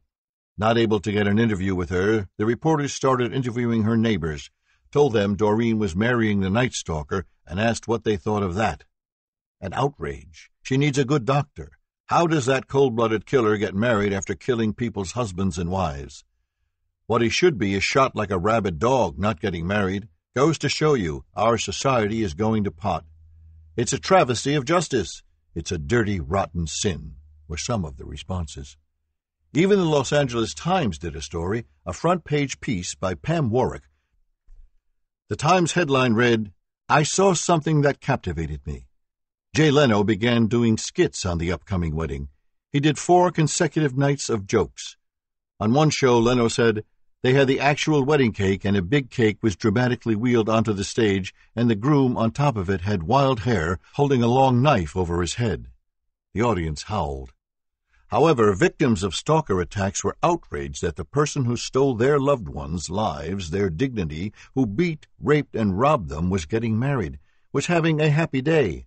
A system, one said, that allows such a perverted, disgraceful travesty to take place is truly wrong and should be changed, must be changed. It's an outrage. Indeed, victims as well as a lot of police officials, including Attorney General Dan Lungren, phoned the prison and demanded the wedding be canceled but they were all told it was Ramirez's right by law and they couldn't intercede. Governor Pete Wilson said he would look into changing the laws right away. CNN picked up the story and ran it every half hour on headline news. It became the lead-off piece on every news show on every channel, day and night. Doreen Lioy had become very hot news, and reporters searched high and low for her to no avail. On the days before the wedding, she couldn't even leave her hotel room. Richard's sister flew up and stayed with her. They watched all the news shows, and Doreen didn't like the things reporters were saying, but she knew she'd become a target, a big red bullseye, when word of her imminent death row wedding went out. Reporters soon found out she had a twin sister named Donna living in Burbank, and news trucks lined the block where her sister resided. They relentlessly phoned her and knocked on her door. The Burbank Leader did a big cover story with a 1973 photograph from Doreen's yearbook at Burbank High. Donna had always been afraid that the public would find out about her sister's relationship, and now it had become world news. The last thing she'd wanted. She wouldn't leave her house, she was so ashamed, but she did tell Therese Moreau at the Burbank Leader during a phone interview, Our only connection is that we were born together, but other than that, we have no ties. She called her sister in San Rafael and told her she'd been disowned by the family. From this day on, you are not my sister and you will not ever be allowed near my kids. That, of all things, hurt Doreen the most, the loss of her niece and nephew. She loved children, yearned to have some of her own, but knew that was an impossibility, and had made her sister's kids her own. After all, she'd later say, my sister worked, and I used to watch them all the time. I loved them so much. But for Doreen, to be known as Mrs. Richard Ramirez was worth any sacrifice. Once I was married to Richard, I would have a new family. His family would become mine, she proudly told a journalist covering the wedding. The day before the wedding, which was scheduled for 8 a.m., the press descended on San Rafael, the home of San Quentin. CNN sent a crew, as did Inside Edition, hard copy, the Associated Press, and all the local and Los Angeles news outlets. Doreen was so nervous she could barely sit still. She paced back and forth, watching the news shows about her and her wedding and critiquing every piece sharply. It wasn't until 3 a.m. that she finally went to sleep, but was up at 6, primping herself, putting on makeup, and doing her shoulder length auburn hair in big fluffy curls. The day was gray. Fog rolled in from the Bay of Skulls and hung a foot above the prison grounds. Doreen, with Ruth, Joseph, and his daughter, left the hotel for the prison at 7:45 a.m. She knew there would be a lot of press outside the prison, but she wasn't prepared for the hundreds of reporters all pushing and jostling to get at her, and the satellite news trucks all over the place. She turned her face and refused to answer questions tossed to her as she made her way through security at the front gate entrance. The prison public relations man, Lieutenant Vernell Crittenden, a polite professional with a smooth, easy way about him, had let the press set up microphones near the post office just outside San Quentin grounds. He told the reporters he'd hold a press conference after the ceremony and that he'd asked Doreen if she'd talk to them. The press were not allowed in the death row visiting area. Ramirez's marriage was getting much larger coverage than such lead news stories as Mark Fuhrman's pleading guilty to perjury, even the Middle East crisis that October week. Doreen and the wedding party entered East Block under the watchful eye of a prison guard, cradling an assault rifle, wearing tortoise shell mirrored glasses. When they entered the death row visiting area, Richard was summoned from his cell. On this, his wedding day, he was wearing a baggy light blue long sleeved shirt. He appeared thin and moved with the sure grace of a cat. This was the first time since his arrest he'd be able to touch Joseph and Ruth. When he entered the room, they rushed to him and he embraced them both. They cried. The guards did not intercede. They knew the family was innocent of anything and didn't want to intrude on this very special moment for the Ramirezes. On death row at San Quentin, it's live and let live. If you behaved, the guards were polite and courteous. Doreen, never letting go of Richard's hand, moved to a corner of the visiting area, along with the Ramirezes, and sat on the hard plastic chairs. Joseph could not stop crying. He wished their father could be there, to hold and embrace Richard, welcome him back to the family. Richard couldn't get over how big Joseph's daughter had gotten. The last time he'd seen her was when she was just a little girl, she smiled as she looked at her infamous uncle, more like he was some kind of rock star than her father's brother. After all, Richard was just about the most famous person from El Paso, and his celebrity had not been lost on her. Soon, other death row inmates were brought in from their cells for their visits, and the room filled up with convicted killers. Richard made his niece cover her legs. She was wearing a short skirt, and he didn't want the other inmates looking at her bare legs. The ceremony took place at 11 a.m. Mr. L. Weister, a civil servant, would perform the ceremony. He was a tall, robust man with a big, healthy red face and thick gray hair. Doreen was very nervous. Richard wanted to get the whole thing over with and get back to his cell. An author and one of Richard's attorneys joined the wedding party. In front of an alpine mural one of the inmates had painted, the ceremony took place. It was short and sweet. They did not say until death do us part. They exchanged vows, wedding rings, and it was over in two minutes. Richard gave Doreen a peck on the lips.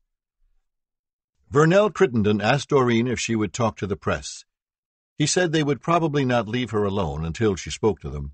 Richard told her she'd better give a statement, and she reluctantly agreed. Soon Richard went back to his cell, and Doreen and an author walked out together. The family stayed behind because none of them wanted to be on camera. When the press saw Doreen walking toward them in her white wedding dress, they hurried en masse toward the exit area, anxious to get footage of her for the news shows that evening. When she arrived at the gate, four huge prison guards gathered around Doreen and the author and walked them over to the makeshift podium as the reporters surrounded them. With resolve, Doreen stood behind the podium and addressed the throng of reporters, cameras, questions. The sky had cleared, and the bright October sun was in Doreen's eyes. Squinting, she told the press, Thank you all for your patience. I just want to say I'm very happy to be married to Richard. I ask you please to let me go in peace and enjoy my day. She stepped down from the podium, got into a waiting car, and pulled away, speeding toward her destiny as Mrs. Richard Ramirez. Special update of the 10th anniversary edition. Often people ask me why I wrote The Night Stalker. Why the hell would you want all that negative crap in your head? This is a long, involved story, but to make it short, in 1992 I was intent on writing a novel about serial murder that truly would portray what goes on inside a serial killer's mind before, during, and after a murder I plan to simply lay out in a compelling, suspenseful way the building blocks that make a serial murderer. I am a staunch believer in doing research, getting out in the world and seeing for myself what's going on, and talking personally to the players who know the truth. Toward that end, I began contacting convicted killers on different death rows around the country, intent upon shining light on this little known dark phenomenon, amongst whom were John Gacy and Ted Bundy. Some were interested in talking with me, others weren't though little by little I began piecing together the hardcore realities, the building blocks, if you will, of what serial murder is about. My friend and agent, Matt Bialer, suggested I contact Richard Ramirez, the notorious Night Stalker, who in 1985 held the entire state of California in a grip of fear unparalleled in the annals of crime history. I am a born and bred New Yorker, and didn't live in Los Angeles when the stalker was, at will, entering people's homes in the middle of the night tearing, ripping, beating, and shooting them to death. But I did remember how incredibly brutal his crimes were, and that he was a Satanist, which I found particularly interesting and compelling. I wrote Ramirez. He responded. We corresponded by mail for a few months.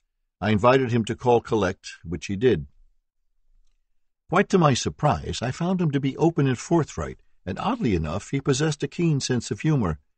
He agreed to meet with me, and I was soon on a plane to San Francisco and met Richard at the San Francisco County Jail, where he was being held because of crimes he was charged with in San Francisco the rape of Barbara Pan and murder of her 62 year old husband, Peter Pan. I had press credentials and was able to meet with Richard one on one in a small conference room. I arrived first. It took about 20 minutes for him to be brought down. When he got there, I was surprised at how big and fluid moving he was, cat like, and his hands were enormous, the largest ones I'd ever seen. These were, I knew, hands that had done terrible, unspeakable things. They were like two malevolent vultures fluttering about before him as he spoke. I had seen crime scene photos of the Night Stalker's victims. Heads had been nearly severed, eyes cut out. Some victims were beaten so badly they were not recognizable as the people they once had been. We talked for a few hours. Richard agreed to tell me the truth. I returned to New York and wrote a proposal for the book, sold it to Kensington Publishing, and I was soon back on a plane to California. Richard, however, had been moved to San Quentin's death row and was only able to have visits through plexiglass. Friends of mine in the NYPD Police Academy, where I had lectured numerous times, wrote a letter to the warden of the prison on my behalf, and thus I was able to sit alone in a small room with Richard and pick his brain. Altogether, I spent three weeks with him from 8 a.m. to 2 p.m. every day. I made it a point never to judge Richard or talk down to him. I treated him just like another guy, and like that I was able to get inside his head with a flashlight and see what was going on. I found him to be surprisingly bright and well read. He clearly had a deep, reflective, introspective side, which in my mind made him all the more interesting. Here now, for the first time, is part of my death row interview with Richard Muñoz Ramirez, California's dreadful, infamous Night Stalker. Carlo. Let's give it a couple seconds for the thing to start. Okay, it's February 8th, about 9 a.m. I'm inside of San Quentin Prison's death row with Richard Ramirez. So, Richard, we'll be discussing some topics. You were just talking about death and what it means to society. Would you continue? Ramirez. Uh, now I'm freezing up. Carlo. So you find death funny? Ramirez. No, I just think society is fascinated with death. Instead of giving it just a little part in this project you're doing, you should devote enough space to it because. Carlo. What about How We Die? What's that about? The book How We Die you told me about. Ramirez. It talks about how people take death in. Today, today's society. Long ago, it was taken as a spiritual thing because birth and death are two very major events, not only in the person being born and also dying, but in the people around them and the legacy that we leave behind. In today's society, it's more of the scientific and medical aspects that are most talked about in death. And in this book, it tells about how different people die and different ways of dying. Carlo. Different cultures? Ramirez. Different cultures, I believe. I've read reviews on it. I haven't read the book myself. I've read reviews, and it says there is such a thing as a death rattle. There is such a thing, and it is a spasm of the voice box. Carlo. You mean it's like the last breath? Ramirez. Yes. Tape shuts off. Carlo, about this death rattle, I've read about it a lot myself, but I've never heard it. Have you heard it? Ramirez gets up and starts to walk out. Carlo. Hey, come on back. Ramirez. No, I haven't heard it. Carlo, describe Ramirez. What I think it would sound like? Carlo, yeah, man. Ramirez, it's the last breathing out. It's one last breath out. I don't think it's one's last breath in. Carlo, the last breath out. Ramirez, right. Carlo, and what does it sound like? Ramirez, I assume, I suppose it, whoever is witnessing such a thing, it is sort of like the spirit leaving the body at the same moment this breath is given. But, uh, okay. Some people actually fight, cling to life. Some people even ask permission from their loved ones if to die. See, because they don't want to leave their loved ones. Carlo, what does the rattle sound like, and why? It's the last breath going out, but does it affect the voice box? Ramirez, it is a spasm of the voice box. Carlo, it's a spasm of the voice box. I see. Ramirez, yes, I would assume it doesn't sound like any breath we take during our lifetimes. It is sort of like when a baby is born and he is slapped on the bottom, he takes a deep breath in. These things are to me mystical and spiritual, in that we don't experience them every day. When these things happen, we take notice. We have to. I don't think it's possible to not detect such things unless you're really stupid. Carlo, speaking of spirituality, let's talk about Satanism. There's been a lot in the press, Richard, about your devotion to and your affiliation with Satan. Can you tell me a bit about what Satan means to you? Ramirez. What Satan means to me. Satan is a stabilizing force in my life. It gives me a reason to be. It gives me an excuse to rationalize. There is a part of me that believes he really does exist. I have my doubts, but we all do, about many things. Carlo, when did you first turn away from Christianity?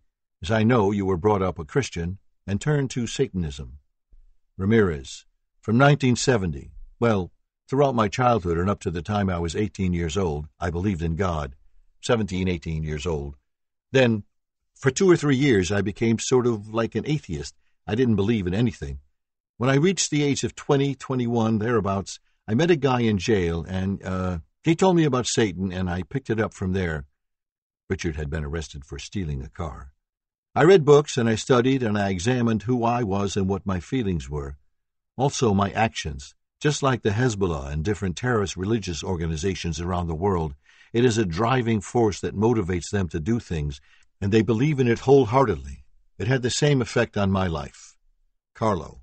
In other words, their spirituality was what was the driving force in their life, and Satan became, in a sense, your spirituality and the driving force behind you.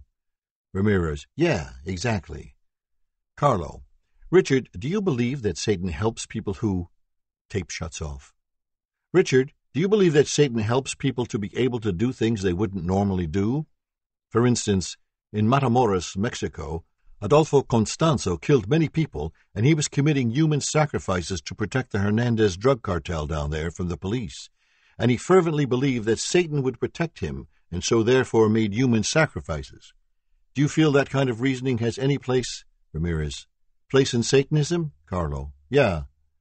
Ramirez. I don't know the structure of hell itself, or demons, or demonology, but I do know when you tamper with witchcraft, when you tamper with Satanism, be it voodoo, Carlos, Santeria, Tayo, Mayombe, Ramirez. Yeah, any type of sacrifices or contacting the spirits, you're dealing with things that are very delicate and dangerous.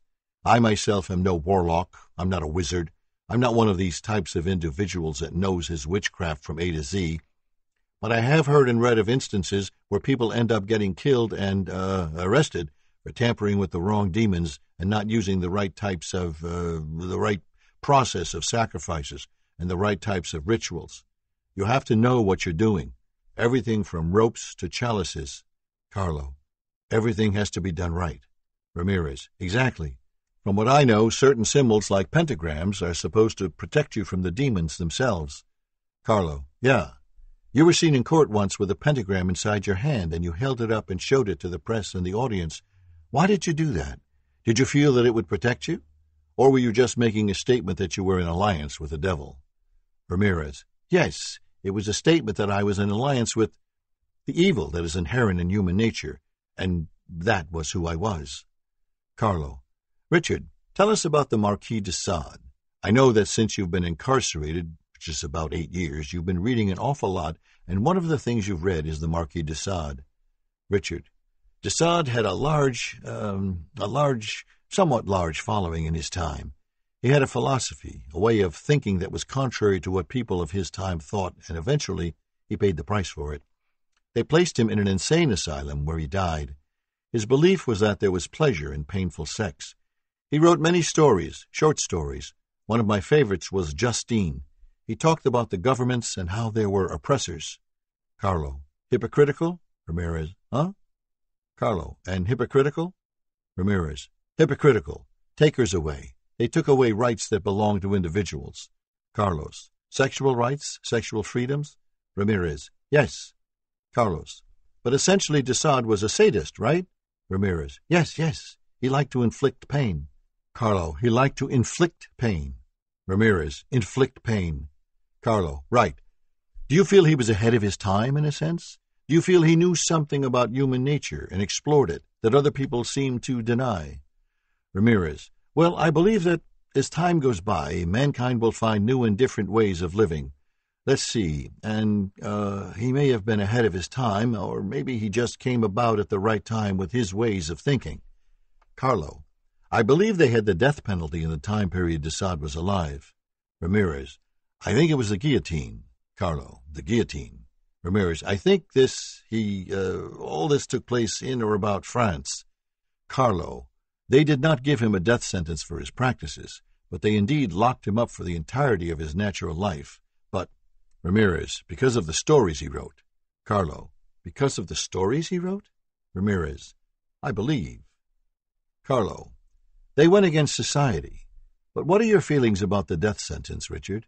Tape shuts off. So, Richard, over the last 10 years or so, there's been a lot in the press, and there indeed have been a lot of people arrested all over the country for committing what amounts to a series of murders. These individuals are called serial killers because they kill in a series of crimes. Would you tell us why you think there's such a phenomenal number of serial killers being identified and captured these days? Ramirez, you asked me why I think there's an abundance of serial killers, right? Carlo, in society today. Ramirez. Right, in society today.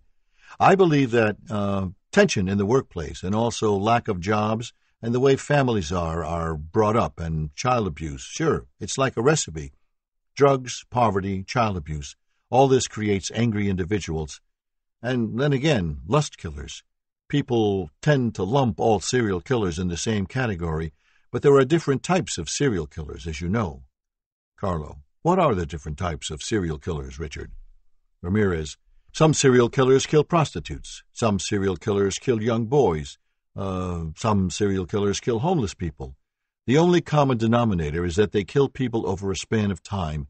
They keep on killing, and, uh, Carlo, the phenomenon of serial killers, is it a sexual thing too, Richard? Is sex part of the crimes? Ramirez, sex? For some serial killers, sure. For some, it is the very act of killing another human being that is, that, uh, that is sexual to them. It's a bloodlust, I guess you can say. Carlo, do you think a person who becomes like that is responsive to a bloodlust because of genetic propensity, or because of environmental influences, or both? Ramirez, both. Very good. You ought to be. Tape shuts off. Carlo, you think it's a combination of genetic and environmental influences? Ramirez, yes. Serial killers and most killers in general have a dead conscience. Carlo, when you say a dead conscience, that means they don't respond Ramirez. No morals, no scruples, no conscience. They are, uh, they sometimes, some of them don't even care if they live or die themselves, and they are just the walking dead. Carlo, the first really noted serial killer was Jack the Ripper. Ramirez, yeah. Carlo, he killed seven prostitutes in London in the 1800s. Ramirez, yes. Carlo, I think there were other serial killers loose and participating in those types of activities, but they just never got the press that Jack got. Ramirez, Jack the Ripper created an aura around himself, or maybe the media did. Carlo, the press. Ramirez, but it was one of mystique and uh, a sinister character who was never identified. I remember in my childhood reading about him, and I was intrigued by the way this uh, killer, Jack the Ripper, was depicted. Wears a black cloak. Carlo, right. Ramirez, fog. Carlo, right. Ramirez, nighttime.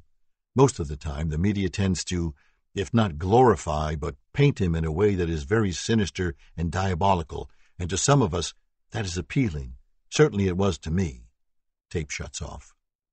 Carlo, why do you think it was particularly appealing to you? It seems appealing to everybody. Ramirez, well, not everybody. Carlo, people are interested, though. Ramirez, Sure, I mean, they're interested, they're curious, but I don't think you could call it, I don't think they would call it appealing. I think people are, some people are fascinated by looking at how other people, such as killers, become who they are and how there are different types of people in the world. Certainly, madmen in the world are something to look at because they are very, they are a minority in numbers. Carlo, do you think Jack the Ripper was a madman? Ramirez, a madman? Carlo. Yeah. Ramirez. Some say he was a doctor. I couldn't say. Carlo. Was he a psychopath? Ramirez. A psychopath? Carlo. Yes. Ramirez. I could not tell you. I couldn't say. From what I've read about him, certainly he, if you came into his hands, and if you were a woman, certainly you would think this guy was mad. He would butcher you. He would cut your organs out and stuff and lay them right beside you in a very precise manner uh, madman. Yes, there are certain types of mental illnesses, mental disorders that would characterize him as a madman. Carlo. Richard, how would you suggest that people can become, can avoid becoming the victim of a serial killer? Ramirez. There are ways. Carlo. How can society protect itself? Ramirez. There is no protection against a mass murderer, if you will. A mass murderer will come onto the scene whether it be a post office, supermarket, restaurant, and open fire. Unless the bullets miss you, you will become a statistic. A serial killer, if he's looking for certain type of women, certain type of victims, and you happen to match his preference, it is possible that you could get away. You could even help in apprehending him, but it is said serial killers are very intelligent, otherwise they would not. Carlo, they would not be able to commit crimes over a long period of time. Ramirez, exactly. What constitutes a serial killer right now is four murders or more, according to the FBI. Four murders is not that many, but that's what characterizes a serial killer. I suppose to avoid being a victim is, Carlo, being aware of the environment? Being aware what's around you? Ramirez. Taking precautions, locking your doors, having your keys ready when you open doors, being on guard. Carlo. Your keys ready when? Ramirez. When you open doors. Carlo. Look over your shoulder. Ramirez. Yes, of course. One cannot live one's life like that in today's society, always aware. Especially if you haven't already been the victim of a crime.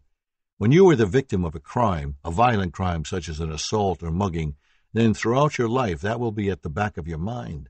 Those types of people are more aware than those who have never been the victim of any type of crime. But sure, a serial killer takes opportunities in the victim's being in the right place at the right time. He takes advantage of that. Carlo. In other words, people are a victim of circumstance. But how can a woman be more insulated and more protected from a serial killer?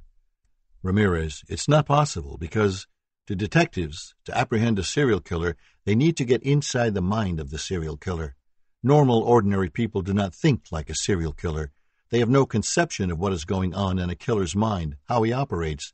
They don't read, which is rightfully so. If they have a life to live, they're not going to spend a lot of time reading up on killers if that's not in their interest.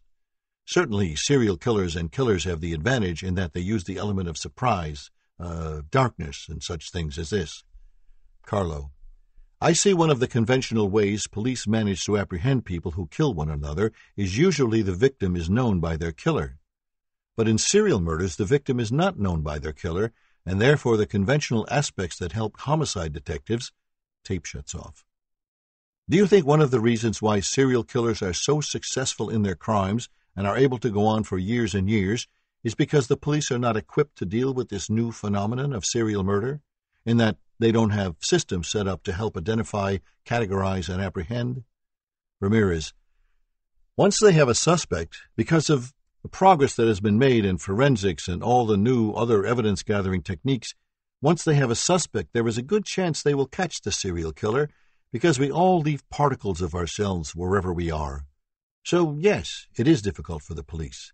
They are at a disadvantage because these are stranger to stranger crimes, and it will always be so. I don't think that can change. Carlo, you mentioned that people always leave a bit of themselves behind, and with today's technology, it makes it somewhat easier for them to identify serial killers. In an instance where a naked body is left out in a field and uh, there are no clues left behind, it becomes virtually impossible, doesn't it? Ramirez, yes. Carlo, right. Can you suggest, Richard, to women out there, Ramirez, okay, there is no set rule, there is no proof positive that once you come into contact with a serial killer that you will survive the encounter. There is no assurance of any of that because every individual is different, and the same goes for every serial killer. Some serial killers will let you live if you talk to them, if you get to them, if they get to know you. Some serial killers will take pity while others won't. This not only applies to serial killers, but killers in general. Some killers are hell bent on just killing regardless of circumstances or situation. They have made up their minds even before they encounter you, and uh, there is no way out of it. The victim is at a disadvantage because she or he does not know the mind of the killer or what he is thinking. Carlo, you once told me that. Tape shuts off. About what they call the devil's dandruff, cocaine, which is really prevalent in society today. What are your thoughts on cocaine, Richard? Ramirez. I love it. Laughs. No, well, if you look at it in broad views, it's a supply and demand type of thing. I saw a show not too long ago where the CIA, I believe, actually had been working with this stuff to get arms to the Contras and stuff like that. That's on a big scale. But on a street level, I think cocaine is addictive and I think it's very harmful to the body. Carlo. What about to the mind? Ramirez. To the mind, sure. It depends on how you ingest it. If you mainline it, I've heard and read that it can cause brain clots that lead to strokes. Sure, it's harmful, but the sense of pleasure it gives is very profound.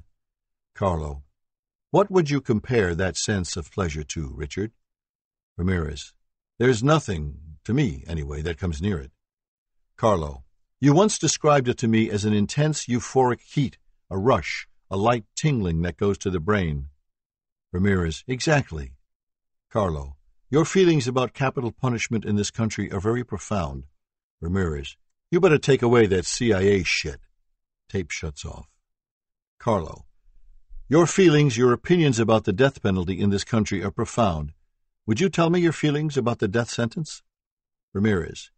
As far as the death penalty is concerned, I think it is a power against the powerless. There are not many millionaires on death row. A lot of people choose to die, though. A lot of people, a lot of murder defendants actually get on the witness stand and tell the jury that they want the death penalty. They would rather die than spend the rest of their lives in prison. The death penalty is, to me, is not a very dignified way. They should have gladiator arenas like in the old Roman times, because what I, it's just, you know, it doesn't seem right. Carlo, do you think that the government does not have the right to take a life? Or do you feel that in certain crimes, Ramirez, well, they're doing it for the victims. If the relatives of the victims want the killer's blood, uh, I think one of the relatives should pull the plug, the switch. But they leave it up to the state, and uh, that is something to look at. I've given it a lot of thought, and I've written some things down, but I don't have. Carlo, how do you feel about it only being in 13 states, as opposed to it being in every state across the board? Ramirez, right. Well, the way crime is going nowadays, it'll probably end up being in a lot of states in the future. People in different parts of the country feel differently about it, and it's ultimately up to the people in every state. They vote for it, and some states vote yes, and some vote no. They don't want it. Carlo. Richard, do you think the death penalty is a deterrent? Ramirez. No. No. Most criminals, the majority of criminals, kill for money, to get money for drugs. Some are not in their right minds, some are drunk, they kill for greed, lust, and things like this, and, uh, so no, I don't think it acts as a deterrent, because a criminal rarely thinks about his own death when committing a crime where such emotions as rage and hatred take hold of him. So very little thought is given to his own demise when such feelings are raging inside of him at the time that he commits a murder or a crime. Tape shuts off. See, governments kill with impunity, and sometimes they choose killers to go out and kill people for them. They justify it. They rationalize it. They pin medals on killers. Well, if you don't have a license to kill for the government, they won't pin a medal on you, but they'll put you in the gas chamber. Carlo, do you think the gas chamber is cruel and unusual punishment? If a state has to have the death penalty, which way do you think is the best way to go? The electric chair, lethal injection, or the gas chamber? Ramirez, that is up to the individual on which way he wants to go. Carlo, Richard, as we sit here, you've got 19 death sentences on your head. Ramirez, yeah. Carlo, if, after your appeals are all exhausted and the day comes when you have to be executed by the state of California, which way would you choose? Ramirez, me, myself? I don't really care because death is death, and it is said that no man knows his own death. Sure, for a few minutes you might feel it, but then you're gone. I've really not given much thought to that. To me, death is death, and whichever way I choose to go out, I'll choose it when the time comes, if there is a choice open to me. Carlo. Certain of the most notorious serial killers produced by society are Ted Bundy, Jeffrey Dahmer, Henry Lee Lucas. What do you think of a guy like Ted Bundy? Ramirez. Say what? Carlo, what do you think about Ted Bundy? Ramirez. See, when serial killers come up in New York, Los Angeles, Chicago, these are media centers of the world. That's why more attention is paid to these guys, because of where they are located at. I've heard of serial killers in the Midwest who you've never even heard of, but they've got twenty, thirty murders under their belts. As far as my views on Ted Bundy, was that your question? Ted Bundy was intelligent. He he grew up and he found in his mind his own pleasures. These were his pleasures. A man's own pleasures are his own business, I think. He he liked to do what he did, which was kidnap women, have sex with them, torture them, and kill them, and whatever else. On the outside, to whomever he met on the street, he seemed like a very normal man, one you would never suspect of doing such things. Carlo. It seems that many serial killers on the outside seem very innocuous, like the guy next door. For instance, Jeffrey Dahmer. Of all the things he looks like, he does not look like a killer. What are your feelings about a fellow like Jeffrey Dahmer, who on the outside seems so normal but inside is far from normal? Ramirez. I guess you could say, like the balances of the mind, the chemistry, the psyche of a killer, a wolf in sheep's clothing, and he has learned to perfect it. Uh, this is a guy you'd think it'd be okay to go to his house, have a drink, and smoke a joint, but it would be your last drink because you'd find yourself handcuffed, and the next thing you know, this guy would be eating you. This is a very, uh, very interesting thing to look at in life. These types of individuals, because they're extraordinary, it's sort of like a strange car, a strange house. You ask yourself, how was it built? How did it get here? I've always been fascinated with killers and crime and murder and death. I suppose I started when I was 12 years old, The Murder of Jesse by Richard's cousin Mike. I started reading crime detective magazines and stuff like this, and even the pages had a certain scent to them, a certain smell to them. It was very strange. It gave me a strange feeling. Carlo, can you explain the feeling?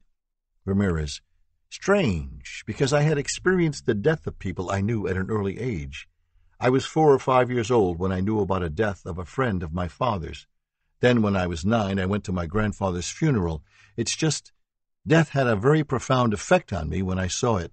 Death of my dog, death of a pet animal, just death. Carlo, do you feel that there's a life after death? That there really is a heaven and hell? Ramirez, I couldn't say for sure what there is, you know. I can't sit here and tell you, yes, there's this or that, because I'm not sure. I can only speculate. Carlo, well, what do you speculate? Ramirez, I think there is a divine force that is out there. I also believe there's a malevolent force that is out there. Then again, they could be one and the same. I also believe some in reincarnation. I mean, how do these child prodigies come about? A young child being able to play the piano very well at the age of three years old. Everything is open. I have an open mind. Carlo, do you feel that evil can be reincarnated? Ramirez, I hope so.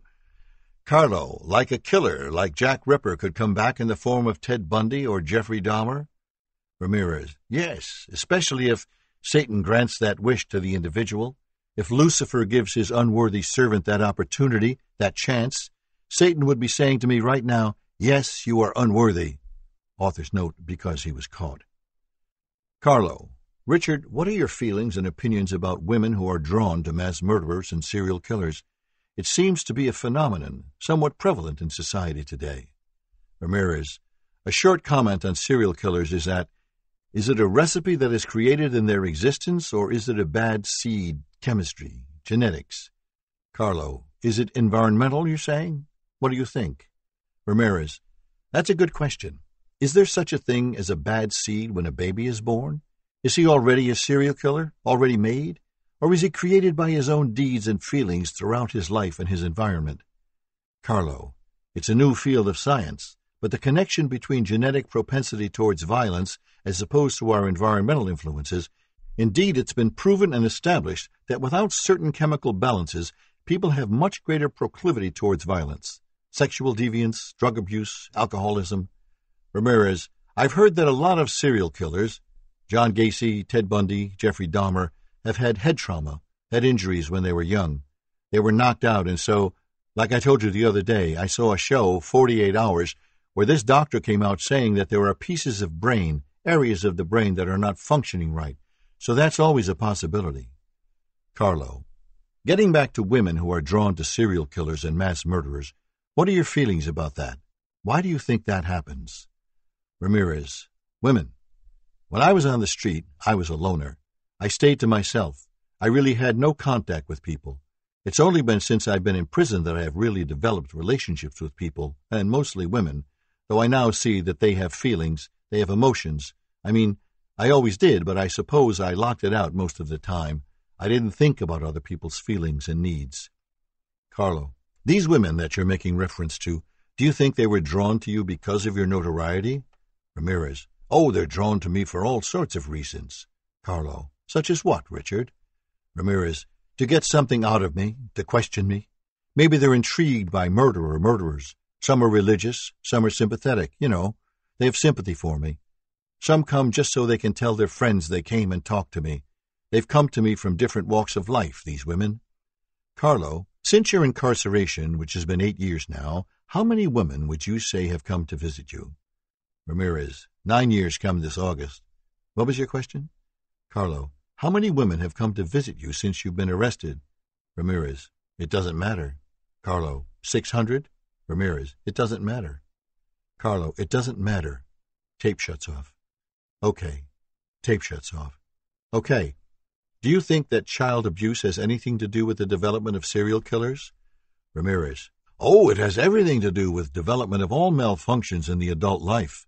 Child abuse in its many forms can uh, produce many forms of uh, life's miseries and griefs as an adult, you know, mental disorders and such.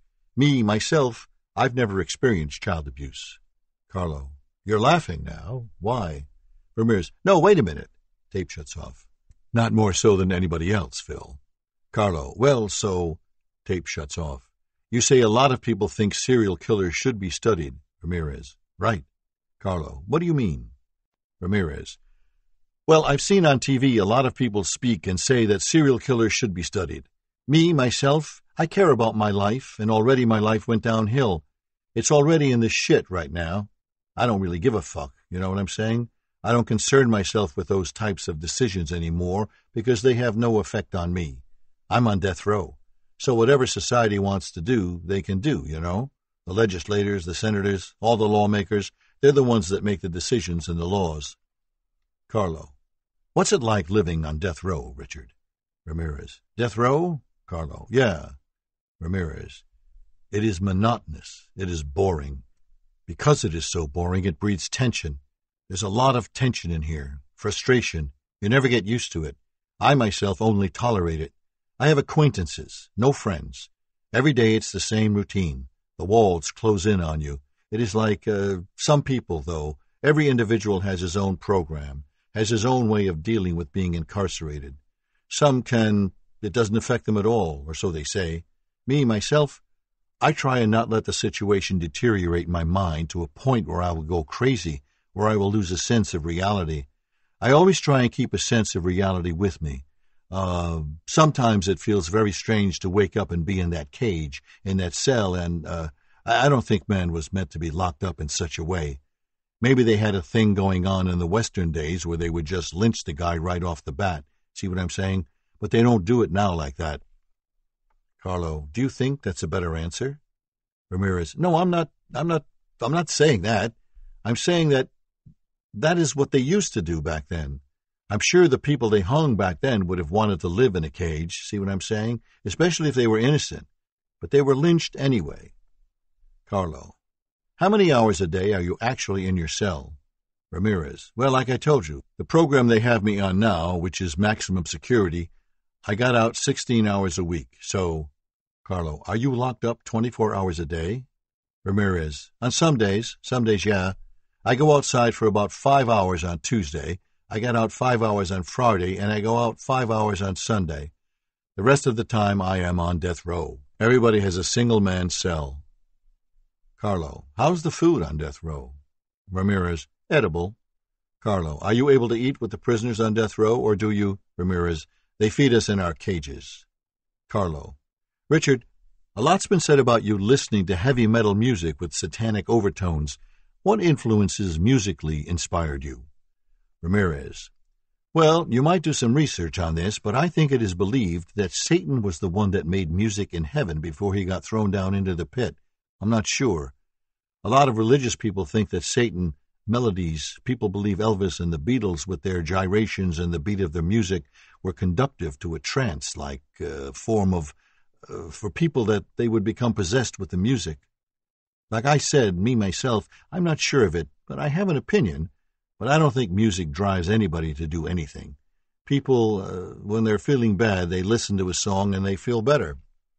Carlo, when you were on the outside, Richard, before you got arrested, you listened to a lot of heavy metal music.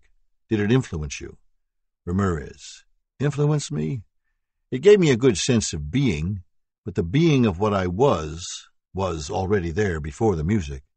The music just inspired me. It gave me inspiration. It reflected my feelings.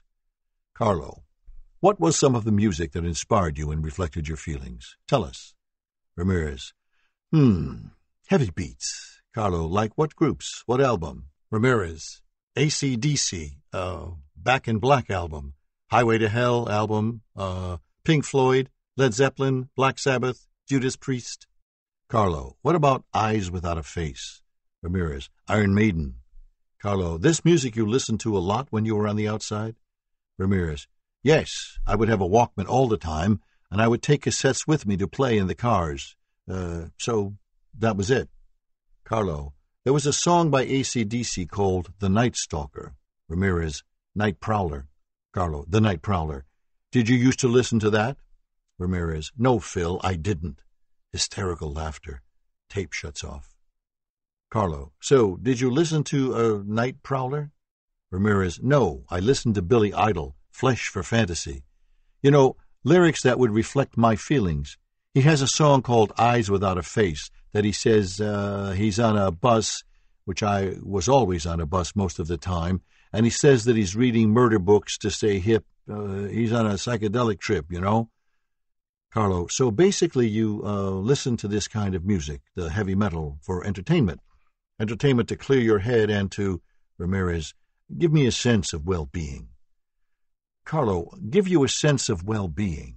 Do you think young children, young teenagers actually, should be kept away from music like that? Ramirez, no, because I believe that a person that a person that is destined or inclined to be evil will be evil with or without music. Music, I don't believe, has a part in anything. Carlo, even young, impressionable minds? Ramirez, yes, yes, because I believe that it is the environment that will determine who a child will grow up to be. Carlo, Richard, when you were ten years old, Ramirez, or thereabouts, Carlo, or thereabouts, your cousin Mike had just returned from Vietnam, and he was stressed because of the war, from being in three tours of duty, and got into an argument one day with his wife and shot her and killed her. You happened to be there that day. Could you tell us how that made you feel, to see that? And later on, when you went back with your dad? Ramirez. Well, yes, it was. Carlo, how old were you? Ten or eleven? Ramirez. Thereabouts, I'm not sure, ten or eleven. I can't say for sure. I was probably eleven. It was a sunny day. I had been with Mike that day, hanging out, and uh, he got to his house about 3 p.m. I was with him. The incident happened. Uh, he was arrested, taken to jail. His, Mike's mother, called my father and my mother a week or two later, asking them if they would go into the house and get some things for them. I remember me and my father and my mother going. We parked the truck. Me and my father went inside, not knowing what we would find. Tape shuts off. Ramirez. It was the strangest experience. I mean, being there after Jesse had been killed, the the aura of it was still kind of like hanging in the air. It was kind of mystical. I could still smell her blood. Sunlight was streaming into the room, and you could see particles of dust in the golden beams of sunlight. Carlo, what kind of effect did this all have on you, you think? Ramirez, Strange. I mean, to see something like that. The line between life and death right there in front of me. Intense. When she went down, I saw it all in slow motion. Carlo, he shot her in front of you, Richard? Ramirez, yes, me and my two cousins, his two kids, boys, three and six. Carlo, how close? Ramirez, a few feet away. Carlo, your cousin Mike also killed, raped and killed women over in Nam, didn't he? Ramirez, yes. Carlo, how do you know? Ramirez, he told me all about it, and I saw Polaroid photos he had. Carlo, please tell us about that, Richard. Ramirez, he had a shoebox in his closet. It was filled with these Polaroid photographs of women and girls he took into the jungle and did. Carlo, did? Ramirez, raped and killed them. Sisters, even a family, two daughters and the mother. He tore off their clothes and had them naked, tied to a tree. In another one there, they were dead. He cut off their heads. Carlo, did he rape them too? Ramirez, yeah, of course, while they were tied to the tree. All three of them, in front of each other. Carlo, he told you this? Ramirez, yeah, told me all about it, exactly what he did. We used to go for joyrides all around El Paso, smoke pot, listen to the radio, and he'd tell me what he did with the women. Carlo, you know how many he raped and killed? Ramirez, over twenty for sure. He had photographs of them. Young girls, mostly, but all ages. They were the enemy. They were, you know, VC. No one gave a fuck. Carlo, what kind what kind of effect did this have on you? Ramirez, heavy. I used to think about them. I mean all that. Carlo, sexually, Richard? Ramirez, fuck yeah, of course, sexually. It was all about sex. Carlo, they were a turn on, the photographs? Ramirez, yes, very much so. Carlo, do you think seeing those pictures helped you walk the road you eventually traveled? Ramirez, it's hard to say. I'm not blaming my cousin for anything. I want that clear. This just happened. Carlo. He also taught you about jungle warfare, guerrilla fighting, how to kill people, correct? Ramirez. Yes, he did. How to use a knife, where to shoot someone, how to be invisible at night, the whole enchilada. Carlo. Invisible? How? Ramirez. Wear all black, even shoes and socks, with a black hat with the brim pulled down to cover your face so no light can reflect off it. Avoiding the reflection of light, that's the key. Carlo. Interesting. Ramirez. For me, it was all very interesting. I was already stealing. I mean, getting into people's houses at night and stealing things and all that helped. Carlo. Did he teach you how to shoot? Ramirez. No, my dad did that. But my cousin told me where to hit someone for the maximum effect. Carlo. Where? Ramirez. The head, of course. Carlo. Any particular spot? Ramirez. Above the ear. Carlo. And the knife, I mean, what is the best place to use it? Ramirez. Across the throat. It's called a stab slash wound. That is, you drive the point into the side of the neck, then pull it across the throat. That cuts both the windpipe and the arteries. Always lethal. Carlo. I see. Tape shuts off. For me, one of the more bizarre, compelling aspects of Richard Ramirez's mind numbing, violent story was the individuals who were so drawn to him when he was arrested. In my research for the book, I did interview many of these women and wrote about them in The Night Stalker. One of Richard's many women back then, in 1993 through 1994, was Doreen Lioy. Doreen did eventually marry Richard in a death row wedding, which I attended. The ceremony took place in the death row visiting room. As always, other inmates were having visits, and they all became respectfully quiet when the ceremony began. Here were many other notorious serial killers, heavily tattooed gangbangers, stone faced, overly serious Aryans, all becoming quiet and still for Richard's wedding. It took place in a cafeteria type room, 100 by 100 feet, plastic chairs bolted to the floor. Vending machines lined the east wall. For me, it was kind of surreal to see all these stone cold killers sitting there, quiet, like they were in a church or some such place, because Richard was having a wedding. The pastor, I noticed during the vows, didn't say the line, Until death do you part. When I later asked him why, he said, That would be bad form to say here, on death row. Yes, of course. Doreen Lioy had been one of many women who had been drawn to Richard after his arrest. They lined up at the Los Angeles County Jail during Richard's tumultuous 14 month trial, hoping to see Richard, have a visit with him. While free, Richard had to pay for sex from lowly downtown Los Angeles streetwalkers. Now Richard suddenly was Rudolph Valentino, Mick Jagger, Brad Pitt, and the boogeyman all rolled into one. Richard, more than anyone else, was stunned and surprised so many females found him so totally, completely irresistible.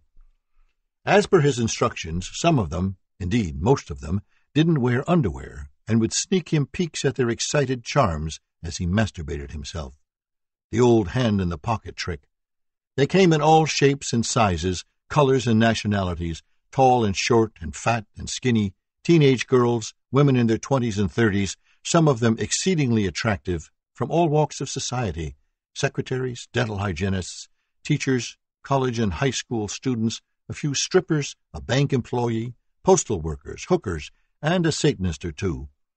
One of the latter was Zeena LaVey, the daughter of the once infamous, now deceased Anton LaVey, the founder of the San Francisco based Church of Satan. Why, the question begs to be answered, were all these women so drawn to a cunning, remorseless, brutal serial killer, a man on trial for murdering seven women, nearly beating to death five others, raping old ladies, beating and kicking and sending them to the hospital barely alive? The crimes were committed across the wide expanse of Los Angeles County, as far south as Mission Viejo and as far north as Diamond Bar. Most of the Night Stalker's attacks, nineteen in all, over a fifteen month span, took place in lovely upscale communities. Yet here were these girls and women wanting to have sex with him, do his bidding, fellate him, be sodomized by him, make themselves his willing, malleable sex toys. Richard was being tried, it had been written about extensively, for not only vaginally raping female victims, but sodomizing them as well. These victims all knew that, and yet it didn't matter. What Richard had done, sodomizing all his victims, apparently had given him some kind of unique atavistic appeal. Indeed, to many of these women it was a big turn on. The sodomy was more giving, more painful on their part. If that was what he wanted, demanded, they were collectively willing to pull down their drawers, bend over, and say please as they willingly spread themselves for him.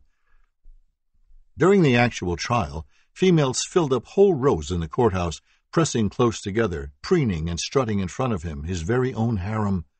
They became known as the Ramirez groupies, so dubbed by the unbelieving, wide-eyed press. Doreen Lioy called all of these ladies, her competitors back then, Pop-Tarts, which on face value seemed uncannily accurate. As I mentioned, I did interview many of these women while researching the book, and I initially learned firsthand what was on these ladies' minds. One told me, I'd get, you know, so wet when I went to see him.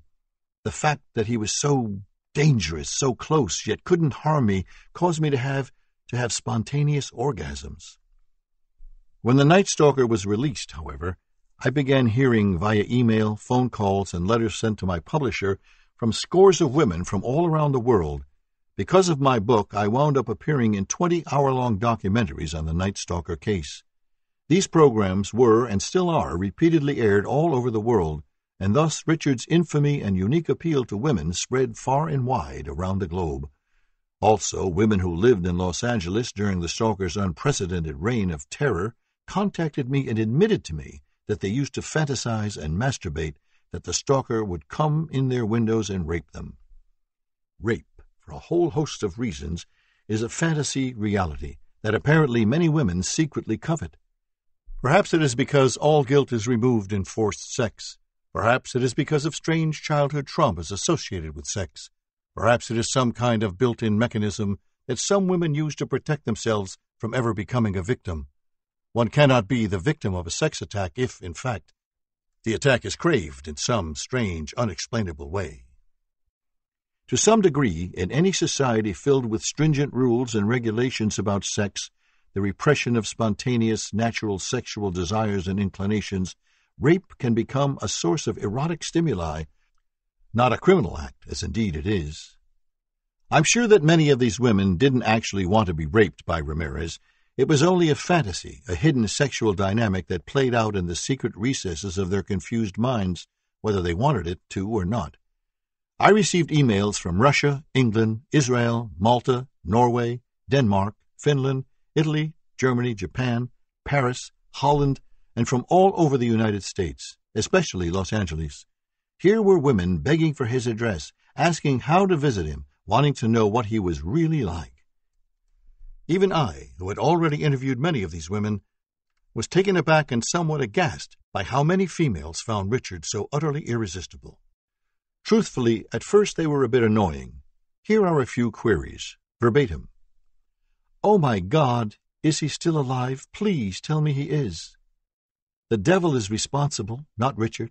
Can you please, please tell me how to write Mr. Ramirez? Thank you for scaring the pants off me. I can't sleep with the windows open any more.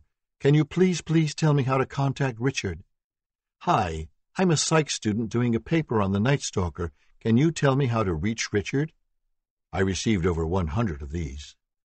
I'm a filmmaker. I want to do a film on Richard, all these groupies of his. Please, sir, can you tell me how to visit him? After a while, I realized there was a little known, little understood phenomenon going on, and I determined to study it and find out what the hell was happening here. I began interviewing many of these females.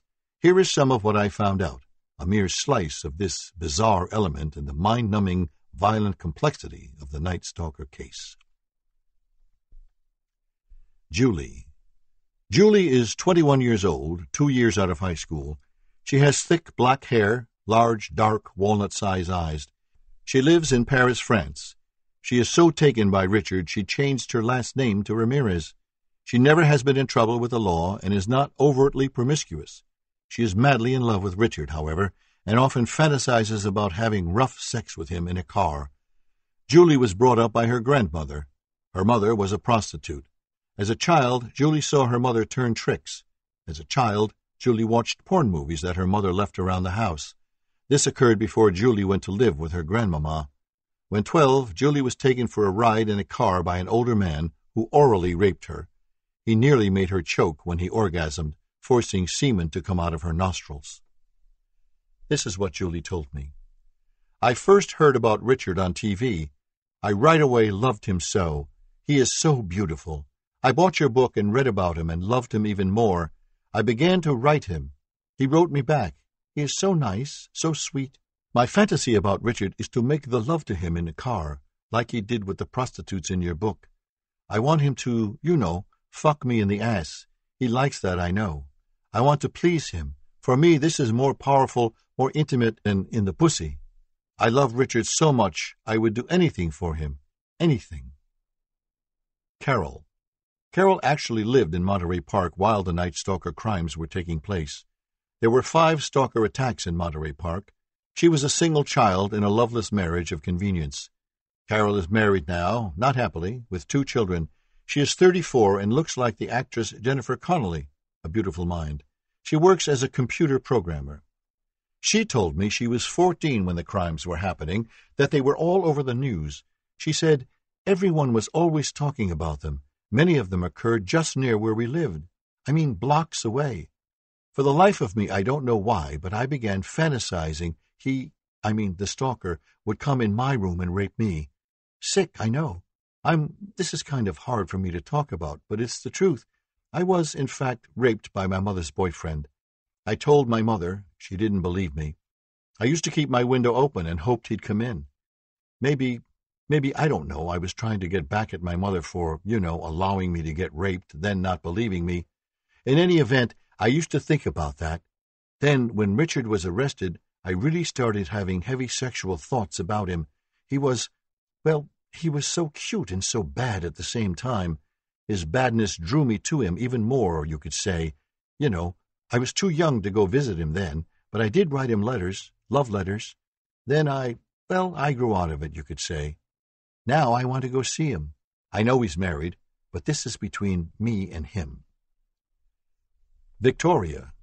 Victoria is Danish. As of this writing, she is 22 years old.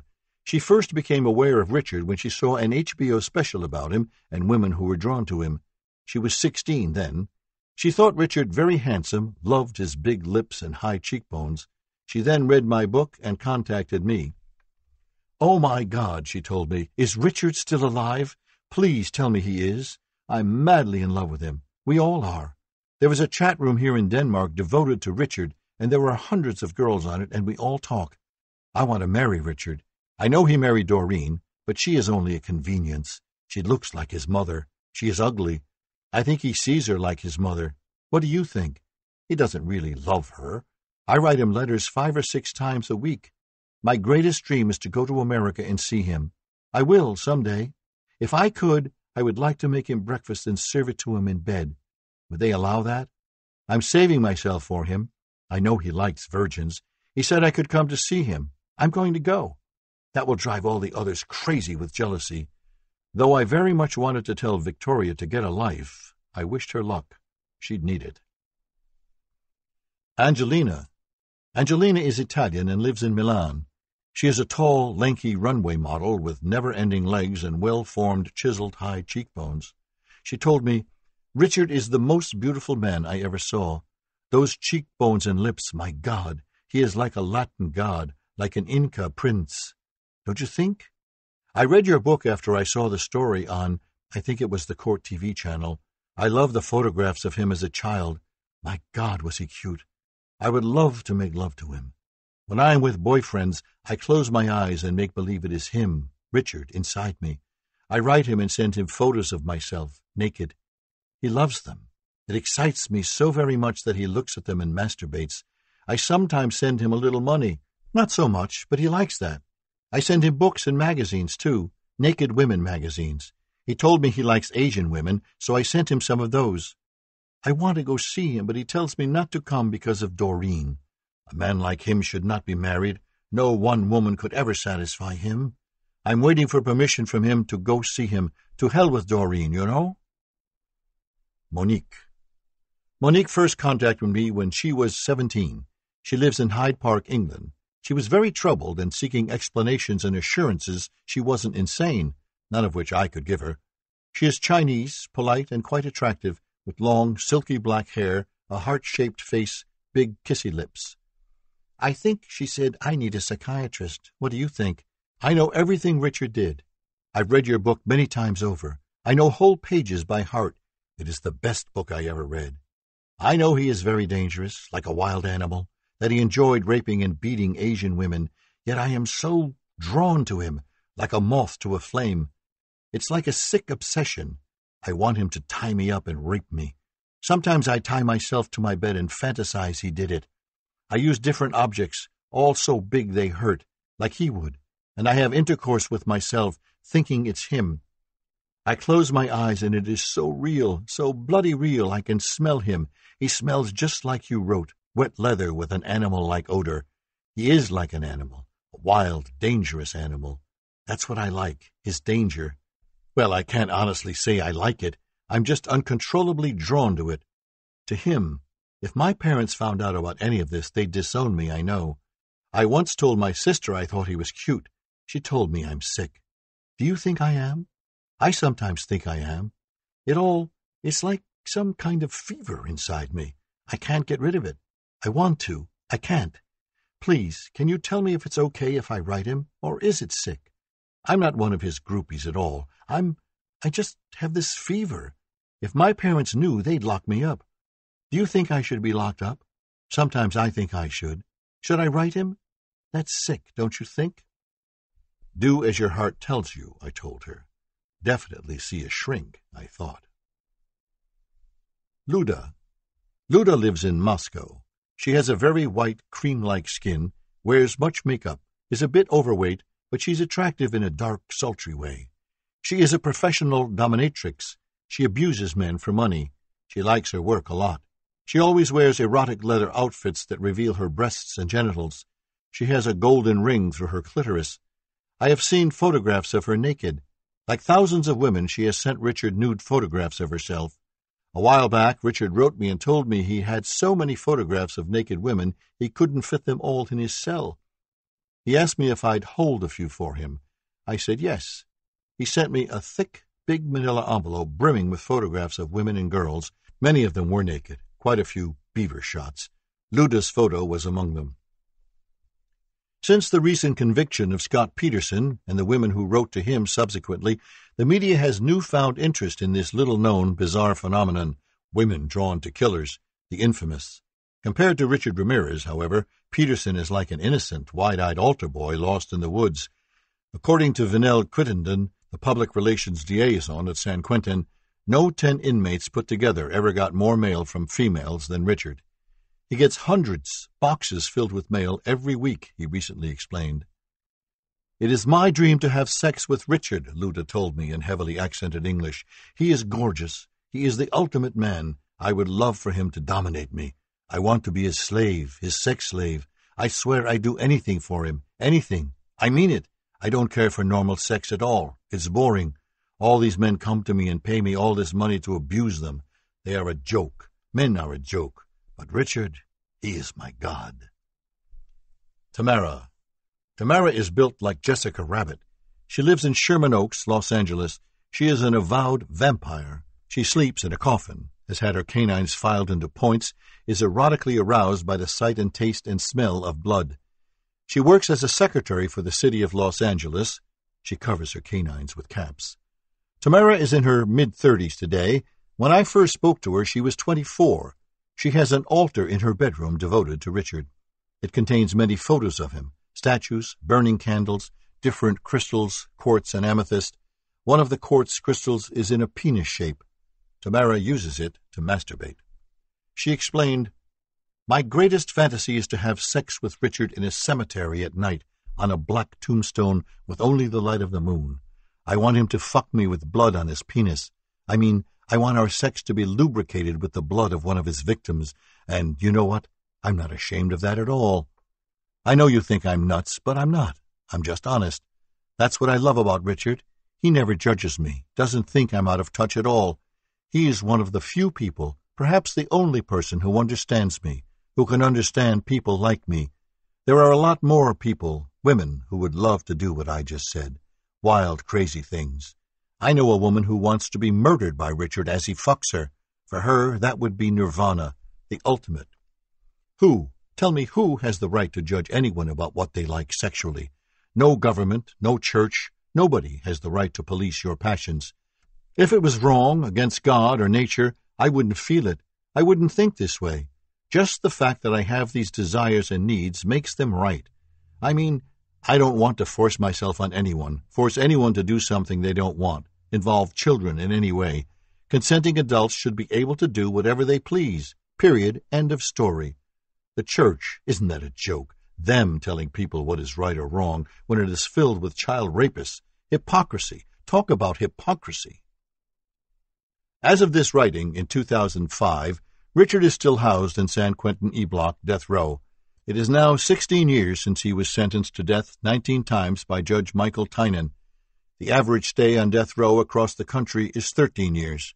To some degree, Richard has become used to incarceration. He has books, a TV, and a radio in his 6 by 8 cell. He gets hundreds of pieces of mail a week from all around the world, mostly from females. He has a lot of correspondence to keep him busy. There has been much talk across the country about abolishing the death sentence, which very well could come to pass. If that does happen, Richard would be spared the lethal injection San Quentin now uses on the condemned. As of this writing, there are 667 men waiting to die at San Quentin's death row. Richard is one of the most infamous of all the condemned, a kind of homicide superstar, the Mick Jagger of murder. Richard's attorneys are planning to appeal his conviction, his appeals attorney, Jerry Russell, says there are numerous legal points she plans to perfect and argue, foremost of which is incompetent counsel. When recently asked when she will have the appeal ready to be argued, she said, Well, truth is, it is a voluminous record, and I won't have the appeal ready for quite some time. The truth is, she told me off the record, there is no hurry to argue Richard's appeal, for the longer she takes, the longer Richard will live. He might very well live to a ripe old age and die in prison of natural causes. Then again, San Quentin's death row is a very dangerous place, and there is no telling when sudden violence can occur, and Richard could end up dead. Meanwhile, Richard Ramirez, aka the Night Stalker, reads his fan mail, enjoys all the photographs of naked women sent to him, and dreams about being free so he can do all the grisly, ghastly things he did to get put on death row in the first place. Philip Carlo, Montauk, New York. This concludes The Night Stalker by Philip Carlo, narrated by Tom Zingarelli. Copyright 1996 by Philip Carlo. This unabridged audiobook is published by arrangement with Kensington Publishing Corporation and was produced in the year 2016 by Tantor Media, Incorporated, a division of Recorded Books, which holds the copyright thereto. Please visit Tantor.com for more information on our growing library of unabridged audiobooks and to take advantage of special offers.